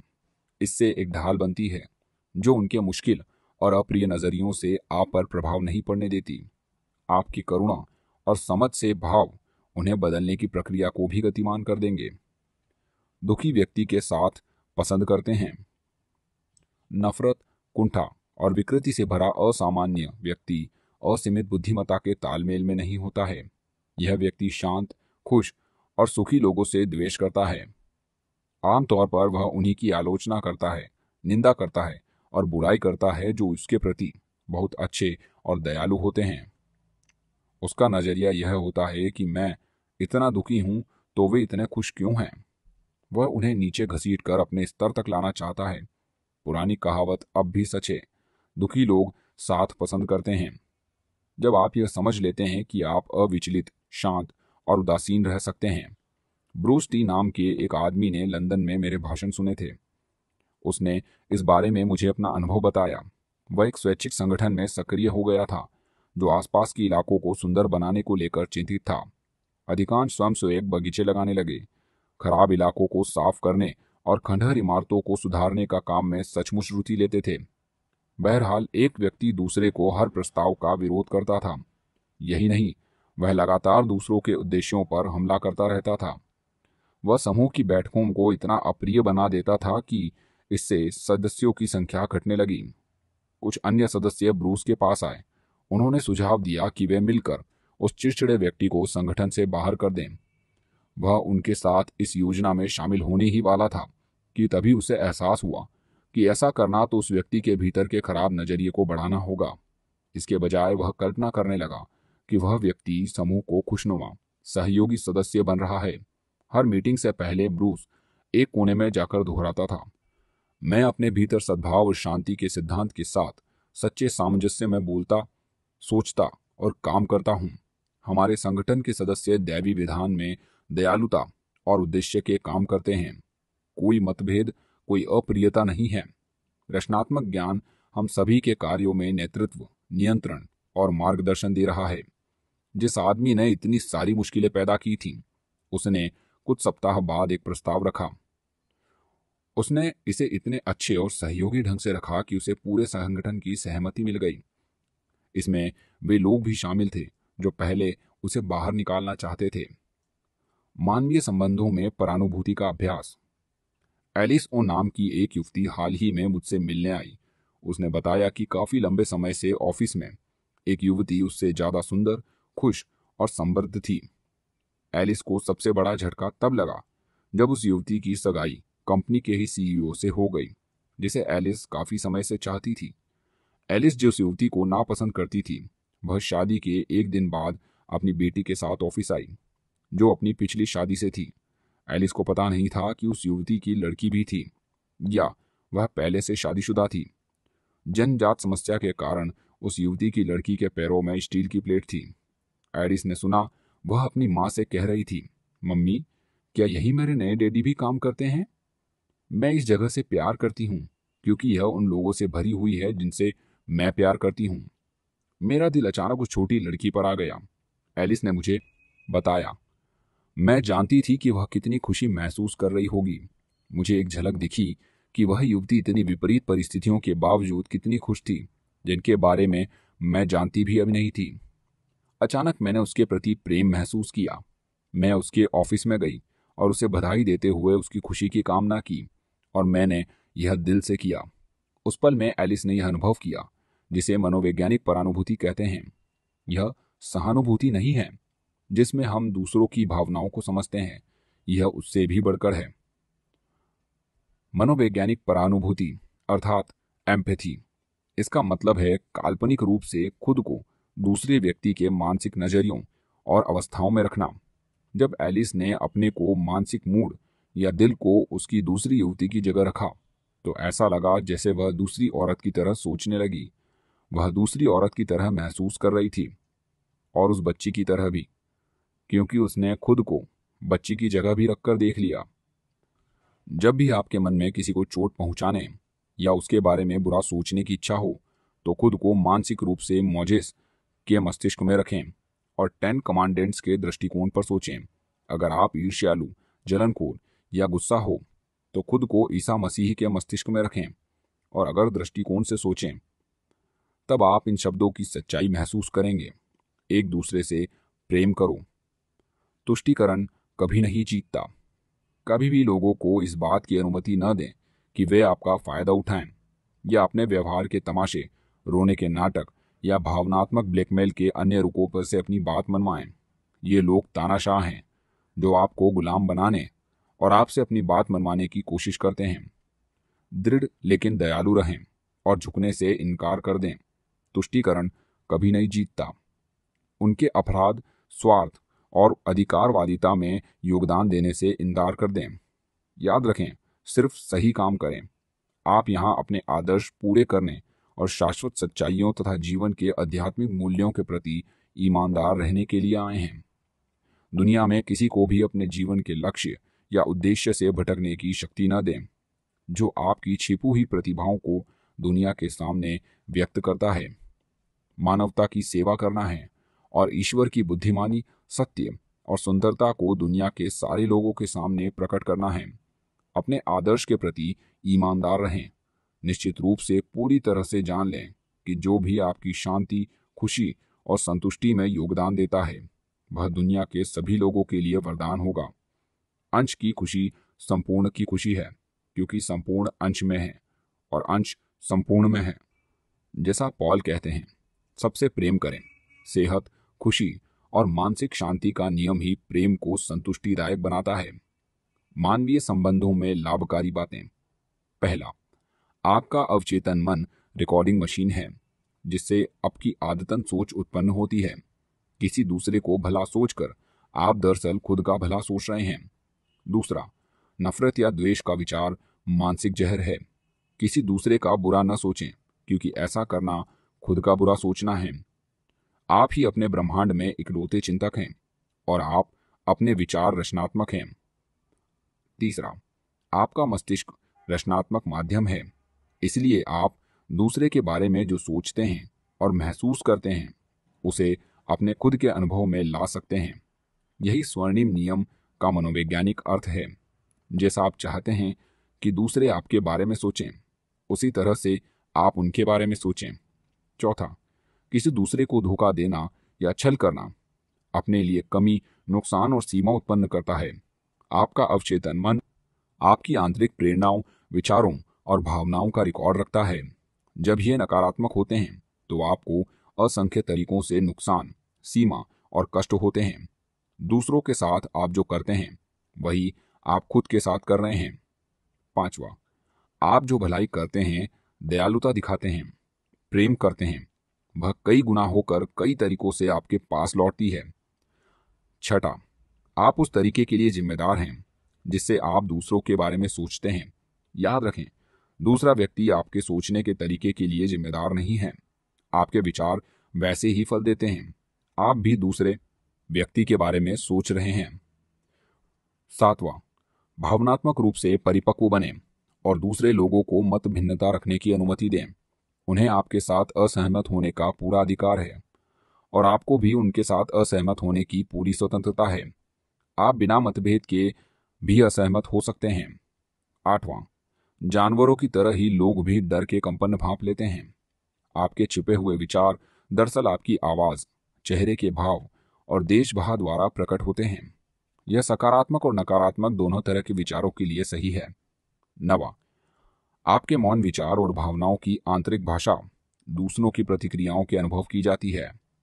दसवा, दूसरों के लिए वही काम ना करें जो आप खुद के लिए करते हैं। यह सद्भावनापूर्ण मानवीय संबंधों की कुंजी है।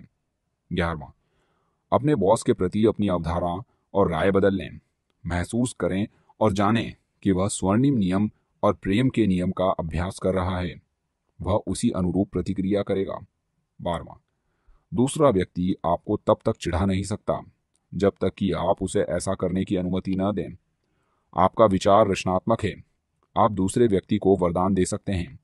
अगर कोई आपको अपमानजनक नाम से बुलाता है तो आपको यह जवाब देने की स्वतंत्रता है। ईश्वर की शांति आपकी आत्मा में भर जाए। तेरवा प्रेम दूसरों के साथ तालमेल बैठाने का जवाब है। प्रेम समझ, सद्भावना और इंसान में निहित देवी अंश के प्रति सम्मान है। चौदवा। उन लोगों के प्रति करुणा और समझ रखें, जिनकी नकारात्मक कंडीशनिंग ने उन्हें मुश्किल और अप्रिय बना दिया है। दैवी चिंगारी उनके भीतर भी है, क्योंकि यह सबके भीतर है। सबको समझना, सबको माफ़ करना है। पंद्रवा दूसरों की सफलता, प्रमोशन और खुशकिस्मत पर खुश हों।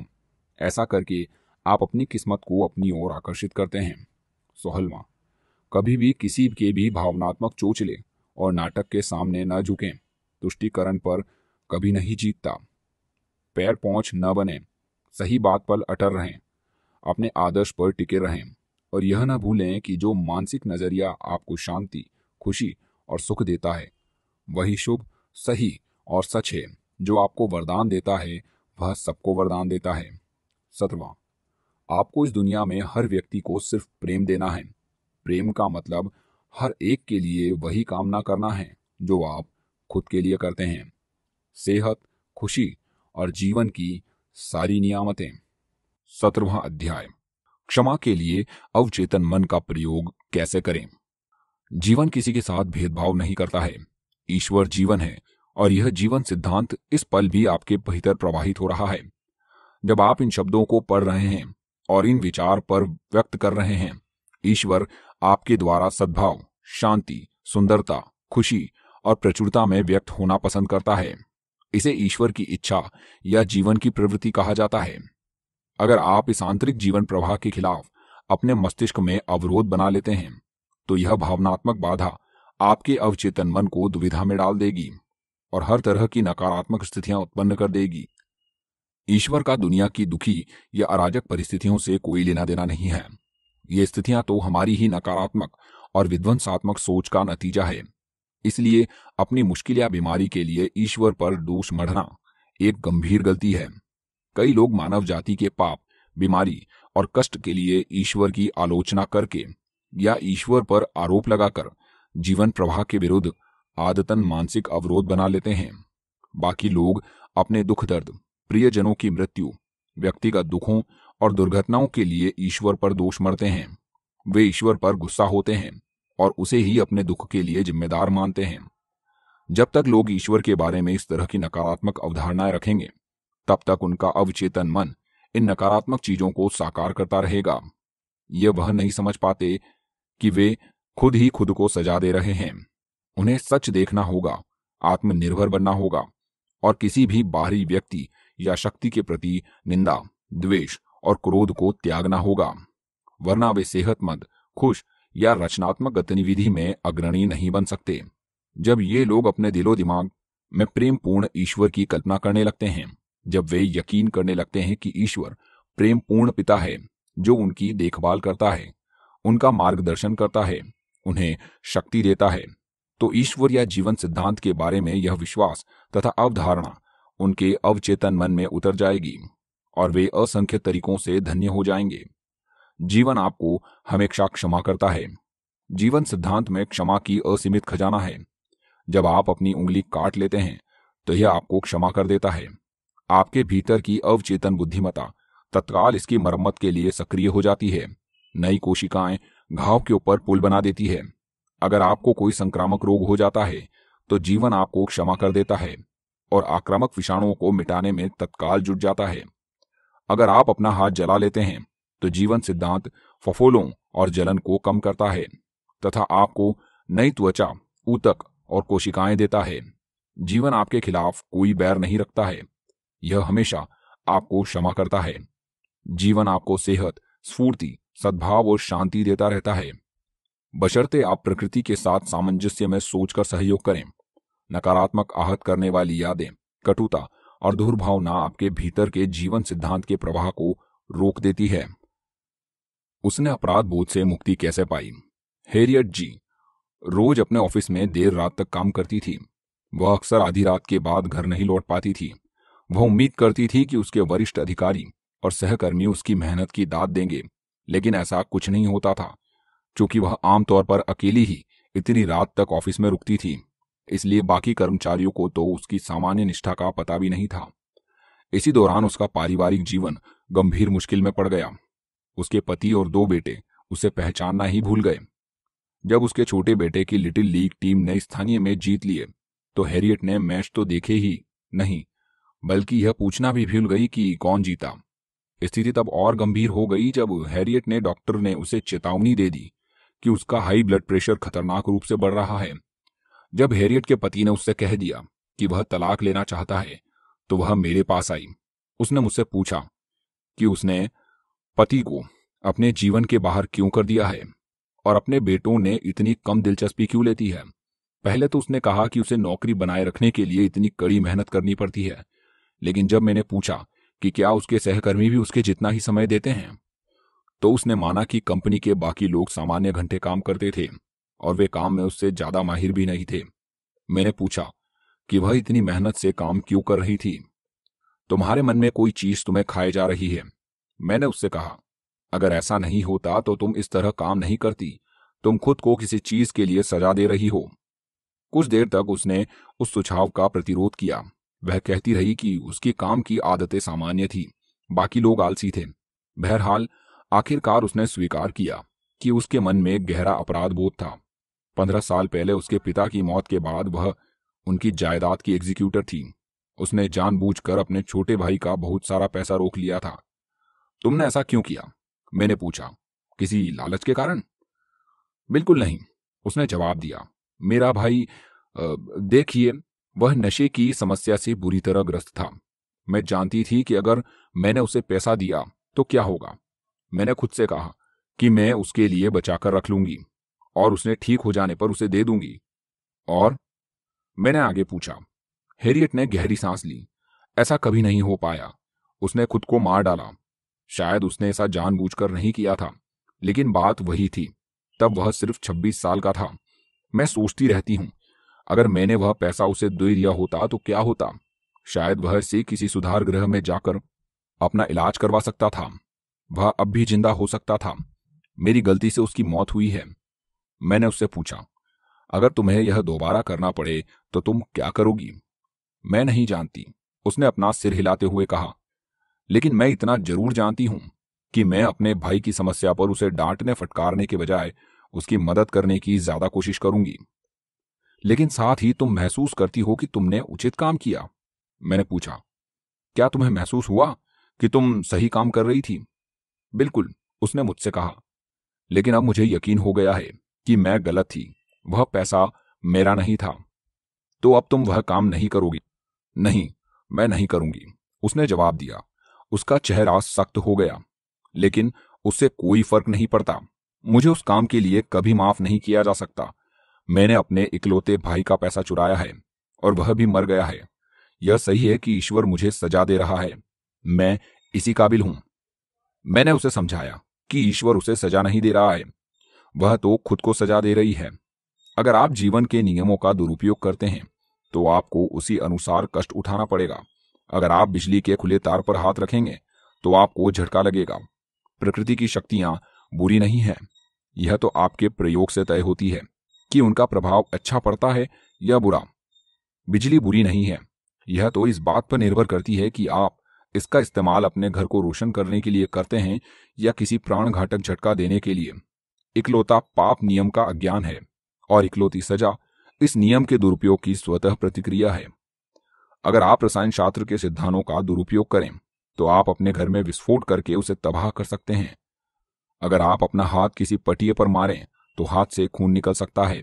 गलती पटिए की नहीं है, गलती तो आपकी है। आपने इसका दुरुपयोग किया। अंततः मैंने हैरियट को एहसास दिला दिया कि ईश्वर किसी को सजा नहीं देता। उसका सारा कष्ट उसके नकारात्मक और विध्वंसात्मक सोच किया है।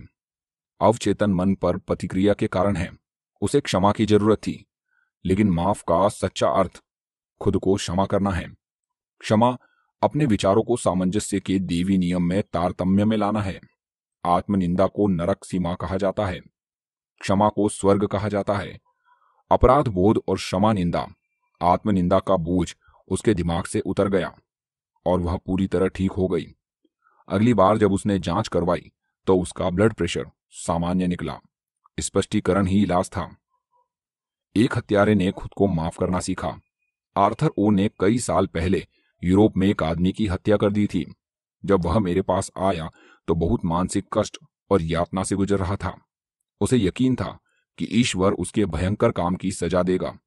मैंने उससे पूछा कि क्या हुआ था? उसने बताया कि जिस आदमी की उसने हत्या की थी, उसका उसकी पत्नी के साथ प्रेम संबंध चल रहा था। एक दिन जब वह शिकार से लौटा तो उसने उन दोनों को अप्रत्याशित रूप से रंगे हाथों पकड़ लिया और क्रोध के उन्माद में उसने उस आदमी को गोली मार दी। कानून ने उसके इस काम को बहुत सख्ती से नहीं देखा और सिर्फ़ कुछ महीने की सजा मिली। जेल से छूटने पर आर्थर ने पत्नी को तलाक दे दिया और अमेरिका में बस गया। कुछ साल बाद वह एक अमेरिकी महिला से मिला और उससे शादी कर ली। अब उसके तीन प्यारे बच्चे हैं। उसने सफल कैरियर बना लिया है, जहाँ तक कई लोगों की मदद करने की स्थिति में है। उसके सहयोगी उसे पसंद करते हैं और उसका सम्मान करते हैं। बहरहाल, इनमें से किसी भी चीज़ से उसे शांति नहीं मिल रही थी। अब भी वह अपने उस काम के लिए खुद को दोष देता था। आर्थर की कहानी सुनने के बाद मैंने उसे समझाया कि वैज्ञानिकों के अनुसार हमारे शरीर की सभी कोशिकाएँ हर 11 महीने बाद बदल जाती हैं। इसलिए शारीरिक और मनोवैज्ञानिक रूप से अब वह व्यक्ति नहीं था, जिसने हत्या की थी। उसे तो बदले हुए कई साल हो चुके हैं। यही नहीं, उसने खुद को मानसिक और आध्यात्मिक रूप से भी बदल लिया था। अब वह मानवता के प्रति प्रेम और सद्भाव से भरा था। जिस व्यक्ति ने बरसों पहले वह अपराध किया था, वह तो मानसिक और आध्यात्मिक रूप से कभी का मर चुका है। खुद को क्षमा न करके आर्थर एक निरापराध व्यक्ति को सजा दे रहा था। इस स्पष्टीकरण का उस पर गहरा प्रभाव पड़ा। उसे ऐसा लगा जैसे उसके दिमाग में बहुत भारी बोझ हट गया हो। उसे बाइबल की इस सच्चाई के आंतरिक महत्व का पहली बार एहसास हुआ। अब आओ, हम तर्क करते हैं। ईश्वर ने कहा, हालाँकि तुम्हारे पाप खून से रंगे होंगे, लेकिन वे बर्फ़ जैसे सफ़ेद हो जाएँगे। हालाँकि वे खून की तरह लाल होंगे, लेकिन वे ऊन जैसे बन जाएँगे। आलोचना आपकी सहमति के बिना आपको चोट नहीं पहुँचा सकती। रेमोना के नाम की एक स्कूल टीचर मेरे एक भाषण में, भाषण के बाद मेरे पास आई। उसने बताया कि हाल ही में उसे एक भाषण देना पड़ा। भाषण के बाद उसकी एक साथी स्कूल टीचर ने उसे आलोचना भरी चिट्ठी भेजी, जिसमें लिखा था कि रेमोना बहुत जल्दीबाजी में बोली थी, कुछ शब्द खा गई थी और उसकी आवाज़ सुनाई नहीं दे रही थी। उसका वाक्य गठन कमज़ोर था तथा उसकी बात सार गर्भित नहीं थी। इससे रेमोना आहत और नाराज़ हो गई। वह अपनी आलोचक से द्वेष करने लगी और स्कूल में उससे दूर दूर रहने लगी। जब मैंने रेमोना से सवाल किया तो उसने अंततः स्वीकार किया कि आलोचना दरअसल सही थी। उसे वयस्क श्रोताओं के सामने बोलने का कोई अनुभव नहीं था। वह भाषण देने से पहले घबरा रही थी और बाद में वह खुश थी कि उसने यह काम कर दिखाया था। यही कारण था कि वह अपनी साथी टीचर की आलोचना से इतनी आहत हुई थी। यह तो ऐसा था जैसे किसी नन्हे बच्चे को किसी बात पर डांटा जा रहा हो, और वह ज़्यादा तेज नहीं दौड़ा, जबकि उसके लिए सिर्फ़ चलना ही अद्भुत काम था। हमारी बातचीत के बाद रेमोना ने पाया कि उसकी पहली प्रतिक्रिया बचकानी थी। वह सहमत हुई कि आलोचना भरी चिट्ठी, सचमुच एक वरदान थी, और उसे इन सुधारों की सचमुच ज़रूरत थी। उसने भाषण कला को निखारने के लिए पास के कॉलेज में पब्लिक स्पीकिंग कोर्स करने का फैसला किया। इस बीच उसने चिट्ठी लिखने वाली टीचर को उसकी दिलचस्प और जानकारी देने के लिए धन्यवाद दिया। करुण कैसे बने? क्या होता? अगर रेमोना को मिली चिट्ठी, पूरी तरह गलत होती। क्या होता अगर उसके पास यह सोचने का अच्छा कारण होता कि उसके भाषण की यह आलोचना बिल्कुल गलत है? उस मामले में रेमोना को यह एहसास होता कि उसके भाषण के शब्दों या अंदाज में ऐसा कुछ था, जिससे उस चिट्ठी लिखने वाली के पूर्वाग्रहों, अंधविश्वासों या संकीर्ण विश्वासों को झटका लगा होगा। समस्या उसके साथ नहीं, बल्कि लेखिका के साथ होती। इसे समझना करुणा की दशा में पहला अनिवार्य कदम उठाना है। अगला तार्किक कदम सामने वाले की शांति, सद्भाव और समझ के लिए प्रार्थना करना है। जब आप जानते हैं कि आप अपने विचारों, प्रतिक्रियाओं और भावनाओं के मालिक हैं तो आप आहत नहीं हो सकते। भावनाएँ विचारों का अनुसरण करती है और आप में उन सभी विचारों को अस्वीकृत करने की शक्ति है, जो आपको विचलित या परेशान कर सकते हैं। विवाह की वेदी पर अकेली। कुछ साल पहले मैं एक पास वाले चर्च में शादी कराने गया। दूल्हा बनने वाला युवक काफ़ी समय बीतने के बाद भी नहीं आया। होने वाली दुल्हन ने दो घंटे बाद कुछ आँसू बहाए। फिर उसने मुझसे कहा, मैंने देवी मार्गदर्शन के लिए प्रार्थना की थी। युवक का न आना शायद मेरी प्रार्थना का जवाब है, क्योंकि ईश्वर कभी गलत मार्गदर्शन नहीं देता है। उसकी प्रतिक्रिया ईश्वर और सभी अच्छी चीज़ों में अपनी आस्था को दोबारा व्यक्त करना था। उसके दिल में कोई कटुता नहीं थी, क्योंकि जैसा उसने कहा, हालाँकि मैं इस विवाह के लिए बेताब थी, लेकिन मुझे लगता है कि यह विवाह सही कर्म नहीं होता, क्योंकि मेरी प्रार्थना सही कर्म के लिए थी, सिर्फ़ मेरे लिए नहीं, बल्कि हम दोनों के लिए। यह युवती एक ऐसे अनुभव से आसानी से बाहर निकल आई जिस पर कोई और व्यक्ति भावनात्मक हंगामा मचा देता। अपनी अवचेतन गहराइयों में मौजूद असीमित बुद्धिमता के अनुकूल बने। इसके जवाब पर बिना किसी शंका के उसी तरह भरोसा करें, जिस तरह आपको बचपन में माता पिता पर था। यही संतुलन और मानसिक तथा भावनात्मक सेह की राह है। विवाह करना गलत है, सेक्स बुरा है और मैं बुरी हूँ। एक युवती मेरा भाषण सुनने के बाद मेरे पास आई। उसने बताया कि उसका नाम कैरोल था। मुझे उसकी पोशाक अजीब लगी। वह बहुत सादी, काली पोशाक और काले मोजे पहने थी। उसका चेहरा पीला और रूखा था। उस पर लिपस्टिक या कोई मेकअप नहीं था। उसका अंदाज भी सकुचाया हुआ, लेकिन थोड़ा सतर्क था। जैसे उसे लग रहा हो कि उसके आसपास के लोग अचानक गलत व्यवहार करने लगेंगे। जल्दी ही केरोल मुझे अपने लालन पालन के बारे में बताने लगी। उसने उसकी माँ ने पाला था, जिसने उसे यकीन दिला दिया था कि नाचना, ताश खेलना, तैरना या पुरुषों के साथ घूमना फिरना पाप है। उसकी माँ के अनुसार सभी मर्द बुरे होते हैं और सेक्स पाप है, जिसे शैतान प्रेरित करता है। अगर वह इन देवी आदेशों का उल्लंघन करेगी, अगर वह अक्षरशः इनका पालन नहीं करेगी तो वह अनंत काल तक नरक की आग में जलती रहेगी। जब कैरोल अपने ऑफ़िस के युवकों के साथ घूमने जाती थी तो उसे गहरा अपराध बोध होता था। उसे लगता था कि ईश्वर उसे सजा देंगे। उसे एक युवक थोड़ा पसंद था जिसने उसके सामने विवाह का प्रस्ताव रखा, लेकिन उसने ठुकरा दिया। जैसा उसने मुझसे कहा, विवाह करना गलत है, सेक्स बुरा है और मैं बुरी हूँ। यह वह नहीं है। उसकी माँ की कंडीशनिंग बोल रही है। ज़ाहिर है, इस युवती का अपराध बोध हुआ। उसे कैसे नहीं होता? उसके लिए माँ के विश्वासों के साथ जीना असंभव था। इस विचार से बचना असंभव था कि उन विश्वासों में कुछ गड़बड़ थी। जो जीवन सिद्धांत हम सभी में प्रवाहित होता है, वह अपनी पहचान और अभिव्यक्ति के लिए जूझ रहा था। मैंने कैरोल को सुझाव दिया कि वह खुद को क्षमा करना सीखे। क्षमा करने का मतलब है किसी चीज़ के लिए कुछ छोड़ना। जीवन की सच्चाइयों और अपने नए आकलन को पाने के लिए उसे सारे झूठ विश्वास छोड़ने होंगे। ढाई महीने तक केरोल मेरे पास सप्ताह में एक बार आती रही।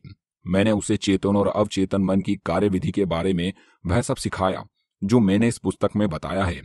जब वह धीरे धीरे समझ गई कि अज्ञानी, अंधविश्वासी, कट्टर और कुंठित माँ ने उसे गलत विचार दिए हैं, सम्मोहित किया है और कंडीशन किया है तो वह अद्भुत जीवन जीने लगी। मेरे सुझाव पर केरोल अधिक आकर्षण कपड़े पहनने लगी। अपने हुलिये में आमूलचूल परिवर्तन के लिए वह एक फैशनेबल स्टोर के कॉस्मेटिक सेक्शन में गई। उसने नाचना और कार चलाना सीखा। उसने तैरना, ताश खेलना और युवकों के साथ बातचीत करना सीखा। वह अपने परिवार से पूरी तरह अलग हो गई और जीवन को प्रेम करने तथा महत्व देने लगी। अपनी आंतरिक प्रकृति को जानने के बाद केरोल आदर्श जीवन साथी के लिए प्रार्थना करने लगी। वह यह दावा करने लगी कि असीमित बुद्धिमता उसकी ओर ऐसे व्यक्ति को आकर्षित करेगी जो पूरी तरह उसके साथ सामंजस्य में होगा। एक शाम जब वो मेरे ऑफ़िस से निकल रही थी तो एक व्यक्ति मुझसे मिलने का इंतज़ार कर रहा था। मैंने उन दोनों का परिचय करा दिया। छह महीने बाद उन दोनों ने शादी कर ली। वे अब भी शादीशुदा हैं और एक दूसरे के साथ बहुत खुश हैं। क्षमा उपचार के लिए आवश्यक है। और अगर तुम्हारे मन में किसी के खिलाफ कुछ है तो तुम खड़े होकर प्रार्थना करो, क्षमा करो। दूसरों को क्षमा करना मानसिक शांति और अच्छी सेहत के लिए अनिवार्य है। अगर आप अच्छी सेहत और खुशी चाहते हैं तो आपको हर उस व्यक्ति को क्षमा करना चाहिए। जिसने आपको चोट पहुंचाई है। अपने विचारों को देवी नियमों और व्यवस्था के सामंजस्य में लाकर खुद को क्षमा करें। आप खुद को तब तक पूरी तरह क्षमा नहीं कर सकते, जब तक कि दूसरों को क्षमा न कर दें। खुद को क्षमा न करना सिर्फ़ आध्यात्मिक अहंकार या अज्ञान है। आज की मनोदैहिक चिकित्सा में इस बात पर लगातार ज़ोर दिया जा रहा है कि द्वेष, दूसरों की आलोचना, पश्चाताप और शत्रुता कई रोगों के कारण हैं। जिनमें आर्थराइटिस से लेकर हृदय रोग तक शामिल हैं। इन नकारात्मक भावनाओं से उत्पन्न तनाव सीधे शरीर के प्रतिरोधक तंत्र को प्रभावित करता है, जिससे आप संक्रमण और रोग का शिकार हो जाते हैं। तनाव संबंधी विकारों के विशेषज्ञ बताते हैं कि दुर्व्यवहार के शिकार धोखा खा चुके या आहत लोग अक्सर प्रतिक्रिया करते हुए देश और नफरत पाल लेते हैं। यह प्रतिक्रिया उनके अवचेतन मन में गहरा घाव उत्पन्न कर देती है, जो लगातार टीस मारता रहता है। सिर्फ़ एक ही इलाज है। उन्हें अपनी चोट को काट कर हटाना होगा और इसका एकमात्र अचूक तरीका है। क्षमा। क्षमा सक्रिय प्रेम है। क्षमा की कला में अनिवार्य तत्व क्षमा करने की इच्छा होना है। अगर आप सच्चे दिल से किसी को क्षमा करने की इच्छा ज़ाहिर करते हैं तो आपने आधी बाधा पार कर ली है। ज़ाहिर है, आप जानते हैं कि किसी को क्षमा करने का यह मतलब नहीं कि आप उसे पसंद करते हैं या उसके साथ संबंध बढ़ाना चाहते हैं। आप किसी को पसंद करने के लिए बाध्य नहीं हैं। यह तो ऐसा ही होगा जैसे सरकार सद्भाव, प्रेम, शांति या सहिष्णुता के बारे में कानून बनाने की कोशिश करे। आप किसी व्यक्ति को सिर्फ़ इसलिए पसंद नहीं कर सकते क्योंकि कोई आपको ऐसा करने देता है। बहरहाल, यह काफ़ी महत्वपूर्ण बात है। हम लोगों को पसंद किए बिना उनसे प्रेम कर सकते हैं। बाइबल कहती है, एक दूसरे को प्रेम करो। यह पहली नज़र में असंभव लगता है, लेकिन यह काम कोई भी कर सकता है। बशर्ते वह इसे सचमुच करना चाहे। प्रेम का मतलब यह है कि आप सामने वाले के लिए सेहत, खुशी, शांति, सुख और जीवन की सभी नियामतों की कामना करें। सिर्फ़ एक ही शर्त है, और वह है ईमानदारी। आप क्षमा करते समय दरअसल उदार नहीं, बल्कि स्वार्थी होते हैं, क्योंकि आप दूसरों के लिए जो कामना करते हैं, वास्तव में वह अपने लिए कर रहे हैं। इसका कारण यह है कि आप ही इसे सोचते हैं और महसूस करते हैं। जैसा आप सोचते और महसूस करते हैं, वैसे ही आप बन जाते हैं। क्या इससे सरल कोई चीज़ हो सकती है? क्षमा की तकनीक। क्षमा करने की एक सरल लेकिन कारगर विधि है। इसका अभ्यास करने पर यह आपके जीवन में चमत्कार कर देगी। अपने दिमाग को शांत कर लें, शिथिल हो जाएँ और मुक्त रहें। ईश्वर के बारे में अपने प्रति उसके प्रेम के बारे में सोचें और फिर सकारात्मक घोषणा करें। मैं पूरी तरह से खुद को क्षमा करता हूँ। मैं उसे मानसिक और आध्यात्मिक रूप से मुक्त करता हूँ। मैं उसे इस मुद्दे से संबंधित हर चीज़ के लिए पूरी तरह माफ़ करता हूँ। मैं मुक्त हूँ और वह मुक्त है। यह अद्भुत भावना है। मेरे लिए ये आम बात का आम क्षमादान का दिन है। मैं हर उस व्यक्ति को मुक्त करता हूँ जिसने मुझे कभी आहत किया है। और मैं हर एक के लिए सेहत, खुशी, शांति तथा जीवन की सभी नियामतों की कामना करता हूँ। मैं यह काम मुक्तता, खुशी और प्रेम से करता हूँ। जब भी मेरे मन में अपने को आहत करने वाले के बारे में विचार आता है तो मैं कहता हूँ, मैंने तुम्हें मुक्त कर दिया है और जीवन की सभी नियामतें तुम्हें मिले। मैं आज़ाद हूँ और वह भी आज़ाद हैं। ये अद्भुत है। सच्ची क्षमा का महान रहस्य ये है कि आप एक बार व्यक्ति को क्षमा कर दें तो प्रार्थना का दोहराना अनावश्यक है। जब भी आप वह व्यक्ति आपके मन में आए या खास चोट आपके दिमाग में उभरे तो उसके प्रति अच्छे विचार व्यक्त करें और कहें, तुम्हें शांति मिले। जितनी बार विचार मन में आए, उतनी ही बार यह काम करें। आप पाएँगे कि कुछ दिनों बाद उस व्यक्ति या अनुभव का विचार कम कार हो जाएगा और फिर गुमनामी में खो जाएगा। क्षमा का एसिड टेस्ट सुनार यह जाँच करने के लिए एसिड टेस्ट का प्रयोग करते हैं कि सोना असली है या नकली। क्षमा के लिए भी एक एसिड टेस्ट है।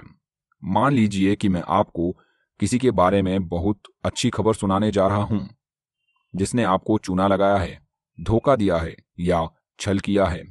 अगर आप उस व्यक्ति के बारे में अच्छी खबर सुनकर कुड़ जाते हैं तो यह जान ले कि नफरत की जड़ें अब भी आपके अवचेतन मन में हैं और नुकसान पहुँचा रही है। मान ले कि पिछले साल आपका बहुत दुखने वाला दांत निकाला गया था और आप मुझे इसके बारे में इस समय बताते हैं। अगर मैं पूछता हूँ कि क्या इस समय दर्द हो रहा है तो आप मुझे हैरानी से देखकर कहते हैं, ज़ाहिर है, नहीं। मुझे याद है, लेकिन अब मुझे यह महसूस नहीं होता। यही पूरी कहानी है। अगर आपने सचमुच किसी को क्षमा कर दिया है तो आपको घटना तो याद रहेगी, लेकिन आपको अब चोट या डंक महसूस नहीं होगा। यह क्षमा का एसिड टेस्ट है। आपको इसे मनोवैज्ञानिक और आध्यात्मिक तरीके से करना होगा, वरना आप खुद को धोखा दे रहे हैं। आप क्षमा को सच्ची कला का अभ्यास नहीं कर रहे। सबको समझना, सबको क्षमा करना है। जब आप अपने मस्तिष्क के रचनात्मक नियम को समझ लेते हैं तो आप दूसरे लोगों और परिस्थितियों को दोष देना बंद कर देते हैं कि वे आपके जीवन को बना या बिगाड़ रही है। आपको एहसास हो जाता है कि आपको खुद के विचार और भावनाएँ ही अपनी किस्मत बनाते हैं। इससे भी बढ़कर, आप यह जान जाते हैं कि बाहरी चीज़ें कारण नहीं है। वे आपके जीवन तथा अनुभवों के कारण या निर्माता नहीं है। यह सोचना गलत है कि दूसरे आपकी खुशी में बाधा डाल सकते हैं कि आप बेरहम किस्मत की फुटबॉल हैं, कि आपको जीने के लिए दूसरों का विरोध करना पड़ेगा और उनसे लड़ना पड़ेगा। ये सभी विचार विध्वंसात्मक प्रकृति को प्रकट करते हैं। जब आप यह समझ लेते हैं कि विचार ही वस्तु है, यह सिद्धांत बाइबल में स्पष्टता से बताया गया है। जैसा व्यक्ति अपने दिल में सोचता है, वैसा ही वह होता है। क्षमा में सहायक बिंदुओं पर सारांश। पहला, ईश्वर या जीवन व्यक्तियों में भेद नहीं करता। जीवन किसी के साथ भेदभाव नहीं करता। जब आप सद्भाव, सेहत, खुशी और शांति के सिद्धांतों का पालन करने लगते हैं तो जीवन या ईश्वर आपके पक्ष में क्षमा करने लगता है। दूसरा, ईश्वर या जीवन बीमारी, रोग, दुर्घटना या कष्ट नहीं भेजता। हम ये चीज़ें अपने नकारात्मक, विध्वंसात्मक सोच से खुद अपने ऊपर ला देते हैं और इस बारे में यही नियम काम करता है। जैसा बोओगे, वैसा काटोगे। तीसरा, ईश्वर के बारे में आपकी अवधारणा, आपके जीवन की सबसे महत्वपूर्ण चीज़ है। अगर आप सचमुच प्रेमपूर्ण ईश्वर में विश्वास करते हैं तो आपका अवचेतन मन प्रतिक्रिया करके आपको असंख्य नियामतें प्रदान करेगा। प्रेमपूर्ण ईश्वर में यकीन करें। चौथा, जीवन या ईश्वर आपके खिलाफ कोई बैर नहीं रखता है। जीवन कभी आपकी निंदा नहीं करता है। अगर आपके हाथ में घाव हो जाता है तो जीवन उसे ठीक कर देगा। अगर आप अपनी उंगली जला लेते हैं तो जीवन आपको क्षमा करता है। घाव को भरता है, फफोलों को मिटाता है और उस हिस्सों को पूर्ण बना देता है। पांचवा आपका अपराध बोध ईश्वर और जीवन की गलत अवधारणा है। ईश्वर या जीवन आपको सजा नहीं देते या मूल्यांकन नहीं करता है। आप खुद अपने झूठे विश्वासों, नकारात्मक चिंतन और आत्मनिंदा के अवचेतन प्रभावों द्वारा अपने साथ ऐसा करते हैं। छठा, ईश्वर या जीवन आपको सजा नहीं देता या निंदा नहीं करता है। प्रकृति की शक्तियाँ बुरी नहीं है। उनका प्रभाव तो इस बात पर निर्भर करता है कि आप अपने भीतर की शक्ति का कैसा प्रयोग करते हैं। आप बिजली का प्रयोग किसी को मारने या घर को रोशन करने के लिए कर सकते हैं। आप पानी का प्रयोग किसी बच्चे को डुबाने या उसकी प्यास बुझाने के लिए कर सकते हैं। अच्छाई और बुराई व्यक्ति के मस्तिष्क के विचार और उद्देश्य पर निर्भर करती है। सातवां, ईश्वर या जीवन कभी सजा नहीं देता है। लोग ईश्वर, जीवन और ब्रह्मांड की गलत अवधारणाओं के कारण खुद को सजा देते हैं। उनके विचार रचनात्मक होते हैं। इसलिए वे दुख की रचना खुद कर लेते हैं। आठवां, अगर कोई आपकी आलोचना करे और आपके भीतर वे कमियाँ हों तो खुश होकर उसे धन्यवाद दें और उसकी टिप्पणियों की प्रशंसा करें। इससे आपको उस खास दोष को सुधारने का अवसर मिलता है। नवा, आप आलोचना से आहत नहीं होते हैं, क्योंकि आप जानते हैं कि आप अपने विचारों, प्रतिक्रियाओं और भावनाओं के स्वामी हैं। इससे आपको सामने वाले के लिए प्रार्थना करने और उसे दुआएँ देने का अवसर मिलता है, जिसे आप द्वारा स्वयं को दुआ देते हैं। दसवां, जब आप मार्गदर्शन और सही कर्म के लिए प्रार्थना करें तो जो जवाब मिले उसे मान लें। एहसास करें कि यह अच्छा है, बहुत अच्छा है। फिर आत्मकरुणा, आलोचना या नफरत का कोई कारण नहीं है। ग्यारहवा, कोई भी चीज़ अच्छी या बुरी नहीं है। इंसान की सोच उसे ऐसा बना देती है। भोजन सेक्स, दौलत। या सच्ची अभिव्यक्ति की इच्छा में कोई बुराई नहीं है। यह इस बात पर निर्भर करता है कि आप इच्छाओं और आकांक्षाओं और हसरतों का प्रयोग कैसे करते हैं। आपके भोजन की इच्छा किसी की जान लिए बिना भी पूरी हो सकती है। बारवा द्वेष, नफरत, दुर्भावना और शत्रुता बहुत से बड़े रोगों का कारण है। प्रेम, जीवन, खुशी और सद्भावना सबके प्रति उड़ेल कर अपने को आहत करने वाले तथा खुद को क्षमा करें। ऐसा तब तक करते रहें जब तक कि आप उनमें अपने मन से न निकाल दें और यह न जान लें कि आप उनके साथ शांति से हैं। तेरहवा, क्षमा करना किसी चीज़ के लिए कुछ देना है। प्रेम, शांति, खुशी, बुद्धि और जीवन की सारी नियामतें तब तक दूसरे को दें जब तक कि आपके दिमाग में कोई वंश न बचे। यह क्षमा का एसिड टेस्ट है। चौदवा अगर आपने किसी को चोट पहुंचाई है, आपके बारे में झूठ बोला है, निंदा की है, और आपकी बहुत बुराई की है, क्या उस व्यक्ति के बारे में आपका विचार नकारात्मक है? अगर ऐसा है तो आप उसे अभी तक क्षमा नहीं कर पाए हैं। नफरत की जड़ें अब भी आपके अवचेतन मन में हैं, और आपको नुकसान पहुँचा रही है। उन जड़ों को उखाड़ने का एकमात्र तरीका प्रेम है। उस व्यक्ति के लिए जीवन की सभी नियामतों की पालना करें। यही सत्तर गुना सात बार क्षमा करने का मतलब है। अध्याय अठारह। आपका अवचेतन मानसिक अवरोध कैसे हटाता है? अगर आपके सामने कोई मुश्किल स्थिति आ जाए और आपको रास्ता स्पष्ट न दिख रहा हो तो आप क्या कर सकते हैं? समाधान समस्या के भीतर ही होता है। इस सवाल में इसका जवाब निर्वित है। आपके अवचेतन मन की असीमित बुद्धिमता सब कुछ जानती है और सब कुछ देखती है। इसके पास जवाब है और ये आपको वो जवाब अभी बता रही है, लेकिन आपको सुनना होगा। आपको पूर्ण विश्वास के साथ अवचेतन मन के सुझाए मार्ग का अनुसरण करना होगा। जब आप इस नए मानसिक नज़रिए को हासिल कर लेते हैं कि आपके भीतर का रचनात्मक ज्ञान सुखद समाधान सुझा रहा है तो फिर आपको वो जवाब मिल जाएगा, जिसे आप खोज रहे थे। आश्वस्त रहें कि इस तरह का मानसिक नज़रिया आपके सभी कामों में व्यवस्था, शांति और अर्थ लाएगा। किसी आदत को कैसे बनाएँ या तोड़ें। हम सभी आदतों के हिसाब से जीने वाले प्राणी हैं। आदत हमारे अवचेतन मन का कार्य है। हमें तैरना, साइकिल चलाना, नाचना और कार चलाना चेतन रूप से इन कामों को बार बार करके सीखा था। जब तक कि ये कार्य अवचेतन मन में स्थापित नहीं हो गए, फिर अवचेतन मन की आदत ने उस काम को अपने जिम्मे ले लिया।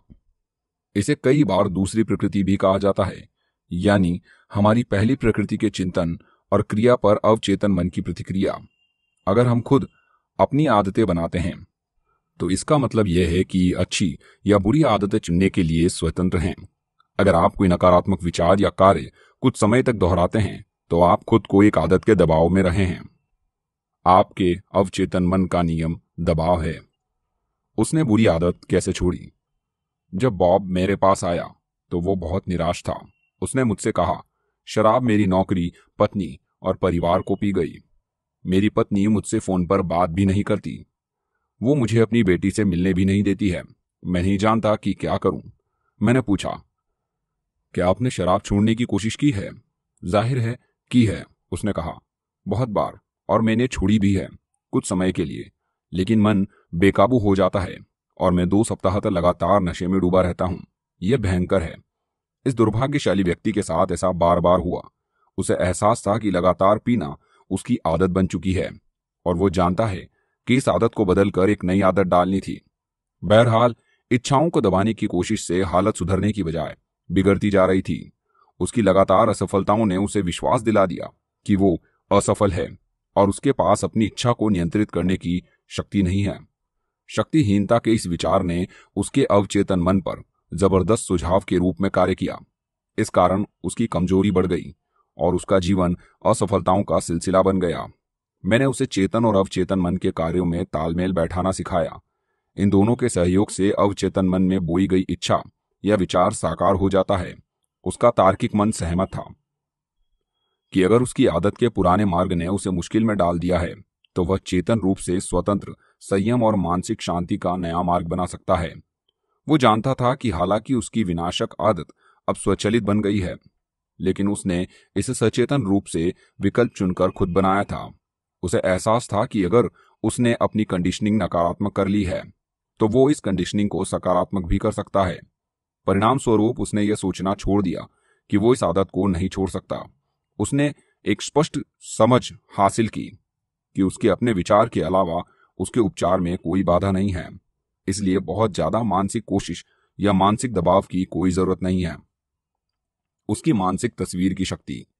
बॉब ने अपने शरीर को शिथिल करने का अभ्यास किया और मनन की निष्क्रिय अवस्था में पहुँच गया।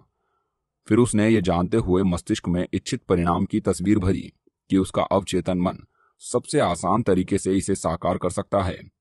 उसने कल्पना की कि उसकी बेटी गले लगते हुए स्वागत कर रही है और कह रही है ओह डेडी, कितना अच्छा हुआ कि आप दोबारा घर लौट आए। नियमित रूप से सुनियोजित तरीके से, वह इस तरह से बैठकर मनन करता था।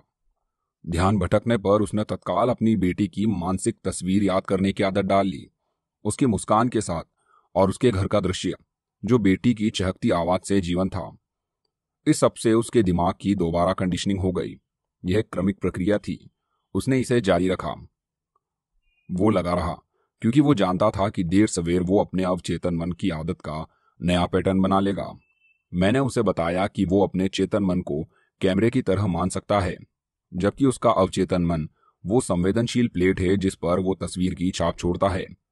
इस सुझाव पर उसका गहरा प्रभाव पड़ा। उसका पूरा लक्ष्य यह बन गया कि वो अपने मन की तस्वीर की दृढ़ छाप छोड़े और उसे डेवलप करे। फ़िल्म को अंधेरे में डेवलप किया जाता है। इसी तरह मानसिक तस्वीरों को अवचेतन मन के डार्क रूम में डेवलप किया जाता है। केंद्रित ध्यान। बॉब समझ गया कि उसका अवचेतन मन कैमरे की तरह है, इसलिए उसने कोशिश नहीं की। कोई मानसिक संघर्ष नहीं हुआ। उसने शांति से अपने विचारों को संतुलित किया और अपना ध्यान अपने सामने के दृश्य पर केंद्रित किया, जब तक कि वो तस्वीर के साथ क्रमशः एकाकार नहीं हो गया। वो मानसिक माहौल में डूब गया और मानसिक फ़िल्म को बार बार देखने लगा। उपचार होने के बारे में कोई शंका ही नहीं थी। जब भी पीने की तलब लगती थी तो वो अपने कल्पना को शराब के विचार से दूर मोड़कर, अपने परिवार के साथ घर पर रहने की भावना की ओर मोड़ देता था। वो सफल था, क्योंकि उसे विश्वास भरी उम्मीद थी कि वो अपने मस्तिष्क में जो फ़िल्म डेवलप कर रहा है, वो अवश्य घटेगी। आज यह संयमपूर्ण जीवन जी रहा है। अपने परिवार के साथ दोबारा रहने लगा है। करियर में सफल और खुश है। उसने कहा कि बदकिस्मती उसके पीछे पड़ी है। पिछले तीन महीनों में मेरे सामने एक के बाद एक बाधा आती जा रही है। मुझे सचमुच लगता है कि बदकिस्मती मेरे पीछे पड़ी है। रूप भी एक कंपनी की संस्थापक थी, जो प्रोफेशनल्स के लिए विलिंग और रिकॉर्ड कीपिंग का काम करती थी। उसकी कंपनी पहले तो बहुत सफल थी, फिर कुछ हो गया और स्थिति बदल गई। मुझे समझ नहीं आता है, उसने मुझसे कहा। अचानक ऐसा लगता है जैसे जो दरवाजे मेरे लिए खुल रहे थे। वे सब अब कसकर बंद हो चुके हैं। मैं बार बार संभावित ग्राहकों से साइन कराने के करीब पहुँच जाती हूँ। फिर आखिरी मिनट में वे पीछे हट जाते हैं। क्या हो रहा है? आपको ये समस्या कब से आ रही है? मैंने पूछा। जैसा मैंने कहा लगभग तीन महीने से, उसने जवाब दिया। अप्रैल के बीच से। उत्सुकता से मैंने पूछा, आपको तारीख के बारे में इतना यकीन कैसे है? क्या उस समय कोई खास चीज़ हुई थी? उसने त्यूनिया चढ़ाई। मेरा यकीन माने मैं एक दंत चिकित्सक को ग्राहक बनाने की कोशिश कर रही थी। मैं उसका नाम नहीं लूँगी। लेकिन अगर आपने अपने बच्चे के दांतों में तार लगवाए हों तो आप शायद उसे जानते होंगे। मैंने सब कुछ साफ़ साफ़ बता दिया। मैंने उसे बताया कि अगर मेरी कंपनी उसका सारा कागज़ी काम संभाल लेगी तो उसका कितना समय, मेहनत और पैसा बचेगा। उसे इस काम में समझदारी दिखी। उसने मौखिक सहमति दे दी। लेकिन जब मैंने उसे डाक से अनुबंध भेजा तो पहले तो उसने आनाकानी की और फिर पीछे हट गया। मैं आग बबूला थी। और उसके बाद मैंने पूछा। उसके बाद ये बार बार होने लगा। रूप ने कहा, एक पल के लिए उसने अपनी आँखें ढक ली। बदकिस्मती मेरे पीछे पड़ी है। इसका कोई दूसरा कारण ही नहीं है। हाँ है, मैंने उससे कहा। मैंने समझाया कि दंत चिकित्सक के प्रति उसकी चिड़ और द्वेष ने उसे अवचेतन को विश्वास दिला दिया था कि उसके अन्य संभावित ग्राहक भी पीछे हट जाएँगे। इस विश्वास ने कुंठा शत्रुता और बाधाओं का पैटर्न बना दिया। उसने अपने मन में आखिरी मिनट में अनुबंध कैंसिल होने की आशंका बना ली।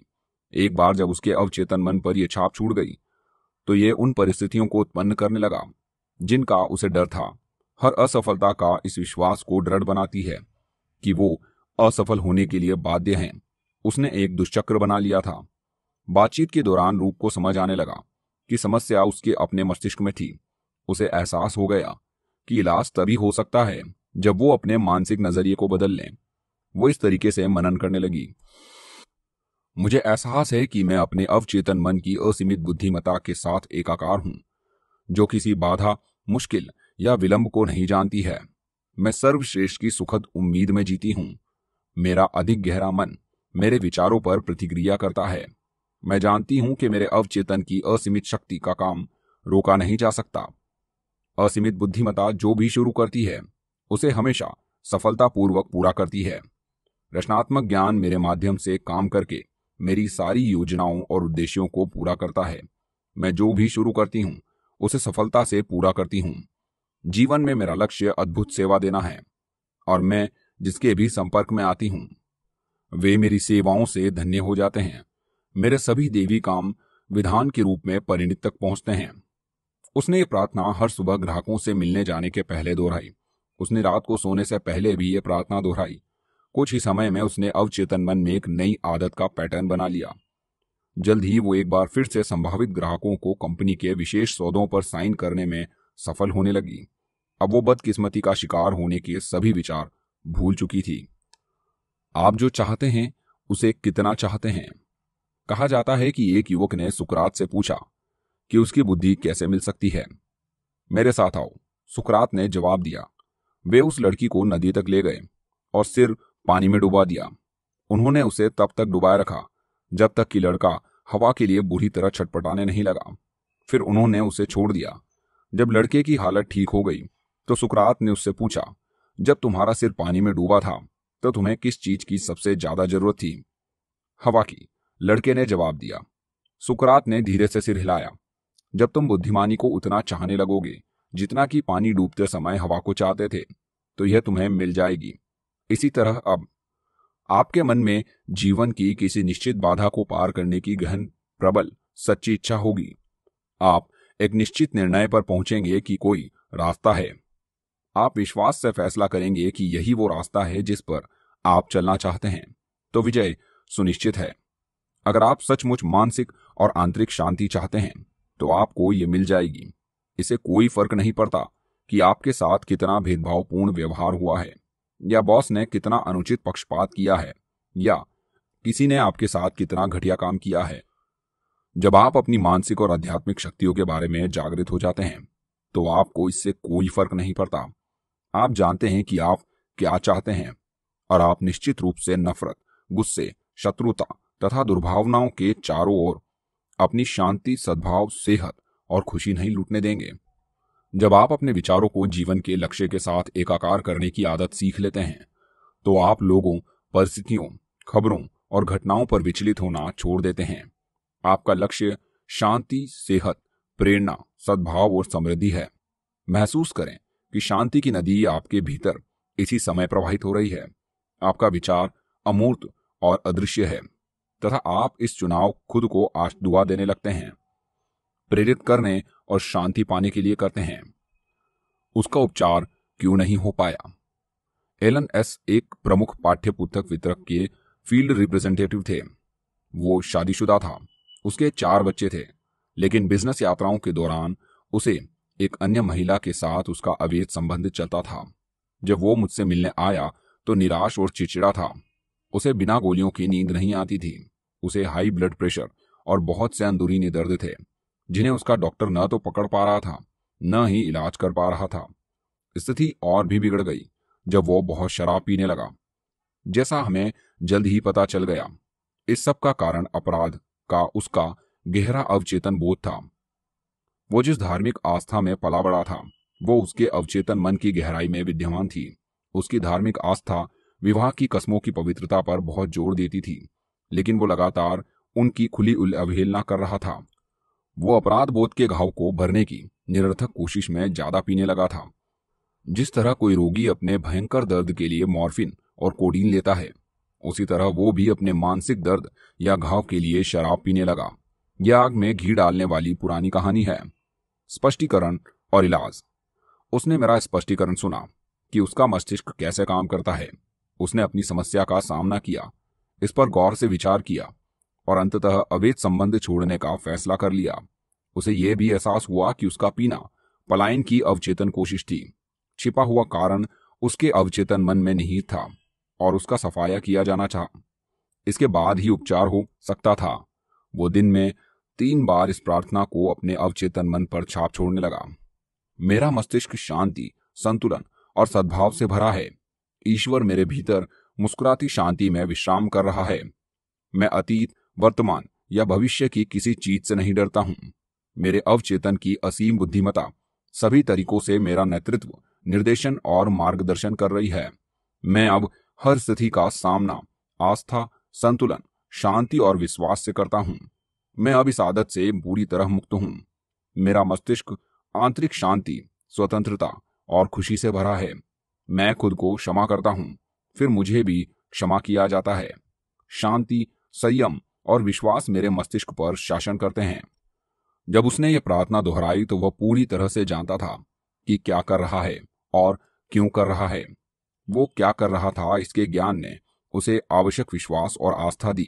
मैंने उसे समझाया कि जब वो इन वाक्यों को ज़ोर से धीरे धीरे प्रेम पूर्वक और अर्थपूर्ण ढंग से दोहराएगा तो वे धीरे धीरे उसके अवचेतन मन में उतर जाएँगे।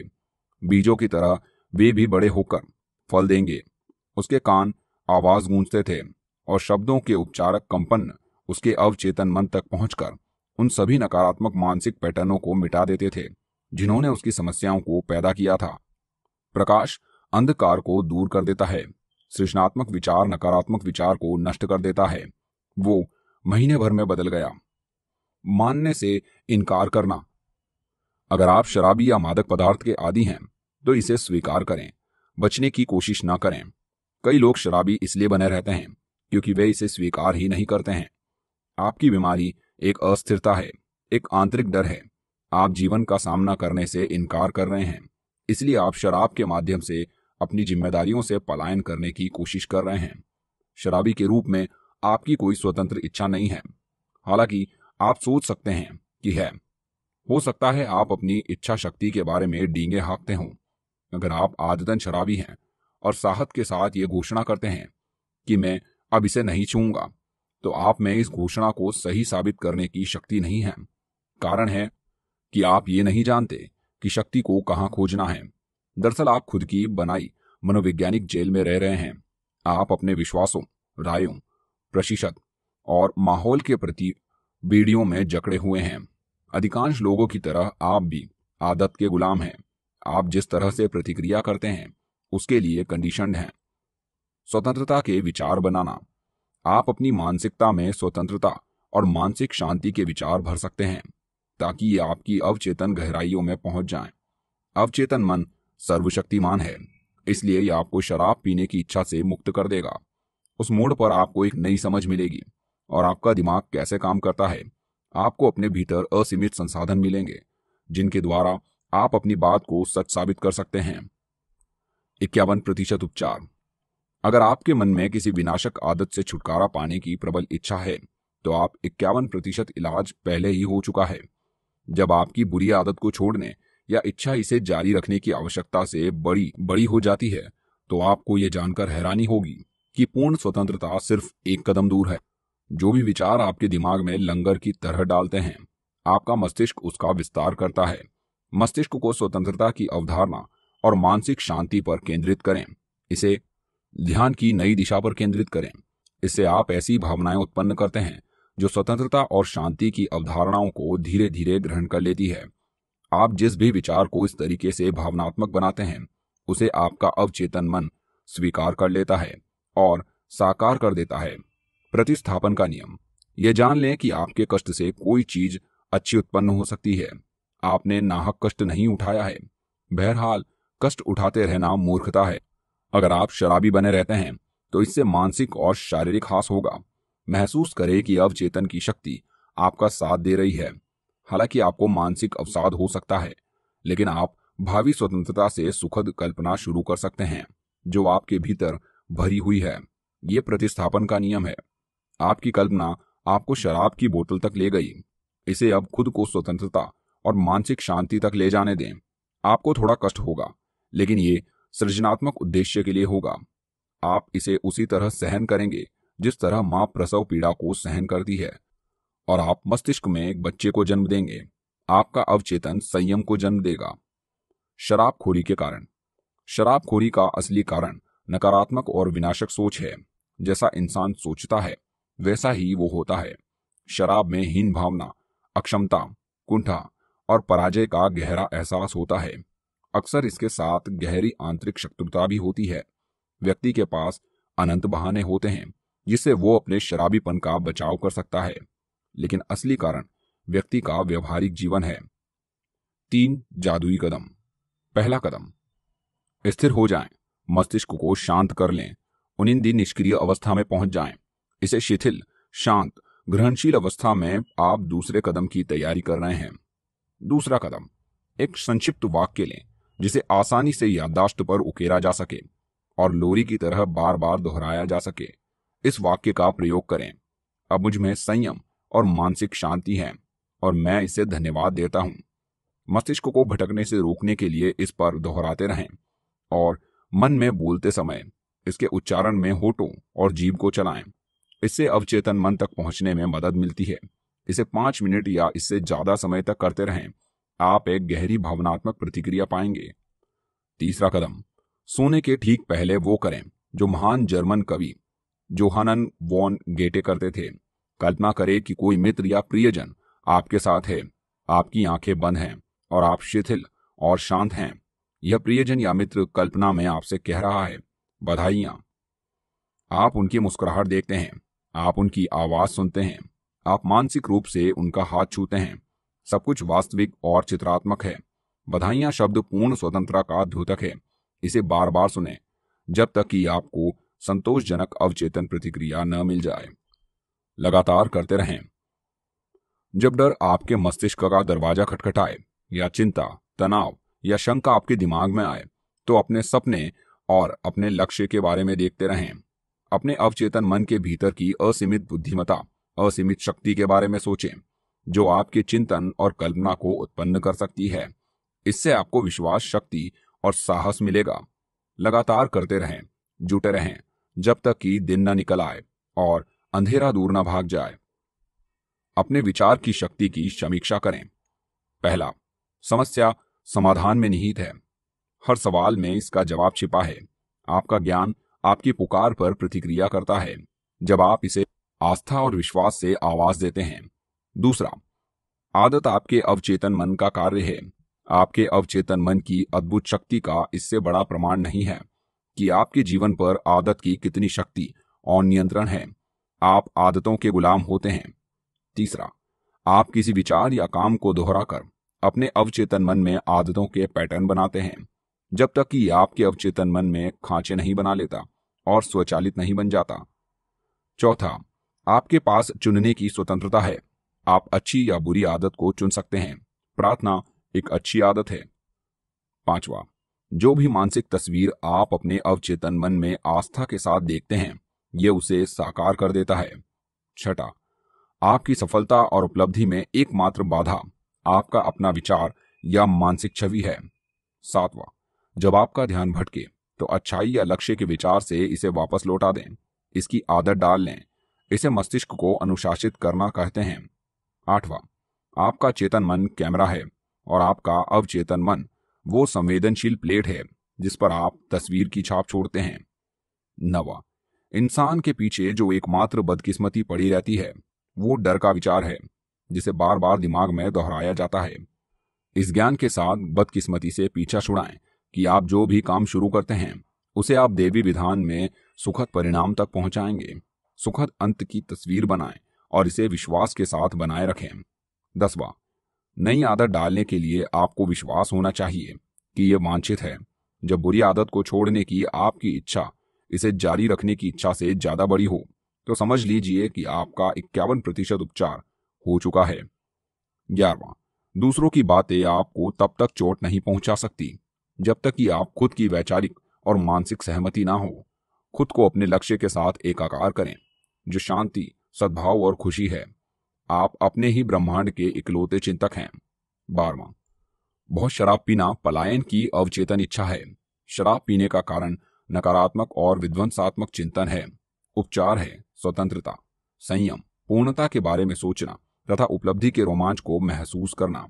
तेरवा, कई लोग शराबी इसलिए बन रहे हैं। क्योंकि वे अपनी समस्या को स्वीकार करने से इनकार कर देते हैं। चौदवा, आपके अवचेतन मन का नियम। आपके बंधन में बंधा और अपने कार्य की स्वतंत्रता को सीमित किया। आपको स्वतंत्रता और खुशी देगा। इस बात पर निर्भर करता है कि आप इसका कैसा प्रयोग करते हैं। पंद्रवा, आपकी कल्पना आपको शराब की बोतल तक ले गई।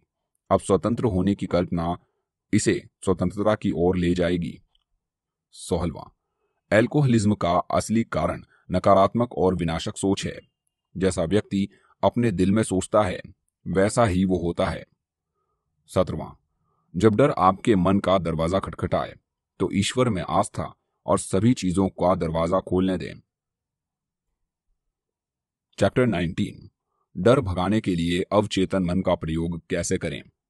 मेरे एक विद्यार्थी को उसके व्यवसायिक सम्मेलन के वार्षिक समारोह में भाषण देने के लिए आमंत्रित किया गया। उसने मुझे बताया कि वो एक हज़ार लोगों के सामने भाषण देने के बारे में सोचकर ही दहशत में आ गया था, जिनमें कई उसके क्षेत्र में विशेषज्ञ थे।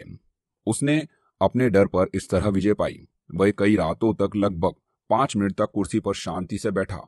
उसने खुद से धीरे से और शांति से और सकारात्मक तरीके से कहा, मैं इस डर पर विजय पाने वाला हूँ। मैं इस पर अभी विजय पा रहा हूँ। मैं संतुलन और विश्वास से बोलता हूँ। मैं शांत और आरामदेह हूँ। इस तरीके से उसने मस्तिष्क के एक निश्चित नियम से कार्य करवाया। जब समझ आया तो उसने अपने डर पर विजय पाई और बहुत सफल भाषण दिया। अवचेतन मन सुझाव के प्रति बहुत ग्रहणशील होता है। यह सुझाव द्वारा नियंत्रित होता है। जब आप अपने मस्तिष्क को स्थिर कर लेते हैं और शिथिल हो जाते हैं तो आपके चेतन मन के विचार आपके अवचेतन में उतर जाते हैं। ये प्रक्रिया परासरण जैसी ही है। इसमें छिद्र वाली झिल्लियों द्वारा विभाजित द्रव आपस में मिल जाते हैं। जब ये सकारात्मक बीज या विचार अवचेतन क्षेत्र में उतरते हैं तो वे अपनी तरह के फल देते हैं, तथा आप संतुलित, शांत और सद्भावनापूर्ण बन जाते हैं। लोगों का सबसे बड़ा शत्रु। यह कहा गया है कि डर लोगों का सबसे बड़ा शत्रु है। डर की असफलता बीमारी और कमज़ोर मानवीय संबंधों के कारण होता है। लाखों करोड़ों लोग अतीत, भविष्य, बुढ़ापे, पागलपन और मौत से डरते हैं। लेकिन डर आपके दिमाग का एक विचार है। इसका मतलब है कि आप अपने ही विचारों से डरे हुए हैं। कोई छोटा बच्चा डर के मारे दहशत में आ सकता है। जब कोई साथी कहता है कि बिस्तर के नीचे एक राक्षस है तो रात को उसे पकड़ लेगा। लेकिन जब माता या पिता लाइट जलाकर दिखाते हैं कि कोई राक्षस नहीं है तो उसका डर दूर हो जाता है। बच्चे के दिमाग का डर उतना ही असली था, जितना कि असली राक्षस होने पर होता। उसके मन के झूठे विचार का उपचार हो गया। जिस चीज़ का उसे डर था, वो मौजूद ही नहीं थी। इसी तरह से आपके अधिकांश डर वास्तविक नहीं होते हैं। वे महज दुष्ट छायाओं का समूह होते हैं, और छायाएँ असली नहीं होती है। वो काम करें जिससे आप डरते हों। उन्नीसवीं सदी के महान दार्शनिक और कवि राल्फ वाल्डो इमरसन ने कहा था जिस काम से आप डरते हों, उसे कर दें, और डर की मौत तय है। एक समय था, जब मैं श्रोताओं के सामने खड़े होने और भाषण देने के विचार से बुरी तरह घबराता था। अगर मैंने इस भयंकर डर के सामने हार मान ली होती तो मुझे यकीन है कि आप इस समय यह पुस्तक नहीं पढ़ रहे होते। मैंने अवचेतन मन की कार्यविधि के बारे में जो भी सीखा है, उसे दूसरों तक कभी नहीं पहुँचा पाता। मैंने इमरसन की सलाह पर अमल करके इस पर विजय पाई। अंदर से कांपने के बावजूद मैं श्रोताओं के सामने गया और बोलने लगा धीरे धीरे मेरा डर कम होने लगा और आखिरकार मैं इतना आरामदेह हो गया कि मैं इसमें आनंद लेने लगा। इसके बाद तो ये स्थिति आ गई कि मैं भाषण देने के लिए उत्सुक होने लगा। मैंने वो काम किया जिसे करने में मैं डरता था और डर की मौत तय थी। जब आप सकारात्मक रूप से घोषणा करते हैं कि आप अपने डर पर विजय पाने वाले हैं तो अपने चेतन मन में एक निश्चित निर्णय पर पहुँचते हैं। तो आप अवचेतन की शक्ति को मुक्त कर देते हैं। जो विचार की प्रकृति की प्रतिक्रिया में प्रवाहित होते हैं। मंच के डर को दूर भगाना। पहले एक अध्याय में मैंने जेनेट आर का उदाहरण दिया था। इस युवा ओपेरा सिंगर का कैरियर मंच के डर के कारण खतरे में पड़ गया था। जब उसे एक ओपेरा प्रोडक्शन की प्रमुख भूमिका के ऑडिशन के लिए बुलाया गया तो उसे एहसास था कि शायद यह सफल होने का उसका आखिरी मौका था। लेकिन उसका मंच का डर पहले जितना ही प्रबल था।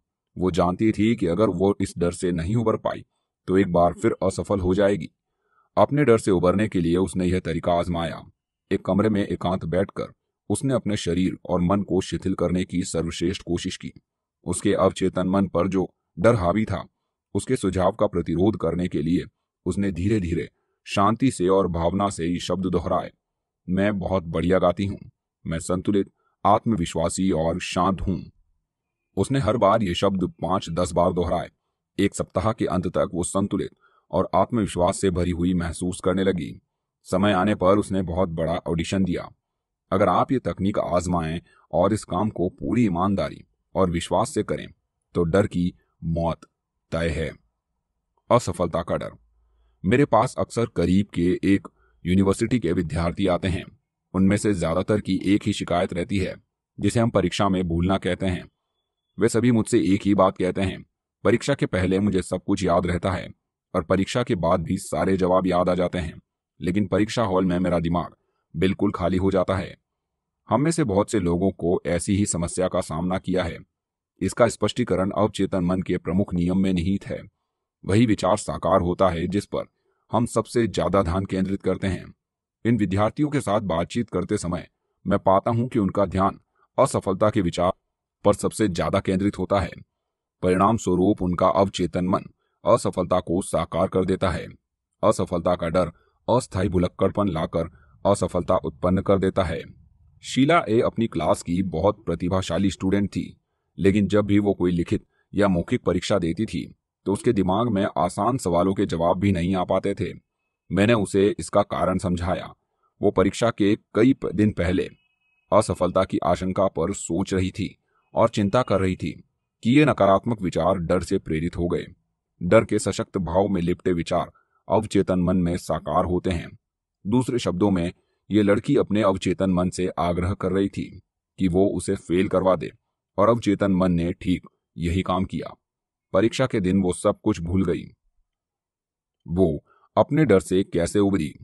जब शीला ने अपने अवचेतन मन की कार्यविधि का अध्ययन किया तो उसने सीखा कि वह स्मृतियों का भंडार है।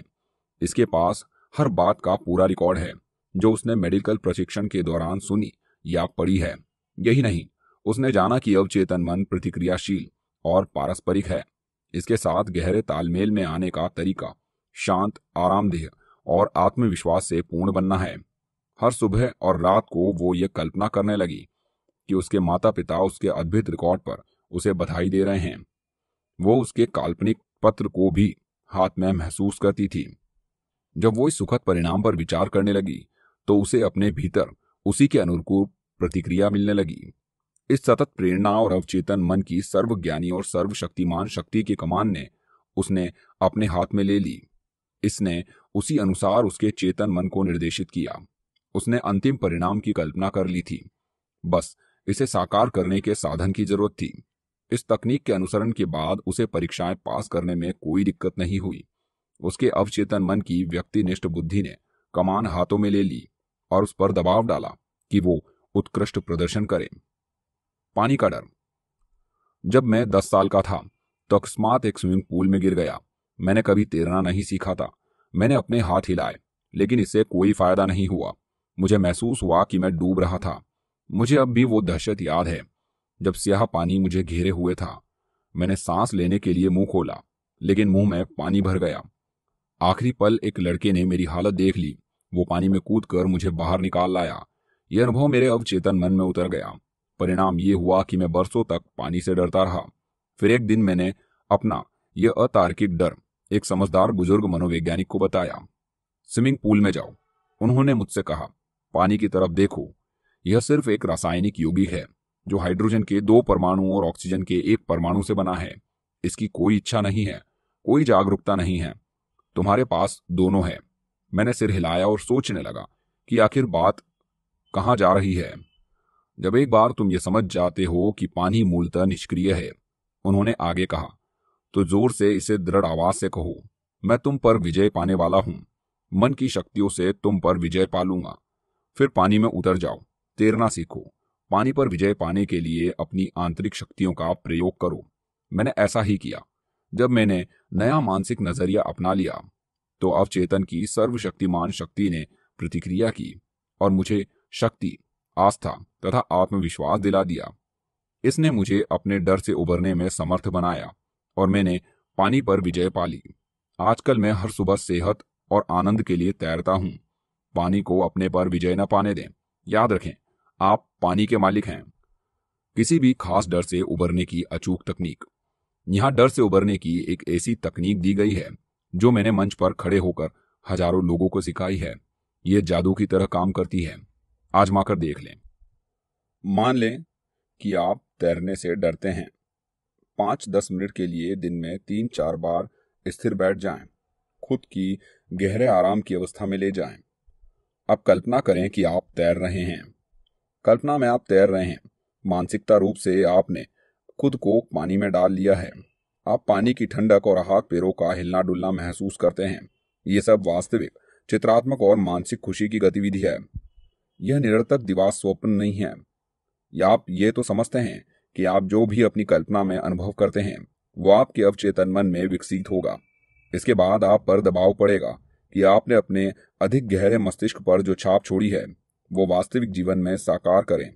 जब आप अगली बार तैरने की कोशिश करेंगे तो आप ये खुशी महसूस करेंगे। आपके अवचेतन का नियम है। अन्य डरों पर भी आप यही तकनीक लागू कर सकते हैं। अगर आपको ऊँची जगहों से डर लगता है तो कल्पना करें कि आप पहाड़ों पर टहल रहे हैं। इसकी वास्तविकता को महसूस करें। ताजी हवा, पहाड़ी फूलों और रोमांचक छटा का आनंद लें। ये जान लें कि अगर आप मानसिक रूप से इन्हें करते रहेंगे तो शारीरिक रूप से आपको कोई मुश्किल नहीं होगी। उसने लिफ्ट को दुआएँ दी। जोनाथन एम, एक बड़े कॉरपोरेट में एग्जीक्यूटिव हैं। कई सालों तक वो लिफ्ट में चढ़ने से बुरी तरह डरता था। वो हर सुबह लिफ्ट में जाने के बजाय सात सीढ़ियाँ चढ़कर अपने ऑफ़िस पहुँचता था। जब उसे ऊँची मंजिलों की स्थित दूसरी कंपनियों में लोगों से मिलना होता था तो वो अक्सर कोई ना कोई बहाना बनाकर उनसे अपने ऑफ़िस या रेस्तरों में मिलता था। शहर के बाहर की बिज़नेस यात्राएँ उसके लिए यात्रा भरी होती थी। उसे पहले से फ़ोन करके यह सुनिश्चित करना होता था कि होटल का कमरा नीचे वाली मंजिल पर हो। वो सीढ़ियों का उपयोग कर चढ़ पाए। ये डर उसके अवचेतन मन की उपज था। शायद यह किसी ऐसे अनुभव की प्रतिक्रिया में होगा, जिसे वह चेतन रूप से काफ़ी लंबे समय से भूल गया था। जब उसने यह सीख लिया तो उसने इसे बदलने की ठान ली। वो दिन रात कई बार लिफ्ट को दुआएँ देने लगा। शांति, आत्मविश्वासी मनोदशा में खुद को सामने दोहराता था। हमारी इमारत की लिफ्ट एक अद्भुत विचार है। यह शाश्वत मस्तिष्क से उत्पन्न हुई है। यह हमारे सभी कर्मचारियों के लिए वरदान है। यह अद्भुत सेवा करती है। यह देवी विधान में काम करती है। मैं इससे शांति और खुशी से यात्रा करता हूँ। मैं अब शांत बैठा हूँ। जबकि जीवन, प्रेम और समझ के प्रवाह मेरे विचार तंत्र में प्रवाहित हो रहे हैं। अपनी कल्पना में मैं इस समय लिफ्ट में हूँ और अपने ऑफ़िस के बाहर कदम रख रहा हूँ। लिफ्ट हमारे कर्मचारियों से भरी है। मैं उनसे बात करता हूँ और वे दोस्ताना, खुश और आज़ाद हैं। ये स्वतंत्रता, आस्था और विश्वास का अद्भुत अनुभव है। मैं धन्यवाद देता हूँ। वह दस दिनों तक ये प्रार्थना करता रहा। ग्यारहवें दिन वो कंपनी के बाकी लोगों के साथ लिफ्ट में चढ़ा और उसने खुद को पूरी तरह स्वतंत्र महसूस किया। सामान्य और असामान्य डर। नवजात शिशु को सिर्फ़ दो मूलभूत डर होते हैं, गिरने का डर और अचानक तेज शोर का डर। ये डर पूरी तरह सामान्य है। वे एक तरह से अलार्म की तरह काम करते हैं, जो आपको प्रकृति ने आत्मरक्षा के साधन के रूप में दिए हैं। सामान्य डर इच्छा है। आप सड़क पर अपनी ओर आती कार की आवाज़ सुनते हैं और बचने के लिए एक तरफ़ हट जाते हैं। टक्कर का डर आपके कर्म द्वारा टल जाता है। बाकी सभी डर असामान्य होते हैं। वे खास अनुभवों द्वारा उत्पन्न होते हैं, या फिर माता पिता रिश्तेदारों टीचर्स या अन्य लोगों के आपके पास आते हैं, जिन्होंने आपको शुरुआती वर्षों में प्रभावित किया है। असामान्य डर। असामान्य डर तब उत्पन्न होता है, जब लोग अपनी कल्पना को बेकाबू होने देते हैं। मैं एक महिला को जानता हूँ, जिसे हवाई जहाज़ से दुनिया की सैर पर जाने का पुरस्कार मिला। वह अखबारों से हवाई जहाज़ दुर्घटनाओं की सारी खबरें इकट्ठी करने लगी। उसने the world's worst airplane crashes की वीडियो टेप का ऑर्डर भी दे दिया। उसने कल्पना की कि वह हवाई जहाज़ से गिरकर समुद्र में डूब रही है। यह असामान्य डर था। अगर वह ऐसा सोचती रहती तो इस बात की प्रबल संभावना है कि उसके साथ वही हो जाता, जिसका उसे सबसे ज़्यादा डर था। असामान्य डर के शिकार एक और व्यक्ति का उदाहरण न्यूयॉर्क का एक बिजनेसमैन है, जो बहुत सफल और समृद्ध था। उसने अपनी मानसिक फ़िल्म तैयार की, जिसमें उसकी कंपनी दिवालिया हो गई और उसने अपना सब कुछ गवा दिया। वह असफलता की अपनी इस मानसिक फ़िल्म को जितनी ज़्यादा देखता था, उसे उतने ही गहरे अवसाद में डूब जाता था। उसने यह भयंकर तस्वीर देखना नहीं छोड़ा। वह अपनी पत्नी से कहता रहता था, यह चल नहीं सकता। यह प्रगति किसी दिन भी खत्म हो जाएगी। यह सब निराशाजनक है और हम दिवालिया होने वाले हैं।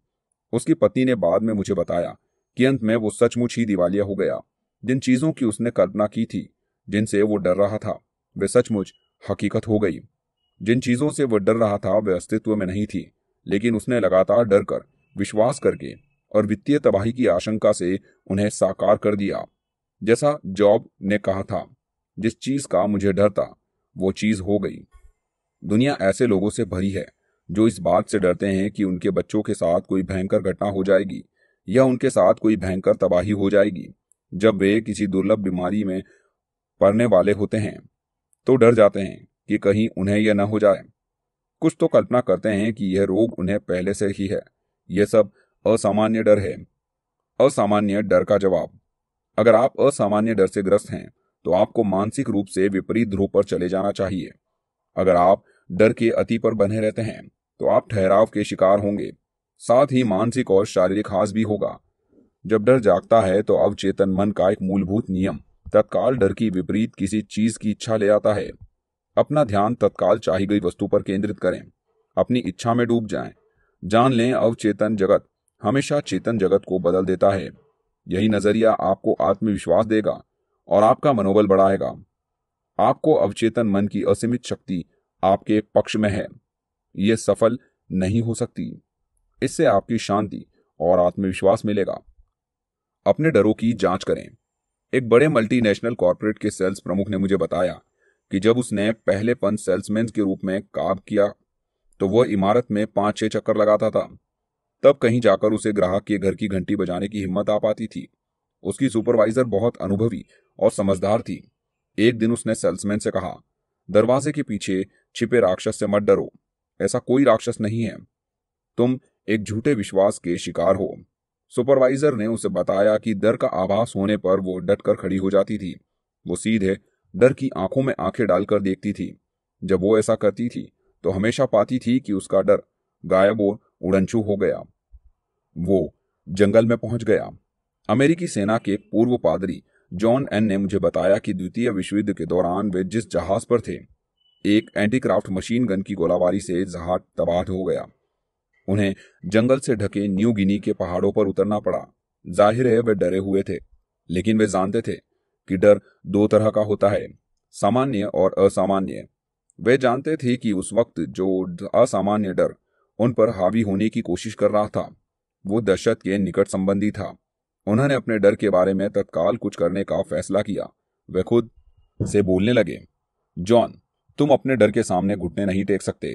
तुम्हारा डर सुरक्षा की इच्छा है, बाहर निकलने का रास्ता है। वे एक छोटी जगह के बीच में खड़े हुए और उन्होंने अपनी सांस को सामान्य किया। इसे दहशत के लक्षण कम हो गए। जैसे ही वे अधिक आरामदेह महसूस करने लगे, वे यह सकारात्मक दावा करने लगे, जो असीम बुद्धिमता ग्रहों को उनकी कक्षा में मार्गदर्शन देती है। वही अब मुझे इस जंगल से बाहर निकलने की राह दिखाकर सुरक्षा की ओर ले जा रही है। वे दस मिनट तक ऐसा ज़ोर ज़ोर से कहते रहे। जॉन ने मुझे बताया कि अचानक मुझे अपने भीतर कोई चीज़ हिलती महसूस हुई। यह आत्मविश्वास और आस्था की हिलोर थी। मैं खाली जगह के एक हिस्से की तरफ़ आकर्षित हुआ। वहाँ मुझे एक धुंधली सी पगडंडी दिखी और मैं उस पर चलने लगा। दो दिन बाद चमत्कारिक रूप से मैं एक छोटे गाँव में पहुँच गया, जहाँ के लोग बहुत दोस्ताना थे। उन्होंने मुझे खाने को दिया, फिर जंगल के किनारे तक ले गए, जहाँ एक बचाव हवाई जहाज़ ने मुझे बचा लिया। जॉन के बदले हुए मानसिक नज़रिए ने उन्हें बचा लिया। अपने भीतर की अवचेतन बुद्धि और शक्ति ने उनके विश्वास में उन्हें समस्या का समाधान दिया। उन्होंने आगे कहा, अगर मैं अपनी किस्मत पर आँसू बहाता और अपने डरों का शिकार होता तो डर का राक्षस मुझे जीत जाता। शायद मैं डर के कारण भूखा मर गया होता। उन्होंने खुद को नौकरी से निकलवा लिया। रेफेल एस एक बहुत बड़े फाउंडेशन में एग्जीक्यूटिव थे। उन्होंने मेरे सामने स्वीकार किया कि तीन साल से वे इस दहशत में थे कि उनकी नौकरी छूट जाएगी। वे हमेशा असफलता की कल्पना करते रहते थे। वे उम्मीद करते थे कि उनके अधीनस्थों को तरक्की देकर उनके ऊपर कर दिया जाएगा। जिस चीज़ को वे कल्पना करते थे, वो अस्तित्व में नहीं थी। यह तो उनके दिमाग का एक बुरा, तनावपूर्ण विचार था। उनकी तीक्ष्ण कल्पना ने उनकी नौकरी छूटने का भी नाटकीयकरण कर दिया, जिससे वे ज़्यादा घबरा गए और गलतियाँ करने लगे। आखिरकार कंपनी ने उनसे इस्तीफा मांग लिया। वास्तव में रेफेल ने खुद को नौकरी से निकलवाया था। उनकी सतत नकारात्मक कल्पना और अवचेतन मन की प्रतिक्रिया की। इससे वे गलतियाँ करने लगे और मूर्खतापूर्ण निर्णय लेने लगे। इससे उनकी असफलता तय हो गई। हो सकता है कि अगर वे अपने अवचेतन मन में तत्काल विपरीत चीज़ की कल्पना कर लेते तो उन्हें नौकरी से नहीं निकाला जाता। उन्होंने उसके खिलाफ षड्यंत्र रचा। विश्व भ्रमण के दौरान मेरी एक देश के शीर्ष अधिकारी से दो घंटे की बातचीत हुई। मैंने पाया कि इस आदमी ने आंतरिक शांति का गहरा एहसास था। उसने कहा कि हालाँकि विपक्षी दलों का समर्थन करने वाले अखबारों से उनकी लगातार आलोचना होती है, लेकिन इससे कभी विचलित नहीं होते। उसकी आदत है कि वह सुन, सुबह पंद्रह मिनट तक स्थिर बैठता है और यह एहसास करता है कि उसके भीतर शांति का एक गहरा महासागर है। इस तरह से साधना करके वो अपने भीतर ज़बरदस्त शक्ति पैदा करता है, जो सभी तरह के मुश्किलों और डरों पर विजय पा लेती है। कुछ महीनों पहले आधी रात को एक दहशत जदा सहकर्मी ने उसे फ़ोन करके बताया कि कुछ लोग उसके खिलाफ साजिश कर रहे थे। विदेश की सेना के असंतुष्ट तत्वों से मदद को तख्ता पलट चाहते थे। जवाब में इस अधिकारी ने अपने सहयोगी से कहा, मैं इस समय पूरी शांति से सोने जा रहा हूँ। हम इस बारे में कल सुबह दस बजे बातचीत कर सकते हैं। जैसा उसने मुझे बताया, मैं जानता हूँ कि कोई भी नकारात्मक विचार तब तक प्रकट नहीं हो सकता। जब तक कि मैं उस नकारात्मक विचार को भावनात्मक रूप से न लूँ और मानसिक रूप से स्वीकार न कर लूँ। मैं डर के उनके सुझाव को मन में रखने से इनकार करता हूँ। इसलिए मुझे तब तक कोई नुकसान नहीं होता जब तक कि मैं अनुमति न दूँ। ध्यान दें कि वो कितना शांत था, कितना ठंडा, कितना अविचलित। वह ज़्यादा परेशान नहीं हुआ और अपने बाल नहीं नोचने लगा या हाथ नहीं मलने लगा। उसने केंद्र में शांति का महासागर था। यह आंतरिक शांति बहुत गहरी थी। खुद को सभी डरों से मुक्त करें। बाइबल में डर दूर करने का एक आदर्श फॉर्मूला है। मैंने ईश्वर को चाहा और उन्होंने मेरी बात सुनी तथा सभी डरों से मुक्ति दे दी। ईश्वर एक प्राचीन शब्द है, जिसका अर्थ है कानून, आपके अवचेतन मन की शक्ति। अपने अवचेतन मन के आश्चर्यों को जानें, समझें कि यह कैसे काम करता है। इस अध्याय में बताई गई तकनीकों में निपुण बने। आज इसी समय इनका अभ्यास करें। आपका अवचेतन प्रतिक्रिया करेगा और आपका डर डर से मुक्त हो जाएगा। मैंने ईश्वर को चाहा और उन्होंने मेरी बात सुनी तथा सभी डरों से मुक्ति दे दी। डर से मुक्ति पाने का तरीका। पहला, वो काम करें जिसे करने से आप डरते हों। ऐसा करने पर डर की मौत तय है। अगर आप खुद से पूरे विश्वास और आस्था से कहते हैं, मैं इस डर को हराने वाला हूँ तो आप हरा देंगे। दूसरा, डर आपके मस्तिष्क का नकारात्मक विचार है। इसकी जगह पर सृजनात्मक विचार रख लें। डर ने लाखों लोगों को मारा है। विश्वास डर से ज़्यादा बड़ा है। ईश्वर और अच्छाई में आस्था से ज़्यादा सशक्त चीज़ कोई नहीं है। तीसरा, डर इंसान का सबसे बड़ा दुश्मन है। ये असफलता और बीमारी और खराब मानवीय संबंधों के पीछे है। प्रेम डर को बाहर निकालता है। प्रेम जीवन की अच्छी चीज़ों के प्रति भावनात्मक अनुराग है। ईमानदारी, अखंडता, न्याय। सद्भावना और सफलता से प्रेम करें। सर्वश्रेष्ठ की सुखद उम्मीद में जिए। आपको हमेशा सर्वश्रेष्ठ ही मिलेगा। चौथा, डर के सुझावों का प्रतिकार उनकी विपरीत चीज़ों से करें। जैसे, मैं बहुत बढ़िया गाती हूँ। मैं संतुलित और शांत हूँ। इससे आपको बहुत लाभ होगा। डर उस भुलक्कड़पन के पीछे है, जो परीक्षाओं के दौरान आप पर प्रहार करता है। आप अक्सर ये घोषणा करके इससे उबर सकते हैं। मुझे हर उस चीज़ की आदर्श याद है, जिसे जानने की मुझे ज़रूरत है। कल्पना करें कि कोई मित्र परीक्षा में आपकी बेहतरीन सफलता पर बधाई दे रहा है। जुटे रहें और आप जीत जाएँगे। छठा, अगर आप पानी में उतरने से डरते हैं तो तैरें। आपकी कल्पना में स्वतंत्रता और खुशी से तैरें। खुशी को मानसिक रूप से पानी में उतारें। तालाब के पार तैरने की ठंडक और रोमांच को महसूस करें। इसकी स्पष्ट तस्वीर बना लें। जब आप यह काम विश्वास के साथ करते हैं तो आप पानी में जाने और इसे जीतने के लिए मजबूर हो जाते हैं। यह आपके मस्तिष्क का नियम है। सातवां, अगर आपको बंद जगहों जैसे लिफ्ट से डर लगता है तो मानसिक रूप से लिफ्ट की सवारी करें और इसके सभी हिस्सों तथा कार्यों की ईमानदारी से प्रशंसा करें। आप ये देखकर हैरान रह जाएँगे कि आपको डर कितना जल्दी दूर हो जाता है। आठवां, आप सिर्फ़ दो डरों के साथ पैदा हुए हैं गिरने का डर और शोर का डर। बाकी सभी डर बाद में हासिल किए गए हैं। उनसे मुक्ति पाएँ। नवा, सामान्य डर अच्छा है, असामान्य डर बहुत बुरा और विध्वंसात्मक है। डर के विचार लगातार सोचने से असामान्य डर मनोविकार और ग्रंथियाँ विकसित होती है। किसी चीज़ से लगातार डरने से दहशत और आतंक का एहसास उत्पन्न हो जाता है। आप असामान्य डर को जीत सकते हैं। जब आप जान लेते हैं कि आप आपके अवचेतन मन की जीवित शक्तियों को, परिस्थितियों को बदल सकते हैं और आपके दिल की प्रबल इच्छाओं को साकार कर सकते हैं। अपनी इच्छा पर तत्काल ध्यान दें और इसके प्रति निष्ठावान रहें। जो आपके डर के विपरीत है, यही वो प्रेम है जो डर को दूर भगाता है। ग्यारहवा, अगर आप असफलता से डरते हैं तो सफलता की ओर ध्यान दें। अगर आप बीमारी से डरते हैं तो संपूर्ण स्वास्थ्य पर ध्यान दें। अगर आप दुर्घटना से डरते हैं तो ईश्वर के मार्गदर्शन और संरक्षण पर ध्यान दें। अगर आप मौत से डरते हैं तो शाश्वत जीवन के बारे में सोचें। ईश्वर जीवन है और यही अब आपका जीवन है। बारवा प्रतिस्थापन का महान नियम डर का जवाब है। आप जिस भी चीज़ से डरते हैं, उसका समाधान आपकी इच्छा के रूप में है। अगर आप बीमार हैं तो आप सेहत की इच्छा करते हैं। अगर आप डर की कैद में हैं तो आप स्वतंत्रता की इच्छा करते हैं। अच्छे से आशा करें। मानसिक रूप से अच्छाई पर ध्यान केंद्रित करें और जान कि आपका अवचेतन मन आपको हमेशा जवाब देता है और ये कभी नहीं चूकता। तेरवा जिन चीज़ों से आप डरते हैं, उनका अपने मस्तिष्क के विचारों के अलावा कहीं अस्तित्व ही नहीं होता। विचार रचनात्मक होते हैं, इसलिए जॉब कहा करते थे, जिस चीज़ से मुझे बहुत डर था, वो हो गई। अच्छा सोचेंगे तो अच्छा मिलेगा। चौदवा अपने डरों को देखें, उन्हें तर्क की रोशनी में देखें। अपने डरों पर हंसना सीखें। यह सबसे अच्छी दवा है। आपके अपने विचार के सिवाय कोई नहीं है। आपको विचलित नहीं कर सकता। दूसरे व्यक्तियों के सुझावों कथुओं या धमकियों की कोई शक्ति नहीं है। शक्ति आपके भीतर है और अगर आपके विचार भलाई पर केंद्रित हैं तो ईश्वर की शक्ति आपके विचार को भलाई के साथ है। पंद्रवा, सिर्फ़ एक ही रचनात्मक शक्ति है और यह सद्भाव के रूप में चलती है। इसमें कोई विभाजन या संघर्ष नहीं है। इसका स्रोत प्रेम है, इसलिए ईश्वर की शक्ति अच्छाई के आपके विचारों के साथ है। चैप्टर ट्वेंटी मन से हमेशा युवा कैसे रहा जाए? आपका अवचेतन मन कभी बूढ़ा नहीं होता है। ये अजर, अमर और अनंत है। यह ईश्वर के शाश्वत मस्तिष्क का अंग है, जो न कभी पैदा हुआ है और न ही कभी मरेगा।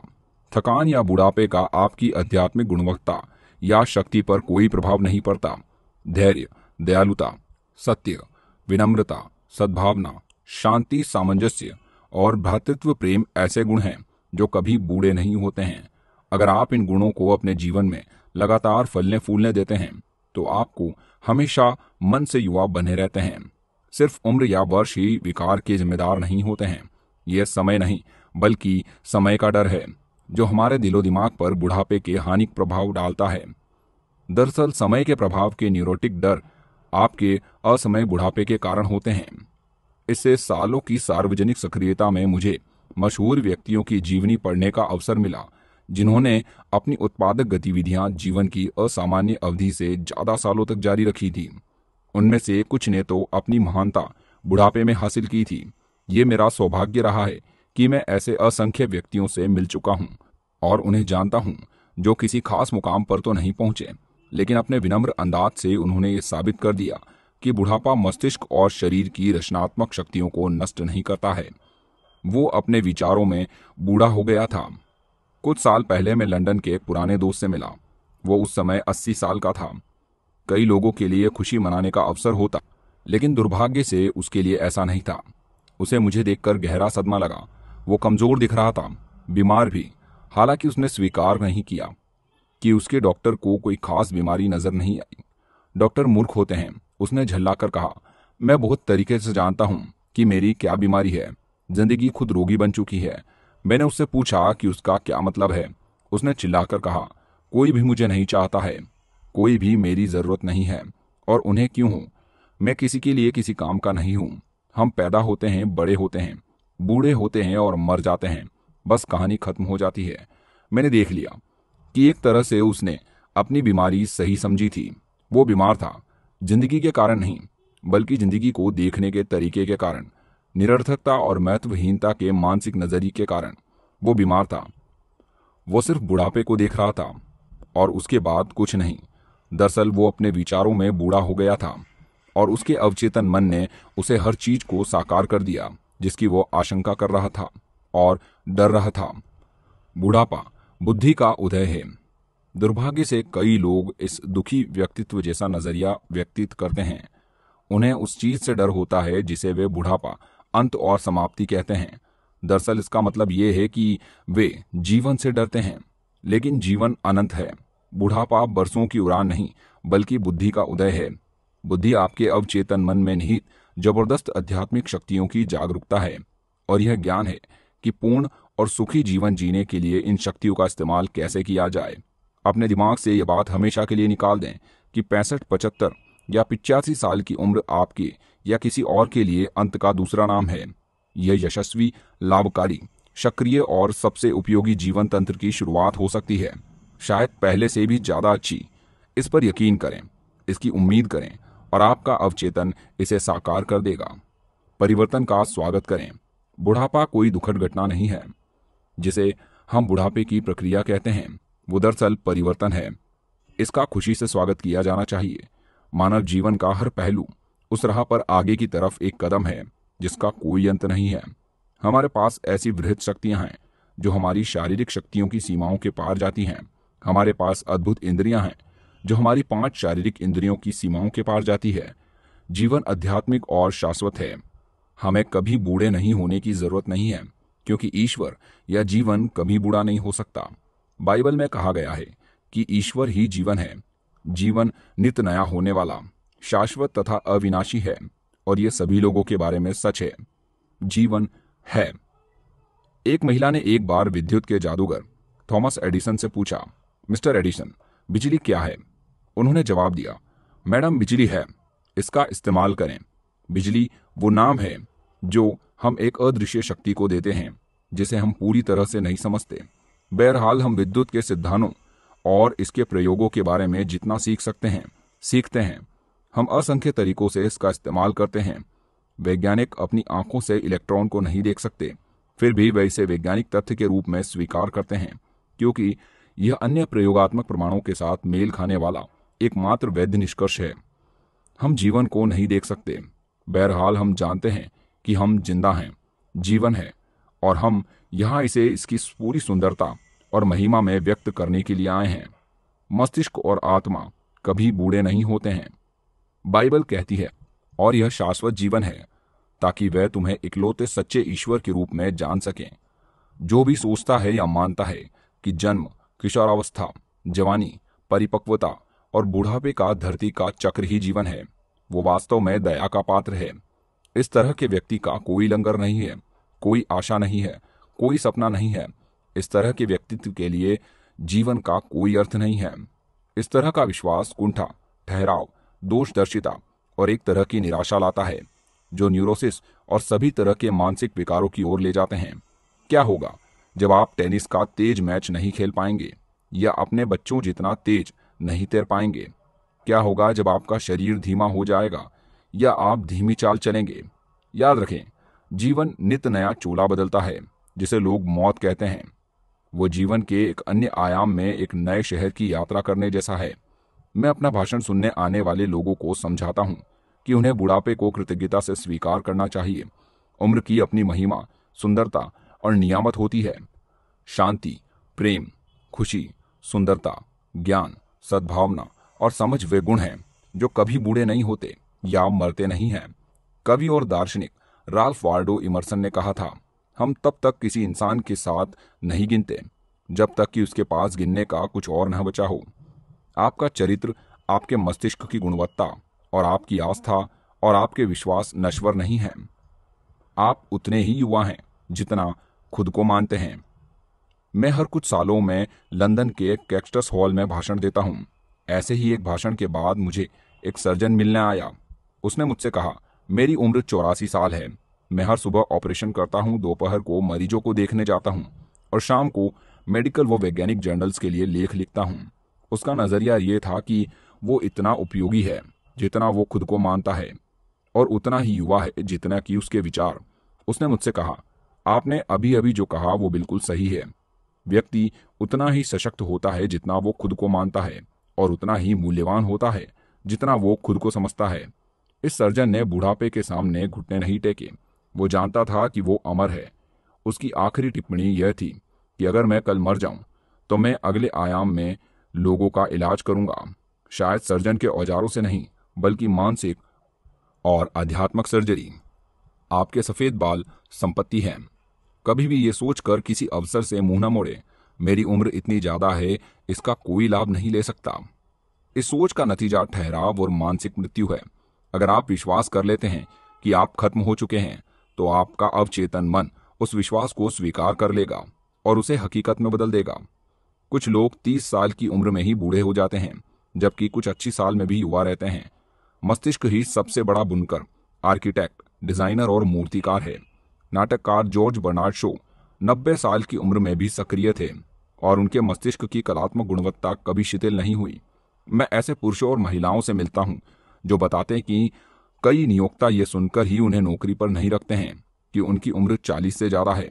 कंपनी के मालिकों का यह नज़रिया भावहीन, निष्ठुर और करुणा तथा समझ से विहीन है। किसने यह कहा है कि 35 साल से कम उम्र वाला ही बुद्धिमान होता है? इसके पीछे का तर्क खोखला और अर्थहीन है।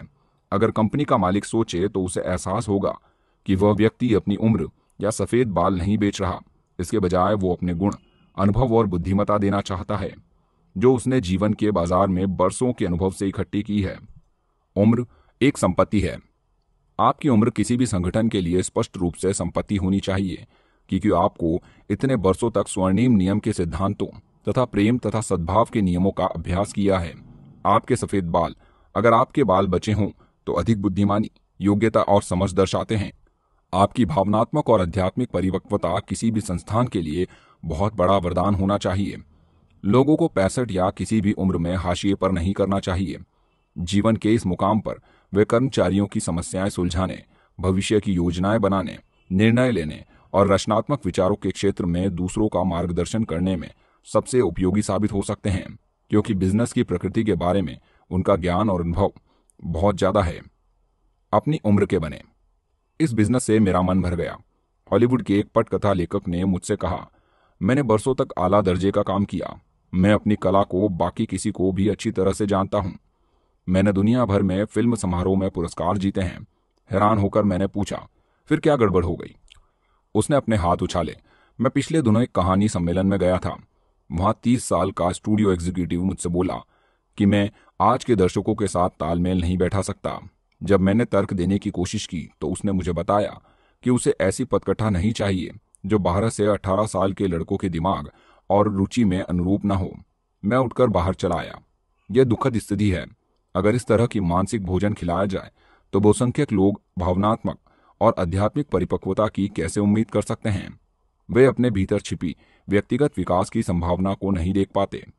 उन्हें बताया जाता है कि उन्हें युवावस्था को महिमा मंडित करना चाहिए।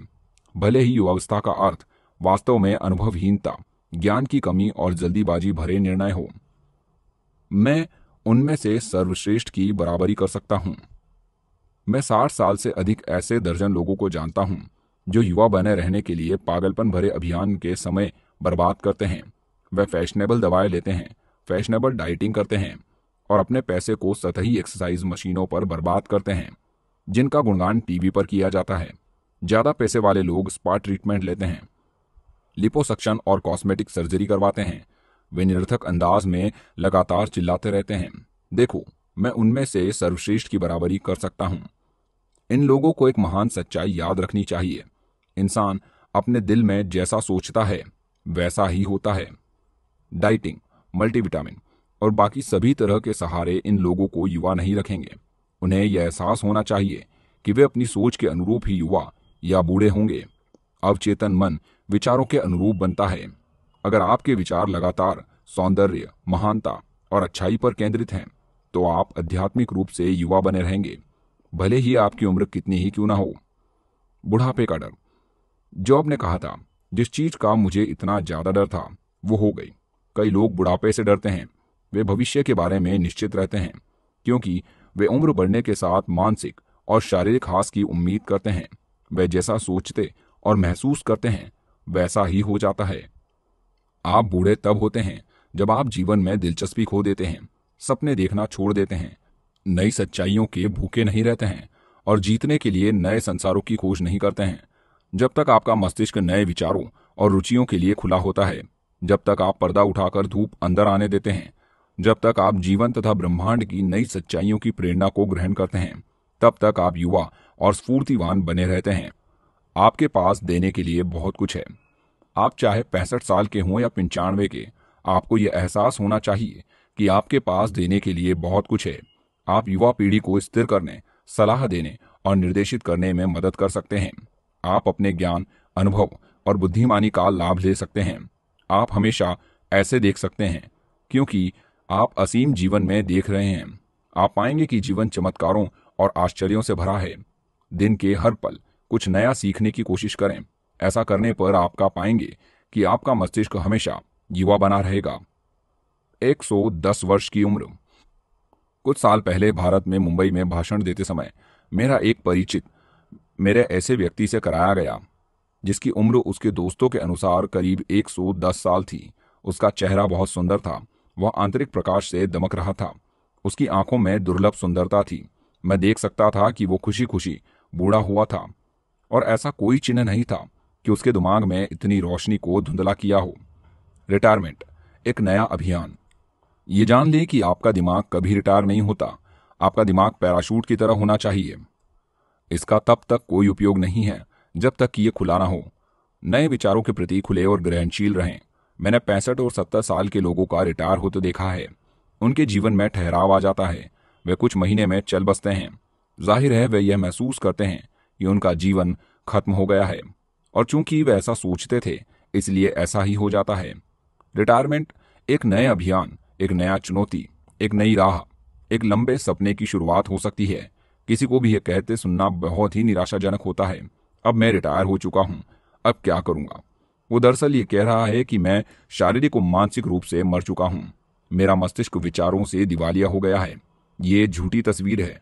सच्चाई यह है कि आप साठ साल के बजाय नब्बे साल की उम्र में ज़्यादा हासिल करते हैं, क्योंकि आपके नए अध्ययन और दिलचस्पी के कारण आपकी समझदारी, जीवन और ब्रह्मांड की समझ हर दिन बढ़ रही है। वो एक बेहतर काम में लग गया। फ्रैंक डब्ल्यू एक एग्जीक्यूटिव और मेरे पड़ोसी हैं। कुछ महीने पहले उन्हें जबरन नौकरी से निकाल दिया गया। कंपनी ने उन्हें बताया कि नई पुनर्गठन योजना के कारण ऐसा गया था, लेकिन उनका मानना था कि असल कारण यह था कि उनकी उम्र पैंसठ साल हो चुकी थी। मैंने उनसे पूछा क्या आप भेदभाव का शिकार बनने के बारे में कटुता महसूस करते हैं? क्या आप अदालत में मुकदमा दायर करेंगे?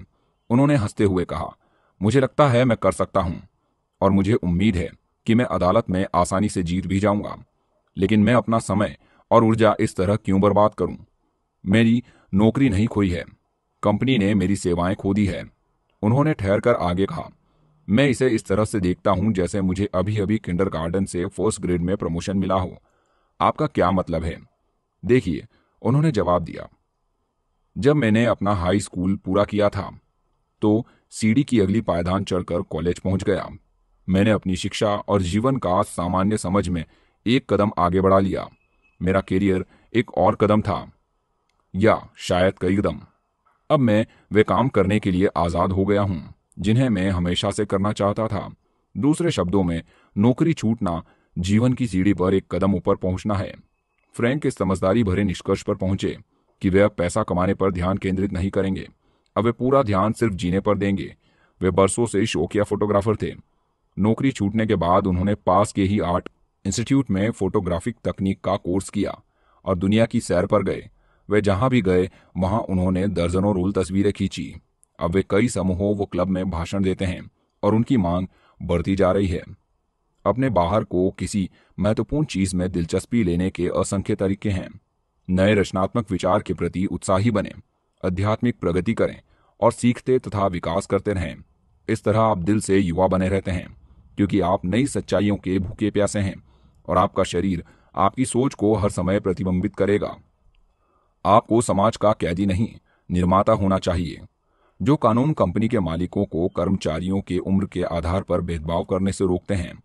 वे सही दिशा में एक कदम है, लेकिन कानून अकेला ही लोगों की सोच को नहीं बदल सकता। पैंसठ साल का कोई व्यक्ति मानसिक, शारीरिक और मनोवैज्ञानिक रूप से तीस साल के कई लोगों से ज़्यादा युवा हो सकता है। हम यहाँ अपने श्रम के फलों का आनंद लेने आए हैं, उपयोगी बनने आए हैं, समाज के कैदी बनने नहीं आए, जो हमारी उम्र के कारण हमें आलस की सजा देता है। उम्र बढ़ने पर व्यक्ति का शरीर धीरे धीरे धीमा हो जाता है, लेकिन अवचेतन मन की प्रेरणा से उसका चेतन मन अधिक सक्रिय, चुस्त, जीवंत और तीव्र हो सकता है। दरअसल मस्तिष्क कभी बूढ़ा नहीं होता। जॉब ने कहा था, ओह, काश मैं वैसा होता, जैसा मैं महीनों पहले था। जिन दिनों में ईश्वर ने मेरी रक्षा की थी, जब उनकी रोशनी मेरे सिर पर चमकी थी और उनकी रोशनी के सहारे मैं अंधेरे से आगे बढ़ा था। जब मैं अपनी जवानी के दिनों में था, जब ईश्वर का रहस्य मेरे आराधना स्थल में था। युवावस्था का सहस्य जवानी के दिनों को दोबारा पकड़ने के लिए अपने पूरे अस्तित्व को अवचेतन में चमत्कारिक, उपचारक, जीवन को नवीन करने वाली शक्ति महसूस करें। जान लें और महसूस करें कि आप प्रेरित हैं, ऊपर उठे हैं, तरुण बन चुके हैं, नई स्फूर्ति पा चुके हैं और आध्यात्मिक रूप से रिचार्ज हो चुके हैं। आप उत्साह और खुशी से भरपूर हैं। जैसे अपनी जवानी के दिनों में थे। सिर्फ़ इस कारण क्योंकि आप हमेशा मानसिक और भावनात्मक रूप से उस सुखद अवस्था को हासिल कर सकते हैं। जो रोशनी आपके सिर के ऊपर चमकती है, वो दैवी ज्ञान है। ये ज्ञान आपके सामने हर उस चीज़ को प्रकट कर देता है, जिसे आपने जानने की ज़रूरत है। भले ही परिस्थितियाँ कैसी भी दिखें, आप इसकी मदद से अच्छाई की उपस्थिति की सकारात्मकता घोषणा कर सकते हैं। आप अपने अवचेतन मन के मार्गदर्शन से चलते हैं, क्योंकि आप जानते हैं कि सुबह होती है और छायाएँ गायब हो जाती है। सपना देखें, मैं बूढ़ा हूँ, ये कहने की बजाय कहें मैं दैवी जीवन के विधान में समझदार हूँ। कंपनी अखबारों या आंकड़ों को अपने सामने बुढ़ापे की तस्वीर रखने की इजाज़त न दें। ढलते साल जर्जरता, सठियाना और निरर्थकता। इसे अस्वीकार कर दें, क्योंकि ये झूठ हैं। इस तरह के कुप्रचार को मानने से इनकार कर दें। मौत को नहीं, जीवन की घोषणा करें। खुश, स्वस्थ, सफल, शांत और सशक्त रूप से अपनी तस्वीर देखें। आपका मस्तिष्क बूढ़ा नहीं होता। शीर्षस्थ हार्थ सर्जन माइकल डेबेकी ने खून का पहला रोलर पंप 1932 में इजाद किया था। उनका बनाया पंप आज भी बाईपास सर्जरी में प्रयुक्त होता है। नब्बे साल की उम्र में डॉक्टर डेबे की एक नए आविष्कार पर प्रयोग शुरू करने की अनुमति मिली। ये एक छोटा पंप था, जिसे गंभीर हृदय रोगियों के सीने में लगाया जा सकता था। डेबे की सिर्फ़ शोध से ही संतुष्ट नहीं थे, वे सर्जरी भी करते रहे। उनके बारे में एक सहयोगी ने कहा था इन्होंने जितना किया है, उतना करने के लिए बाकी लोगों को पाँच छह जन्म लेने पड़ेंगे। डेबेकी ने नब्बे साल की उम्र में अपने जीवन दर्शन का सार इस तरह से व्यक्त किया था। जब तक इसके सामने चुनौतियाँ हैं और आप शारीरिक तथा मानसिक रूप से सक्षम हैं, तब तक जीवन रोमांचित और स्फूर्तिवान है। उनका मस्तिष्क निन्यानवे की उम्र में सक्रिय था। मेरे पिता ने पैंसठ साल की उम्र में फ्रेंच भाषा सीखी और सत्तर साल की उम्र में इसके विशेषज्ञ बन गए। उन्होंने साठ साल से अधिक उम्र में गैलिक का अध्ययन किया और इस विषय के मशहूर टीचर बन गए। उन्होंने उच्च शिक्षा के एक इंस्टीट्यूट में मेरी बहन की तब तक मदद की, जब तक कि वे निन्यानवे साल की उम्र में गुजर नहीं गए। निन्यानवे साल की उम्र में उनका दिमाग उतना ही तेज था, जितना कि बीस साल की उम्र में था। सच तो यह है कि आप उम्र के साथ उतनी तार्किक शक्ति अधिक पैनी हो गई। वास्तव में आप उतने ही बूढ़े होते हैं जितना आप खुद को मानते और महसूस करते हैं। हमें वरिष्ठ नागरिकों की ज़रूरत है। रोमन देशभक्त मार्क्स पॉर्सियस केटो ने 80 साल की उम्र में ग्रीक भाषा सीखी। महान जर्मन अमेरिकन कलाकार मैडम अर्नेस्टाइन शूमैन हैंक दादी बनने के बाद अपना संगीत सफलता के शिखर पर पहुँची। यूनानी दार्शनिक सुकरात ने वाद्य यंत्र बजाना तब सीखा जब वे 80 साल के थे। माइकल एंजेलो 80 साल की उम्र में अपने सबसे महान कैनवास पर पेंटिंग कर रहे थे। 80 साल की उम्र में सीओ साइमन साइमनाइड्स ने कविता का पुरस्कार जीता। जोहानन वॉन गेटे ने फॉस्ट पूरा किया। लियोपोल्ड वॉन रेंके ने अपनी हिस्ट्री ऑफ़ द वर्ल्ड की शुरू की, जिसे उन्होंने बानवे साल की उम्र में पूरा किया। अल्फ्रेड लॉर्ड टेनिसस ने तिरासी साल की उम्र में अपनी बेहतरीन कविता क्रॉसिंग द बार लिखी। आइजेक न्यूटन पिचासी साल में भी बहुत मेहनत करते थे। अट्ठासी साल की उम्र में जॉन वेल्सी मैथडिज्म पर भाषण दे रहे थे और मार्गदर्शन दे रहे थे। फ्रांस की जिया लुई कलमेंट, इन लोगों जितनी मशहूर नहीं हुई। जवानी में वे एक बार मशहूर चित्रकार विंसेंट वॉन गॉक से मिली थी, लेकिन इनसे वे लोकप्रिय नहीं हुई। उनके सौवे जन्मदिन के बाद लोगों ने उनकी तरफ़ ध्यान देना शुरू किया। उनके लिए हर दिन साइकिल चलाना छोड़ने का अवसर था। एक सौ दसवें जन्मदिन पर कैलमेंट को दुनिया भर से बधाइयाँ और शुभकामनाएँ मिली। एक सौ अठारहवें जन्मदिन में उन्होंने इतिहास में सबसे अधिक उम्र का जीवित व्यक्ति बना दिया। जब उनसे पूछा गया कि उन्हें यह कैसे संभव हुआ तो वह बोली, मौके, हर मौके पर आनंद लिया। मैंने स्पष्टता से, नैतिकता से और बिना पश्चाताप के काम किया। मैं बहुत खुशकिस्मत हूँ। 122 साल की होने पर उनकी मुस्कुराहट हमेशा मंत्रमुग्ध करने वाली थी। हमें अपने वरिष्ठ नागरिकों को ऊँचे पदों पर रखना चाहिए और उन्हें स्वर्ग से फूलों को धरती पर लाने का हर अवसर देना चाहिए। अगर आप रिटायर हो चुके हैं तो जीवन के नियमों और अपने अवचेतन मन के आश्चर्यों में रुचि लें। कोई ऐसा काम करें, जिसे आप हमेशा से करना चाहते थे। नए विषयों का अध्ययन करें और नए विचारों की जाँच करें। इस तरह से प्रार्थना करें, हे ईश्वर, जिस तरह से मृग जलधारा की ओर बहता है, उसी तरह मेरी आत्मा आपके लिए व्याकुल होती है। बुढ़ापे के फल, उसका मांस किसी बच्चे से भी ताज़ा बना दिया जाएगा। वो अपनी जवानी के दिनों में पहुँच जाएगा। दरअसल बुढ़ापे का मतलब है उच्चतम दृष्टिकोण से ईश्वर की सच्चाइयों पर मनन करना। ये एहसास करें कि आप एक अनंत यात्रा पर हैं। आप जीवन के अविराम, अथक, अनंत महासागर में महत्वपूर्ण सीढ़ियों की पायदान पर हैं। फिर भजनकार के साथ आप भी कहेंगे, वे बुढ़ापे में भी फल देंगे, वे मोटे और समृद्ध होंगे। लेकिन आत्मा के फल प्रेम, खुशी, शांति, धैर्य, नरमी, अच्छाई, आस्था, विनम्रता, सहिष्णुता है। इनके खिलाफ कोई कानून नहीं है। आप अनंत जीवन के शिशु हैं, जिसका कोई अंत नहीं है। आप अमरता के वारिस हैं। लाभकारी विचार। पहला, धैर्य, दयालुता, प्रेम, सद्भावना, खुशी, आनंद, बुद्धि और समझ जैसे गुण कभी बूढ़े नहीं होते हैं। उन्हें विकसित और व्यक्त करेंगे तो आप मानसिक और शारीरिक रूप से युवा बने होंगे। दूसरा, समय के प्रभावों का मानसिक डर। असमय बुढ़ापे का कारण हो सकता है। तीसरा, बुढ़ापे का वर्षों की उड़ान से कोई लेना देना नहीं है। यह तो इंसान के मस्तिष्क में बुद्धि का उदय है। चौथा, आपके जीवन के सबसे उपयोगी वर्ष पैंसठ से पंचानवे तक के हो सकते हैं। पांचवा, बुढ़ापे का स्वागत करें। इसका मतलब यह है कि आप जीवन की राह पर ज़्यादा ऊपर बढ़ रहे हैं, जिसका कोई अंत नहीं है। छठा, ईश्वर जीवन है और ये तब तक आपका जीवन है जीवन सतत नवीकरण करने वाला, शाश्वत और अविनाशी है, तथा सभी इंसानों की वास्तविकता है। आप हमेशा जीते हैं, क्योंकि आपका जीवन ईश्वर का जीवन है। सातवां। आप अपने मस्तिष्क को नहीं देख सकते, लेकिन आप जानते हैं कि आपके पास एक मस्तिष्क है। आप भावना को नहीं देख सकते, लेकिन आप जानते हैं कि भावना खेल होती है, कला की, संगीत की, वक्ता की भावना भी वास्तविकता होती है। इसी तरह आपके दिलो दिमाग में चलने वाली अच्छाई सत्य और सुंदरता की भावनाएँ वास्तविक हैं। आप ज़िंदगी को नहीं देख सकते, लेकिन आप जानते हैं कि आप ज़िंदा हैं। आठवां, बुढ़ापे को उच्चतम दृष्टिकोण से ईश्वर की सच्चाइयों का मनन कहा जाता है। बुढ़ापे की खुशियाँ जवानी की खुशियों से ज़्यादा बड़ी है। आपका मस्तिष्क आध्यात्मिक और मानसिक खेल में व्यस्त रहता है। प्रकृति आपके शरीर को धीमा कर देती है, ताकि आपको देवी चीज़ों पर मनन करने का अवसर मिल सके।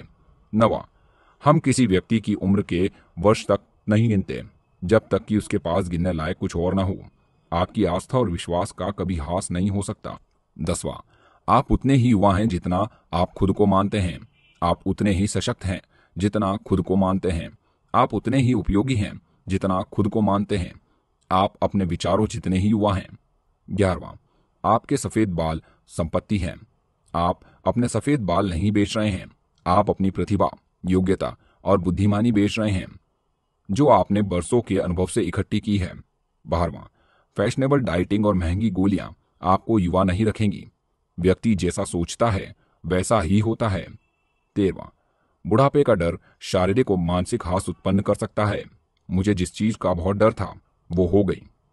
चौदवा आप तब तक बूढ़े नहीं होते, जब आप सपने देखना छोड़ देते हैं और जीवन में दिलचस्पी खो देते हैं। आप तब बूढ़े होते हैं जब आप चिड़चिड़े सन की बदमिजाज और झगड़ालू हो जाते हैं। अपने मन को ईश्वर की सच्चाइयों से भरें और उसके प्रेम की धूप फैलाएँ। यही जवानी है। सोलवा, आपका रिटायरमेंट एक नया अभियान है। नए अध्ययन और रुचियों पर ध्यान दें। आप वे काम कर सकते हैं जो आप हमेशा से करना चाहते थे, लेकिन पहले इसलिए नहीं कर पाए क्योंकि आप कमाने में व्यस्त थे। जीवन जीने पर ध्यान दें। सत्रवा, समाज के कैदी नहीं, निर्माता बने। अपनी रोशनी झाड़ियों के नीचे न छुपाएँ। अठारवा, जीवन का रहस्य, प्रेम, खुशी, आंतरिक शांति और हँसी है। ईश्वर खुशी से भरपूर है और ईश्वर में जरा भी अंधकार नहीं है। उन्नीसवा, आपकी ज़रूरत है। कई महान दार्शनिकों, कलाकारों, वैज्ञानिकों, लेखकों और अन्य मशहूर लोगों ने अपना महानतम काम 80 साल की उम्र के बाद ही किया है। बीसवा, बुढ़ापे के फल हैं प्रेम, खुशी, शांति, धैर्य, नरमी। अच्छाई, आस्था, विनम्रता और संयम। इक्कीसवा, आप असीमित जीवन के शिशु हैं, जिसका कोई अंत नहीं है। आप अमरता के वारिस हैं। आप अनूठे हैं। तो दोस्तों, ये थी डॉक्टर जोसेफ मर्फी की बुक, आपके अवचेतन मन की शक्ति, यानी कि power of your subconscious mind. किस तरह से आप अपने अवचेतन मन का प्रयोग करके अपनी मनचाही चीज़ें पा सकते हैं। आपको ये ऑडियो बुक कैसी लगी कमेंट सेक्शन में ज़रूर बताइए। और हाँ अगर आपको ये वीडियो अच्छी लगी हो तो इस वीडियो को लाइक और चैनल को सब्सक्राइब करना ना भूलें। और अगर आप भी चाहते हैं कि आपके परिवार और आपके दोस्त भी अपने अवचेतन मन की शक्तियों का प्रयोग करके अपनी मन चाही चीज़ें पाएँ तो इस वीडियो को शेयर ज़रूर कीजिएगा। मिलते हैं अगली वीडियो में, अगली ऑडियो बुक के साथ। धन्यवाद।